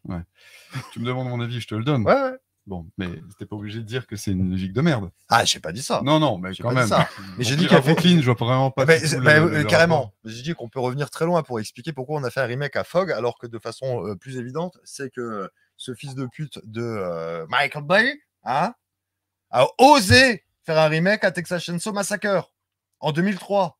Et en plus, ça a rencontré un certain succès. Je suis pas d'accord. hein. Je pense pas que ce soit Michael Bay le, le responsable de cette, euh, cette vague-là. Bah, ce serait qui? Scream? Ah, ne me ressens pas le truc de Scream. Si. Ah non, mais alors tu pourrais me dire Gus Van Sant. Tu pourrais me dire, oui, non, c'est Gus Van Sant. En quelle année? 98. 98. Ouais. Enculé. Ouais, ouais, ouais. Les gens ne sauront jamais pourquoi. Mais ils le sauront jamais. je Ah, les pas. Je le coulisses. C'est pas parce que t'as personne qui filme les coulisses. de Ouais, ouais, ouais, voilà, tu vois. Jamais. Jamais. Non, mais effectivement, à partir de 2003, il va y avoir une putain de vague de remake amorcée par Texas Chainsaw Massacre. Bon, on le sait tous, ça vient de Scream. Et ensuite, il y a eu L'Armée des Morts de Zack Snyder en Ouais. 2004. On a eu aussi Amityville, euh, qui est aussi de 2005, hein, qui est un Mhm. remake de 2005. Quelle année funeste, euh, 2005. Euh, C'est et pas glorieux, effectivement. ouais. On ce- s'est dit, C'est à partir de là qu'on s'est dit que Hollywood n'avait plus d'idées. et ce Fog. Ce Fog. Fog. Il y a aussi tout ce qui est euh, The Grudge, etc. aussi, hein, toute la vague. Ouais, c'est en euh, quelle année, ça, d'ailleurs, 2005, euh, 2002, ça doit pas être loin, ouais. The Grudge, t'as Darkwater. Darkwater, ouais. Qui ressortent aussi vachement. Ouais, Mhm. bien sûr. Alors là, ça se comprend, pour moi, hein, ça se comprend un petit peu mieux parce que c'est euh, Des films asiatiques. c'est les films asiatiques qui n'ont pas tout à fait les mêmes C'est codes. adapté, du coup. Donc euh, voilà, on n'est plus sur un travail d'adaptation. Le seul euh, qui reprend vraiment les, des gros éléments euh, du scénario de base, c'est peut-être The Grudge, qui situe son action au Japon, tu vois. Alors que, euh, par exemple, The Ring, euh, celui de enfin, avec Naomi Watts, de Gore Verbinski, J'ai vu que les films c'est euh, c'est aux. États-Unis, tu vois. Le Darkwater avec euh, Jennifer Connelly, le remake, ça se passe aussi, euh, je Bah, crois, au New Si Jersey. je dis pas de conneries, The Grudge, c'est produit par Rémi, mais c'est fait par ouais. le vrai réal. Je sais plus si c'est Shimizu ou euh, un autre, mais c'est le vrai réal qui, crois, qui tourne la version américaine. Hmm. C'est possible. Oui, ça, je l'ai entendu aussi. vois. Voilà. Donc là, on est plus encore sur un truc de- d'adaptation. Et j'arrive à le comprendre parce que c'est pas les mêmes, euh, Codes. les mêmes codes. Tu vois, par exemple, moi, dans les films d'horreur euh, asiatiques, j'ai vachement de mal à, à comprendre que, que les mecs retirent leurs chaussures. Enfin, qui retirent leurs chaussures et qui prennent le temps de les remettre que- quand ils sont poursuivis par des fantômes. D'accord. Voilà. C'est culturel. Mais voilà, Voilà. c'est exactement ça. Donc c'est pour ça que je suis bien content qu'il y ait des remakes. Même face à la mort, on respecte les, les traditions au Japon. C'est comme ça. hein. Il n'y a, y a pas- y a pas de souci. Il n'y a pas de souci. Puis après, moi, j'ai pas le même souci avec la flotte. Donc la flotte me fait moins peur que chez les, que chez les Japonais. hein, les tsunamis et tout ça, on sait, c'est culturel. Voilà. Donc j'ai pas de souci avec ça. Par contre, j'ai plus de soucis parce que je suis un putain de puriste Avec les décomptes, avec le décompte. Mais quand on s'attaque à des films que j'aime particulièrement, Ah oui, alors ça, tu vois, là, j'ai du mal. Et tu sais pourquoi? De façon hyper égoïste. Parce que déjà, un, j'ai parce que vach- t'es égoïste. voilà. J'ai vachement peur qu'on fasse mieux que les films que j'aime. Donc là, je serais obligé Hmm. d'utiliser beaucoup de mauvaise foi pour défendre les films que j'aime. Et je ne- déteste faire preuve de mauvaise foi. C'est pas ton voilà, genre. ça n'est pas mon genre. Et euh, surtout, tu sais, j'ai envie que ces films se cassent la gueule. Tu sais, je suis un petit peu un hater. Ouais, comme ça. c'est Je suis comme là, ça. ouais, machin, machin. Touchez pas au Grizzly. Touche touchez pas. Touche pas. Voilà, tu vois. C'est des films parfaits. Alors qu'il y a plein de remakes qui trouvent grâce à mes yeux. Mais tu- le, le truc qui est vachement bien, en, en tout cas moi, je trouve ça très pratique avec les remakes, c'est que t'es pas obligé de les regarder. Moi, en tout cas, c'est pour ça que j'ai pas regardé le, remake je de The regarde Fog. tout, moi. Je regarde tout. Alors, Mais bien t'es vraiment pas obligé. Hein. Tueur de Rôdeur faisait une émission sur les remakes. Mm. Voilà. Donc, euh, voilà. il en avait oublié quelques-uns quand même hein, dans, sa, dans sa liste. Il est parfait. pas le même sérieux que ceux que je te dis. Mais en tout cas, voilà. Et je regardais ces, ces, ces remakes, tu vois. Et oui, il y a plein de films euh, où je préfère les remakes. Il y en a quand même pas mal. Mm. Tu vois. Et euh, entre la mouche noire et euh, la mouche de, euh, de euh, David Cronenberg. Euh, bon, pour moi, il n'y a pas photo, tu vois. Je préfère le Cronenberg. Je n'ai pas vu La Mouche Noire. Oui, bah voilà. si, si, si, si, je l'ai vu, je l'ai vu, je l'ai vu. Si, si, je l'ai vu en fait. il est passé le 25 février 1988 Ouh, sur j'en sais rien FR3, du tout, mais je l'ai vu. le jour de mon anniversaire. Je me souviens. J'étais tout petit, tu vois. Euh, voilà, je préfère le, le Kaufman de, de Body Snatchers au film de Don Siegel. Je préfère le King Kong de 76 au film de 33. Et pourtant, Et pourtant, je sais que le 33 est meilleur. Voilà, tu vois, mais c'est des histoires de goût comme ça. Et euh, donc, de temps en temps, de temps en temps, Et Est-ce j'arrive qu'il y a un body count dans dans le film de Guillermin 76 Non, il n'y a pas de body count. Par contre, il y a un souci qui est énorme dans le film, c'est que la jungle luxuriante de Skull Island Mhm. manque cruellement de monstres. De monstre. Ouais. Voilà, il n'y a qu'un putain de serpent géant. C'est le seul défaut du film. Pour moi Oui. Mm, Pourquoi Ce serait pas un peu du déni quand même Non, non, non. Mm. Non, mais par contre, euh, pour quelque chose qui est très primaire, tu vois, vraiment des quelque chose qui est très primaire, c'est-à-dire euh, le côté lacrymal. Tu vois, t'es pas obligé d'intellectualiser pour pleurer. Eh ben, l'émotion que je ressens dans le film de 76, elle est dingue. J'ai rematé le film de 76 il y a pas longtemps. et t'as Je pleuré. pleurais à chaudes larmes à la mort de Kong. Le film de 33 ne me procure aucune émotion et le film de 2005, je me fends la poire. Voilà, tu vois. Donc, euh, tu vois, sur quelque chose comme ça où on n'est pas obligé de. euh, ça fonctionne, ça me tire les larmes et je pense Mais que ça fonctionne sur toi. Ça fonctionne sur moi, ouais. Parce que moi, les singes, euh, voilà, j'aime ça. Ouais, moi aussi. Voilà. Toi aussi, hein. Ouais, j'aime Ouais. bien. Les nerfs à vif, voilà, je pense que le remake est meilleur, euh, Scarface aussi, euh, enfin en tout cas il me répond, il répond plus à mes attentes. Par contre, Arcania qui dit que La colline à des yeux de Alexandre Aja est supérieur à celui de Craven, c'est quelque chose qu'on entend régulièrement, mais alors moi je m'inscris en faux. Hein, voilà, par snobisme. Euh, Fog 2005, film qui a été conspué. Hein. Il Ouh paraît, là là. ouais, il paraît. hein. Ouh là là. Moi, je me suis tout simplement pas intéressé, mais Ouais, je n'ai même je- pas lu les critiques ni rien du tout. hein. Et je l'ai vu très tard, très très très très très tard. En fait, je l'ai vu parce que on en avait parlé, et je me suis dit tiens, ça en fait, je l'ai jamais vu, pourquoi pas? Pourquoi pas? Et je l'ai regardé, et euh, en guise d'introduction, je pourrais dire que j'ai été agréablement surpris par les 15 premières minutes. Et ça s'est vite transformé en déconfiture euh, juste après. C'est Ouais. parti en couille. D'accord. Et Hmm. pendant 15, 15 petites minutes, je me suis dit, mais en fait, c'est pas si dégueulasse. Ça pourrait peut-être être un bon film. Ça démarre pas trop mal. Ouais. Bon, il veut déjà nous attaquer la critique du film? Ça Non, je dis simplement, je Voilà. dis simplement mon ressenti. la- Ressentir en tant que spectateur. Voilà, en tant que spectateur. Ça a pas une critique. 15 minutes et ça a fonctionné.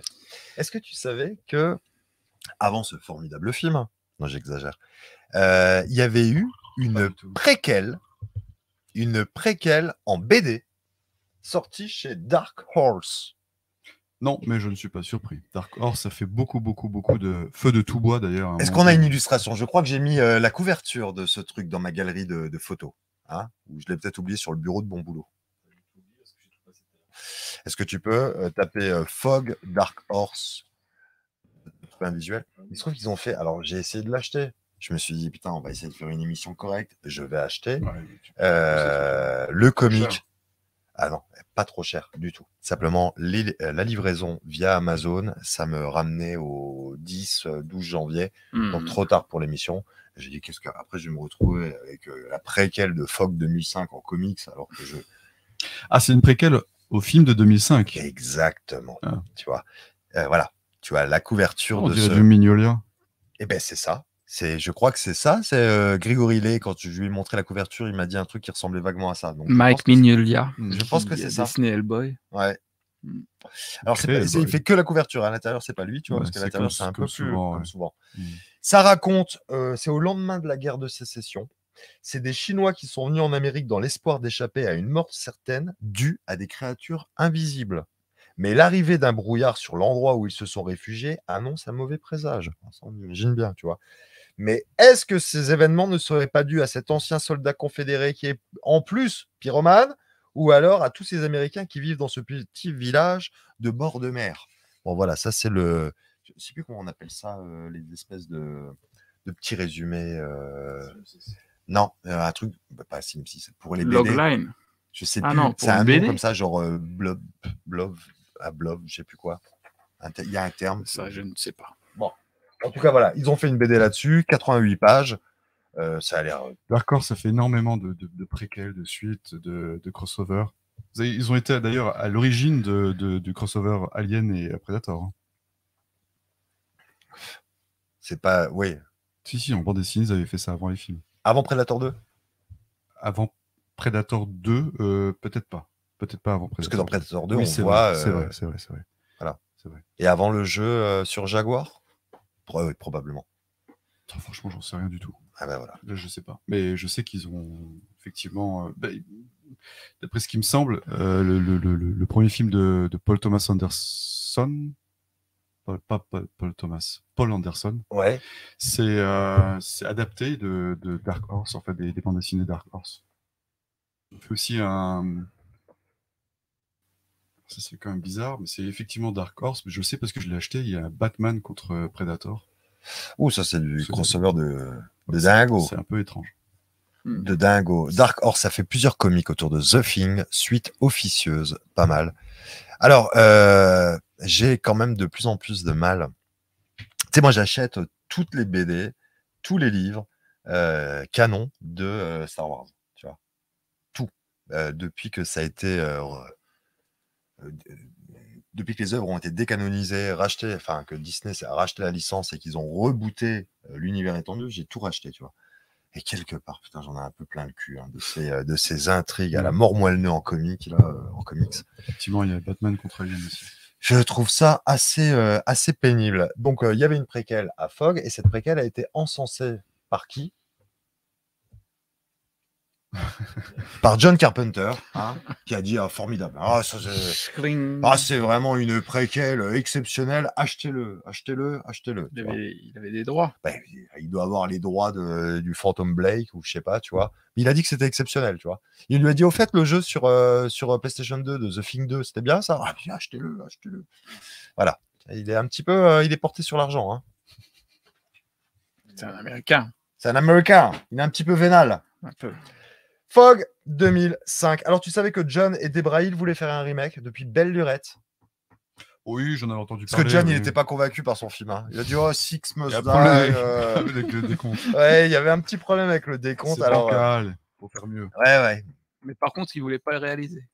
Non, il voulait pas le réaliser parce que c'était tellement mal passé sur le premier qu'il a dit non, non, moi, euh, Je supervise. je supervise et Les tout gens ça, tu vois. caissent. Et donc, euh, il aurait été voir euh, dans un premier temps euh, David Foster. hein. Alors, il y a deux, versions de cette histoire. Ils auraient toqué chez David Foster pour lui dire Eh, Tu serais pas motivé par un remake là? Oui, je suis motivé. Révolution dit OK. Voilà, tu vois. Et il y a une autre version où c'est Chain Riches qui aurait conseillé à David Foster de faire le remake. Et lui, il aurait contacté John et John lui aurait dit Ok, fais-moi devenir riche. Deal Non, en alors, 48 Il y, heures. a- il y a une interview que j'ai lue de, de- de- avant le- le- le- la mise en chantier de The Fog, où clairement il disait J'en ai marre que Hollywood se fasse de l'argent sur mon dos, je vois pas pourquoi moi je pourrais pas m'en faire. Ouais. Ça, je m'en souviens très bien. Et peu de temps après, il y a effectivement eu John Carpenter présente The Fog 2005. Je me suis dit Ok. Mais oui, non, ça c'est vrai. Alors, est-ce que il y a c'est vraiment, lui- non, non, mais- clairement, c'est clairement une opération. Est-ce que c'est lui qui a été voir David Foster, Ça, je comme ne sais c'est pas. dit dans certaines versions Je sais pas, mais avant, avant 2005, Foster qui avant l'a la, contacté la- la- la mise en chantier du film, il avait déjà clairement euh, dans le viseur euh, de faire des remakes de ses propres films pour pouvoir euh, amasser un peu d'argent. Il l'a dit Ouais. très honnêtement. Bon, de toute façon, il euh, n'y a aucun mal à. Hey, euh, L'autre, il a bah, fait combien de remakes dans sa carrière? L'autre, il a fait The Thing, il a fait Le Village des damnés. Il en a fait d'autres Des remakes? Hmm, Non, mais c'est déjà pas mal. non, non. Il a fait deux remakes dans sa carrière. Et il a failli en faire d'autres. Parce qu'il Oui. ne faut pas oublier que John Carpenter, il a, il a voulu faire un, un remake de La créature, A Creature of the Black Lagoon. Mhm. Donc, euh, Il n'est pas le seul, mais oui. il n'est pas le seul. Oui, parce qu'il y a aussi euh, Joe Dante et John Landis. John Landis qui voulait faire Mhm. euh, un remake. En... Qui a failli réaliser The Thing. Comme quoi. Tout est lié. Tout est lié. Voilà, donc lui, il a dit fais-moi riche. Rends-moi riche, rends l'argent, et euh, voilà. Et Finalement. Et, finalement, hein, qu'est-ce qui s'est passé? Bah, c'est pas lui qui l'a réalisé. Aucune idée. Oui, il n'avait pas envie de le réaliser, on t'a dit. Ça l'intéressait pas de réaliser le truc. De toute façon, on l'aurait pas laissé, je pense, hein, de le réaliser. Je pense pas qu'on l'aurait laissé. Non, en 2005, de toute façon, il faisait quoi? Lui Voilà. Il faisait plus rien. Bah, Ghost of Mars, c'est quoi? C'est euh, Euh, ça doit être 2001. 2001, Ghost of Mars. Donc, euh, Il y a The World. Ward, ça, c'est encore après. c'est encore après, ouais. Oui, non, à l'époque, il est dans les Master of Horror. En 2005, il est dans Master of. Horror. Voilà. Ils sont pas non plus. euh, Bon, en tout cas, eux, ils vont se lancer en. Ils ont comme projet de faire un remake. Il se trouve que ils vont engager très très rapidement un réalisateur. Ah oui? C'est Ouais. pas, c'est pas celui auquel- je pense. Ah alors? si, Rupert Wainwright? Mais oui, Tout de suite? Réalisateur de Stigmata, tu vois. Ah. Ah, très très rapidement. Euh, il a été pressenti avant la fin du scénario. Alors, ça, je sais qu'effectivement, c'est sur un synopsis de 12 pages. Bon, moi j'ai écrit euh, que Cooper, donc le, le scénariste Cooper n'était qu'à la page 30. Voilà, c'est ce qu'il dit dans une interview, mais bon. Au prou, Ah, il n'y avait pas de façon, voilà, ouais. tu vois. Et ça se sent. Ça faisait deux mois que euh, le Cooper il était sur le scénario, tu vois. Donc euh, voilà, Rupert il est arrivé. Deux mois, 30 pages? Ouais. Putain, la vache. Il travaille encore moins vite que nous. Ouais, mais ça c'est. Les Stigmata, vous aimez bien Stigmata Moi j'aime bien Stigmata. Moi, j'ai adoré Stigmata, mais je l'ai pas revu depuis. euh, Mais parce que déjà moi j'adore euh, Patricia Arquette. Tu vois. Donc euh, je passe tout. sur Hmm. J'aime bien moi. Stigmata j'aime bien. Je m'en Moi, souviens je- plus assez bien. Je l'ai vu, mais franchement, je m'en Je l'ai souviens. plus. vu euh, ouais, à l'époque. Et du coup, je l'ai pas revu début depuis. où euh, elle, elle traîne euh, en ville plutôt que d'aller travailler, ça m'avait fait marrer. Ah, j'aime bien. Ouais, les stigmates, tout ça. Ouais, pour le reste, je m'en souviens pas. Moi, la femme m'avait marqué. Mais bon. Du coup, après, ouais, il a fait ça. Ouais, ils engagent en tout cas euh, Rupert très rapidement. Comme ça, lui, il va pouvoir euh, travailler en étroite collaboration avec le scénariste. Le scénariste qui a déjà fait, qui a déjà bossé sur des trucs, euh, il a bossé sur The Core. Euh, Mhm. C'était euh, Fusion en Fusion, ouais. BF. Donc, il y a un film de John Amiel réalisé en 2003. Je l'évoque parce qu'il fait partie des films catastrophes préférés de Jules. Donc, ça lui fera plaisir d'entendre parler de, de Fusion. Ouais, c'est quand même pas dingue. hein, Mais bon, euh, voilà, tu vois. Et, Larry Swank, non, qui joue dedans, Oh putain, je... si je crois. Écoute, il est juste là, à côté de Magma. Je mets les films avec euh, de la lave et tout ça dans le même truc. Film à lave. Voilà. Donc le scénario, Cooper Lane, euh, d'après les personnages de John Carpenter et Debra Hill. Euh, Debra Hill, il va lui arriver quoi avant la mise en chantier de ce remake? Cancer du sein. Voilà. Ah oui. On passe en plein écran là? Ah, d'accord. Et euh, ouais, il va se passer ça. Ouais. Et donc elle va, euh, le film, il a la mémoire de Debra Hill. Ouais, oui, la pauvre. Ouais, mais c'est super triste. C'est super triste. Comme ce passage-là dans l'émission, tu vas voir. Parce que c'est le moment de résumer ce, ce- ce formidable film. Qui est tourné où d'ailleurs? À Vancouver. À Vancouver Est-ce que ça fait partie des défauts de ce remake d'être tourné à Vancouver? Est-ce que ça ne lui donne pas un petit cachet euh, Bah, ça fait très euh, ouais, série euh, de l'époque, quoi.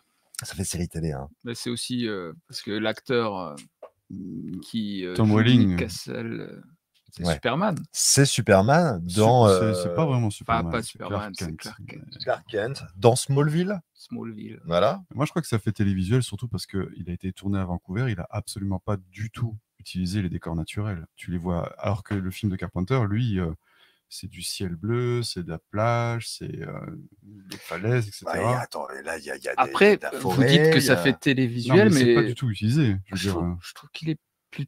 il est pas moche comme film. Alors, Parce non. que le chef-op, en plus, n'a pas Bien fait sûr. grand-chose. Il a plutôt réalisé après. euh, Ah, Alors, c'est vraiment pas ça que je veux dire, parce que moi, je trouve que la photo, elle est pas moche du tout, tu vois. Non, non, la photo C'est simplement que euh, c'est une période où on a tartiné euh, Vancouver. Vancouver partout. à, à- à fond les ballons. Tu sais, c'est avant les, les délocalisations en Roumanie ou dans les pays de l'Est. Parce qu'après, il y a eu Hollywood qui a Oui, arrêté de tourner en sûr. Bulgarie et compagnie, tu vois. Mais Et le euh, cachet de la Bulgarie, tu le voyais, tu, tu disais. ouais, Oui, mais le cachet, le Bulgarie, cachet de. Vancouver aussi, c'était un truc plus vieux. Là, c'est pas tellement plus vieux, en fait, hein, quand Mm. même. hein. Ils ont quand même réussi à éviter ça. D'autres tournent, ouais, plutôt en été, on dirait. Ouais, mais euh, moi, j'ai l'impression de me taper à l'honneur de X-Files en matant, euh, en matant euh, The Fog. Ouais, je pas trouvé ça. Franchement, je, je, Je, trouve, cas, que, ouais, je ça trouve que les fait- décors naturels sont pas bien utilisés, ça, oui, mais pour le reste, euh, Moi, je trouve que ça fait ouais, film des années 90, un peu comme ça. Enfin, oui, c'est Ça vrai fait a- production euh, Vancouver. hmm. ça, fait, Voilà. ça fait un peu années 90, c'est vrai, alors que c'était tourné en 2005, mais ça fait vraiment euh, années 90, au Mm. milieu des années 90. Ouais. Même euh, avec le genre de musique qu'ils ont mis aussi, ce qu'elle Ouais, passe à la ouais. radio, tu vois, ça fait un ouais. peu. Oui. T'as du Jamie Rockway, t'as des trucs comme ça. Enfin, des trucs, tu sais, euh, euh, pas punk rock, mais euh, Pop rock, punk. pop euh, Ouais. rock, euh, ouais, Pop bref. punk, machin et tout ça. Oui, en tout cas, il y a, il y a un habillage télé parce que tu faisais référence à Tom Welling qui joue dans Smallville, mais il y a Mm. aussi euh, euh, Maggie Grace qui jouait dans Lost. Hmm. Ah, c'était. Elisabeth, Oui, oui, oui. elle oui, joue dans Lost. Ah, je, crois, je crois que c'était la nana qui jouait dans Taken, moi. Aussi, aussi. Elle joue Ah, dans aussi. Mais j'ai pas vu je- J'ai pas vu Taken. Et il y a Selma Blair qui joue dans Hellboy. Hmm. Hein, c'est ça? Pas seulement, mais oui. Et elle joue dans quoi, Selma Blair? Alors, elle a fait pas mal de, de, de, de films. Cruel Intentions. Oui, elle a- mais ça, c'est ça, j'ai pas vu ça. c'est Je là l'ai qu'elle est- là-dedans, mais je l'ai pas vu. c'est là qu'elle a vraiment explosé, en fait. Hmm. Espèce de liaison dangereuse euh, avec des adolescents. Mais c'est pas si mal, en fait, comme film. Bah là, en tout cas, euh, sur les trois acteurs qui sont les trois acteurs principaux, on voit que c'est des jeunes.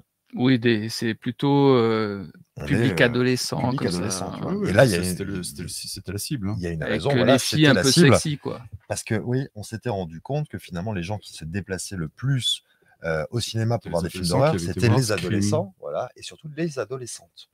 Voilà, c'est ce qui est dit dans les interviews d'époque, les Mmh. adolescentes. Et c'est la raison pour laquelle le film, il a été envisagé comme un film PG. Tu vois, vraiment, on a dit, on va faire quelque chose de léger, euh, visuellement pas trop euh, graphique et tout C'était ça. pas le bon terreau. hein. ouais. Voilà. Alors que c'est complètement à Ah, contre-courant complètement. de ce qui va se passer à ce moment-là. C'est 2005, ça va être l'explosion des trucs euh, de plus en plus nerveux. Mhm. C'est- tout ce qui est post-Irak. euh, les films sont de plus en plus brutaux. Donc, Avec euh, le torture porn et tout ça. pourquoi on se retrouve avec. Oui, on a torture porn, hostel et compagnie. Pourquoi on se retrouve avec ce genre de. c'est pour ça que Julien disait très justement, je trouve que ça, ça fait très années 90, en fait. C'est vrai. Bah ouais. Ouais, il est presque en retard, le film. Il est en retard. Mhm. Ah, mais là, tu as mille fois raison. Pour une fois. Mais c'est vrai. Hein non, non, le film, il est en retard. c'est- vraiment pas un film de Pas fait exprès, 2005. quoi. C'est pas un putain de film de 2005. Je suis désolé. Voilà. Il y a qui d'autre au casting à part euh, des bras cassés Tiens, dis-moi. Il y a Kenneth Welch. Est-ce que tu peux, en regardant sur la fiche IMDB, nous citer quelques films de Kenneth Welch? Parce que je n'ai pas fait cet effort. Quand j'ai vu l'acteur, il joue le, le Tom Malone, euh, le maire de, de la ville. Et quand j'ai vu sa ganache, j'ai dit, mais putain, il joue dans quoi lui encore? Il joue dans quoi? Et je me souviens plus dans Merde, quoi il joue. Tom Malone. Ouais. Et le, le- du coup, le, le, le, Le le- curé? Le curé, enfin oui. Il le- s'appelle le Père. Malone. C'est ça que c'est mieux écrit. Et vraiment. C'est pour ça. Écrit? Ah si. Non. Si, si, c'est mieux écrit. Non. C'est mieux écrit. Il y a un, un truc que je trouve mieux. C'est mieux écrit. On en parlera. Tu vas arrêter tout de suite. c'est mieux écrit. Tout simplement. Ben, visiblement, dans ses films notables, il y a euh, Le jour d'après de Emmerich.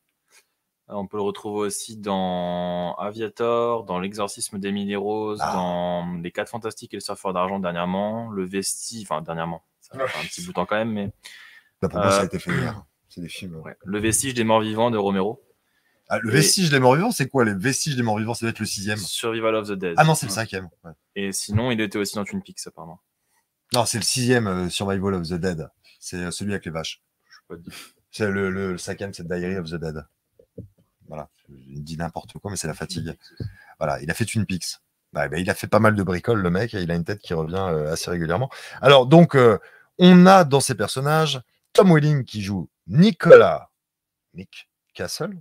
Ah ah On le connaît ce personnage. Castle. Maggie Grace qui joue Elizabeth Williams. On a Selma Blair qui joue Qui, elle, Stevie- joue pas terrible, je trouve. hein. Non, elle joue pas terrible. Elle joue un Oh. peu effacée. Mais après, quelque Ah, part. euh, Même pire qu'effacé. enfin. Ouais, mais quelque part, euh, ça s'explique aussi. Par rapport au film. Dans le récit, ça s'explique. Je suis désolé. Parce qu'elle est perdue comme ça. Enfin, ouais. bon. Ouais, Parce que c'est un fantôme. ouais. Mais franchement. euh, Mais c'est pas un fantôme, c'est la descendante. de- Enfin, bref. Voilà. Encore Ouais. une fois. Mais elle a le droit d'être- de, de jouer un petit peu en mode euh, vaporeux comme ça. Ah, sérieusement, tu, tu, euh, tu, tu vas justifier ça comme ça? Non, non, aller, euh, mieux. mieux. Euh, Selma Blair qui joue euh, Stevie Wayne. On a un personnage qui lui n'a aucun rapport avec la choucroute qui s'appelle G. Ray Davis et qui joue Spooner. Ah ouais. Ah oui, oui, oui. voilà, oui, qui vient de Chicago, il fait des blagues. C'est Jar Jar Binks, fait, hein, ouais. voilà. Mm. On a euh, Kenneth Welch qui joue Tom Malone. On a Adrienne Hoog, ou Hughes, Hoog, qui joue le père Malone. Voilà, hein, le curé euh, alcoolo. On a euh, Sarah Botsford qui joue Cathy Williams, donc la mère de Mhm. Elizabeth Williams. On a euh, Cole Apple qui joue Andy Wayne, donc le fils Le fils. de Stevie Wayne. On a la tante Connie. Hein? Tu te souviens de la tante Connie? Euh, Pas du tout, non. La tante Connie, c'est celle qui garde euh, ah, le gamin. D'accord. Donc si c'est la tante, voilà. Hein on a Dan, le monsieur météo, bien évidemment. On a Matchon, donc c'est celui qui va choper la lèpre pour une raison totalement obscure.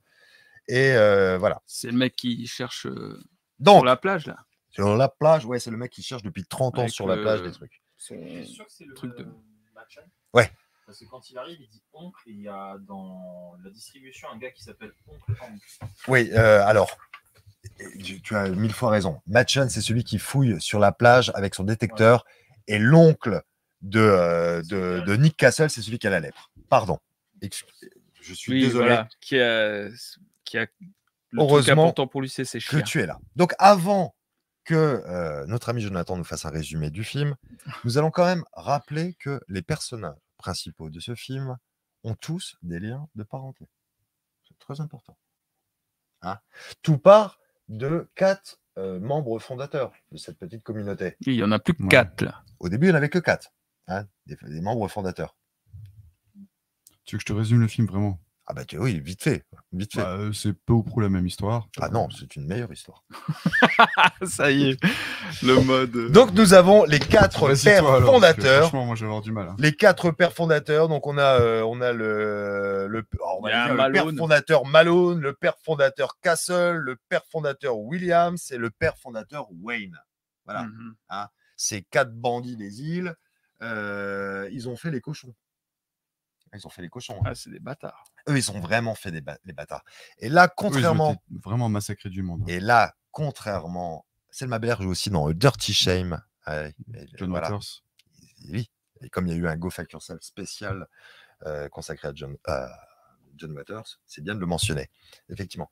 Là, tu vois, la vengeance des euh, fantômes, pour moi, elle est C'est totalement justifiée. exactement euh, ce truc-là que j'aime bien dans le remake. C'est en fait d'avoir un peu ces scènes historiques où tu vois ce qui s'est passé. Du coup, tu t'attaches un peu à ce qui est arrivé aux fantômes et tu dis ils ont que raison, justice voilà, justice doit Parce être. que doit là, les quatre membres fondateurs, c'est vraiment des sacrés bâtards. Ah ouais, Là, ils vraiment. ont vraiment fait. Et c'est vrai que la scène est plutôt réussie.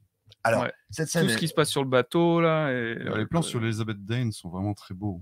cette scène, elle est plutôt réussie. Alors, ils ont eu un petit peu de mal euh, euh, pour le, le montage hein, de, de ces séquences, tu vois, parce que là, en gros, ça fait partie des problèmes du film, c'est que les flashbacks sont disséminés tout au long Ouais. du- du métrage et tout, alors que à la base, c'était vraiment dans la dernière bobine, tu vois, et on avait tout ce flashback dans la dernière bobine. Je trouve que ça aurait été plus intéressant parce que ça aurait cultivé un goût du mystère pendant une heure, tu vois. Pas vraiment- Alors que là, ouais. C'est un petit peu. Je sais euh, pas où il aurait fallu le mettre, mais par contre, c'est vrai c'est un que peu éventé, je trouve. sur euh, le montage du film, il y a des. ça ouais, marche pas je trouve que ça fonctionne pas des masses. Moi, je pense qu'en fait, il aurait dû, ils ont dû, dû le mettre de- d'un seul bloc, en fait, et pas effectivement le disséminer, mais Bah, même fin, commencer le film comme ça, pourquoi pas que- Enfin, Ah bah ça commence plus ou moins comme ça, hein, vu qu'on Ouais, a tout de suite une scène de flashback, tu vois. Mais euh, après, on a que des bribes et on essaye de reconstituer Mm. le, le puzzle. hum. Voilà. Donc, euh, ça raconte peu ou prou la même la même histoire. chose, oui. Qu'est-ce que c'est que cette histoire de conspiration, cette fois-ci? Donc, on a ces quatre membres. euh, Oui, euh, bah, ils vont sur le bateau, ils tuent tout le monde. On a Blake, déjà, qui est. Il a, il a un peu de background, contrairement euh, à l'original. Me C'est-à-dire que c'est quelqu'un qui s'est enrichi. Ils viennent d'un port où il y avait beaucoup de commerce, il y avait beaucoup de Chinois qui y allaient et tout ça. Bon, ça, on peut le lire dans la novélisation probablement en plus, mais c'est- en tout cas, c'est dit dans le film. Donc le mec, il était blindé de mamaille. Clac, clac, clac, clac, clac. Ils ont chopé la lèpre, qui a été ramenée par les Chinois, comme le Covid et tous les trucs là. hein. C'est ah, Oui. un film visionnaire. Et euh, ils sont arrivés à proximité, enfin, ils sont arrivés sur l'île. euh, c'est Antonio Bay encore là ou C'est quoi? Non, c'est plus Antonio Bay, c'est Antonio Island. ah ouais, Antonio Mm. Island. Qui quelque part fonctionne plutôt bien pour le sentiment d'isolement, voilà. parce que c'est une île, tu vois? Et ça, je trouve que c'est une idée qui est plutôt cool. Hmm. Euh, pas vraiment utilisé, mais bon. C'est pas assez utilisé, Ah. mais euh, je trouve que c'est pas une mauvaise idée. Voilà. Non, mais euh, Et, les gars, donc euh, avec leur maman, ils vont demander à ces pères fondateurs s'ils ont moyen d'avoir une petite parcelle de terrain, tu vois, tranquillou. Vous savez, nous on a la lèpre, on n'a pas envie. On veut de- bien se mettre à on veut bien se l'écart. mettre à l'écart et tout ça, tu vois? Bon, bah, on se donne rendez-vous à minuit au parking et puis on Et on signe le papier voilà. et tout ça, tu vois. Les quatre membres fondateurs se pointent sur le bateau, le bateau qui s'appelle l'Elizabeth, pardon, l'Elizabeth Dane, Mhm. voilà, tu vois. Et, euh, et là, il y a le coup de Trafalgar. Et là, Ah, ouais, c'est- c'est c'est vraiment le terme, quoi. Ah là, c'est vraiment. euh, Ah, vous avez des flingues? Comment ça se fait? Ah bah. Bonsoir Arcania. Euh, oui, ils ont. ils- Est-ce qu'ils utilisent les flingues? En tout cas, ils utilisent Oui, oui. genre cocktail ouais. Molotov, il- coup de couteau dans l'œil, ils s'en prennent à tout le monde et tout ça. tu sais, les trucs. euh, Ah ouais, à barillet comme ça avec la- les, trucs de flibustier. Ouais, Allez, il me semble. Hein. ouais, En ouais. tout cas, c'est un sale coup, quoi. C'est vraiment un sale coup. C'est violent, hein, c'est assez Mhm. violent quand même. Alors que tu sens que Blake, c'est quelqu'un euh, qui est un homme d'honneur. Oui. Parce que quand on lui brandit l'arme, effectivement, on lui brandit l'arme, il dit ça ne faisait pas partie du contrat. Hmm. Donc euh, tu sens que c'est un mec d'honneur, tu vois. Vraiment quelqu'un, euh, voilà, tu vois. Et pourtant, avait négocié, quoi. En même temps, il peut pas dire grand chose d'autre. Hein. Parce que toi, tu trouverais le courage de dire euh, comme ça avec l'aplomb. Moi Ouais. Tu sais, tu ferais moi pas comme ça, toi, à, ta- à- à sa place? Que ce soit toi, euh, Julien Mais ou tu, moi. hein. Tu veux, tu veux vraiment comparer la vraie vie avec les films? Non, mais je trouve que là, ça dit beaucoup sur le personnage. Ça dit quelqu'un qui, en, qui Ah, en pas, plus, c'est pas non plus le truc le plus originel de la planète Terre. hein. Je veux dire, tu l'as vu déjà un milliard de fois. je l'ai vu. Ça sent quand même un peu le qu'est-ce qu'on va lui faire dire. Bon, on va lui faire dire ça. On l'a déjà vu ailleurs, ça marche. Et Je trouve que ça fonctionne un petit peu en mode Liam Neeson, Qui-Gon Jinn. Tu sais, il fait comme ça. C'était pas le contrat qu'on avait respecté. Ouais. Ouais, je Ça trouve. souligne que c'est des enfoirés, quoi. Hmm. Si t'avais pas compris. Voilà, mais en tout cas, moi, j'ai l'impression que ce Blake, c'est un mec d'honneur. Tu vois. Hein, c'est Ouais, quelqu'un, ouais. voilà. En plus, il fait hyper attention à sa communauté. On le voit avec les quelques plans quand il se promène dans l'Elizabeth. Dane. Il Ça, est d'accord. protecteur. Bah alors, le- la, la réplique, c'est pas ça qui fait que. Bah, ça fait qu'il est quand même courageux parce que moi, je peux te Mm. dire que je, serais, je me serais caché, j'aurais supplié qu'on m'épargne. Euh, voilà, je l'aurais peut-être Mais, même mais tu peux pas comparer la vraie vie. euh, arrête. c'est- c'est- c'est- On parle là de caractérisation du personnage. Ouais. Il y a aucun personnage qui fonctionne réellement dans la vraie vie. Pourquoi comme- il y a, Sur l'île, il n'y a pas des gens qui implorent euh, les fantômes de les épargner? Mais c'est pas des personnages importants. Et alors? Qu'est- Qu'est-ce que ça change? Quand tu as un personnage important, tu veux le caractériser. Tu lui fais dire des choses. Si Ah bah jamais il se planque, tu le caractérises pas, il n'existe pas. Donc, euh, ce- si tu commences à, à appliquer les règles de la vraie vie pour caractériser un personnage, t'es mal barré. hein.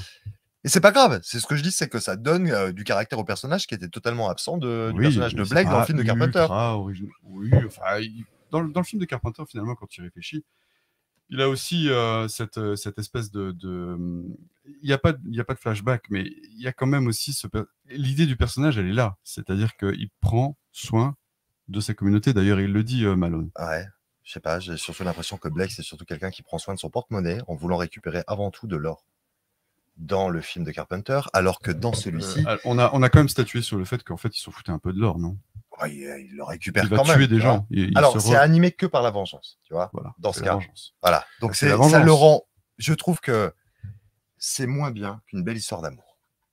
Voilà, Voilà. C'est, c'est là où tu voulais en venir, mais il fallait le dire tout de suite. Voilà, tu vois. Je trouve que la motivation, De Ouais, ce Blake s'il là. y a un truc que je trouve mieux dans le remake, c'est vraiment ça. C'est toute cette histoire, euh, tout ce qu'on voit sur le bateau et euh, la caractérisation et le background de Blake et euh, la communauté. bonne nuit Ça, Xavier. Merci à toi d'être resté si longtemps avec nous. Bonne nuit. Bonne Bonne nuit à toi. De toute façon, on a, on a bientôt terminé, t'inquiète pas. hein. Mhm. C'est pas un film où on va passer des heures. Non. Des heures. Oui, euh, il y a de toute façon euh, Rupert qui disait c'est plus probable que les fantômes reviennent pour une histoire d'amour plutôt que pour une croix en or. Et il a, il a raison sur le coup là. Parce que tu le disais tout à l'heure, qu'est-ce qu'ils vont faire de cette heure de toute Oui, façon oui, oui, oui, bien Voilà. sûr, bien sûr, bien sûr. Bon, frimer un petit peu, vous avez vu ma... Mais sauf que, croix encore en une or. fois, ils, ils reviennent pas pour, euh, pour de l'or. Mais ça, je- je- Ouais, ils reviennent pour euh, Six Must Die, Voilà. Voilà. Voilà. Tuer des gens. pour tuer des gens. Quelle histoire. Oui, ben moi, en tout cas, c'est quelque chose que je trouve intéressant. hein, toute cette caractérisation de ce j'aime de son cette, équipage. cette Il y, partie-là. a, il y ouais. a des, il y a des visages de lépreux où tu as un petit peu de compassion, tu as un peu de tristesse et tout, ça, fait. et tu te dis quelque part, ce sont des fils de pute Ils existent. et ils méritent de. euh, Ah, ils existent de vraiment. Du coup, là, effectivement, on prend beaucoup plus en empathie les, les, les- les fantômes. Et je trouve que ça, c'est pas mal. Ça, Donc, c'est point positif pour ce remake. Comme je l'ai dit, hein, tout n'est pas acheté. Tout n'est pas acheté. Euh, et nous avons donc. euh, alors, il faut savoir que Cooper Lane, en tant que scénariste, il n'avait pas les mains liées. hein. On lui a dit fais-toi plaisir. Bon, il s'est peut-être fait trop plaisir par moment. pas, tu vois.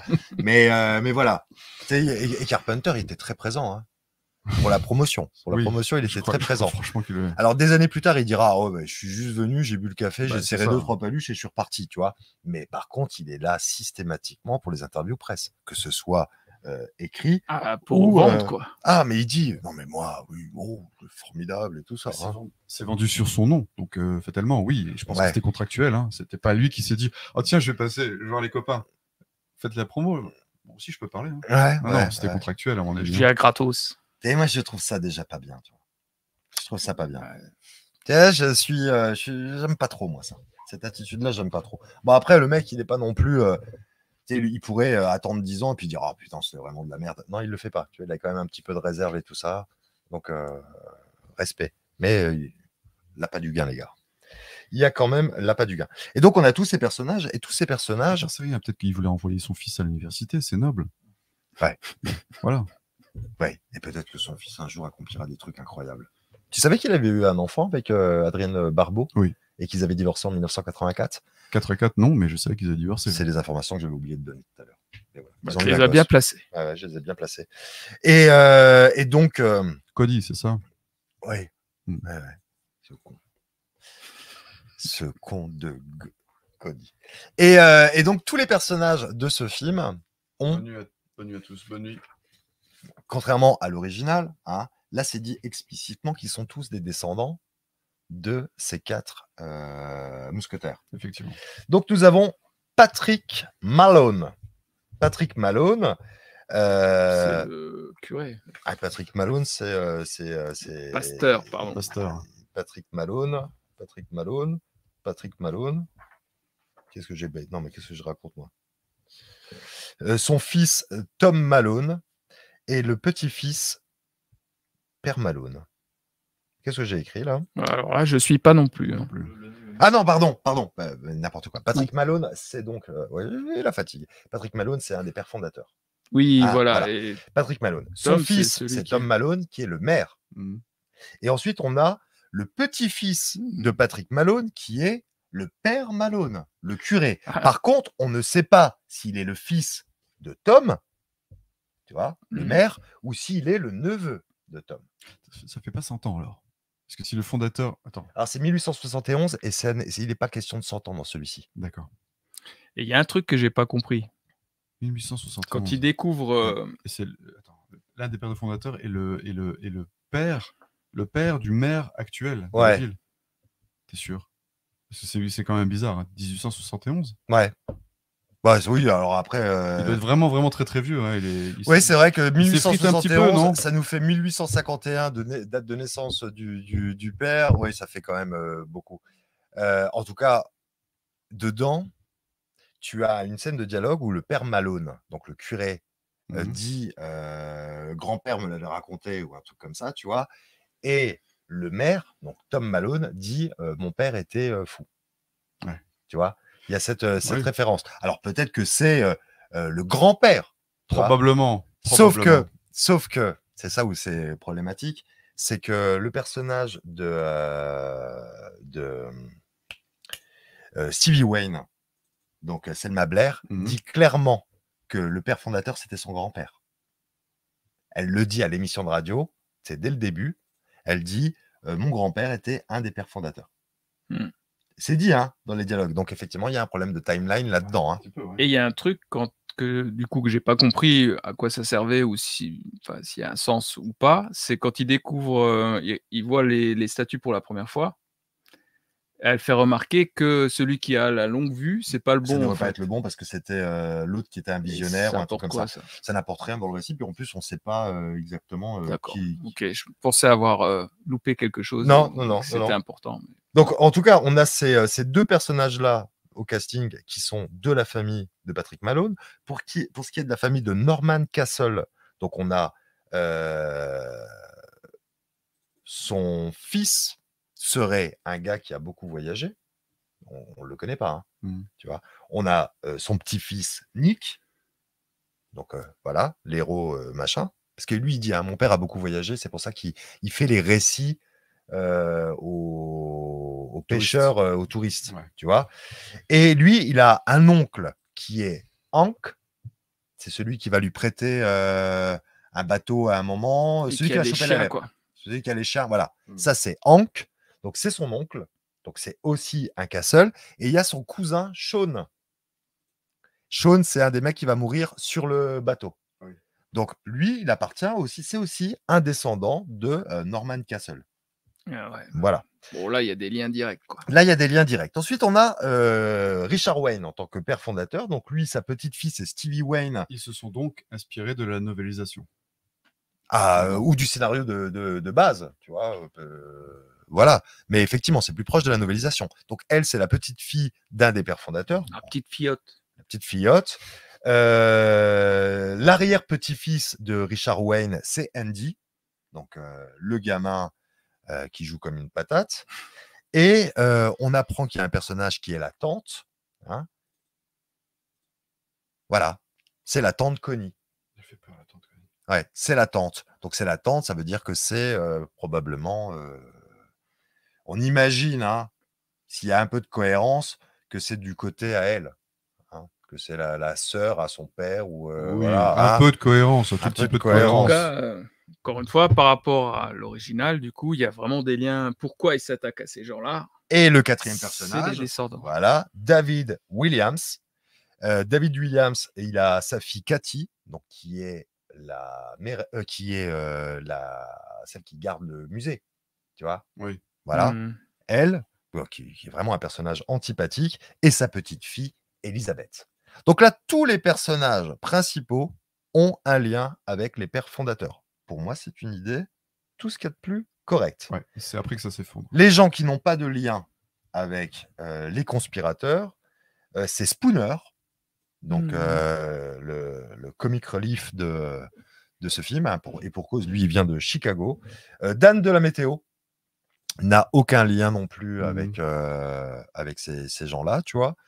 Et il y a euh, Mandy et Jennifer, voilà, qui sont les personnages sur euh, le bateau, bateau qui qui, font, danse. qui font les zinzins et tout, tu vois. Alors, il se trouve que la, la brune joue aussi un autre personnage qui s'appelle Brandy dans le film. Elle joue deux personnages, voilà. Et il y a aussi un chien qui fait partie des victimes et qui euh, n'a Aucun lien. probablement aucun lien de parenté avec J'ai pas vu de chien les conspirateurs. Je n'ai pas vu de chien non plus. Donc ça, vous, le, vous, sa- vous savez probablement qui c'est. hein, c'est euh, Tom Malone, le maire Le de cette... euh, voilà.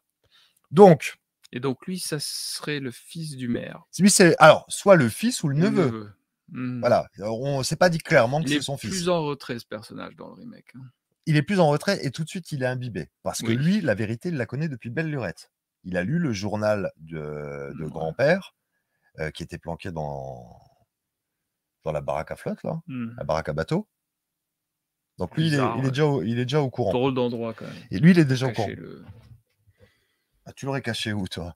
Sur le paillasson Je sais pas. Mais c'est voilà, oui, oui, oui, t'as tout raison, mais t'as tout à fait raison. En tout cas, ça, c'est quelque chose que, que j'aime dans le film. C'est vraiment le truc, euh, le lore, tu vois, cette espèce de cohérence dans l'univers.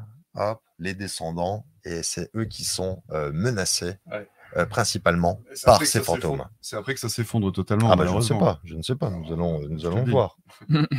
nous allons voir. Ouais. Ça aussi, t'aimes bien, toi?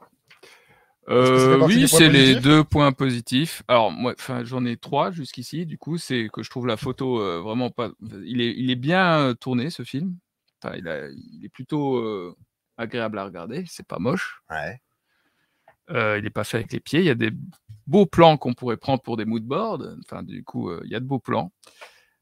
Il y a c'est euh, ce qu'on s'attache plus à Blake et tout ce qui se passe sur le- l'Elizabeth Dane, de voir tout ça, ça c'est chouette. Et effectivement, ouais, du coup, c'est plus clair avec les, euh, les descendants et tout ça. Voilà. Et ça s'arrête là. Pour l'instant, on va essayer de, te- de- de trouver d'autres points positifs. Bah, hein, vas-y, vas-y, C'est dommage de s'arrêter là. Euh, musique, vous aviez dit que la musique était plus réussie. Euh, Ah non, pas non, non, ah non, non, enfin, non, non, non, ah, pas du tout. pas dit ça? Ah non, j'ai juste dit que le petit thème qu'on a entendu là, c'est le seul thème correct du film. hein. Mm. J'aime bien ces, ces petites descentes de notes et tout ça. Je trouve qu'elles sont sympas. Tout le reste, Puis que- c'est bien habillé euh, avec, euh, il y a un peu d'orchestration. en Dans fait, les interviews, pas que de euh, l'électronique. pendant la production du film, euh, on a demandé à John Carpenter si, euh, si le thème musical de, Fro- de Fogg serait repris Hmm. pour celui-ci. Et euh, lui disait ah ouais ce serait pas une mauvaise idée mais il faudrait que ce soit réorchestré et compagnie et tout et le producteur Foster disait oh oui ce serait formidable d'utiliser le thème et tout tu vois bon, finalement ça a dû coûter trop cher et euh, on ne retrouve pas le thème de, euh, de Carpenter du tout hein, dans ce, ce remake de Fogg Ah, je pensais que c'est- que c'est- c'était un peu adapté quand même. non bah ça, ça ressemble pas en tout cas hein. c'est peut-être dans l'esprit si tu veux mais euh. Ça m'a pas marqué en tout cas, moi. Mais j'aime bien le, le- le petit truc qu'il y a dans le, le carton, là, ce qu'on a mis. Je trouve que le morceau, il est pas, il est pas si mal. À mon avis, c'est le Rupert qui a dit non, non. Déjà, l'histoire de la croix, on n'y croit pas. Alors, en plus de ça, on prend la musique. Si euh. on prend la musique, non, mais en plus, il adore le film. Ah bon? Ouais, Parce mais qu'il a pas compris. Hein. Il croit que c'est pour la- l'or qui revienne. Donc, euh, manifestement, euh, pourquoi c'est juste pour tuer les six? Les six qui n'ont, euh, voilà, les six doivent mourir. Ah oui. Voilà, Qui devait être 12. ouais. Qui étaient six, euh, six euh, descendants de conspirateurs, c'est ça? Bah, euh, pas vraiment. Jamie Lee Curtis, par exemple, c'est pas une descendante. Ouais, mais elle, elle meurt pas. Alors, on va refaire le premier là? Non, elle meurt pas. Non, Non. c'est bon, non, continue. Non, parce qu'attends. Nick Castle, il est mort Pas mort, Nick Castle. Pourquoi c'était un fils de conspirateur, lui? Bah, je sais pas. Tu... Non, mais dans le film, c'est jamais dit que c'est un Bah fils de conspirateur. Non. Aucun. À Non. part euh, Malone. Non, et dans la novélisation, il est dit que ce sont des descendants de conspirateurs. Et c'est là où c'est génial parce que les trois qui se font attaquer dans le bateau au début, fait exprès, ce sont trois descendants de conspirateurs. Tu vois, ça Au pourrait même endroit. au même endroit, au même moment. Ah, toi aussi, t'as un grand-père qui était un conspirateur? Si, si, moi aussi. Ben voilà, tu vois. Non, mais alors déjà là, voilà, c'est de la merde, c'est écrit avec le cul. Euh, Tandis que le remake de 2005, Alors, il prend moins de risques. Ça c'est sûr. Il prend moins de risques, mais c'est tout de suite plus Mhm. cohérent. Je suis désolé, tu vois. T'es d'accord? Euh, Oui, ces poids-là, oui. Voilà, on c'est moins courageux, je bien, mais, euh, mais voilà. Pas une histoire de. Dans, courage. dans, euh, dans ces personnages, on a une sorte de triangle amoureux un peu à la con. Oui, c'est pas très clair, hein, parce qu'apparemment, il est en route pour aller sauter euh, Stevie Wayne. Et... Qui Monsieur Smallville? Oui, euh, Nick Small Castle, Dick. pardon, ouais. Ouais, Nick Castle. Qui, euh, qui met un beau pull euh, col roulé euh, jusque-là, comme ça, pour aller niquer. Ouais. Et en chemin, il rencontre Elisabeth, qui était en plus une ex. Eh oui. Avec qui il se remet. Et tout de finalement, il se dit Oh, bah, Stevie, elle va attendre. Hein. Ouais. Elle est là pour ça, non? Donc, on a donc ce personnage. Ah putain, mais c'est- ça, c'est pour moi vraiment euh, hyper raté. Ah ouais, Vraiment, ça, c'est un carrément peu- raté. Et c'est, et c'est là où tu vois que ça s'adresse à un public très jeune, parce que les gens, ils ont besoin de, euh, du love interest, ils ont besoin de cette espèce d'histoire et tout, tu vois, mais ça Oui, ne mais pas fonctionne clair. pas. ça- Voilà. Donc, Nick Castle, il sortait fut un temps avec Elisabeth, hein, la, la- la- la blonde. Et ça se passait pas très bien. Et elle, elle a décidé de partir de cette île pour aller à la Big Apple, Mhm. pour aller à New York. Tout dans un fait. premier temps, elle a bossé dans un restaurant un peu merdique, Ouais, ouais. mais après, elle a travaillé dans une galerie d'art. Hein, tu vois, vraiment le, le bon gros job et tout ça, tu vois. Et elle était euh, sans cesse hantée par euh, des visions comme ça. Quelque chose l'a ramené. La ramener. Hein Reviens, reviens, reviens, lui, Oh, cru. Voilà, tu vois. C'est pour ça qu'elle est revenue. Bah ouais. Voilà. Mais pendant ce temps, l'autre, Ça tombe bien vécu. pour. euh, Eh, pour, euh, Elle est partie huit mois, je crois. Ah, ça, je sais plus. Huit mois, je crois qu'elle est partie. Et donc l'autre, il avait le piment au bout du Ah bah, du sur une île. euh, Sur une île. Et il a dit tiens, je vais me taper l'autre qui a déjà un gosse. Comme ça, je suis sûr qu'elle me demandera pas d'en faire un. Mais c'est probablement ce qu'il s'est dit, tu vois. Ah, tu Voilà. réfléchis comme lui, toi. Mais écoute, j'ai son âge. j'ai son âge. Mais voilà, tu vois. Et donc l'autre, il était en train de faire ses affaires. On sait qu'il couchait avec. Bah pas- oui, il était clairement. pas en- tout cas, il n'était pas en route pour lui. Mais elle lui en veut pas trop. hein. Ah, moi, je trouve qu'elle lui en veut quand même. Hmm. Tu vois, euh, tu... Selma Blair. Ah. Ah, Ah, tu trouves qu'elle. Bah, franchement. Elle lui en veut pas du tout parce que quand il, quand il la, enfin, il la recroise ensuite dans la ville Ah, mais c'est quand elle est dans la ville, justement. et elle Mais lui dit, euh, elle repart bientôt voilà. ou pas? Genre en mode, euh, dès Ouais, qu'elle se casse, je suis prête, tu peux venir me, me Ah, prendre. putain, j'ai- moi, j'ai trouvé que ça puait trouvais que C'était la. ironique. Ouais. C'était Ouais, genre. euh, Vraiment pas. hein. Hein. Ah, bah putain, pour, pour moi, je, je euh, serais à sa place. pas faire sa vie avec, tu vois, c'est juste pour niquer. Eh, je suis pas convaincu. C'est son sex friend. Ah non, je suis pas convaincu. Tu vois, moi, quand elle est, dans la rue, quand elle, quand elle lui fait la réflexion comme ça, j'ai vraiment l'impression qu'elle lui fait euh, la bonne grosse remarque euh, Après, elle met se euh, mal à la main une fois. Parce que lui, après, il fait comme ça. Ouais, puis il part. Tu, tu- sais qu'il il est là avec ses deux cafés comme ça. euh, ouais, machin, ouais. voilà, tu vois, et l'autre, il fait pas le fier. Parce qu'autrement, il aurait fait comme ça. Oui, non, mais bien sûr que je te rappelle. voilà, il fait pas ça. Tu vois, si vraiment ils avaient ce lien, ouais, mais de toute façon, elle reste pas. Elle, tu la connais. Hein, elle aura une lubie et tout. Je lui colle sa cartouche. Non, pas ça. Donc, euh, Non. Non. Eh non. Donc, euh, voilà, moi, je sens quand même qu'elle va lui faire payer. Tu vois. Est-ce qu'elle lui euh, fait payer? Bah, après, on- ils ont plus Dans de scène, euh, pendant dans Fuck 2, le remake de le- la suite du remake. Ouais. Bon, et en tout cas, il y a ce love interest un peu à la con. Cette nana, donc euh, la Elizabeth Williams, Elizabeth Williams. D'ailleurs, c'était quand même trop fou que Jamie Lee Curtis elle ait le, le prénom de Elizabeth, Comme- Dane. Euh, comme le, le Le bateau. Elizabeth Dane, alors Ouais. qu'il n'y a strictement aucun lien. Je trouve Non. que c'est une belle occasion ratée. Ah, moi, Hmm. j'ai effectivement pensé à ça aussi. Ouais, ouais. Mm. Mais par contre, ça n'est pas une occasion ratée dans euh, bien sûr que non. le remake. Ah non. non, parce qu'on Ah sait non. pourquoi le Ah bateau oui. s'appelle comme ça. Voilà, tu vois. Non, mais ça, tu peux admettre quand C'est même. vrai. je Mais voilà, parce que l'autre, C'est il vrai. tu sais, il est jusqu'au bout. Ah, non, tout est raté, que- tout est raté. Mais oui, mais non. Sauf que non, non, non, non, j'ai j'ai pas dit ça. Encore une fois, je trouve que le début fonctionne vraiment très très bien. Ah, mais là, on est déjà à la moitié du film. Le il- love interest. Oui, bah alors, c'est justement, c'est vraiment le truc qui part en couille. Quoi. Déjà, dès le début, dès le début tu t'y crois plus du tout. tous ces personnages-là, tu te dis, bah, c'est des pantins. Ils font n'importe quoi. Ah, mais de toute façon, tu les vois physiquement, tout de suite, tu te dis que c'est des pantins. Mais ça, c'est le problème du casting. Tu te dis, oh putain, qu'est-ce que j'en ai à foutre de Smallville là, que- non, non, m'intéresse c'est un problème pas. d'écriture aussi. Les personnages n'existent pas du tout. Les personnages ne malgré, ressemblent pas. malgré la cohérence avec le. le- le- le- le- Franchement, je pense qu'ils ont tout misé sur le flashback. Après, ils se sont dit, on verra par, par la suite. hein. Ah, Le flashback est bien réussi. Voilà, tu vois, c'est bien, on trouve. eh, tu sais que là, on entend les... quand tu fais du scratch. Ah, hein. pardon. Désolé. Non, mais il n'y a pas de souci. Et Parce qu'il euh, y a 44 personnes. hein, Je pense que. mais c'est bien. Alors C'est là, pas c'est mal, hein. mais bien sûr que Ils, c'est ont. Non peut-être un- mais, ils ont peut-être un œil fermé. hein. non, mais lui, eh, Ouais, oui, quand même, à 3h du mat, Eh, 44 personnes. 44 personnes. Moi, il n'y je a pas serais beaucoup de chaînes en qui font euh, dormir. 44 à l'heure là. Ah ouais. hein. Enfin, il y en a probablement plus que c'est. voilà, qu'on peut l'imaginer. En tout cas, toi, par exemple, ta femme dans l'obscurité, si elle te parle, tu reconnais sa voix? Euh, oui. Oui. Bon, ce n'est pas le cas de Nick, qui, euh, J'ai cru qu'il y avait un piège.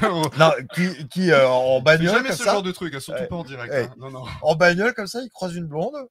L'autre, alors qu'il est Oui, en chemin pour aller sortir sa nouille, tu vois? Coup de frein à main. Je peux vous déposer quelque part, madame? Tu vois? Et l'autre, elle lui dit, euh, je sais plus ce qu'elle lui dit. Euh, T'es pas dans le bon sens et tout ça. Ouais, un truc comme ça, voilà, tu vois. Et l'autre, il faut vraiment qu'elle s'approche, qu'il lui colle Non, euh, non, la non, non, elle a une casquette, elle Ouais. enlève la casquette et là, il reconnaît, elle lui fait le coup du shampoing comme Voilà, ça. comme ça. Ah, ah, c'est toi Ah, Qu'est-ce que tu fous là? Tiens, justement, ça Je me suis demande. content de te voir. Qu'est-ce que tu fous là? T'es là en pleine nuit et tu vas me dire que le ferry, il a traversé de nuit Je sais plus ce qu'il lui Non, dit. non, Il- ça il fait, lui euh, ça sort un- Il lui sort une Non, mais punchline. lui, il lui dit pas ça, mais c'est en pleine nuit. Non, non, non, mais même, il lui sort une punchline, je sais plus ce que c'est, pour, pour la, la convaincre de monter avec elle. Et, oh merde, je voulais m'en souvenir, mais euh, elle, Non, que- m'échappe totalement, mais elle est totalement conne, cette euh, Mais- mais de, mais toute façon, c'est con. Parce que la nana, Oui, c'est une île. Elle vient de New York. Elle a utilisé le ferry. J'imagine que le ferry, il circule pas de nuit, quand même. Bah, euh, non, Et, elle s'est perdue sur la route. Elle se souvenait plus. Mais c'est son île, tu vois. Et puis le ferry va pas la déposer à l'autre bout de la. Voilà, on va là où il y a un petit peu d'agitation. Surtout qu'elle, elle habite, elle habite en ville, elle habite pas à un chalet isolé, tu vois. non, non, non, et pourquoi elle a pas pris un putain de taxi? Ouais. Ou un Uber Eats. Ou elle a simplement demandé, ou simplement demandé à sa maman de venir la chercher. Comme, euh, Ben voilà, tu vois. Non, mais mais sa, non. sa mère, c'est une connasse. Ouais, sa mère, c'est une connasse. Et en plus, elle lui fait, elle lui fait la surprise. Oui. Ah, Euh, Ouais, mais c'est une bonne idée de faire la surprise. Hein. Je sais pas si Et puis, elle a mais- pas ouais. aimé. euh. Euh, Tiens, T'aurais- dû me je- tiens, je vais prévenir. surprendre ma mère qui est une salope. ouais, ouais, c'est exactement ça. Juste pour faire un aparté, vous avez quand même oublié que dans la première, dans le flashback, il y a des objets qui tombent dans l'eau. Ouais, bien sûr. Oui, Ouais. et qui Les ramasse objets. au fur et à mesure. Hmm. Bon, de toute façon, on ne raconte pas tout le film, il faut laisser un peu de secret. Mais euh, oui, effectivement, il y a des objets qui tombent, euh, des, des brosses à cheveux, des, euh, des skull shavers en or. c'est vraiment pour. C'est de l'inclusif. C'est pour que tout le monde se sente concerné. Il y a, euh, il y a une statue et il y a une silhouette de Nana qui se noie. Hein Alors, bon.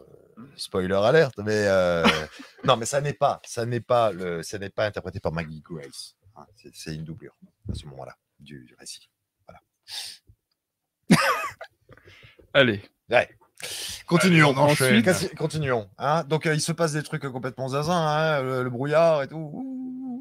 Euh, Il y a déjà le peut brouillard, avoir je me photos souviens plus. Ouais, ouais. Il y On a déjà le brouillard? Je crois pas. Hein. Qu'est-ce qui se passe après dans ce film? Non, C'est pas le, c'est pas l'oncle là qui. euh, Alors là, il la ramène voir sa mère.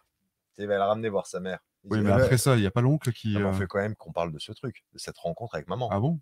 Bah, bien sûr. ouais, ouais, là, elle- t'aurais pu prévenir, quoi. Ouais, t'aurais pu prévenir, t'as espèce de salope de fille, qu'est-ce que tu fous là? Dégage part, la Pator, elle pourrait prévenir quand même. Ah non, mais c'est. euh, c'est Alors, c'est une scène qui a été considérablement raccourcie.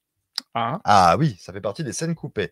Alors, pas essentiel, mais donne des infos sur ce qu'elle fait. C'est là où on apprend la galerie d'art après avoir été serveuse et tout ça. Il y a peut-être des gens qui vont se dire Ouais, pourquoi Romain il parlait de galerie d'art? J'ai pas vu ça dans le film. C'est dans la scène coupée. Et tu vois que sa mère est vraiment pire que tout. Ouais. Oui, oui. Il y a certaines, certaines personnes qui ont envie de fournir des efforts. Voilà. voilà. Ah. Parce qu'il y a des scènes coupées. hein. J'ai oublié de le mentionner. Il y avait déjà euh, la rencontre avec Matchon. Tu sais, l'espèce de, de zinzin sur l'île mhm. qui fouille. Euh, Machen, il fouille la plage depuis 30 ans. Et on, on découvre Sean et son copain qui sont en train de le mater, lui avec son détecteur de, de métal. ça, ils auraient dû laisser, du coup. Ouais, et c'est à un moment, il voit quatre silhouettes dans le brouillard que nous, en tant que spectateurs, on assimile aux pionniers, tu vois, et finalement, c'est quatre euh, gars euh, lambda, tu vois. Mais je trouve que ça a un petit côté hyper Ah oui, oui, Qu'est-ce qui se passe bien, de balancer des photos comme ça qui n'ont rien à voir avec la choucroute? Ah bah, pas. Oui, je sais, mais là, je suis en train de parler d'une scène coupée. Ah oui, mais je suis bien, mais je vais juste. Ah oui, il fallait qu'on voit Machen qui fouille dans le Ah sable. euh, Ouais, et il a raison de mettre Machen qui fouille dans le sable. Ensuite- tu t'énerves tout de suite. Mais je m'énerve bien pas. son travail. De quoi? Mais on va Bah revenir oui, dessus. mais on s'en fout. Le secret d'Andy. le, le, le secret, le secret d'Andy, le gamin. Tu Le secret d'Andy. Ah oui, il a un secret, Andy, dans une Ah. scène coupée. Il y a une sonne- Il y a Andy qui écoute sa mère à la radio, tu vois. Tous les soirs, comme ça. Il En l'écoute cachette. en cachette. Alors là, c'est en plus euh, un moment où sa mère propose à des célibataires de la Il est contacter. obligé, sinon il n'entend jamais sa voix. Voilà, il est donc jamais c'est là. hyper. Exactement. Et Andy, en écoutant la radio, ça montre le fait qu'il a envie de participer, tu vois? Et il le demande à sa mère. Il dit Maman, je peux venir à la radio? Non, f- dégage, reste pas dans mes pattes, fils de pute. Elle est un peu comme ça, euh, sa mère. Ouais, elle, elle est un petit peu. elle est un peu, un les dure. ouais. Et à la fin, Ouais, je l'aime pas trop. Et à la d'ailleurs, fin- cette version. à la fin du film, dans la conclusion, quand elle fait son, son speech, elle a Andy à côté. Donc quelque part, ils arrivent à. Elle a grandi. Elle a grandi avec son fils. Non, mais ils arrivent à se reconnecter. Mhm. Alors que pendant le film, on est Non, dans une mer. C'est écrit dans, dans les livres de scénario. Il faut que le personnage grandisse, Ouais. évolue. Ouais. Bah, et- Ouais, mais lui, il trouve ça, il trouve ça désagréable alors qu'il se réjouit de savoir que Adrienne Barbeau est là. Ah, génial, le fuck disparaît. Et ton fils? Ah, j'avais oublié mon fils. Voilà, bon. Là, en tout cas, ça va Et au tu, bout. tu crois que ça, c'est un argument, ça? Là, ton imitation, là. Oui, Magnifique, hein oui, oui. oui. Mais je trouve que c'est un argument. Ah bon? Bah, bien sûr. Ouais, Là, au moins, l'histoire, il, se bou- il y a quelque chose qui se Plan-plan, boucle. quoi. Le truc euh, bien plan-plan. Ah ouais, mais ça se cousu boucle. blanc que tu vois arriver depuis euh, avant même le générique, tu Ah le non, mais sens. moi, je m'en rappelle même pas alors, que c'est y a cousu, cousu de Mais- fil blanc, mais entre quelque chose qui est cousu de fil blanc et quelque chose qui est pas cousu du tout. pas cousu du tout, tu as Voilà. des en lambeaux comme ça, ou tu as Adrienne Barbeau qui dit Oui, beware the fog, beware la mouche. Non, stop, tu vois. L'autre, elle a son fils, elle sait même pas s'il est encore vivant, et ça ne l'a tout. Voilà, tu vois?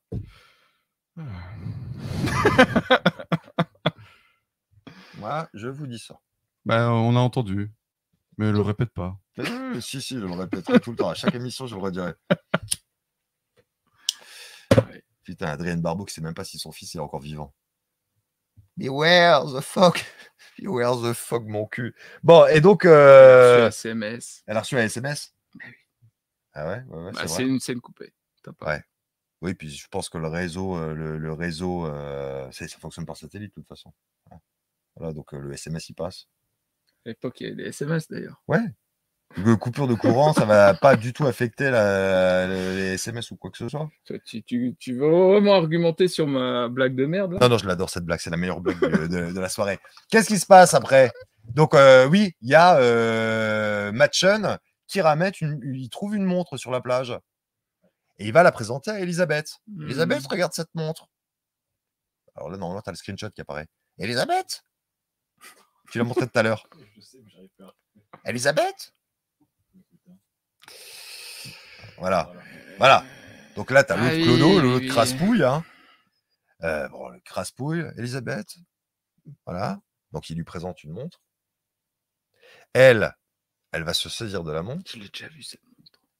Elle, ah, on a, elle se dit ça. Elle se le dit après euh, dans Ouais. la Je voiture. sais plus du tout. Et Je me elle souviens dit, de prendre la montre, oui, mais. elle dit, mais elle fonctionne encore cette montre? Elle fait Ah tic-tac. non, et elle voit, elle euh, l'inscription. elle de- voit l'inscription. Ouais, ouais. Les, les- les trois inscriptions, les trois symboles. Le 7, le symbole de. Voilà. Ah, elle se remet en route, en fait, c'est pas ça? Et elle se remet en Elle route. se remet en route, oui. Voilà, tu vois. Parce que c'est le décompte. Ouais, la Un- justice. en un fait. élément fantastique comme ça, tu vois. Hmm, Comment ça se fait qu'elle euh, que le fait qu'elle l'ait touché Tu et es lié euh, à cette dé- histoire déclenché quelque chose, tu vois? Ça, as un lien avec cet objet. La malédiction est déclenchée, enfin la malédiction, l'arrivée des fantômes est déclenchée par un événement, euh, voilà. Elle se touche là. Hmm. Tu crois que c'est lié à ça donc euh, Bah, vu si- que c'est pas le centenaire. Jonathan a raison. Euh, On ne fête pas, il n'y a pas une célébration au niveau des dates ou quoi que ce soit. Bon, il y a juste Qu'est-ce une qui déclenche célébration effectivement l'arrivée des. C'est quoi? Parce qu'avant avant qu'il ait touché, il y a ça qui se passe. Il y a ça qui se passe Ah, avant Le chien s'est déjà fait. Putain, bah, il n'y a rien qui tient dans ce film. film de merde Film de merde Oui, le fog est déjà là. Mais de toute façon, En fait, je crois que il- malgré tout, alors ça me fait vraiment mal au cul de le dire, hein, mais Oui, je crois oui. qu'il a pas tort parce qu'en fait, au tout début, Ouais. si vous vous souvenez, il accroche quelque chose avec euh, Nick Castle, Ouais. avec son, son, son Ah, encre, et c'est, je crois, une- je suis plus sûr, mais une ça ouvre le partie sac des, ouais, du des, butin. des, des, des- des- des trucs. Ouais. Et donc, il y a cette montre, je crois, Ouais, bien sûr. qui est entraînée Mhm. par la marée. Donc, en fait, euh, C'est pour ça que tout, l'autre, hein, avec son détecteur de métal, il, il retrouve. euh, Donc, euh, quelque retrouve part, quand même pas, pas tort, tort, mais enfin, Bon, de toute façon, il y a quelqu'un. Domingo da Silva, il dit Romain, t'as pas honte. Il Ah, parlait du gamin là. Ah. Ah, pardon, voilà. Et euh, ouais, et euh, en tout cas, on voit qu'elle, elle a un lien avec euh, ces pirates. Ou c'est lépreux. Bon, en tout cas, elle a un lien. C'est pas pour rien. Le quand Matchon, il avait la montre en main, elle faisait pas tic-tac. D'ailleurs, on n'a pas déjà vu euh, quelqu'un qui lui ressorte dans les flashbacks. Non, pas encore. Ah, Avec euh, le montage, on peut pas savoir que. de toute façon, Voilà, on peut pas le savoir. Et euh, là, il y a euh, Nick qui vient, tu vois, puis qui fait comme ça. Mais qu'est-ce qui se passe là? Je dis, ah, je l'aime pas. lui. Ouais, lui parle pas. Il parle pas, il sent pas bon. Eh, il, est, il est un peu comme ça, tu vois. Et là, tout de suite, tu te dis, ce mec est désagréable. Déjà, il n'a pas été capable de garder euh, sa tub dans son slip pendant huit mois, tu vois. Donc, c'est qu'il n'est pas, euh, Il est pas très fidèle. il Quoi. est pas super fidèle, tu vois. Bon, en après, plus, il séparé. méprise les marginaux. il méprise les marginaux, tu vois. Ça, c'est vraiment un mec Fils qui de gueule pour le bourgeois, ça. RSA, ça. C'est oui, RSA, machin, ça fait chier, euh, je cotise pourquoi, euh, Je voilà. paye pour les autres. je paye pour les autres. Il doit être un peu comme ça, lui, hein. un peu Ça comme toi. C'était gratuit parce que tu es quand même très à gauche, tu es probablement le mec le plus à gauche qui sera assis à ma droite. Et, euh, Euh, et oui, oui, oui. Donc, euh, c'est vraiment un personnage de fils de pute. hein. dire ça. Ah, je le déteste. C'est pas mon Ouais, cas. C'est vraiment un trou du cul, il n'y a pas d'autre terme. Hein. Et tu sais qu'il travaillait en même temps sur Smallville, le gars. Ah, c'est possible, oui. Et il faisait 5 jours Smallville, il revenait le week-end bosser sur Fog. Tu vois? était il en voulait à l'époque. Hein. Ah, il ne dormait pas et tout, mais il avait envie de changer son image Ouais, auprès du blague. public. Tu vois? Ça a Et bien Donc, marché. il voulait hein. passer pour un connard. Ouais, peut-être. Non, mais il a avait bien envie de faire marché. un film qui, qui fout les jetons, tu vois. euh, voilà, bon, après raté. Ah, a je fait suis quoi sûr qu'il pensait que ça Il allait a être fait plein de séries B, voire des séries Z. Et euh, mais il a fait quand même quelques séries télé qu'on n'a pas regardées parce que c'est des trucs américains. Je crois qu'il a fait un truc sur le Navy Seal. Ouais. Un truc comme ça. Mais euh, je- j'ai vu une bande-annonce d'un film récemment avec une autre star. Des... Ah Avec euh, Brandon Fraser. Il a fait une espèce de comédie où lui, il joue une espèce de, de, de- de mercenaire. euh, Brandon Fraser, c'est le mec dans The Whale, là? Ouais, mais c'était avant. C'était avant The Whale. Ah. C'était vraiment au creux de sa carrière. Dans... Ouais. dans le creux, quoi. Et, euh, et ça a l'air particulièrement naze. Bon, en tout cas, le mec, il a eu une carrière un peu là. Ouais, après Smallville, c'était mort, quoi. Vraiment de la merde. Et donc, ouais, on a déjà le brouillard qui attaque et qui s'en prend à des chiens. Euh, oui, non, déjà avant, c'est ça. Ah ouais, alors il y avait ça avant. Oh, Eh oui, eh oui, Quelle séquence de les merde. Ah, ah, non, les oiseaux, les oiseaux, ils sentent le danger. Absolument. Ah bah, bien sûr. Et là, il- le- l'oncle retrouve le chien euh, complètement défoncé. Ouais. Hmm. Ouais, ouais. Et on découvre ensuite euh, Stevie. Pourquoi s'en prendre à un chien? Aucune logique. C'est vraiment. euh, Ça me met hors de Que moi. Nick l'avait niqué aussi, alors il s'est dit, bon, bah. Ouais, mais oui, peut-être qu'il y, y a- quelque chose hein, avec ce pauvre chien. Est-ce qu'on peut avoir une image du chien? Oui, l'oncle, ouais. Parce c'est pour Ah. C'est Oui. faire mal à l'oncle. Ouais, on s'en Parce prend à que c'est ce qu'il a de plus cher. hein. Et, et, Il euh, le dit. et non, mais on comprend. Parce que finalement, regarde ce chien, ce chien, il a la lèpre. Tu vois. Et euh, le truc, c'est qu'en lui foutant ça, en foutant le chien avec la lèpre comme ça, euh, l'autre, il, le- aurait- il le caresse. Après, il se gratte le visage. Hein, et puis, il chope la lèpre. Ouais, J'avais pas compris ça. Tu me l'as expliqué. Ouais. C'est aussi une manière de montrer une mort violente, un cadavre qui n'est pas ni un homme, ni une femme, ni un enfant. Ouais, C'est aussi pratique. ouais c'est pratique. Bon, bah, après, ça n'aide pas. Je trouve pas que ça aide spécialement. Tu vois. Non. Mais si on voulait vraiment que le mec, il chope la lèpre. Bon, alors après, le. euh, ce- ce- putain. Alors, je vais, je vais dire un truc, je pense pas qu'ils aient réellement besoin de ça, les, les- les fantômes, pour tuer les gens. Non Donc, euh, c'est un peu compliqué, je trouve, pour euh, des fantômes. de, de quoi De refiler la De lèpre refiler la lèpre au chien pour que le chien refile Ouais, la c'est lèpre. un plan euh, mûrement réfléchi. hein. Ouais. Euh, oui, et puis Surtout ça peut prendre du temps normalement. Surtout qu'ils vont pas le continuer, ce plan. Ils vont se dire, bon, ça marche moyennement, on va y aller Non, avec mais- les sabres, c'est plus Non, simple, mais je crois. s- surtout que c'est génial parce que euh, je suis capable de reconnaître que ce film a des défauts. hein. Non, Tu vois? mais il y en a Et pas. Ce qui, est, ce qui est complètement génial, c'est que ce type, l'oncle, euh, l'oncle avec euh, la lèpre, dans un premier temps, il le casse juste avec un sparadrap.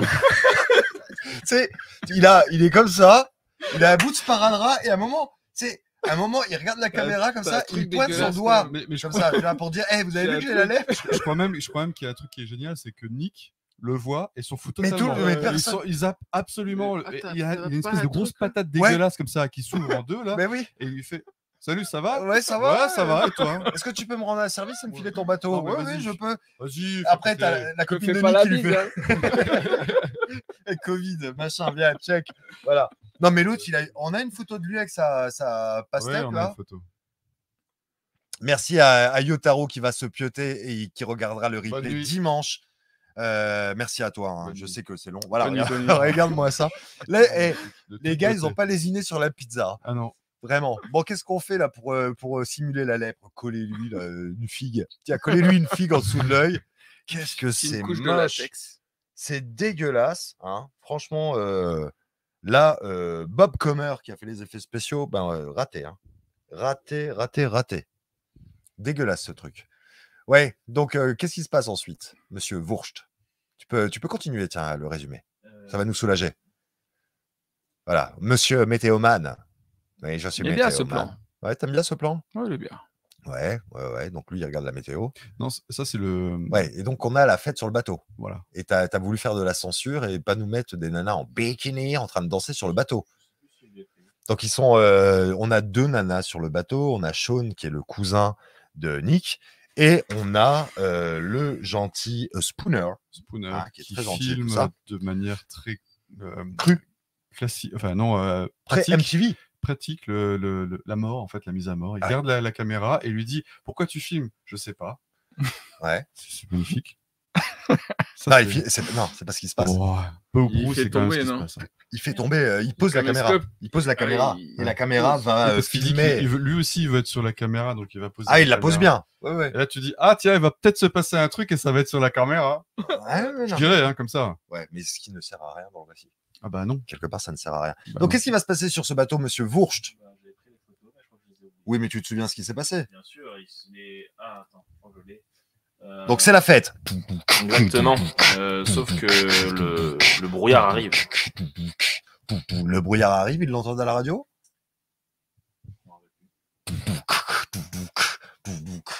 C'est- Donc eux, ils sont en train de danser, ils sont en train de, de se chauffer. Quelque part, ça va partir en, en freestyle cette euh, soirée. Ah non, parce que. D'accord. Bon, alors l'autre, il nous fait un résumé raté. Mais c'est en tout cas une soirée, ça sent le cul. Hein? Ça Ouais, sent en le tout cul, cas, C'est ce qu'ils espèrent. Ah bah, euh, il y en a deux qui sont déjà à moitié à poil, donc Ouais. forcément, oui. euh, Ouais, ouais, ça sent le cul. Alors qu'il doit faire froid, je pense. Ah oui, Bonne mer comme Parce ça. que franchement, en plus, euh, dans le film, tu sens qu'il fait pas chaud. hein. Mm. Ah, il fait. C'est d'ailleurs un des problèmes du film. Je vais te dire, euh, la réussite du, du film de Carpenter, il, il a réussi à faire en sorte de faire du brouillard un personnage vivant, tu vois. Parce que dans l'environnement de la Californie, c'est euh, brouillard free. Il n'y a pas de brouillard, sauf dans les scènes où The Fog arrive, où il y a la menace. Alors que celui-ci, il baigne constamment dans un espèce de léger Ouais, brouillard. une espèce de bruit, ouais. Euh, quand euh, il y a l'autostoppeuse, tu vois, l'autre, il a les anti-brouillards qui sont allumés sur euh, le camion. je, euh, me souviens pas de ça, mais c'est vrai que l'ambiance générale du, de- du lieu qu'ils ont choisi est déjà quelque chose de très brumeux en fait. exactement, Donc, ouais. Est-ce que c'était vraiment une bonne idée? Non, Hmm. probablement non. ça parce que réduit la part, menace. ça désacralise le brouillard. Voilà, donc ça, ça fait partie Ça des... rend moins, moins spectaculaire, moins plus. Enfin, il y a, y y moins de, de, de menaces en fait. Tu te, tu- il sort pas de l'ordinaire. Tu Ouais. te dis, ah bon, il y a du brouillard, il y a du brouillard. Bah Qu'est-ce voilà. qu'il y a de- Qu'est-ce qu'il y a de bizarre là-dedans? C'est un environnement où il y a du brouillard de toute façon. Donc arrêtez un petit peu de nous casser les couilles avec le brouillard. C'est comme de mettre un requin dans la mer, par Mais- exemple. C'est bizarre. Il n'y a pas de requin dans la mer. Ben voilà. En tout cas, pas de cette taille. 7 mètres qui fait, 3 tonnes bien pesées. Euh, donc, euh, bon, cette soirée, elle part en fenouil. Euh, Il y a un joli plan. euh, le ciel, à un moment, tu sais, il est euh, crépusculaire comme ça, tu vois. Juste avant que ça parte en fenouil. Tu sais, Il est un petit peu rougeâtre comme ça. ça bon, c'est pas celui-ci, bien évidemment, hein, parce que Ce serait trop beau. ce n'est pas le crépuscule. Et là, le brouillard arrive. Et euh, donc, le brouillard, euh, une quarantaine de machines à fumer, un mois d'expérimentation. Ils ont utilisé de la neige carbonique À moins d'expérimentation? pour euh, parvenir à ce Ils résultat. auraient pu prendre ce temps pour écrire le scénario. Et voilà. Mais non, mais ils ont fait en parallèle de ça. T'imagines bien que c'est pas le mec qui fait euh, euh, le brouillard qui fait une en blinde, plus. le brouillard. Peut-être qu'il aurait dû. hein, il y a peut-être des bonnes idées. Neige carbonique et vapeur pour le fog sournois. Tu vois Parce que le réalisateur, il va te parler qu'il y a différents fogs. Il y a le fog sournois et il y a le fog agressif. Et le fog agressif, c'était deux mecs armés de machines à fumer et de putain de, euh, d'éclairage. Tu vois? Et comme ça, ils se couraient et tout. Et ça faisait un mur de, de brouillard opaque. Voilà, ça, ils l'ont fait, tu vois? Il était alternativement parfumé à la lavande et au patchouli. Voilà. Ça, c'est les Bonne informations. nuit, Louis Egoïne de Large. Il nous quitte. Bonne nuit, Louis Goïne de Large. Il trouve que c'est un peu. Un très- peu long. Non, pas du tout. Non, pas du tout. Qu'il aille se faire enculer, lui, parce que quand il est, quand il est dans les émissions, c'est jamais trop long. Tu vois, jamais. Tu vois, parce qu'il aime bien se mettre en valeur. Mais quand c'est les autres, ah, c'est trop long, hein. Voilà. Tu le vires. Alors qu'on a assuré. Non, ne le bloque pas, c'est une blague. Alors qu'on a assuré sa, la promotion pour ce soir. Non, non, non, je rigole. Bonne nuit à toi, lui, Egoïne de Large. Encore félicitations pour ta vidéo à la gloire de Home Alone. Voilà, tu vois. Euh, c'est souvent aussi des- du brouillard en CGI. Euh, Rupert trouve ça moins convaincant. Ah bah, Hein? il est pas le seul. Hein. Il n'est pas le seul, même toi en tant que spectateur, tu trouves que c'est quand même pas ouf. Mais, euh, mais voilà, il y a des plans qui font illusion. Et effectivement, le plan où le brouillard entoure le, le bateau, je trouve que c'est plutôt convaincant. Pas Mm. celui qu'on a vu là, hein, qui était un truc en CGI tout merdique. Mais à un moment, on a vraiment un déplacement de caméra comme Mm. ça. Et euh, le, le brouillard serpente, et c'est c'est pas si mal. Bah, Voilà. euh, Il y a une bonne tenue visuelle quand même dans le film. hein. Ah c'est ouais, ouais, pas, c'est pas dégueulasse. hein. Je suis tout à fait d'accord avec toi. La suite. Donc, euh, c'est euh, les meurtres. euh, voilà. euh, on a euh, ce couteau qui se met à trembler. Les gens vont se faire tuer quasiment hors champ. hein, On ne sait pas ce qui arrive à ces deux nanas. Tu vois? Ouais. Fait, j'ai confondu avec ce plan. Et on a ce plan, ouais. Ce plan euh, avec. euh, ouais, il est Ouais, il est plutôt cool celui-ci. C'est vraiment le truc de, de vaisseau fantôme. Mm. Euh, on a toute l'imagerie du vaisseau fantôme et je trouve que c'est assez. euh, Ça, assez j'ai trouvé naze. C'est tourné, si on peut aller moins vite, s'il vous plaît. C'est tourné à Vancouver. Ouais. C'est tourné ça à Vancouver. Alors, euh, ça, c'est tourné en pleine, euh, en pleine mer, celui-ci. Et quand il y a, par exemple, les petites barques ou euh, juste un, un simple bateau, c'est tourné dans un bassin à Vancouver où ils pouvaient euh, plus facilement contrôler le brouillard et euh, les mouvements des vagues et compagnie. C'est vrai que ce plan-là, je le trouve plutôt réussi. Avec tous ces personnages comme Mm. ça, menaçants. J'aime bien. Voilà. Et donc, on a une nana qui est possédée par un esprit de, de fantôme et qui, à l'aide de son index, va écrire El Nano Assassino Veracruz. Euh, elle va dessiner euh, le symbole de la justice, sorte de, de balancier. Justice doit être rendue. Justice doit être rendue. Donc ça, on le retrouvait sur le sceau euh, de la montre et, de plein d'autres euh, Mais pourquoi, du coup De quoi? Pourquoi il y avait ça déjà sur la montre? Alors que là, on pourrait dire que oui, ils veulent que Ouais, la justice soit rendue, mais enfin, je comprends pas. ouais elle aurait pu le écrire symbole. 7. Ouais. Ouais, elle aurait pu écrire 7. Oui, non, mais c'est vrai que c'est de la merde. Franchement, c'est de la merde. D'ailleurs, le. Puis surtout le dessin, enfin, on dirait des dessins au début. Ah ouais, t'as cru que- qu'elle avait ah dessiné non, des dessins Bah ouais, je C'est- comprenais pas. Imagine-toi, pourquoi. l'autre aurait dessiné une tub comme ça. Ouais, deux couilles, tu vois. Aurait été J'aurais génial. préféré. euh. Ah, mais moi aussi, j'aurais préféré. parce Qu'est-ce que- qu'elle fait? Ce truc-là, il revient souvent. hein. Le, La- le truc de oui. balance comme ça. Ouais, ouais, le, le jeune Andy va pas. aussi le dessiner. Ouais. Enfin, enfin, pas le dessiner, mais il l'aura au mur. Justice. Ah. Celui sur le mur, on sait même pas qui le fait. Celui sur le mur. En rouge. Plus tard. Bah, le fantôme. Ouais. Voilà. Non. Bah, écoute, Fausse bonne idée. Les fantômes, ça explique tout. Moi, j'ai pas de souci avec les fantômes. Pas de souci avec les fantômes. La suite, monsieur. Donc euh, là, ça va être euh, la mise à mort. Euh, ils vont passer par la baie vitrée et euh, ce personnage euh, au comic relief euh, assez prononcé, euh, il va être témoin de la mort de ses trois camarades. Euh, la caméra est bien placée en mode fan footage. Effectivement, hein, il a un certain talent de cadreur, le monsieur. Ah, quand même. hein. Ouais, ouais, Ça carrément. tombe bien. Et on ne le sait pas encore, mais euh, il va réchapper à cette attaque et il va trouver refuge dans le frigo. hein. Et là, on apprendra que dans le vrai. frigo, J'avais oublié ça. dans le putain. frigo, le brouillard ne le suit pas. Ouais, parce qu'il fait trop Voilà. froid. Alors, on pourrait aussi euh, expliquer peut-être que les deux nanas sont des dommages collatéraux. Le, le seul euh, que le brouillard voulait vraiment tuer, c'était Ouais, hein, cousin de tout ça. Enfin, Et qu'en vérité, lui, il le laissait tranquille, il n'en avait rien à branler. Ouais, Donc il l'autre, il, s'est risquait planqué, il risquait rien. Il s'est planqué dans le, dans le frigo Il a comme un failli couillon crever pour rien. pour rien. Tu Ouais, vois pas tant que ça, parce que les nanas sont mortes. hein. Dommage collatéraux. Mais c'est vrai, il aurait pu risquer quelque chose. Oui, bon, bref. Oui, il aurait pu risquer Bon, bref. chose. Mais il a préféré trouver refuge dans le frigo. Bonne idée. Hein Ce qui fait Bon, un ça a marché, moisi. en fait. Un jumpscare moisi, cette scène. C'est l'autre, il ouvre les yeux comme ça. Tu sais, avec la- de la neige carbonique vaguement là, tu vois. Quelle Ah, merde. je croyais que c'était un cadavre quand même. Au début, tu croyais que c'était un cadavre? Mais bon, Non, mais t'as raison. bref, pas terrible. T'as raison. Ouais. La suite, monsieur euh, cette fois-ci, vous la commentez vous. Vous avez les images devant les yeux. Alors, euh, cette suite. Alors, on l'a déjà. On l'a déjà mentionné quand elle arrive justement chez sa mère. Ouais, d'accord. Alors, on peut l'avancer. complètement déçue de, de voir sa mère. Ouais. Bonjour, je suis ta mère. Je suis ta mère et je te déteste. je t'ai toujours détesté. Ton père te déteste. Je Tu- voulais un fils. Je voulais un fils. Pas une nana de merde. Ouais, elle est un peu comme ça. hein. Vraiment sale, sale nana. hein. Bon, le lendemain, par contre, elle va, elle va montrer un espèce de sourire complice. Bon, flashback à la con, hein, ouais, façon. elle rêve en fait, là on voit les rêves justement de Ouais. desquels elle parlait au tout début. Euh, c'est après qu'elle ait fait des recherches sur Internet et les fantômes et euh, voilà.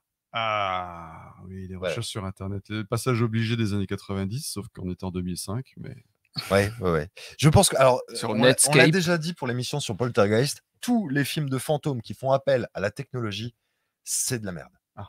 Mais vraiment, tu vois. Tu sais, dans Poltergeist, le remake, quand ils utilisent un drone pour aller dans l'au-delà, tu es obligé de lâcher l'affaire. Là, pour moi, des, euh, des, euh, des fantômes qui te Un bouffent, drone dans l'au-delà, alors ça, je savais même pas. Alors, Ouais, il y a c'est ça dans- magnifique. C'est ça, c'est ça, c'est une idée. Ça, il y a ça dans le Ah, Poltergeist. du siècle. hein, Bonsoir à toi, euh, Papa Vera. Bonsoir à toi. Bonsoir, papa. Voilà. C'est une drôle d'heure pour arriver quand même. hein. Ah ben écoute, Je sais pas ce que papa- tu faisais, papa, mais. Il travaille à la SNCF. il fait le- il a fait le il a fait le, le fou il a fait le fou et Courageux.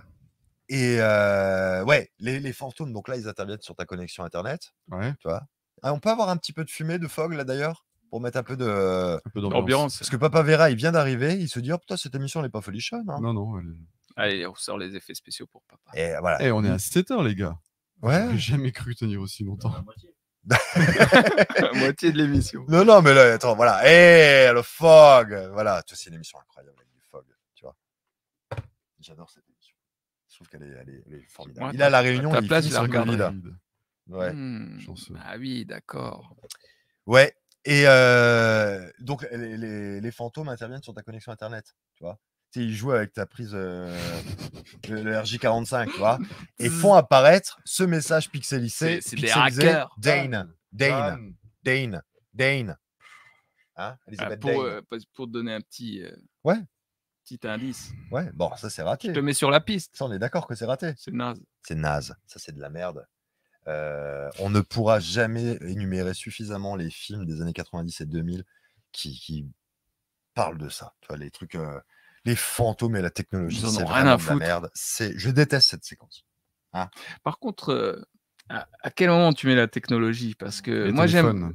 Moi j'aime beaucoup les, les- les Téléphone filaire. messages sur les répondeurs euh, ou au téléphone et tout ça. ouais. C'est aussi de la technologie. Bah. Moi je trouve ça très flippant.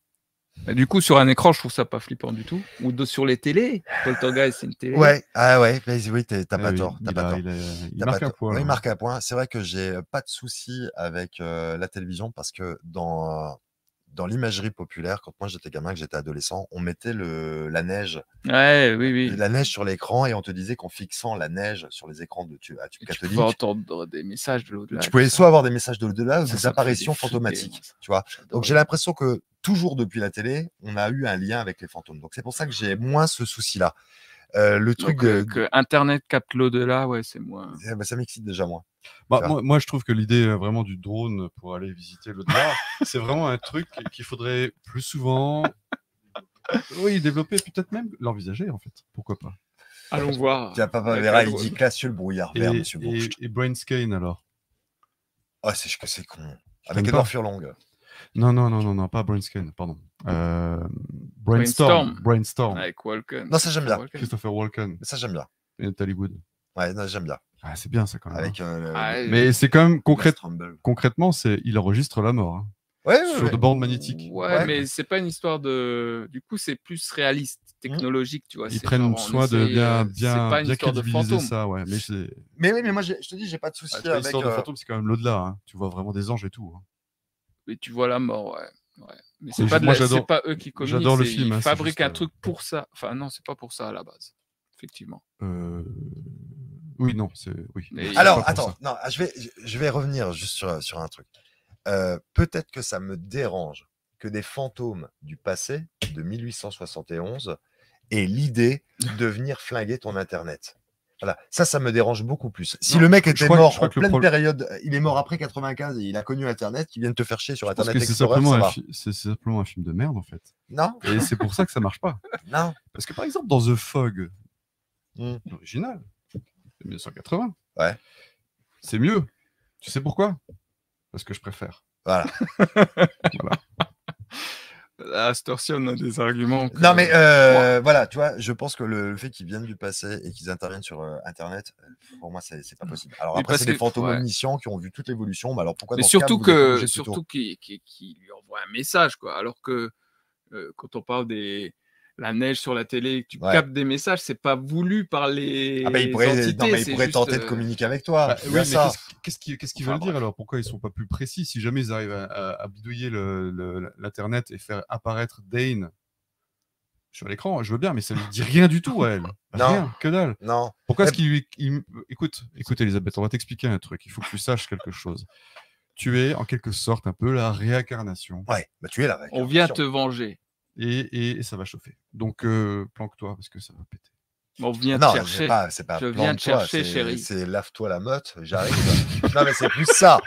Dans le, dans- non, mais dans le concept, le, le Blake, il a qu'une seule envie, c'est de la récupérer. Et elle, elle Surtout sait. qu'elle est en meilleure forme que lui quand même. Et elle sait au fond d'elle, de toute façon, que surtout c'est l'homme de sa vie. Beaucoup plus jeune. Ouais, mais elle, elle avait le même âge qu'à l'époque où ils étaient sur le bateau. Oui, bien sûr. Mais il est mort depuis longtemps. Et alors, quand il revient à la fin, il, re- il revient pas avec un visage. euh, Ah, mais alors, de à ce moment-là, ouais, moi, je compte toujours l'âge de naissance, que ce soit un fantôme ou pas. Il est vachement, vachement plus vieux qu'elle. Bon, euh, tout à l'heure, tu disais que tu étais un peu euh, bon, euh, Choqué. euh, choqué parce que euh, euh, Tom Skerritt avait 44 ans à l'époque où euh, il fait Ouais. des bisous avec. euh, Parce que ça se passe en 1970. Enfin, ça se passe euh, pour un film qui est sorti en 1980, 79, ouais. euh, tourné en 79. Ouais. Donc, effectivement, c'est quelque chose qui me dérange un peu plus Mhm. qu'un couple en 1871 avec un mec où, de toute façon, l'égalité homme-femme, c'est va te faire Ah, enculer. de toute manière, ouais. et euh, où euh, Oui, c'est quelqu'un qui avait du pognon acheté, et qui l'a peut-être acheté. Donc, je veux dire, dans le récit, je trouve ça tout 14 à fait ans, hein. plus logique. Voilà, tu vois. Alors, 14 ans. Bah oui, il l'a peut-être même acheté quand elle avait 6 ans, je sais foutre rien. Probablement. hein. Ce n'est pas à moi de juger. Mais voilà, Et pourtant, on est là pour ça. Ah non. juger. je ne juge pas. Ah On constate. Je constate. Voilà. oui, oui, oui. Donc, euh, monsieur euh, Wurst. Ouais. Hein Monsieur Wurst. Ah. Donc là, il y, a Ça, des- c'est pas mal. il y, a, il y a de la flotte au plafond. voilà. Je vois pas pourquoi, Moi non mais. plus. C'est- le fantôme qui lui dit Ah, je suis là, coucou. Je suis là, Mais au plafond, au plafond. pas au sol. Bah, elle entend Je du bruit. elle entend du bruit et elle est Mais irrésistiblement euh, attirée Il- vers la a- mer. il y a aussi un truc qui Hmm. est vraiment. Alors, un coup, ils peuvent pas rentrer dans les bâtiments. Un coup, ils rentrent comme ils veulent dans les bâtiments. Ça aussi, c'est un truc qui est quand Pourquoi ils même. peuvent pas rentrer dans les bâtiments? Bah, J'en sais rien, mais il y a des moments où. Dans les ce film-là, ils peuvent pas rentrer dans des bah, Il bâtiments y a des moments où ils rentrent pas dans les bâtiments, ils forment les portes et puis tu as le fantôme qui est derrière qui fait Bon, ils ont fermé la porte. Non, attends, il y a ça dans le film? À quel moment? Oui, alors, alors, il y a un moment très précis. Alors, je me souviens plus Les exactement. moments sont souvent précis. Mais euh, il y a un moment très précis, c'est quand euh, Stevie Wayne est au fond de l'océan dans sa bagnole. Ouais. T'as le fantôme qui fait tac tac tac à l'extérieur de la voiture, comme ça l'autre elle fait ah Ouais. Puis elle sort de la voiture et elle se barre. Mais le fantôme il la regarde comme ça, il fait rien. Ouais. Il rentre pas. Pourquoi? Tu voudrais qu'il rentre dans la bagnole? Bah, Je voudrais pas, mais quel est l'intérêt d'avoir un fantôme qui est juste comme ça, qui le regarde par la fenêtre, faire peur. qui Ouais. ne rentre pas Alors qu'en fait ils sont là pour tuer tout le monde. hein. Il y a une volonté de terroriser là.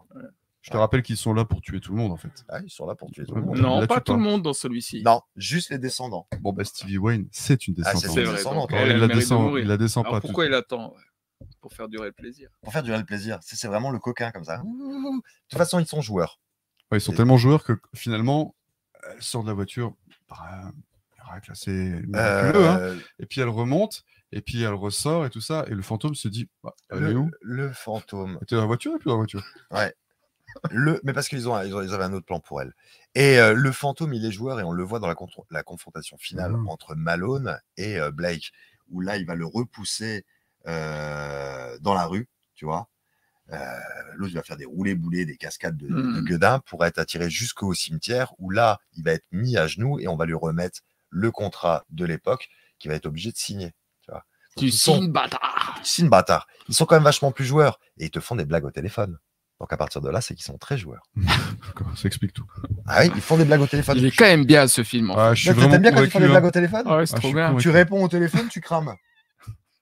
tu fais la vaisselle, tu crames. Tu vois, ils ont, ils ont des Ah, ça, je techniques. trouve euh, ça pas mal. euh, eh, moi aussi, je trouve ça pas mal. le, tu le vois. bras qui sort. On n'a pas ça dans le premier. Non, Ouais, ouais. Bonne idée. Ouais, ouais. Et voilà. Donc euh, ensuite, euh, Monsieur Wurst. Maman, je joue comme une patate. J'ai trouvé un truc euh, sur, la, sur la mer. Avec plein de coquillages. plein c'est de coquillages, c'est dégueulasse. Mon chéri, va te laver les mains, tu me dégoûtes. Voilà. Euh, alors, il y a dans ce film un aspect euh, ultra. C'est quoi ça? Fine Cut and Davis. Est- C'est m'a trouvé Elisabeth ensuite. Oui, dans Ouais. la bibliothèque. Ouais, ouais. Et dans la bibliothèque aussi, il rentre pas. Ah, juste, juste un truc, parce que là, on vient d'avoir, euh, dans ce plan-là, on le voit pas, mais euh, Selma Blair, elle est au lit, tu vois, avec euh, sa petite culotte. Et on Hmm. s'attarde un petit peu sur sa fesse. Le plan précédent, c'était la nana de Lost, dont j'ai oublié le nom, hein, qui Maggie Maggie Grace. Grace, Maggie. qui sortait elle aussi en slip. Ouais. Voilà. Et c'est vachement plus euh, sexué, Années sexualisé 90, quoi. que euh, le film de, de Carpenter, qui était très léger de ce oui, côté-là. oui, c'est vrai, oui. Là, c'est vachement plus généreux.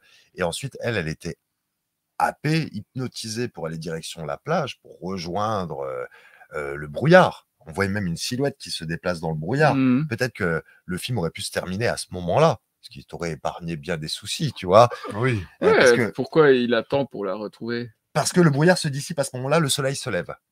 Et Nick, Comme de par hasard. ah, comme par hasard, et t'as Nick qui intervient. Et là, on Ah, a, je me souviens, oui, de cette scène, oui. et là, on a des pas sur la plage. Mhm. qui vont vers l'eau. Donc quelque chose qui a été récupéré euh, du, du Mhm. script de Carpenter et de la novélisation, tu vois. Euh, voilà. Même d'une scène coupée. Hein. Oui, d'une scène coupée de quelque chose qui avait été tourné et pas conservé pour le montage cinéma. Voilà. Donc ça, c'était quand même plutôt intéressant à souligner. Donc ensuite, euh, notre blonde, elle va euh, dans euh, le musée de la ville, hein, Mhm. euh, certainement dans la mairie, pour aller faire ses recherches. Voilà. Oh, Qu'est-ce que c'est? Voilà, pour essayer de comprendre ces, ces sauts. Euh, voilà. Bon, elle a cherché sur Internet, elle a perdu sa connexion Internet, donc elle est obligée d'aller à la bibliothèque pour regarder sur le papier. Et là, Et c'est là qu'elle voit les pas. euh, non, non, non, non, non, non. C'est dans la c'était maison, Dans ça. la maison. Ouais, dans ça c'était dans la maison. Ouais. Tu vois, mais comme euh, elle n'a pas pu aller au bout de sa logique, elle est obligée d'aller à la bibliothèque.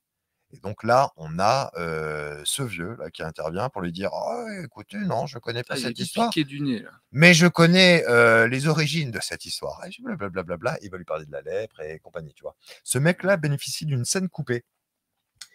Euh, il bénéficie d'une, d'une, non pas d'une scène coupée, je dis n'importe quoi. Il bénéficie d'une, d'une scène dans le montage, euh, le extended cut, Mhm. donc la version euh, qui est sortie en DVD, tu vois, qui était Et absente du theatrical cut. Ah ouais. Tu sais, la scène où il est tout seul dans les C'est pas locaux et qu'il entend le- la cloche du Elizabeth Dane sonner. Cling Et qui va aller voir la pas. cloche comme ça. et il se rend compte qu'il n'y a rien pour la faire sonner. Mais elle a pour autant sonné, tu vois. Ça, c'était une scène qui était absente du, Ça, j'ai euh, pas du, vu, du- du montage cinéma. Je m'en souviens pas. Ah, bah, il y a cette scène. Je m'en souviens pas de Bon, ça. en tout cas, c'est pas une scène mémorable, visiblement. Hmm. Voilà, donc l'autre, elle fait des recherches. Elle commence à comprendre tout doucement que euh, pas grand-chose parce qu'elle est sotte. La suite. bon, alors l'autre, le, spara- le sparadrap, et franchement, à ce niveau-là, T'as bien fait euh, de soigner ta plaie. mets une cagoule. Mets une cagoule, je sais pas, fais quelque chose, tu vois. Mais elle regarde la taille du sparadrap. L'autre, il pouvait pas en mettre deux. Non. Je sais que ça va être pire, je vais le garder. euh, collé sur la plaie, c'est mais à pas faire ça. Mais ouais. Bon. Bon. Eux, ils vont partir à la recherche du Siglas, du Sigras. Alors, je dis Siglas parce qu'il y a une belle faute de raccord. C'est-à-dire que les vitres ne sont pas cassées, alors que la veille, euh, elles ont toutes cédé euh, sous la pression des fantômes. Mais là, Mm. Comme par magie, tout est neuf. Bonne nuit, euh, Domingo nuit. da Silva. Merci d'avoir euh, suivi jusqu'ici. C'est formidable de ta part. J'espère c'est une belle performance. 38 personnes qui sont encore là. Mais ils ont bien raison. Ils vont au bout de cette logique et on va retrouver le cadavre de Sean avec cette fois-ci les yeux cousus. Ouais. Voilà. Il a les yeux cousus et on va retrouver. Alors, ça, c'est un plan qui est plutôt pas mal. Et ça a été assez compliqué parce que les deux actrices euh, sont vivantes, hein, c'est pas des mannequins, et elles avaient été plongées dans la flotte pendant un certain temps avant d'être. euh, Avant, sorties- avant qu'ils s'en souviennent. Ah, On va ah. manger, les gars. euh, avant de- de- d'être sortie de, de l'eau, tu vois. Donc, il fallait qu'elle soit euh, immobile dans l'eau un petit peu euh, froide de Vancouver. Et euh, c'est une scène J'espère que l'agent a négocié une prime pour ce. 17 euros. Des, des tickets resto. voilà. Donc là, Ouais, euh, Nick 10 Castle, plus. il se rend bien compte qu'il y a eu une, euh, un souci. Ah bah, il n'est pas très, très, très, très vif, mais quand même. Là, il a compris. Là, il dit attention, ouais, trois morts sur un bateau, c'est quand même bizarre. Bizarre. Et puis surtout, il y a des algues partout. Ah, je veux et bien. le moteur Deux, démarre. je veux bien. Mais... Le moteur Et démarre. il est triste pour, euh, en voyant que c'est son cousin qui est mort. Non. Il s'en fout. Il en a rien à foutre. Il l'aimait pas euh, particulièrement. Peut-être qu'il savait pas que c'était son cousin. À cause des yeux. Il a pas reconnu. Ouais. Non, c'est pas lui. Si, c'est lui. Non, c'est pas il lui. a jamais eu les yeux cousus. Oui, il, il, avait, avait, les des grands yeux bleus, bien ouverts. Pas de problème. Ouais, c'est ça. C'est pas mon problème. Et euh, dans le frigo, on l'a dit tout à l'heure, il retrouve Spoon. Ah oui. Voilà. C'est moi. Qu'est-ce que vous faites là-dedans? Qu'est-ce qu'est-ce que vous faites dans le frigo, monsieur? Ouais, alors je- bon, il, est, Ouais. il est encore vivant. Et c'est génial, ils vont retrouver sa putain de caméra vidéo, tu vois? Alors, elle va conserver, euh, ça c'est quelque chose qui est formidable. hein. Elle veut conserver la caméra parce que ça pourrait, enfin Nick veut conserver cette, non, elle veut conserver cette caméra parce que ça pourrait innocenter euh, Spoon. Oui, parce qu'il vois, pas que Je son m'en souviens pote, plus, mais effectivement, si, il y, si. en a, il y a un truc comme ça. Ouais. Alors que si tu as envie d'innocenter Spoon, donne-la directement à la police. Je veux dire, c'est plus- quand même la police qui est euh, en capacité de regarder les ouais, images. Peut-être qu'elle est corrompue, la police, déjà. Ouais, mais ça, non. tu vois? Déjà à en- l'époque. Bah oui, parce que. Ça n'est pas En dit plus, dans le il film, est hein. noir, donc ils vont l'accuser. Tu crois? Bah, c'est Non, sûr. mais il est- il est- je, je crois qu'il a, il a une espèce de passé, non? Ils, euh, ils évoquent ça rapidement, comme quoi il a eu des ennuis avec la, la, la flicaille. C'est pour ça qu'il est venu se, se réfugier à Vancouver. là. ah, euh, Il a eu des, des- des problèmes à Chicago? Mais je crois, il me semble, c'est c'est pas Chicago. vaguement. Chicago, c'était dans le premier, ça. Non, non, mais il vient de Chicago. Il vient de Aussi Chicago. Ouais, Oh ouais. là là, Ah ouais, il vient de Chicago. tout est lié. Je crois que c'est. oh, je- Peut-être que, peut que je fabule, je ne sais plus. Tu crois? Oh, je ne sais plus.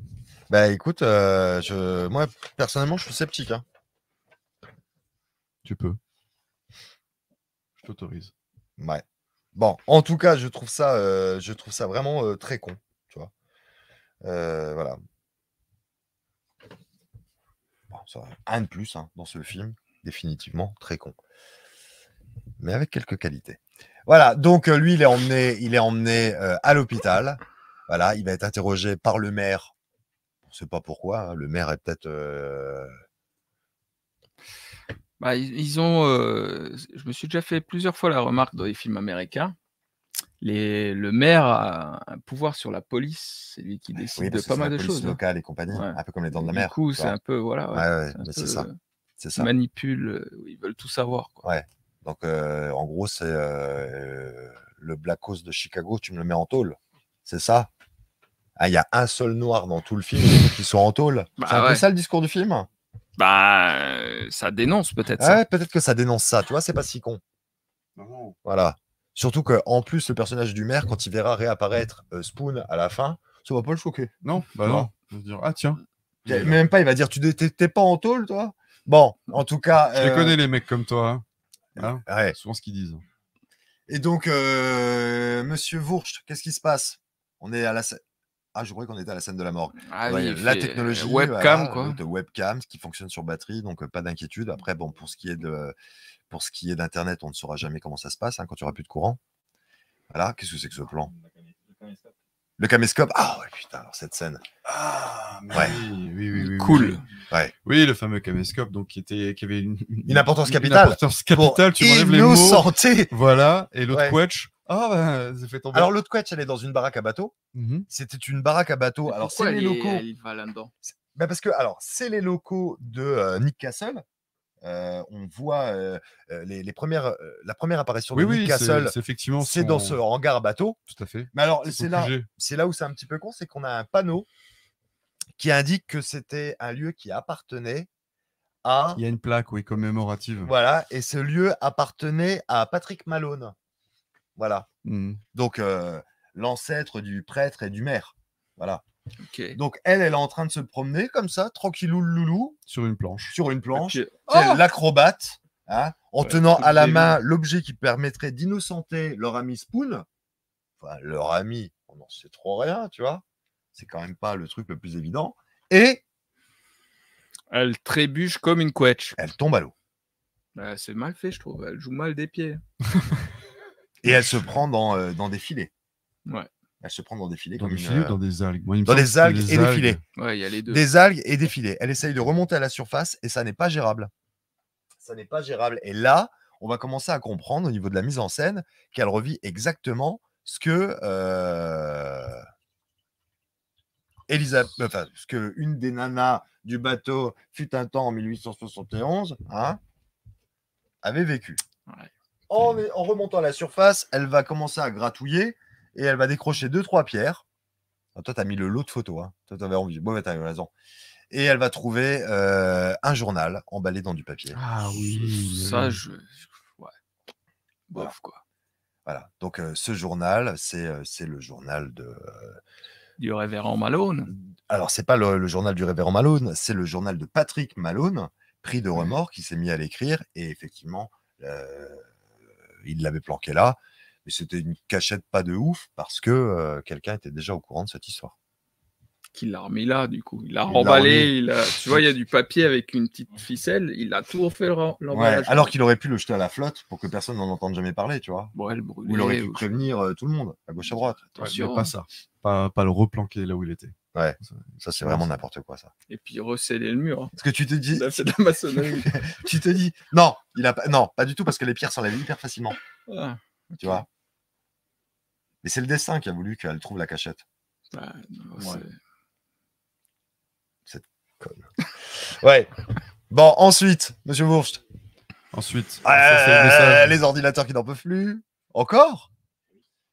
Ah Oui, c'est l'ordinateur de, de Selma Blair. Et là, au lieu Voilà. d'avoir une Ah, planche qui oui, brûle, C'est Ouais. la- le miroir là, qui, qui brûle en fait, qui se met à. c'est Ouais. le- la brosse qui. Et c'est pas C'est mal. une brosse? Ouais. Alors, Euh, Ouais, miroir peut-être. dans, dans celui-ci, euh, les flammes, euh, elle prend feu, hein, cette, cette brosse, elle chauffe, et les flammes ont une plus grosse importance parce que l'équipage du, euh, Ah. Oui, voilà. du. Elizabeth Dane a pris feu. Du coup, il y a, Voilà, ils sont morts par il y les a un flammes. Et donc, il y a un lien. Et dans leur vengeance, les, euh, les fantômes vont jouer la carte de la combustion spontanée. Ah oui, c'est ça aussi. Je que c'est quand même très intelligent. C'est super intelligent, c'est super roublard. Ça, c'est pas Monsieur Jonathan Becker qui l'aurait écrit ce script. Et, euh, et Ouais, il l'a pas écrit d'ailleurs. voilà. Et donc elle se rend compte. Il l'a pas écrit Non, d'ailleurs. il l'a pas écrit. S'il l'avait écrit, il serait là en train de le défendre. Oui, mais au moins à la fin, ça fait assez et puis elle retrouve son fils. voilà ce qu'elle Il n'y a pas de body count. Voilà. Bon, monsieur, euh, voilà, elle, euh, quand ça crame. Puis c'est quand même plus logique Quand- de venir, quand- que de venir chercher une, une croix en or, n'est-ce pas, l'histoire bien de la sûr, mort tout à fait. Voilà. euh, quand il y a. euh, ah, Tu nous mets cette image-là? Non, euh, non, non, c'était juste quand, quand euh, le peigne à cheveux, là, Oui. quand le Skull Shaver se met à cramer, euh, elle décide d'appeler son fils? Sûrement. Tout le monde est fatigué, mais on sait foutre rien, qu'ils Oh, tous se foutre, faire enculer. fini ça Voilà, c'est voilà. D'accord, très bien, très bien, d'accord. En tout cas, ça rappelle Voilà. clairement la, la- la séquence Ouais, correspondante au film de, de 1980 ou 79, 80, je sais pas. ouais. Je sais jamais comment dire parce que il- Et il- 80. On va dire 80, oui, c'est 80, ça, bien c'est sûr. 80. 80. Euh, qui euh, effectivement, elle téléphone tout de suite après. quand, Ouais. la- la- la- Mais là, C'est là qu'on entend Six Must. die. Six Must Die, euh, qu'on le lit. Et là, euh, elle se lève. Ah non, tout à l'heure, il nous l'a, il nous l'a fait le, le monologue et il- ça parlait d'Albatros. Non, pas- non, tu l'entends dans la quand, quand l'eau coule dans le dans la, la- Quand tu l'as lu en anglais. à Oui, mais il y avait il y avait aussi à un moment donné Six, Six Must must die. die. Il le dit. Ah d'accord, Six must die. d'accord. Six Must Die. Six must Monsieur. Bière, il dit il y a 64 likes. On arrive presque aux 70. Putain, ça, c'est incroyable. C'est incroyable. Et là, elle va, se- elle va lever son cul. Ah non, on en remet le plan d'avant, ma poule. Elle va lever ses fesses et euh, on va Presque 100% distinguer. de satisfait. on va, on va distinguer euh, vaguement, vaguement euh, les, les symboles encore. Alors cette fois-ci, c'est les fantômes euh, qui l'ont fait à l'aide des flammes. Ouais, là Et plus. euh, le truc de la justice, hein, le symbole de la justice. Euh, bon, c'est pas Je ouf. ça pas du tout de cette scène là. Ça c'est ça c'est dans le dans le Le- phare. dans le phare. Ouais, ouais. Et euh, le, le- la la brosse a cramé et a projeté des trucs comme ça sur le sur, Non, sur le c'est. Non, combustion c'est- combustion, ouais. Franchement, ils auraient pu dessiner la top de tout à l'heure. hein. Ouais. Ils auraient pu faire ce qu'ils veulent. Ah, les absolument. fantômes, ils sont capables de tout. hein. Voilà. Ouais. Bon, là, euh, l'autre, elle comprend qu'il y a un souci. C'est une manifestation quand même de Quand même. d'esprit euh, frappeur. bah voilà. Bah voilà, c'est bien. C'est pas naturel. C'est bien, monsieur Bourges. Et là, maintenant, le brouillard décide de s'attaquer à cette ville. C'est la dernière nuit, c'est la dernière ligne droite. Tu- Euh, Dis-moi oui. Et il n'y a rien sur, cette île. en fait. Je t'en supplie, dis-moi oui. Non, après, il va y avoir la morgue, il va y avoir toutes ces merdes. Putain, on peut pas, on peut pas même sauter des chapitres. Mais non, on peut pas sauter des chapitres. C'est la dernière nuit? Euh, Mais on... eh, la morgue, on n'a pas fait ça, ma poule. hein. De quoi la mort Il n'y a pas de morgue dans celui-là. Si, si, il y a une morgue. Non, non, c'est coupé. T'as pas fait la morgue. La scène. Bah, c'est la même scène que dans le- le- l'original. T'as un cadavre qui se lève. euh, Ah, si, si, si, mais Ah bon, tu- mais vu marque que- pas trois cette il y a fois-ci. euh. Ouais, bah même. C'est c'est maintenant Non, Ah, d'accord. Alors, montre-nous après ce qu'il y a. Vas-y, vas-y. Je suis hyper impatient. J'ai j'ai l'impression de revivre ce film. Oh putain, je revis ce film de merde. Ils arrivent à- l'église. Ils arrivent à l'église Bien sûr. Ah, nous arrivons à l'église, à un lieu qui ne servira à rien pour la suite du récit. Voilà. Et euh, oui, parce que donc, euh, la nana de Lost, elle a envie de rencontrer euh, le père. Malone. Voilà. Alors, père Malone qui est imbibé, il y a toutes les raisons euh, Et de il est l'être. hein. enfin il est gras, il est gras. Ah, il est gras, il, a le visage qui du pointe. cheveu, ouais, ouais. Euh, gras du cheveu et tout ça, c'est une horreur. Attends, attends, calme-toi. Remets-nous son visage. Euh, les, les fantômes sont joueurs et taggeurs, parce qu'ils ont écrit une inscription en latin Ah, sur, oui, euh, sur la tombe. sur une tombe. euh, Enfin, c'est pas une tombe, c'est un, un mausolée. mausolée. un mausolée euh, qui appartient à son ancêtre. Voilà. On trouve aussi dans euh, le cimetière le, la proue. euh, tu sais, le, Alors, C'est une statue qui faisait la proue de, bateau. Du bateau. Mhm. Voilà. Et euh, on la retrouve après dans euh, le cimetière en tant que pierre tombale.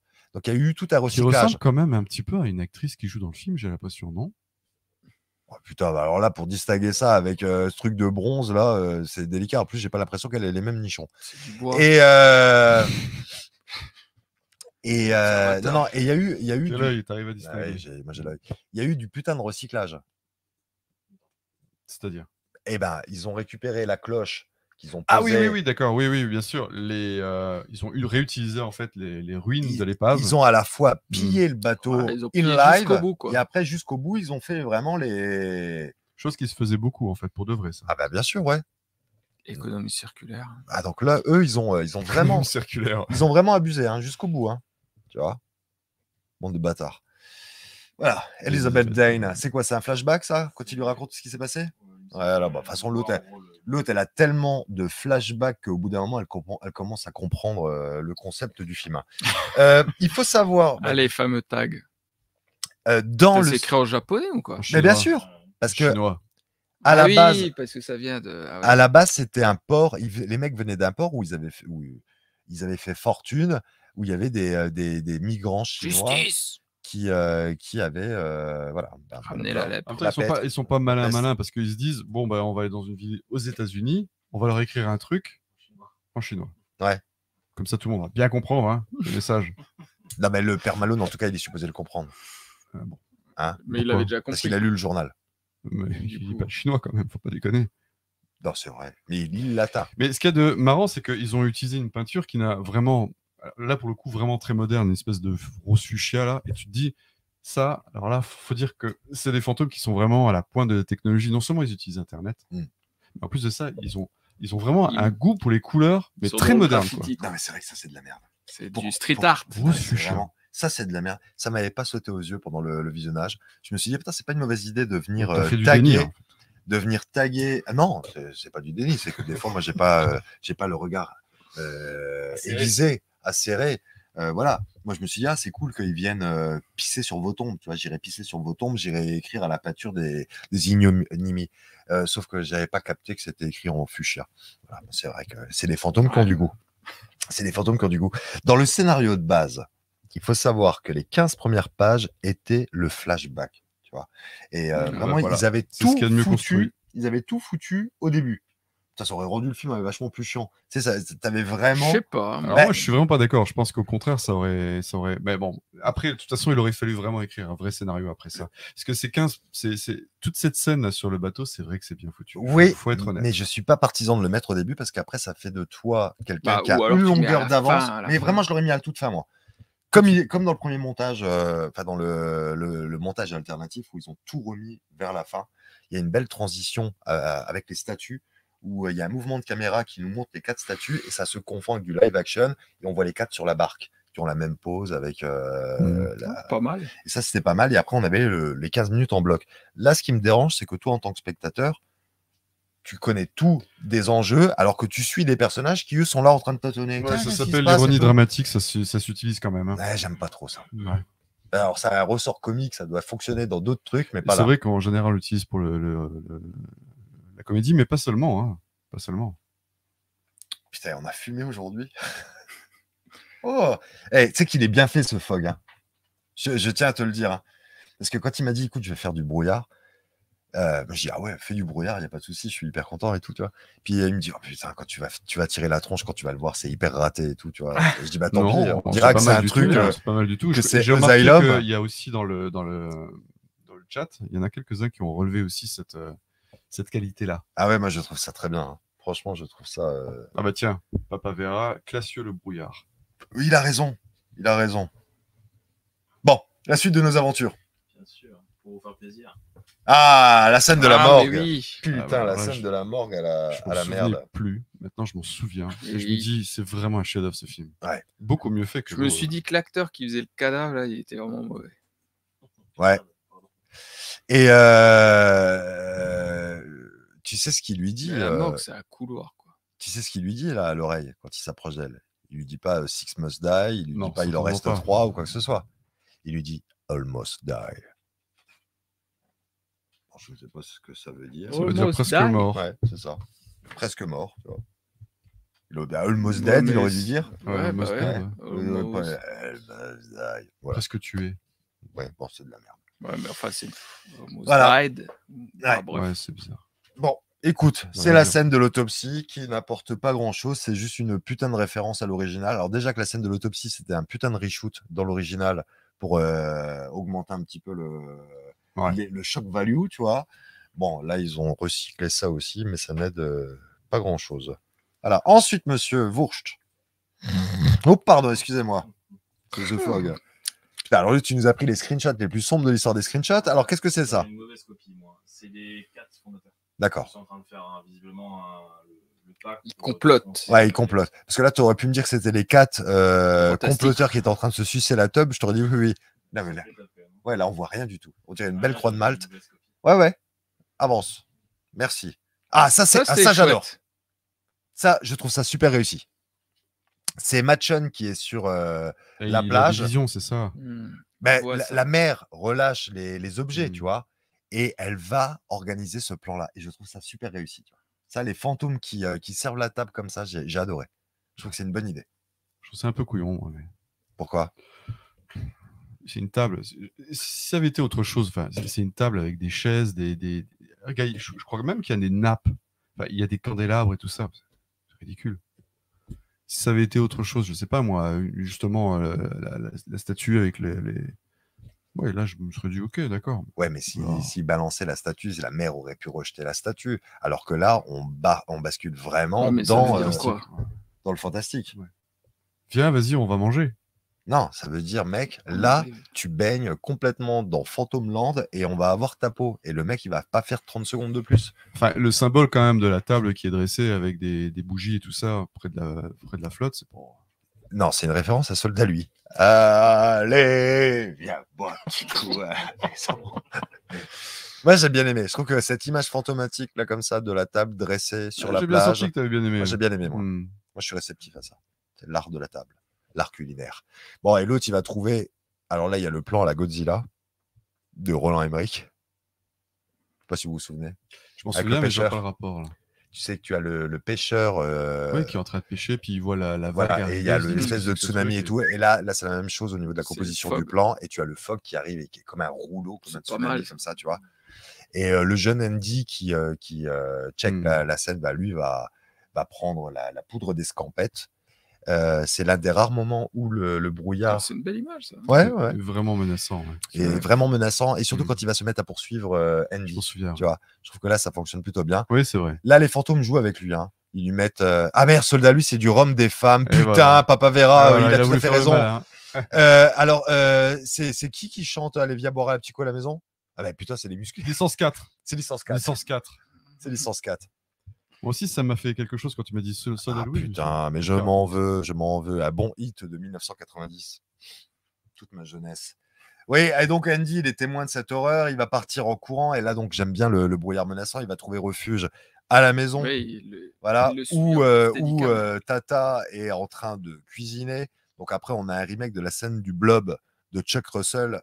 Qu'est-ce que c'est que ça? À on voit le- la fumée qui part sur, sur la ville. Je sais pas, j'ai- On t'entend là, le micro?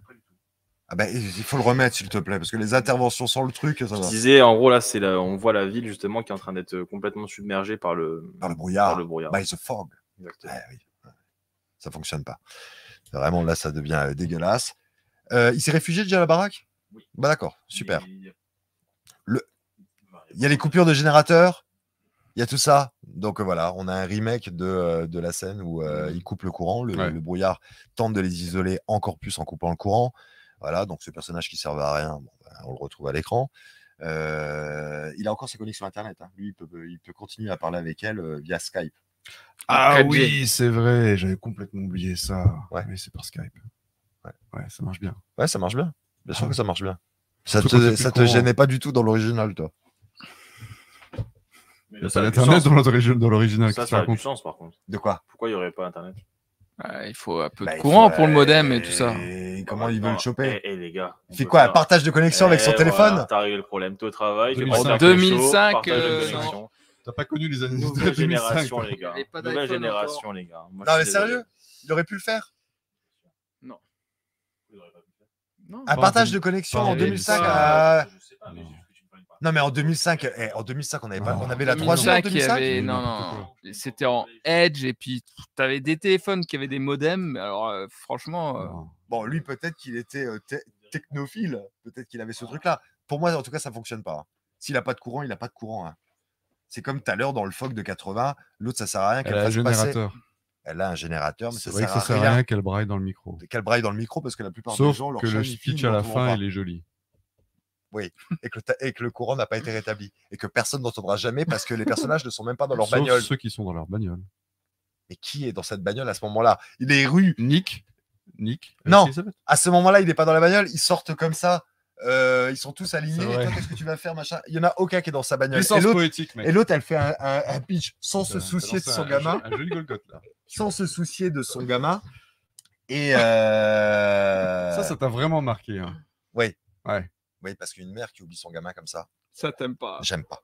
Tu vois, C'est moi, je, sensible, en fait. mais je, oui, carrément. Pour, euh, pour les enfants comme ça, moi, je me battrais bec et ongle si j'avais des enfants. Et Dieu merci, je n'en ai pas. La suite, monsieur. Ah putain, pas cette encore. scène. Oh la vache.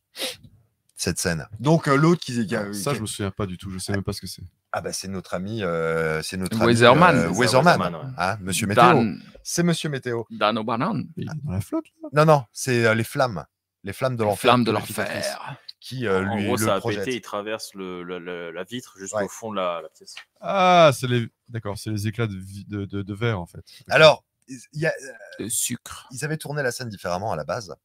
À la base, la lanterne à huile euh, de, de Weatherman, tu vois, parce que il s'aventure avec une lanterne comme ça, hop, à un moment, elle va se mettre à tournoyer autour de lui. Mhm. Clac, clac, clac, clac, clac, clac, clac. C'était vraiment en mode euh, fantomas. En mode fantomas. Et, Poltergeist. et bam, tu vois, le truc, il est, euh, il, il lui rentre dedans et euh, il prend feu et il est éjecté contre le, contre le mur. Mhm. Et donc cette scène, la, lanterne à pétrole, la lanterne à pétrole, voilà. Euh, la scène n'était pas dans le script, mais dans les storyboards, et le studio n'était pas à l'aise avec le rendu. Euh, et c'est vrai que tu as l'impression que c'est un mec hors champ qui la, qui la tient comme ça, tu vois. Parce que vraiment, ça fait, euh, ça fait comme ça, tu vois. Ah ouais. C'est hyper raté. Euh, voilà. Tu dis que c'est hyper raté, tu l'as vu? Elle est euh, dans les bonus euh, des DVD. Ah, tu vois d'accord. toutes les scènes coupées qui sont commentées par le réalisateur. Et la suite, ben, c'est comme dans le Ouais. dans l'original. Comme dans l'original, on a le brouillard.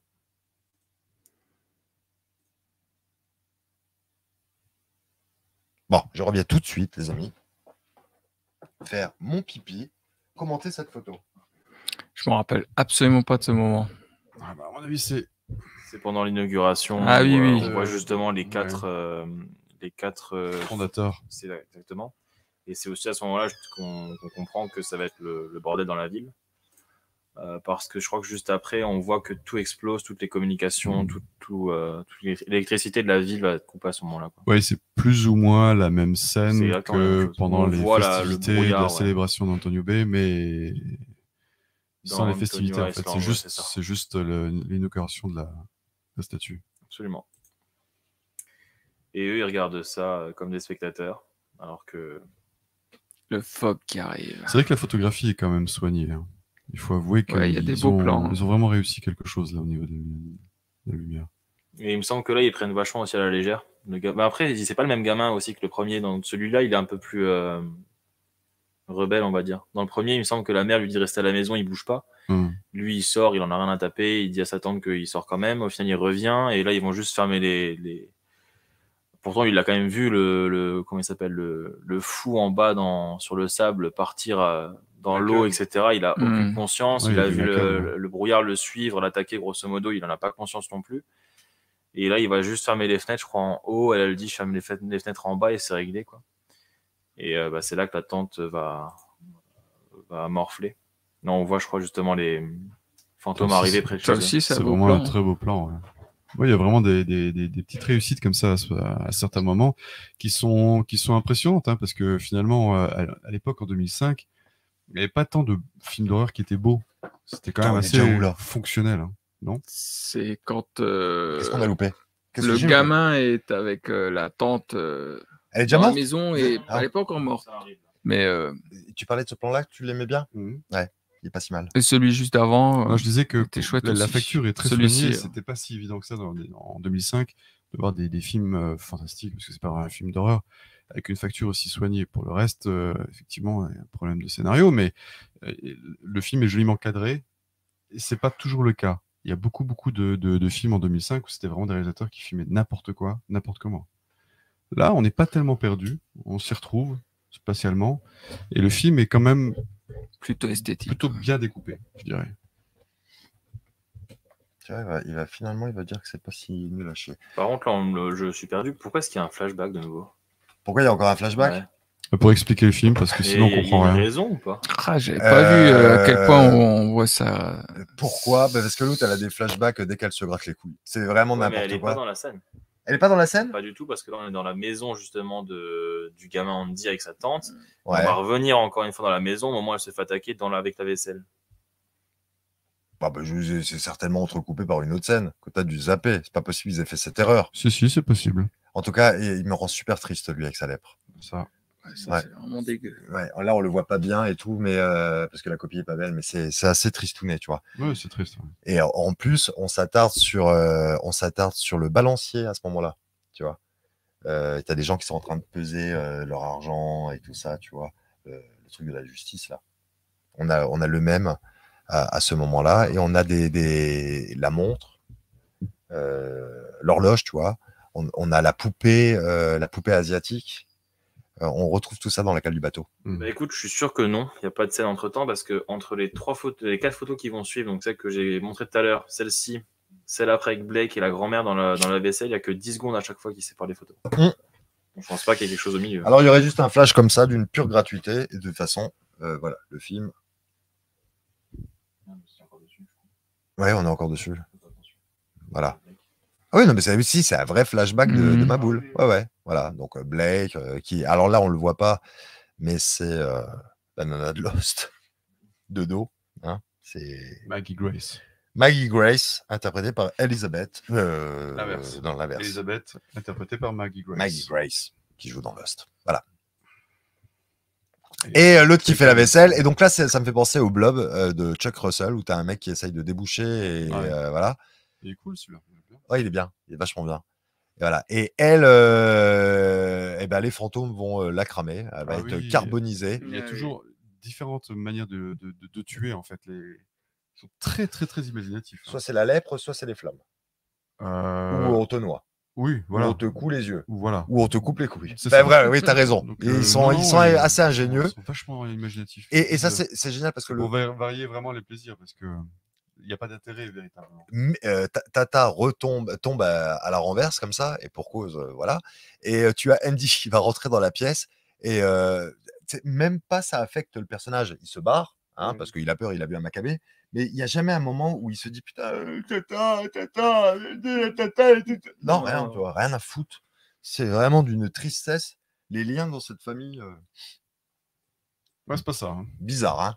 Ah, la fameuse, plan. La fameuse, la fameuse scène de d'accident de voiture. Ouais, alors cette fois-ci, très très spectaculaire et bien filmé. alors c'est intéressant de le Mais- souligner que euh, le personnage de Selma Blair décide de quitter Le phare. le phare pour aller récupérer son fils. Elle se sent pas habitée par une mission divine qui serait de tenir au courant euh, des gens qui n'ont pas leur, euh, radio branchée, tu vois. Mhm. hein? non, elle, elle décide d'aller sauver la vie de son enfant. Donc elle prend le véhicule et elle est attaquée par le brouillard. Voilà. Et euh, elle va avoir un accident de bagnole, c'est ça? Ouais, il y a un gros camion qui va même pas s'arrêter en Un fait. hein. camping-car? Non, non, un, un camion, un semi-remorque. Ah et oui, qui la projette dans l'air comme ça. C'est Hmm. très spectaculaire, mais c'est complètement débile. Le mec, il l'explose, mais véritablement à tel point. Et il se dit, tiens, ça devait être un moustique. Il s'arrête pas, le mec. Ouais. Tout droit. Oui, C'est peut-être un fantôme qui conduit. Non, euh, et par contre, le plan qu'il y avait avant, c'était quand même euh, le, le, le truc en image de synthèse qui rentre par l'aération du, du véhicule. hein. Ouais, Donc elle sert à était rien. déjà. Oui, ça sert à rien, parce que finalement, après, elle est tapée par le camion et elle atterrit dans la flotte. Et Au fond de c'est l'eau. dans le fond de l'eau, dans le fond de l'eau. Et, donc, c'est ça le fameux Voilà. euh, fantôme qui la regarde euh, en faisant rien. Tu sais que Selma Blair, elle a passé 12 heures sous la flotte C'est pareil, ouais. pour. Vu euh, ça aussi. mais- Ouais. Et bon, il y avait un mec à proximité qui avait un masque à oxygène. euh, parce que retenir sa respiration pendant 12 heures, c'est Très compliqué. difficile, oui. Euh, moi, je connais euh, Guy Bruce Tripwood dans Monkey Island qui arrive à retenir son souffle pendant euh, 10 minutes. Dans Monkey Island. Mhm. Voilà. Mais 12 heures, c'est. Ouais, c'est costaud. 10 12 heures, minutes, c'est costaud. déjà. 10 minutes, c'est pas mal. hein. C'est pas mal. Hein Tu connais Monkey Island, le jeu? Ok, là. C'est- Tu sais que la seule façon de faire mourir euh, Guy Bruce Tripwood, c'est à un moment, il se retrouve dans, euh, dans, la, dans la flotte. Je sais pas si tu te souviens. Et euh, il a un poids au pied, il peut pas, il peut pas s'échapper et tout. Ben, Il y a un truc à faire euh, tout simple pour, euh, pour s'échapper. Et si tu attends 10 minutes, il meurt. Mhm. C'est la seule façon de faire mourir Guy Bush. C'est mon jeu préféré. J'adore. Et du coup, tu détestes le nouveau? Je l'ai pas fait.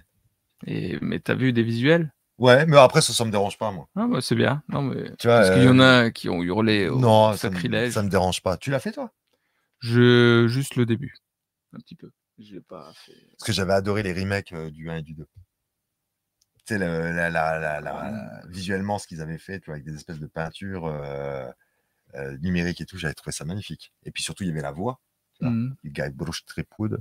Ça, tu connais pas Ah, Il faut que tu le fasses. C'est c'est chouette, un... Sur quelle plateforme? Oh, bah, C'était sur toutes les plateformes. hein, C'est un Ouais, jeu des années surtout 90 un peu. qui avait été produit par euh, avec les LucasArts. Maintenant, tu les as sur Steam, euh, il me semble, sur le PC. Et, la euh, collection. J'adore. C'est tellement drôle. C'est euh, c'est formidable. Vraiment un jeu incroyable. Mm. Donc pourquoi je parlais de Monkey Island à ce moment-là? Parce Parce que qu'elle c'est était, restée 12 l'inspiration. heures. Ouais, Elle était ouais. restée 12 heures. C'était Ouais. l'inspiration première. Voilà. Bon, et elle va s'échapper. Le fantôme qui fait coucou. euh, c'est une scène euh, spectaculaire qui ne sert à rien. Euh, tu l'as bien dit. Bah, Oui, c'est surtout que oui, elle sert à rien. Tu- tu- Est-ce que C'est tu... c'est dommage parce que ça aurait pu donner quelque chose d'intéressant en fait. hein. Ouais. Et non. Si elle pouvait mourir sous le- dans, dans l'eau comme ça, tu vois. Non, mais même, euh, elle aurait pu découvrir quelque chose. euh, Est-ce que les, les fantômes auraient pu essayer de communiquer avec elle pour lui dire, écoute, c'est pas exactement contre toi qu'on en a, c'est plutôt, tu vois, mais bon, il faut bien que quelqu'un paye. Non, rien, que dalle. C'est juste, Non, mais surtout les fantômes en non contre, contre elle, vu que c'est une descendante Oui, de... pour y avoir, tu sais, une espèce de truc comme ça où il explique. euh, Non, rien, Ouais, que dalle. rien du tout. C'est ju- c'est juste. euh, En plus, ça fait même pas peur. Tu- vois le fantôme qui est derrière la vitre comme ça. Alors Ça là, rien. Justement, euh, c'est intéressant de souligner que ça fait un petit peu des fantômes de la Haunted Mansion de Disneyland. Tu sais, Oui, l'attraction du, du manoir. Je vois, mais euh, Ça fait un petit peu ce type de fantôme à la Disney. mais pourquoi c'est intéressant? Parce que tu dis qu'ils ne font pas peur. Et je trouve qu'effectivement, ils font très euh, Disney. Euh, Oui, alors dans ce sens-là, oui, effectivement, oui. Mais oui, ils sont pas, euh, ils sont pas menaçants surtout à ce moment-là. Tu vois, ça ce mon- euh, ce fantôme-là. Sadako et tout ça, tu vois. Il est pas Sadako. du tout menaçant. Sadako dans Ring. Ah oui. Ça, c'est des fantômes qui font flipper. Ouais, ça fait flipper, Là, ça. par contre, c'est vraiment. euh, Ouais, des fantômes de, Halloween, J'ai pensé, moi, à la- à l'attraction de Disney parce que tu as la scène de bal dans l'attraction de Disney. C'est un ouais. moment, tu survoles euh, le, Ouais, le ouais, truc ouais. du bal et ils sont là en train de danser. Et le mouvement de caméra à la fin, où Mm. ça- Même la fin Ça fait, se bouffe fait la finalement bouche. assez, euh, assez, euh, assez Disney. Hein, Ouais, Mm. carrément. La scène dans le cimetière. Voilà. J'aurais dû placer mon, ma référence à Disney plus tard. Mais voilà, je l'avais, C'est fait. euh, c'est fait. Oui, oui, oui. Alors, les effets spéciaux, euh, pas les effets spéciaux, pour les cascades, le coordinateur des cascades, en gros, le mec spécialiste des cascades et tout ça, c'est quelqu'un que vous connaissez. C'est Ken Kirtzinger. Et euh, ce Ken Kirtzinger, euh, vous l'avez vu sous le masque de Jason Ah, dans Freddy vs. Jason. ah d'accord. Voilà, c'est Jason. Euh, il jouait aussi Jason dans le huitième, dans Jason Tex Manhattan, juste pour une séquence. Et euh, la main qui apparaît au début du film pour attraper Mhm. un, des quatre, tu vois, pour Mhm. essayer de l'amener à la flotte, c'est le bras de, de Ken, de Ken Kirtzinger. Voilà, c'est le genre d'information qui ne vous intéresse pas du tout. si, si. Voilà, mais bon, c'est- c'est c'est comme ça. La suite, monsieur Wurst. Bon, le brouillard qui va essayer de choper le petit Andy qui s'est caché dans sa chambre, qui a mis du scotch pour empêcher que les fantômes arrivent. Mhm. Voilà. Oui, il est pas fut-fut. Hein. Bah, il est pas fut Oui, mais ça fait un peu naïf. C'est euh, pas le couteau le plus aiguisé de... du tiroir. Voilà. Maman, maman. Bon, là, les fantômes avec des apparitions spectrales, tous plus ratés les unes que les autres. Trop, des fois, c'est vraiment trop. Voilà. C'est c'est de la merde. Il est sauvé, euh, il est sauvé euh, une fois de plus par. euh, Il me semble que c'est exactement la même scène en fait. hein. C'est exactement la même scène. Il est sauvé une fois de plus par euh, Nick. Nick. J'ai mis ce plan-là pour une seule raison, parce que on pense que c'est des fantômes, mais au final, il lui rentre dedans, et il y a quand même un genre de liquide qui, enfin, comme s'il avait vraiment tapé quelqu'un euh, Ouais. avec la voiture. C'est ça que je trouvais ça un peu surprenant sur le coup. Ouais, bah, il y a de la vase. Oui. Ouais, il y a de la vase. Ou un ectoplasme, euh, enfin un truc. euh, fait- C'est bon, c'est gratuit, ça sert à rien. Et ils vont sauver. euh, Mais oh, t'as t'as pas mis de plan où ils sauvent le gamin? Non, tu rien à foutre du gamin. Et t'as quelque part, t'as bien raison. T'as bien raison. Euh, dans le Bah, D'autant que commentaire c'est- C'est audio, vraiment la même scène en fait qui est. En plus, il y a les, les mêmes trucs avec le, Ah oui, qui s'embourbent, etc., etc. C'est vraiment la même scène. Sauf que là, le, le personnage de Nick, il sait qu'il est obligé de se sortir les doigts du cul parce que si en plus il ne sauve pas le gamin de Selma Blair, il y a peu de chances qu'il monte sa nouille prochainement. Tu vois. Donc là, c'est un investissement sur l'avenir. Ouais, il, y a Voilà. un enjeu, il y a un enjeu vraiment beaucoup plus fort. hein. Un investissement aussi euh, Ouais, émotionnel qui est beaucoup plus, Ah. beaucoup plus fort. Beaucoup plus fort. Ben, en tout cas, à ce moment-là du récit, qui meurt ou qui meurt pas, on s'en bat les couilles. De ce côté-là, c'est fidèle à l'original. Euh, euh, oui, on, on a ce, ce plan euh, magnifique hein, du, du- du- du prêtre qui, euh, euh, qui retrouve euh, notre ami Coolio. Euh, comment il s'appelle? Spoon. Spoon. Spooner. Voilà. Spooner. Ah, les deux se retrouvent comme ça. euh, pff, voilà. Bon, Ouais, c'est- vraiment. euh, Mais ils se retrouvent là. bah, l'autre, l'autre, il attend le ferry. Hein. Je S'il attend le ferry, le prêtre. On peut aller moins vite là, s'il vous plaît? Juste. Ou même sortir de cette séquence-là. Ils attendent le, le- l'autre, il attend le ferry. En vérité, il n'attend pas le ferry. T'as Spooner qui arrive et qui fait Ah, si vous attendez le ferry, il est peut-être un petit peu tard.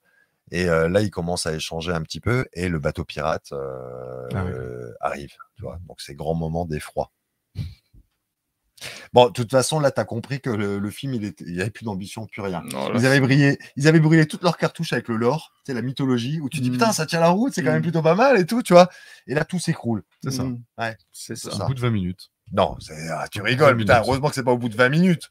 S'il 20 restait minutes encore une heure À 10 à partir du moment où t'as Nick qui fait demi-tour pour aller. Non, il y a encore quelques séquences.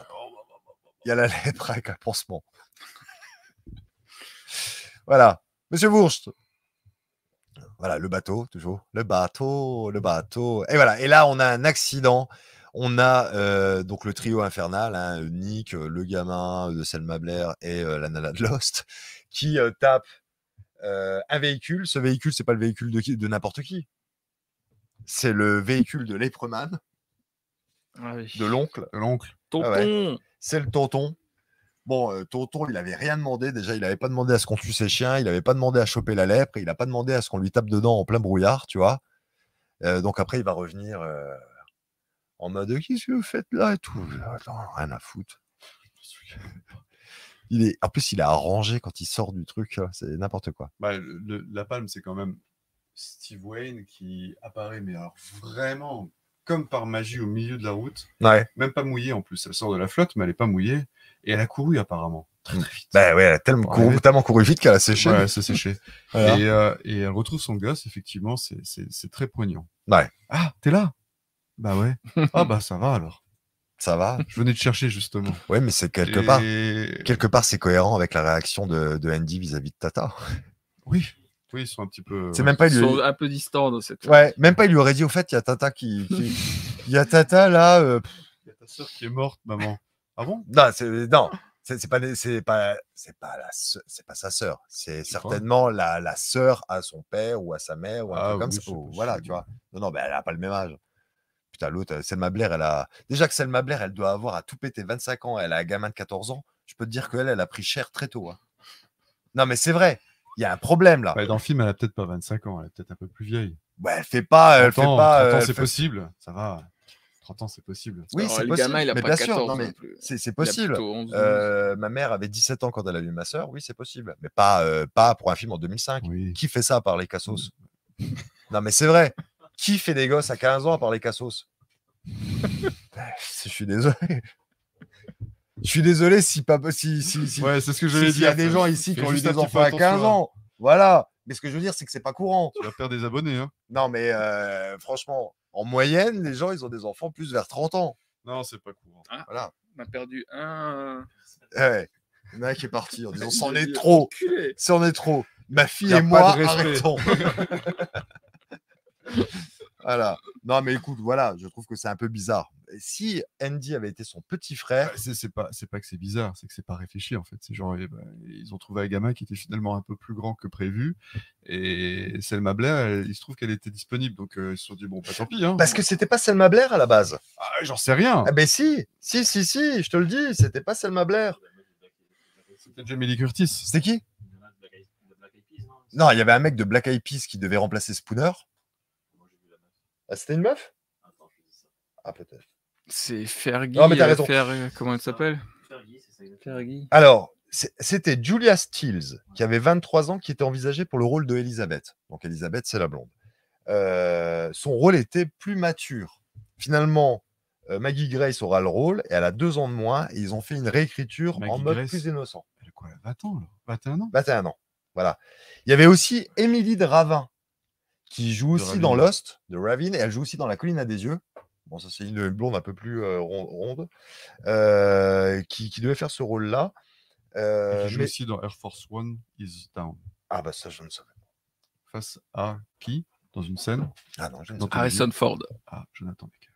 C'est vrai? Ah ouais, j'ai un tout petit, tout petit bout de scène. Je Oh, joue un, putain, agent du FSB et je suis censé être baraqué. C'est assez pathétique. Je fais comme ça, je fais. Non, je fais. Comme ça. Comme ça. Et puis elle me regarde et, je, je- on sent tout le. Oh, oh, non. Non. Où est-ce que je suis tombé là? C'est quoi cette prod? T'as vérifié alors, toi, pour. euh, Oui, non, mais j'ai- Alors, vas-y, dis-nous. J'ai raison, c'est Fergie qui est la chanteuse donc de, de Black Eyed Peas qui n'y est plus actuellement. Ouais. Elle devait à la base jouer euh, Stevie Wayne, mais il y a un conflit de dernière minute visiblement qui a, empl- qui a empêché euh, la création, enfin la conclusion du contrat. Black Eyed Peas, il y avait, il y avait euh, des, des caucasiens dans le groupe? Euh, oui. ah, mais Je sais pas, je demande. Je pensais que c'était qu'un groupe euh, black. euh, voilà. non, non, elle, elle Black est pas, elle est pas black du tout, elle. C'est, je- oui, je dirais plus. Il y a euh, comment ça méditerra- méditerranéenne, tu vois, genre. Ouais. Il y a Will pas. Yam, elle, elle fait plutôt portoricaine ou je sais pas. Ouais. Et puis il y, a, il y Ça, avait ça un peut se défendre en euh, tant que oui, ça peut se défendre en tant que descendant de, du gars en 1871 euh, machin. Elle? La nana de Black Eyed Peas. Bah, Elle était Bon, euh, Elle était pas blonde. C'est pas blond. Non, Bon, non, je- c'est une brune. Enfin, c'est une châtain. Ouais, J'espère qu'on t'entend dans le micro là quand tu Non, dis non, ça. pas du tout. Mais, C'était- euh, laisse le micro parce que C'est une, euh, c'est une châtain et euh, celui que tu parles toi, c'est Apple Une de paille, châtain. celui qui ressemble un peu à Espèce un, de chatin. à Porto- à un Porto peu, Rico. ouais, voilà, asiatique. Ouais. ouais. Il y en a un autre, je sais plus le nom, mais aussi qui est un peu typé euh, asiatique. Bon, en tout cas, elle aurait pu faire le rôle, le job. Bah, Elle aurait pour le peu de, enfin, le, pour le peu de fois qu'on la voit, oui, elle aurait pu. Voilà. De toute façon, Selma Blair, euh, De toute façon, à ce point-là, je veux dire. ouais, qu'ils auraient pu mettre Garcimore dans le rôle de Selma. Blair, ça aurait été pareil. Voilà. Et Papa Vera, lui, s'est endormi deux fois hein, en mettant ce film. hein. C'est sûr que le rythme, il est un peu plomb-plomb. Euh, c'est quoi ça? Ah oui, ouais, donc là maintenant on a le remake, hein, euh, remake total. Euh, alors, juste Qu'est-ce pour. que tu veux dire par remake total Explique-moi. Euh, euh, flashback, pardon. ah, on a le, le flashback, excuse-moi. C'est Euh, un remake, oui. oui. Ça, Juste avant ça, on avait le sabotage de la centrale par le brouillard, euh, qui, qui était aussi une scène coupée. Euh, donc, euh, vue subjectif, plus musique, euh, un peu, c'est la musique du rectum dans Irréversible. des- Un truc comme ça, tu vois. Il entre et il fait exploser les machines. Donc, ça, c'était comme dans euh, le Fog original. Ça fait partie des scènes coupées. T'en- T'en as vraiment une en caméra euh, subjective euh, trop dingue. Et là, là, on a le retour dans le passé. Là, qui, qui est effectué avec une, euh, dans la scène coupée avec une transition statue flashback. Ouais. Ça dure presque 7 minutes. Euh, Bon, voilà. hein. Je trouve que c'était mieux dans le montage. Mais bon, ça, c'est à chacun de, de voir. hein. C'est assez impressionnant. hein. Et là, on entend le cri des- des femmes, des enfants, des euh, corps qui sautent dans l'eau, C'est pas si mal. qui brûlent. Là, il y a énormément de différence entre le theatrical cut et le, le director's cut, tu vois. Enfin, la monta- le montage euh, euh, plus nerveux, tu vois. Euh, ils ont vraiment essayé de, de rendre ça euh, plus violent. Bon, ça ne marche pas des masses. Ensuite, Monsieur Bourge. Ah si, là, je suis pas d'accord. C'est plus violent. C'est pas beaucoup plus violent. Ah, que- tu parles entre le CRT. Ouais. Pardon, je croyais que tu parlais entre le. Ouais, tu sais, ils ont essayé d'injecter un peu plus de peps, Ouais. mais ça reste quand même super léger. Mm. Euh, voilà, c'est C'est pas- un film pour les, les ados. c'est hein, un film pour les ados. Donc ça, c'est quoi ça? C'est euh, à la C'est ce- bibliothèque. Exactement. euh, En fait, à un moment, il retire, euh, je sais plus, c'est un pousse meuble. un meuble, ouais. Exactement. Et en gros, derrière, on voit euh, cette peinture qui explique, grosso modo, tout le flashback qu'on a Ouais. depuis le début du film. D'accord. Mais c'est c'est dans sur la- notre écran, on c'est voit pas très bien. Ouais, c'est. oui, je sais, c'est un peu sombre. Et c'est dans le musée, il me semble. C'est dans le musée euh, qui est situé probablement dans la mairie. Voilà. Et là, on a euh, le mec de The Room. Tommy Wiseau. On a Tommy Wiseau au premier plan. Mais c'est c'est le look de Tommy Wiseau là. hein. Là, franchement, moi, c'est Tommy Wiseau The Room. hein. C'est Voilà. un acteur tchèque, je crois. L'acteur qui joue. euh, Oui. Ah, ça, il y a un petit côté Bayou là. je trouve, non? Ouais, petit côté Bayou? Un peu, ouais. Hmm, Ah, ça, j'aime bien. être, Quand euh, les, les- les peintures se mettent à, à fondre et compagnie, là, j'aime bien, tu vois. Ça, c'est le genre de petit truc euh, sympa. Bon. En tout cas, tout ce beau monde a trouvé refuge dans euh, la mairie. Donc, euh, fini l'église. C'est désormais la mairie. Donc, on a qui euh, dans les forces en présence? Euh, Stevie Wayne, Nick Castle, euh, Elizabeth. Quasiment Wayne, tous les. On a sa mère, La sa mère, mère, quasiment le- tous les descendants, le maire, le maire. le maire. Ouais. Et puis euh, la, euh, le vieux, là, non Il me semble conservateur. Bibliothécaire. hein, Enfin, ouais. Il me semble, hein, Un conservateur, il est là? Je crois. Non, Ah, il putain. était là à la cérémonie, mais il n'a pas disparu après. Ouais, tu vois, je, je, je, Je sais plus. Je, je pense pas qu'il. Pour moi, il restait que les, que les descendants. Que les descendants. hein. Peut-être que je me Que les trompe, hein, descendants. Il y a Spooner qui va arriver. Ouais. fin. Non, n'est il, pas il est descendant. déjà, il est déjà là aussi. Il arrive avec le, le père. Ouais. Ouais. Et euh, il y a euh, Matt Chun qui va être euh, envoyé à travers la, la, la vitre. Puis c'est- lui il s'est fait attraper et défoncer à l'extérieur. Donc les, les, les- les fantômes le, le jettent, le propulsent par. euh, C'est de la chair à canon. Bah, je ne sais pas. Et après, il y a une scène coupée avec le feu dévastateur. C'est le maire qui jette le livre dans la cheminée. Et là, il y a une boule de feu qui s'empare de la pièce, mais qui épargne les personnages.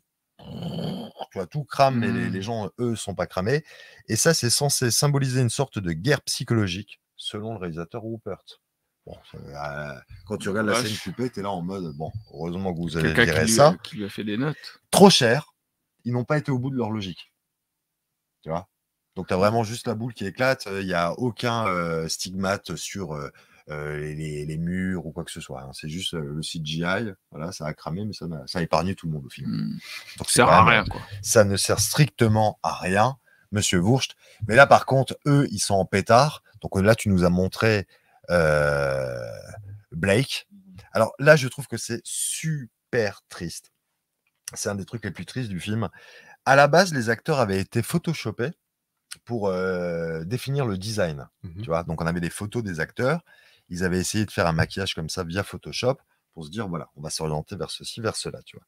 Et ensuite, ils ont fait des maquillages en dur, tu vois, des vrais maquillages qui étaient particulièrement réussis. Mais Mhm. vraiment, je trouve qu'ils étaient super réussis. Et malheureusement, ils ont rajouté une couche d'image de synthèse ou utiliser l'image de synthèse pour euh, virer les nez ou euh, les choses comme ça et pour rajouter des plaies. Je, trouve- je trouve ça déjà vachement moins convaincant. Voilà, sur cette image, je trouve ça pas mal. Moi, mais- Je trouve aussi, franchement, ça va. Comme, euh, comme dit Julien, sur cette image-là, je sais pas. euh, je trouve ça. Enfin, c'est pas flagrant que ce soit mal fait. Et je, préfère les, les, les visages plus humains des euh, premiers maquillages plutôt que les, les trucs vraiment euh, 100% cadavériques. Bon, après, c'est une histoire de goût. hein. Voilà. Et donc, euh, là, euh, Blake, il est en mode fils de puterie. Euh, il va s'en prendre à notre pauvre curé qui ressemble à un Ke- Keanu Reeves en On fin dirait de John Wick, là, ouais. On dirait John Une Wick. friteuse sur la tête. Alors, ouais, c'est vraiment euh, Keanu Reeves avec. euh, là, une- par au-dessus, comme ça, tu pourrais confondre les deux, tu vois. Ouais. C'est vraiment Keanu. Bah, tu peux mettre tes jambes là si tu veux pour le final. Il va falloir. C'est Keanu Reeves avec une friteuse, ce qui lui est tombé sur la tronche. Ouais, c'est exactement ça. Tu as bien raison. Il a les cheveux dégueulasses, le verre tournoie autour de lui. Il va se prendre successivement un bout dans euh, le cœur et un dans le cou. Euh, celui dans le cou était euh, absent du theatrical cut. Hein, ça a été rajouté pour, pour le truc. Et comme une merde, il va tomber. Voilà. Et donc, il n'a pas servi à grand chose, lui. hein. Il a servi à rien. il a picolé jusqu'au bout du film. Il n'a été d'aucune aide pour la suite du récit. Il a fait de la rétention d'informations. Il n'a pas donné plus d'informations quand on est venu lui, lui tirer les verres du nez. Donc euh, voilà. hein. Ce personnage, de toute façon, il ne méritait pas plus. On est bien content qu'il soit mort. Voilà. Monsieur Wurst? Et là, la c'est la grande foire à la saucisse. Euh, la vengeance suprême va être effectuée maintenant. On va s'en prendre euh, aux descendants directs du pire des, euh, des bâtards. hein. Donc, euh, C'est hein. c'est Tom Malone, le descendant de Patrick Malone. Donc, il va y avoir une bagarre euh, à l'extérieur, tu vois. Euh, des forces obscures vont l'attirer. La cascade est plutôt pas, pas mal. hein. C'est Ouais, il ouais, assez Waouh. impressionnant. Alors, il y avait deux techniciens. enfin, il y avait un technicien de chaque côté, tu vois, avec des, des harnais, et ils le tiraient tu vois, La vache. pour que l'autre fasse des roulés boulés. Et après, ils ont été effacés numériquement. Ah ouais, bah, ça marche bien. ça marche plutôt bien. Et après, ils se retrouvent dans euh, le cimetière. Blake et son armée de, de, de zombies. Tu vois, là, pour moi, c'est le visage vraiment trop cadavérique. C'est vraiment trop un squelette. euh, on dirait les, les contes de la crypte, on dirait Creepshow, on dirait vraiment le Creepers de, de Creepshow, et ça, je suis, je suis moins fan de ça, tu vois. Et, euh, et là, il arrive avec euh, le contrat, et il va demander au descendant de le signer, et le descendant va s'exécuter, enfin, en tout cas, il va tenir le contrat entre les mains, et il va prendre feu. J'espère qu'on a des beaux plans où il crame. D'accord, qui étaient les seuls plans spectaculaires du film. Euh, C'est tout? Me dis pas que c'est le dernier. Ah ouais, t'as le dernier plan, machin. Voilà. Ah, mais, euh, tout- ça spoil comme ça à ce point? D'accord. Et donc, euh, C'est pas très grave. hein. c'est pas très grave. C'est pas très grave. Donc, euh, on se rend compte, et grâce au flashback, on avait commencé à le comprendre, que Non, euh, c'est pas vrai. c'est pas vrai. Je refuse, je refuse ça. Que le bateau Elizabeth Dane était nommé en hommage à l'amour de Blake, Ouais. qui s'appelle aussi Elizabeth. Qui s'appelle, et qui s'appelle Elizabeth Dane. Il s'appelle Elizabeth Dane, tout à fait. Et en- euh, quoique. Si. Parce que là, c'est le William, c'est juste le descendant. hein, c'est voilà, Ouais. la réincarnation. Et, euh, et voilà. euh, donc Maggie Grace, la nana de Lost, comme il l'appelait tout- Ouais, depuis, voilà. depuis le début de la soirée, enfin depuis la fin de la soirée, euh, c'est la de réincarnation matinée, de dire. Elizabeth Dane. Voilà. C'est sa réincarnation. Et c'est pour ça que depuis tout ce temps, Elle est euh, torturée. elle est torturée et qu'elle est attirée par cette île. Ouais, Euh, il se passe quelque chose. Et c'est pour ça peut-être qu'elle c'est pour ça refuse. trébuche aussi probablement sur la planche parce qu'elle ne sait pas marcher. Elle n'est pas véritablement tangible. Waouh. Je sais pas, j'essaie de trouver des trucs. mais- Non. Et je pense plutôt que ça explique pourquoi Nick a tellement envie de montrer sa zézette à Selma Blair, parce qu'elle doit se réserver un peu. Elle sait que son cœur, finalement, il est pour quelqu'un d'autre. Tu crois? Et son anus aussi, probablement. C'est une très très belle conclusion. c'est beau. ouais. non, mais tu crois pas? Bah si. c'est Parce que si franchement, si franchement, il y avait eu une belle amour avec euh, Smallville, Small Dick, avec l'acteur de Smallville, s'il y avait eu une belle histoire d'amour et tout ça, ça aurait été un déchirement finalement qu'elle aille dans les bras. Ah oui, parce que quand elle part, elle sourit, hein, si je me souviens Oui. bien, elle le regarde, elle fait Elle fait comme ça. Ah, c'est mieux. hein. Je, je dois le faire comme ça. Ouais, c'est mieux comme ça. Là, elle, elle emballe le, le vieux, puis après elle se retourne et puis elle fait comme ça. là, c'est un peu ça. hein. C'est un Tu peu ça, ouais. Et là, t'as Nick qui sort. Alors, Nick, il s'est vraiment euh, euh, démené comme un porc pour lui sauver la vie et base, tout ça, tu vois? comprend rien. L'autre, il comprend rien. Tu sais, il voit une valse de, euh, de fantômes. Moi, je comprends pas. Qui- C'est qui Ça le doit mec être la lumière. C'est Je- qui, Je putain sais pas ce qui se passe. Non, mais quelle, c'est- quelle escroquerie. Ah bah, c'est- Alors, lui, à mon avis, quelque part, hein, si vraiment on fait, on rentre dans sa psychologie, quand il regarde ça, il est un petit peu amusé quand même. tu sais, Parce que il Ah, s'est dit, c'est bon, je vais pouvoir. il me dit, là, il se dit, ouais, bon, allez, je vais hériter de Selma Blair et de son horrible gamin. voilà, tu vois. Tu sais, il sait de toute façon, il l'aimait pas. Il fait comme ça. Il Ah oui, l'aimait non, pas. mais qui il aime, lui, à part lui? Ouais, c'est vrai. Même son pote, là, Spooner, il, il le laisse pourrir dans un frigo, il en a rien à secouer. Puis l'autre, il en a rien à branler de son cousin. Son cousin, son vois, oncle, son oncle. Non, mais l'autre, il a, l'autre, il a perdu chien son- Ouais, le chien de son oncle. Non, mais l'autre, il a perdu tout le monde. Oui. Il a même perdu sa nana. Et, ça, Mais ça ça va. va, ça va. Il, il en parle un moment Bon, dans le restaurant. réglé. Il a tout le temps son pull à col roulé. Dans le restaurant, il fait un moment, il, fait le- il comptabilise justement tout ce qu'il a perdu. Il en a rien à cirer. hein, genre, quand il parle avec Elisabeth, euh, Ah, je sais plus trop à quel moment, il dit qu'il a perdu tout le monde. Il s'en fout Bah, complètement. il s'en bat les couilles. Il s'en bat les couilles. Et après, même, tu sais, c'est vraiment, à un moment, elle se met à lire le journal euh, du, euh, du père fondateur. Ah, et l'autre, il fait oui. comme ça. Non, non, attends, attends, attends, laisse-moi lire, parce que toi, tu lis mal. C'est un peu ça, hein. C'est vrai, cette scène est formidable. Elle est formidable, cette Alors, scène. cette scène, elle- pour ça, elle est ratée. il y a- ce qui est génial, c'est qu'il parle d'un truc, si je me souviens bien, et il y a les photos juste au-dessus qui mais- sont accrochées. Il y en a dans tout le restaurant.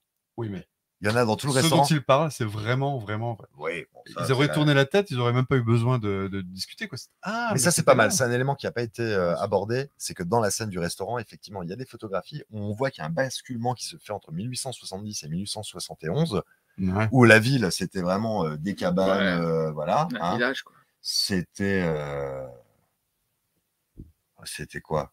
Des cabanes de pêcheurs. Des cabanes de pêcheurs? De pionnier. Ouais. Oui, c'est ça.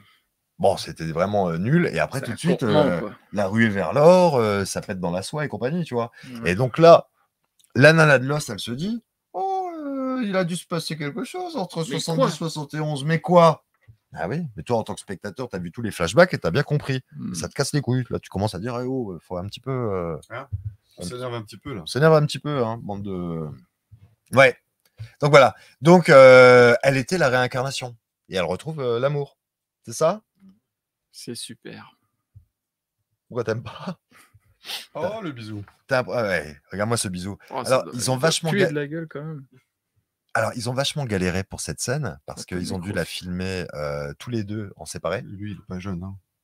Mais déjà, ils se sont pas embrassés. Attendez. Ça a été tourné en séparé et, euh, et elle, elle devait simuler un bisou comme ça et des mouvements de langue circulaires. Alors, ce que j'adore, c'est quand même le fantôme qui est à droite, donc, Ouais. qui les regarde, genre dépité. Ah, on a fait tout ça pour que l'autre il nique. Moi, j'ai rien, que dalle. Alors, personne peut me mettre sous la dent. Par contre, pas je pense, normal. euh, Romain, Regarde ils la sont, tête. ils sont réels. hein. De quoi? Ce, ce baiser-là, je pense qu'il est réel. Quand ils sont en mode. euh, Là, ils sont tous les deux en mode fantomatique. Tout à l'heure, quand je pense, c'est celle que tu parles de, de, de la photo de tout Ouais, à l'heure. c'est toi. juste avant, Celle-ci, là, tu parles. Ouais, Ah, là, peut-être, là, ouais. Là, ouais. Ouais, ouais, c'est celle-ci. Mais là, je pense que Ouais, c'est la mène voilà. vraiment. Quoi. Oui, là, là, ça Ouais, s'emballe. parce que ça ferait beaucoup d'effets spéciaux pour un truc qu'ils peuvent faire en vrai sans. Ah bah non, parce qu'il y a des mouvements de caméra et ils changent de vêtements euh, au Oui, fur et à mesure vrai, des ouais. rotations. Ouais. C'est pas si mal dans le, dans le concept.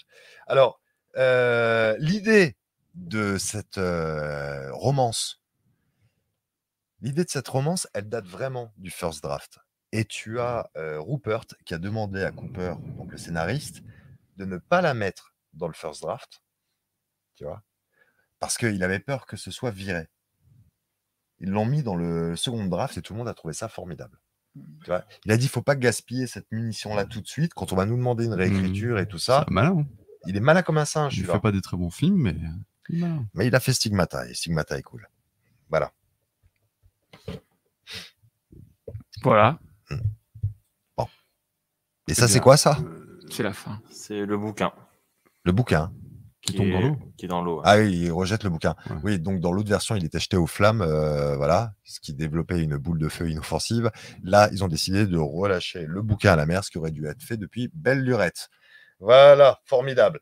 Alors, euh, Et et le film se termine avec une photographie de 1871. Euh, voilà. Tu vois. Ouais, ça coupe, euh, ça va pas du tout. Non, ça va pas du tout. En plus, c'est photoshopé à en mourir. On voit très bien que ça a été fait en octobre 2004. La magie n'opère pas du tout. La magie n'opère pas du tout. Alors, euh, euh, Andy, il a été prévu à un moment que Andy trace le symbole avec le, le doigt sur la porte. Tu sais, quand il y a le scotch, tu vois Ouais. Il devait être pris d'un spasme euh, et puis dessiner le symbole avec Encore le balancier et tout ça, tu vois. Mhm. Tout le monde devait le faire. Bon, euh, voilà, tu vois. Bah, pourquoi pas, si tout le monde le fait.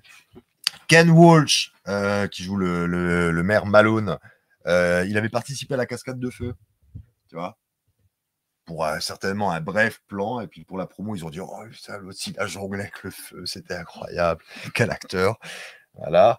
Euh, c'est au final un film sur la réincarnation. Euh, qui l'eût cru, l'eût-tu cru? Et euh, c'est blindé, c'est blindé de tics. Qui l'est cru, le stu cru? Voilà. Là. C'est blindé de tics à la room. passe. C'est blindé de tics à la panic room. C'est-à-dire qu'au niveau de la mise en scène, on a une caméra Oui, euh, en image de Oui, synthèse qui bouge dans tous les sens. qui bouge dans tous les sens et vas-y que je passe dans les trappes, vas-y que je passe dans une serrure, vas-y que je passe sous une chaussure. Voilà, Fincher. À la Fincher. Mais à la Fincher du pauvre. Tu vois C'est à la Fincher où ça fait mille ans qu'on a vu ça, mec. hein. Donc C'est euh, c'est quand même pas, euh, c'est quand même pas dingue. Euh, John Carpenter, une fois qu'on lui montre le film, euh, on va lui demander, hein, oui, enfin, on lui demande pas le film pendant le tournage du film. On lui dit, au fait, euh, Rupert, qu'est-ce qu'il apporte? Et là, John Carpenter, il fait, qu'apporte Rupert au plan créatif? L'énergie. Son style est très différent du mien. Il exploite beaucoup de plans de coupe et de gros plans pour apporter de la texture et de l'énergie dans ses films. Voilà. C'est qui qui lui a fait cette note? Ça, c'est John Carpenter. Voilà, tu vois, il a du formidable. C'est un réalisateur de talent. Euh, voilà. La mamaille. Euh, le film va sortir dans un premier montage euh, assez euh, soft. Mhm. Ce montage en France, vous ne l'aurez pas. Pour avoir ce montage, il faut acheter ce DVD, Zone 1, qui contient le theatrical version, et il est en full frame. Sauf que là, ça n'est pas un recyclage. Euh, c'est pas un, pardon, un recyclage, un recadrage. Pourquoi, De quoi? Pourquoi ils l'ont mis en full frame? Pour convenir au téléviseur 4 tiers. C'était encore euh, courant. euh. 2005 Ouais, ouais, bien sûr, c'était Aux encore courant. États-Unis, il y en avait beaucoup. Ouais, ouais. Aux États-Unis, ça a été la résistance pendant très longtemps. Ah bon? Ouais, ouais, ouais. Ah. Et donc euh, là, ça n'est pas un recadrage à la hache parce que c'est de l'open mat. C'est-à-dire que les caches ont été enlevés et le film offre plus d'images en haut, euh, en haut et en bas. Voilà. Donc c'est pas désagréable si vous avez envie de faire une comparaison. que, ça voudrait dire que du coup, le film n'a pas été tourné en anamorphique? Non. Il a été recadré en anamorphique. Exactement. Comme toi, quand t'as pas de budget et que tu veux ça. rajouter des bandes. Ouais, Ouais, J'ai rajouté des bandes, ça fait cinéma. ça fait Voilà. ça. Euh, non, mais c'est un autre nom, euh, le, le, le truc pour ce format-là. C'est un nom euh, que j'ai oublié et qui doit probablement être écrit derrière. Est-ce qu'il est écrit? Non, il n'est pas écrit. De toute façon, là, c'est en full frame, donc, euh, donc voilà. Mais ça, c'est pas, c'est pas coupé à la hache comme dans l'autre version. Cette fois-ci, ça va vraiment t'offrir des informations supplémentaires. Mm. Comme dans Les Dents de la Mer 4, où euh, tu peux voir la machinerie du, Du robot. du, robot, Du, du requin. requin, oh la vache. Voilà. Donc, le fait theatrical version, il manque deux scènes par rapport à la version qu'on a vue, dont la scène préférée de Rupert, Ah.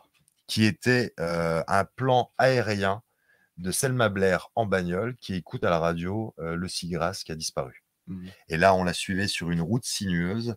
Et pour, euh, pour Rupert, c'était hyper important cette scène parce que ça montrait qu'il vivait dans un environnement hostile. Tu vois, c'est les routes sinueuses, la forêt, euh, le ravin. euh, voilà. Hein, bon. Donc il y a ça. C'est sorti aussi dans la version plus longue avec des, euh, des plans plus gore, mais voilà, à la con en France, sous le titre de Fog, pas The Fog. Hein. Mhm. Voilà. Donc c'est probablement l'édition que tu as. C'est l'édition que tu as regardé ça? Euh, aucune idée, je, je suis un. T- toi tu l'as volé sur internet. Donc il y a un making of au-delà du brouillard, il y a sept scènes coupées avec le commentaire des scènes, il y a euh, les effets spéciaux, un classique de l'horreur revisité où ça se suçote et Carpenter dit, dit que c'est formidable. Voilà, il y a un commentaire audio. Hmm, non, il n'y a pas de commentaire audio dans cette version. Pour obtenir un commentaire audio, vous êtes obligé de faire comme moi, passer à la caisse pour le Blu-ray du remake de Fog. d'idée, hein, Toi, t'as donné pour la franchise quand même. Oui, ouais, ouais. Pour l'émission, hein, parce que j'avais pas le Blu-ray. Hmm. Et euh, pour l'émission, je me suis dit, tiens, il y a un commentaire neuf audio. ou d'occasion? Alors, écoute, je l'ai acheté neuf.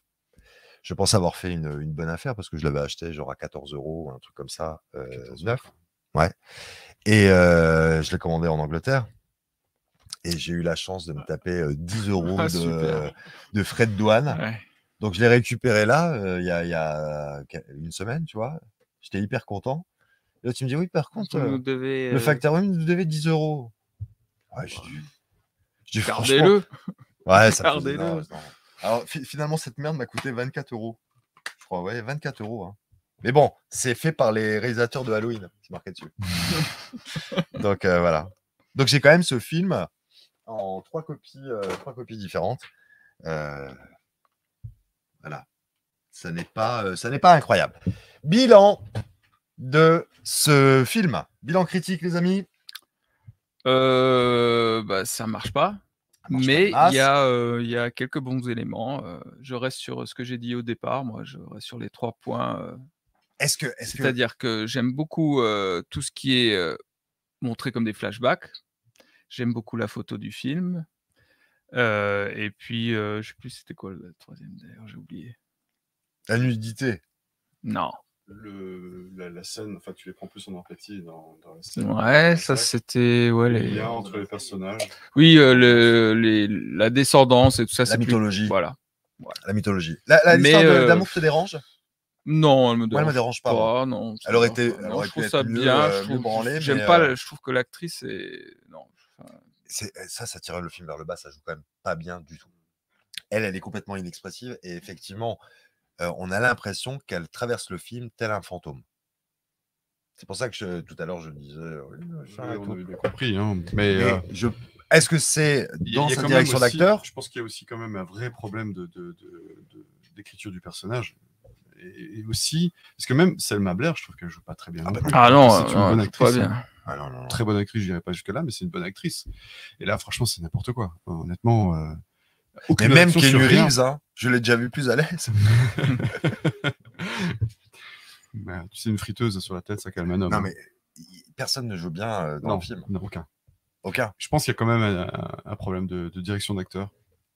Je pense qu'il y a aussi un problème de d'écriture, mais surtout un, un problème de, de- effectivement de, de direction d'acteur. Ça, ça, ça joue vraiment pas bien, et ça joue surtout comme si tout le monde en avait rien à foutre en fait, clairement. Mais je pense de toute façon qu'ils n'en ont rien à foutre. Pourtant, Hein? je sais pas, tu te dis, ah, on, est- on est dans on- un on film fait de- un remake d'un film culte. euh, Ouais, qu'on n'a jamais vu. Ouais. Peut-être, ouais. Surtout ça. hein. Les mecs, ils ont jamais vu le film, j'imagine bien. possible. Bon, en tout cas, ça joue pas bien. Non, Ça joue pas bien.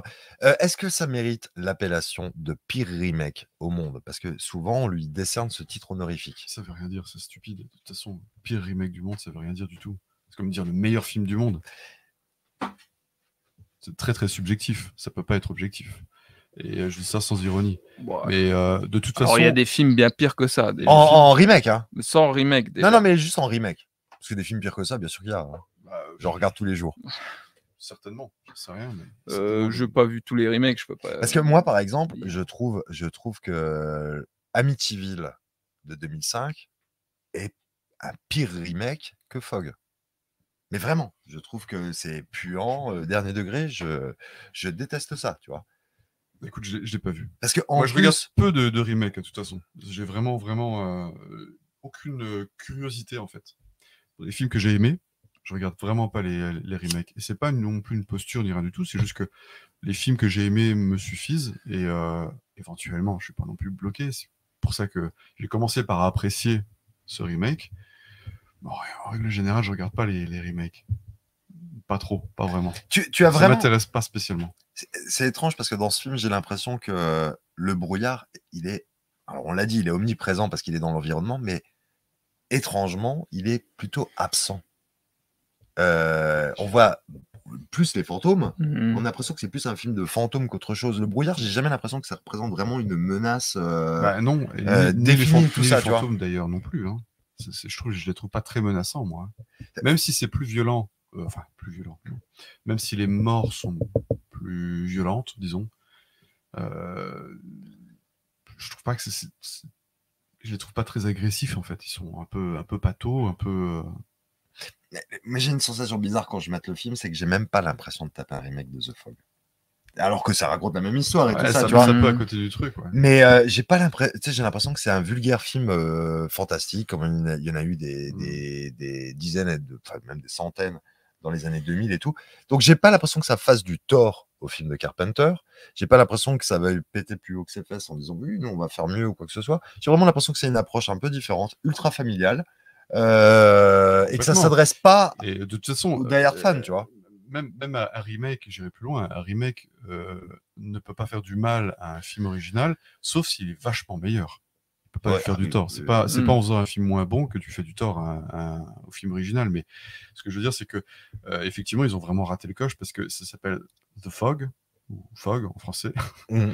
Et euh, finalement, euh, c'est pas faux ce que tu dis. euh, le, le- le brouillard, euh, il est pas. Tu sens pas. Au moins, Carpenter, il, il remet ça tout le temps sur la table. C'est-à-dire que tout s'arrête à chaque fois à cause du, euh, du, du brouillard. Et systématiquement, on en parle. Ouais. Régulièrement, on en parle. Il est toujours ramené dans le récit. Or, c'est pas le cas dans, sur ce film-là. oui, c'est presque le, le vaisseau des, euh, c'est des, ça. des fantômes, ça, on alors que dans le remake, c'est deux euh, choses différentes. C'est c'est hyper bizarre. C'est vrai. Voilà. Moi, j'ai ce Fog 2005, j'ai plus l'impression que c'est un film de fantôme plutôt. Tu sais, euh, c'est facile de dire à un profane. euh, tu parles de The Fog, il va dire ouais, c'est le film avec le brouillard là. Tu vois C'est hyper évident. Tu arrives facilement à caractériser le film de, de Carpenter. Celui-ci, tu dirais quoi? Oui, c'est le film avec Selma Blair. C'est ça, c'est le truc avec euh, où les gens ils crament euh, carbonisé, machin, où t'as un gosse qui joue comme une patate. je sais plus, c'est quoi le film? Tout sauf le. C'est- vrai, c'est vrai que c'est dommage parce que je pense que vraiment le, première scène en fait euh, sur le bateau, non, il y a vraiment une première scène sur un bateau, c'est celle avec euh, Nick Castle, mais c'est pas de celle-là que je parle. Ouais, Celle qui va servir de base en ouais. fait. Euh, L'attaque effectivement par les quatre pères fondateurs, je trouve qu'elle est vraiment très très réussie et tu sens que bizarrement, on dirait qu'ils se sont beaucoup plus investis dans cette scène-là, autant les scénaristes que le réalisateur, euh, que pour tout le reste du film. En fait. Et c'est et c'est vraiment très dommage parce que tu te dis, mais en fait, on aurait pu passer pour, alors peut-être pas un chef-d'œuvre, loin de là, mais au moins une bonne série B. Ouais. Mais là, tous les personnages s'en foutent de ce qui leur arrive. Ça joue effectivement pas très très très bien. Et en plus de ça, il y a, y a pas de logique. Les, les, les, les, les fantômes font un peu n'importe quoi, n'importe comment. Ça change de, de modus operandi, tu sais pas pourquoi. Du coup, ça les tue euh, avec, euh, avec des. enfin, je veux dire, au bout d'un moment, tu, tu serais même pas surpris si jamais ils faisaient du kung-fu. Quoi. Mais, mais carrément. Mais de toute façon, ils font du kung fu. Parce que l'autre, il lui il le, le pousse, il lui fait faire des, des roulés boulets et compagnie. euh, c'est sur- sur de la bagarre. Mais tu- tu vois, les, les- pour moi, le défaut numéro un du film de Carpenter, on l'a dit, c'est le problème de la mythologie de ces fantômes. Tu vois. Et ce film-là, il parvient vraiment à créer une mythologie auquel j'adhère. Et si ils avaient suivi après la trame du film de Carpenter, la tension du film de Carpenter, l'ambiance, l'atmosphère du film de Carpenter, ça aurait donné un très bon remake. Tu vois Parce que je trouve que voilà, le background, le lore et tout ça, je trouve, je trouve Mhm. que ça fonctionne super bien. Simplement, dans la partie où on lui demandait d'être efficace, il ne l'a pas été. Donc ouais, je suis d'accord avec toi. Donc c'est raté. C'est, mais dans le- bien sûr que c'est raté, mais c'est pas catastrophique pour autant. Je veux Non, dire, il y a non, tellement de films, euh, voilà, c'est pas le pire euh, Non, remake. Ça mérite pas ce titre, non. Mais comme euh, toujours, c'est la passion des fans qui fait que euh, c'est toujours très dé- déraisonnable de toute manière. Et euh, voilà, il y a des mecs qui adorent The Fog au point refusent, même si le, le film a été réussi, je suis sûr qu'ils auraient quand même trouvé que c'était nul. C'était nul. hmm, Moi, je, je- je me souviens d'un copain, enfin, c'était pas un copain, un mec avec qui je travaillais, qui était fan de The Thing de Carpenter, il se trouve que moi aussi. Et j'ai commencé à m'intéresser au remake. Et il m'a dit, tu peux pas faire ça, c'est sacrilège. Je, je vois pas pourquoi. à quel remake? Euh, de The Thing. Le, le remake euh, de, avec euh, Mary-Elizabeth Winstead. Donc, euh, La préquelle? Oui, la préquelle, pardon. Oui, mais c'est. Alors, c'est vrai qu'on parle toujours de remake parce que euh, ils entretiennent vraiment le doute là-dessus. Hein. Oui, mais c'est une préquelle, oui. mais c'est c'est une préquelle. Mm. Et en fait, finalement, je trouve qu'effectivement, le film est pas trop, pas trop euh, raté, euh, plutôt même réussi. Je pense que. Ouais, ouais, ouais, je fais partie des gens qui le considèrent euh, Voilà. loin d'être ce que je veux dire, c'est que le, le mec l'a même pas vu. Et il m'a dit c'est sacrilège, tu peux pas. T'as Mm. pas le droit. Pourquoi? Parce que t'es un fan de The Thing. Et alors? Mais tu vois, ça, c'est c'est ce genre de comportement qui fait qu'effectivement, euh, tu peux te poser des questions sur euh, la vraie valeur des films de Carpenter parfois. C'est là où. euh, j'ai- j'ai- Je suis un peu dans cette logique, la logique de ton pote. hein. C'est-à-dire que. ah, mais tu peux pas. Si, tu si. peux laisser les gens tranquilles regarder des films comme ils veulent. Euh, non, non. Euh, je vais te dire, moi j'ai j'ai, euh, ce truc-là euh, par rapport à Star Wars, c'est que je considère que euh, faire des épisodes 7, 8, 9 sans partir des traitements de George Lucas, sans partir des idées de George Lucas, c'est un sacrilège. Parce que pour Star Wars, George Lucas, c'est Dieu, tout simplement, tu vois. Et que là, quelque part, c'est euh, c'est quelque- c'est l'œuvre de- d'hérétique, tu vois. Donc pour moi, euh, c'est le mal incarné. On n'avait pas à faire des suites à ces films-là. On peut faire des espèces d'excroissance et j'ai aucun souci à avoir euh, des solos, des choses qui restent dans l'univers, qui, euh, qui, qui répondent aux codes fixés par euh, les, les saintes écritures, tu vois. Mais alors, tu peux pas aller au-delà. Donc oui, je pense que si tu es un, un vrai fan de Star Wars, tu dois t'interdire de regarder 7, 8, 9. Mais tu tu les dois as même les regardés brûler. Les brûler. Mais tu les as regardés. Je les ai même en Blu-ray. Moi, dans je- un milliard d'éditions. J'étais voir, j'étais voir le 7, épisode 7, donc j'étais très, très, très enthousiaste. Ouais. Même si j'aime vraiment pas J. Abrams, euh, j'étais quand même très enthousiaste. Et puis j'ai vu le film et j'ai compris qu'en fait, on m'avait vraiment arnaqué, puisqu'en fait, c'est littéralement le, le- le- le- le remake de Ouais. Espoir, et que c'est vraiment, vraiment, vraiment Ah bah moins oui, bien. oui, oui. Euh, j'ai pas vu le 9, je sais pas du tout ce que ça donne. Ah bah le 9, J'ai attention. vu les le yeux. 8 parce qu'on m'a dit que c'était pas si mal, je l'ai regardé. Que, mais- sin- sincèrement, euh, le Oui, oui, 9, Je sais même plus si j'ai le vu 9, le il est, le 9, il est incroyable. Mais vraiment. C'est la foire à la saucisse, c'est magique. On pourrait passer euh, 20 heures sur euh, l'épisode 9, tellement qu'il y a de choses à dire.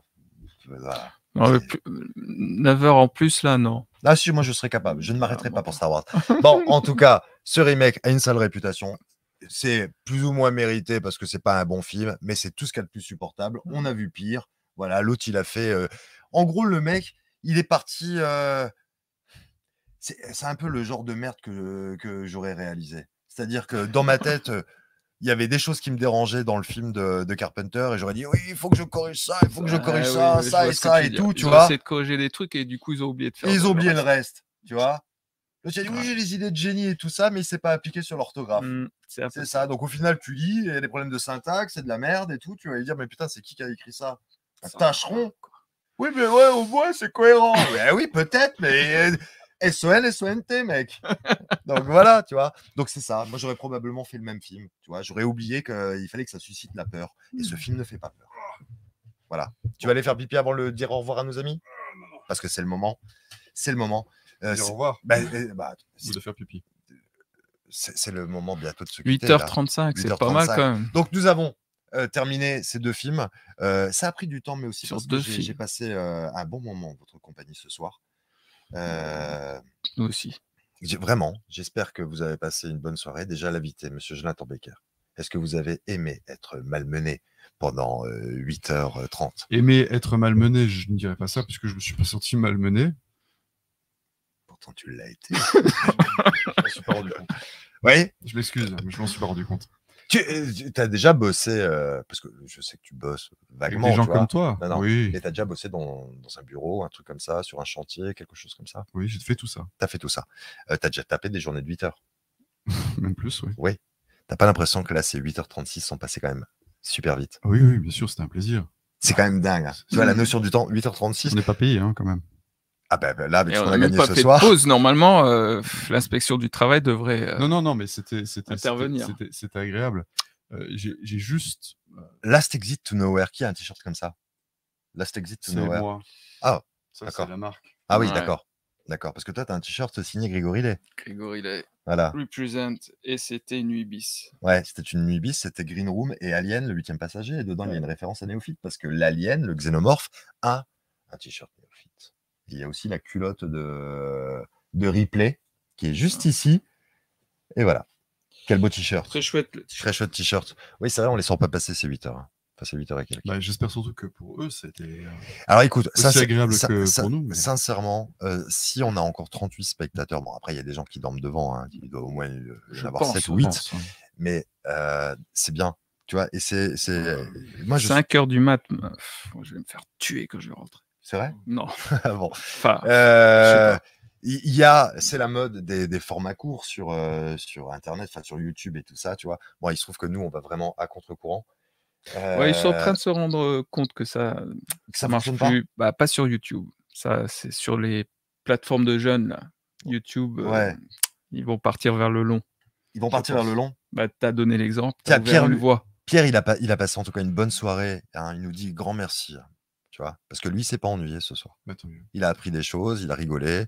Bon, il s'est un petit peu fait chier par moment, quoi, surtout quand il y avait la novélisation. Mais euh, il était content, il a vu du brouillard. Est-ce que pour le final, on peut avoir un peu de brouillard? Voilà. Putain, Quand je fume trop, après, j'ai la voix de Barry White. Demain matin, j'aurai la voix de Barry White. T'en as fumé combien là? 7. C'était vide à la base? Ouais. Non. J'en ai fumé 7. Sept. Moi, j'en ai pas fumé beaucoup, tu rigoles ou quoi? Voilà. Euh, ouais, mais euh, j'ai été content en tout cas. Moi, ça m'a fait plaisir de, de me focaliser sur des films que je n'aime pas. Donc, euh, c'est deux Fog. J'étais content de les revoir dans des bonnes conditions. J'étais content de faire un travail dessus et tout. Bon, voilà, c'est fait. Maintenant, je vais Ouais, passer à des passer choses que j'aime. hein. hein. Des choses que j'aime. Voilà. On se revoit à Gérardmer alors. Alors, Monsieur Becker. Ça va être Monsieur Becker pour les deux. Votre actualité en ce moment, rien de spécial. On l'a vu tout à l'heure. Voilà, mais ça. vous allez aller à Gérardmer. Gérardmer, ouais, ouais. ça- Ouais. ça- ça À la fin du mois de janvier. allé. Et donc, vous m'avez convié à, faire le déplacement Vous avec vous. Euh, tu t'es incrusté, mais bon. Putain, le choix. bâtard Ah, c'est un bâtard, ouais. Non, alors là, t'es vraiment un bâtard. Ouais, c'est On l'appelle le bâtard de la famille. Ah non, mais c'est Bah, vrai. donc, euh, je sais pas si. famille, on lui jette des enfin, cailloux. Je sais pas s'il y a de la place dans la voiture. Ah, ça, je sais pas, non. Ah ben voilà, tu Quelle vois. voiture? Quelle Ça, Je voiture? sais pas qui Ta la voiture. voiture, d'ailleurs. Bah, Alors là, T'as plus de voiture? T'as dû la vendre? J'ai une toute petite voiture. Vraiment, toute Ouais. petite. Je sais pas qui, qui va conduire, Greg. Avec ses pneus avec les chaussettes, Bah, peut-être. peut-être. Ah, Greg, il est déjà au lit de toute façon. Non, Oh, bon, lui, il a lâché l'affaire. il a hein. lâché l'affaire là. Surtout que. Surtout que rien. Et, euh, et oui, donc euh, Gérard Armé. Donc il y aura probablement pas d'émission à la fin du mois. Bah oui. Ah. On va aller, je vais aller à Gérard Armé. Ah, Bah, tu peux faire un spécial Gérardmer. Ouais, avec mon téléphone portable comme ça. Mmh. Bienvenue à ce Spécial Croix en live à Gérard. Un live à Gérard Armé. Tu fais des lives ouais, Ouais. sur Insta. Sur un live Asta, ouais, formidable. En plus, c'est remonté à 42. Les gens sont contents. Ouais, Là, ils ils sont remontent réveillés, parce qu'ils veulent voir la fin. Parce qu'à la fin, ils savent que ça monte le spatz systématiquement. Euh, moi, euh, est-ce que je peux avoir derrière, s'il te plaît, ce trivial? Donc, euh, c'est la caméra là hein? Oui, c'est celle-ci. Donc, euh, euh, il n'y aura pas de croix de Malte fin janvier, mais vous allez avoir la dose de croix de Malte pendant les, prochaines semaines. Mais alors là, vraiment la dose, parce que dès vendredi prochain, ah, je te parle, c'est l'année prochaine, je veux bien, mais c'est vendredi prochain, le 6, il va y avoir, je sais que vous les adorez, c'est croix de Malte spécial jeu. Donc là, en l'occurrence, ce sera le Trivial Poursuite Horreur. Voilà, c'est un Trivial Poursuite. Euh, ça, ça doit être Hasbro qui fait ça. 1800 questions massacrantes sur les films, les livres, les comics, les émissions de télé iconiques. Donc ça va être euh, vraiment une émission incroyable. J'aurai euh, la chance euh, d'avoir autour de cette table euh, Grégory Lay, C'est qui? C'est le mec qui a fait ton t-shirt. Ah ouais, Sabrina Lay, c'est qui? Sa sœur, Ah, qui, Histoire joue de du- famille. qui joue du ukulélé. mhm. Il y aura Ghislain Morel. C'est qui? C'est le mec qui avait fait l'émission sur les Body Snatchers. Ah, oui, qui- très très bonne émission. Et qui joue dans un groupe. Euh, il joue dans un groupe, euh, Neubug Band, le, comment? je- J'aurais pas pu te le dire ça. Euh, le Nalbuck, le donjon de Nalbuck. le donjon de Nalbuck. Voilà, tu vois. Donc on sera tous les Un quatre. fan de Star Trek, si je me souviens Ah oui, c'est un trekkies euh, à fond les ballons, tu vois. C'est bien. C'est un, un bien. trekkies à fond. Euh, donc ce sera très marqué à gauche politiquement. Hein, parce que j'aurai trois Encore une fois. de gauche. Oh, Il sûr va là? falloir que j'inverse la tendance. C'est pour ça que lui et Gwyn Delard reviendra bientôt. Hein? Euh, mais non, non, ça va être très marqué à gauche. Et euh, bon, ça n'est pas pour euh, me déplaire. Hein, J'ai pas de souci avec ça. hein. Ah bon? Non, pas du tout. La preuve, vous êtes invités, les amis. C'est pas parce que j'aime Charles Bronson. voilà. Donc, euh, ça va être, on sera à quatre autour de cette table. Le, ça va être vraiment génial. Euh, va y avoir un habillage vidéo que Monsieur Wurst va faire. Monsieur Wurst posera les questions. C'est lui qui posera les questions. Donc, il faudra faire gaffe à ne pas euh, enlever le son euh, systématiquement. hein. Voilà. Et euh, il y aura des déplacements de Merci, pions à l'écran et tout Becker ça. et Becker. Ah, Becker et Becker. Putain, on devrait faire une boîte comme ça. Becker et Becker. Ça va être une belle, euh, vraiment une belle émission. Voilà, ça va être crois, super fun. Euh, en tout cas, je l'espère. Mais ça, ça va être le cas.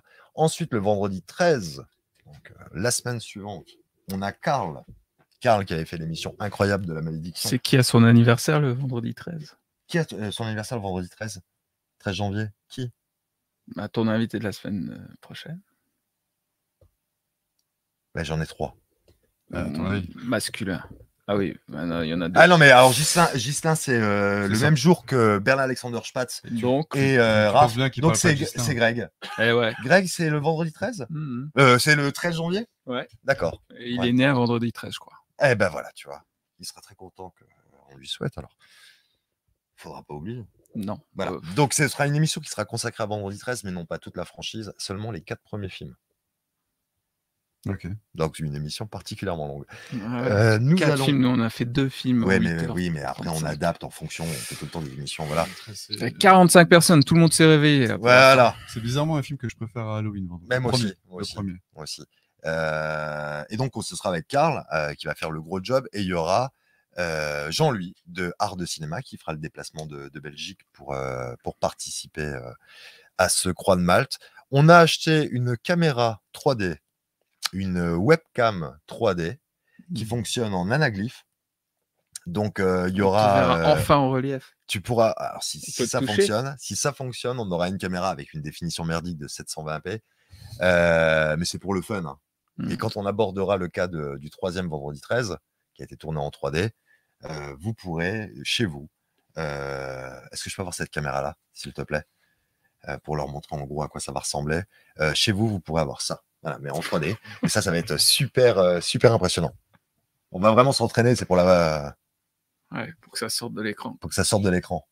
Cool. Putain, alors là, tu me fais un doigt comme ça, bâtard Bâtard Et Ça va être une soirée incroyable. Et c'est pas mieux de faire euh, une caméra euh, 3D au-dessus comme ça quand vous jouez justement au jeu de plateau? Euh, caméra- Non, mais attends, la définition, elle, elle est trop merdique pour utiliser ça. hein. Ah, Non, non, ça, ça- non, non, 720p, non. ça va encore, hein, c'est pas, catastrophique. Hein. Ouais, mais oui, bah, nous, on est en 720p. Non, mais euh, c'est un truc, euh, une webcam de vraiment de rigolo. hein. C'est vraiment du 720p ou c'est juste ce qui est écrit sur la boîte? Sur du 480, ce sera déjà pas mal. Ouais, si c'est 480, c'est bien. Mm. C'est peut-être du 720p divisé par deux. tu vois, un pour chaque œil.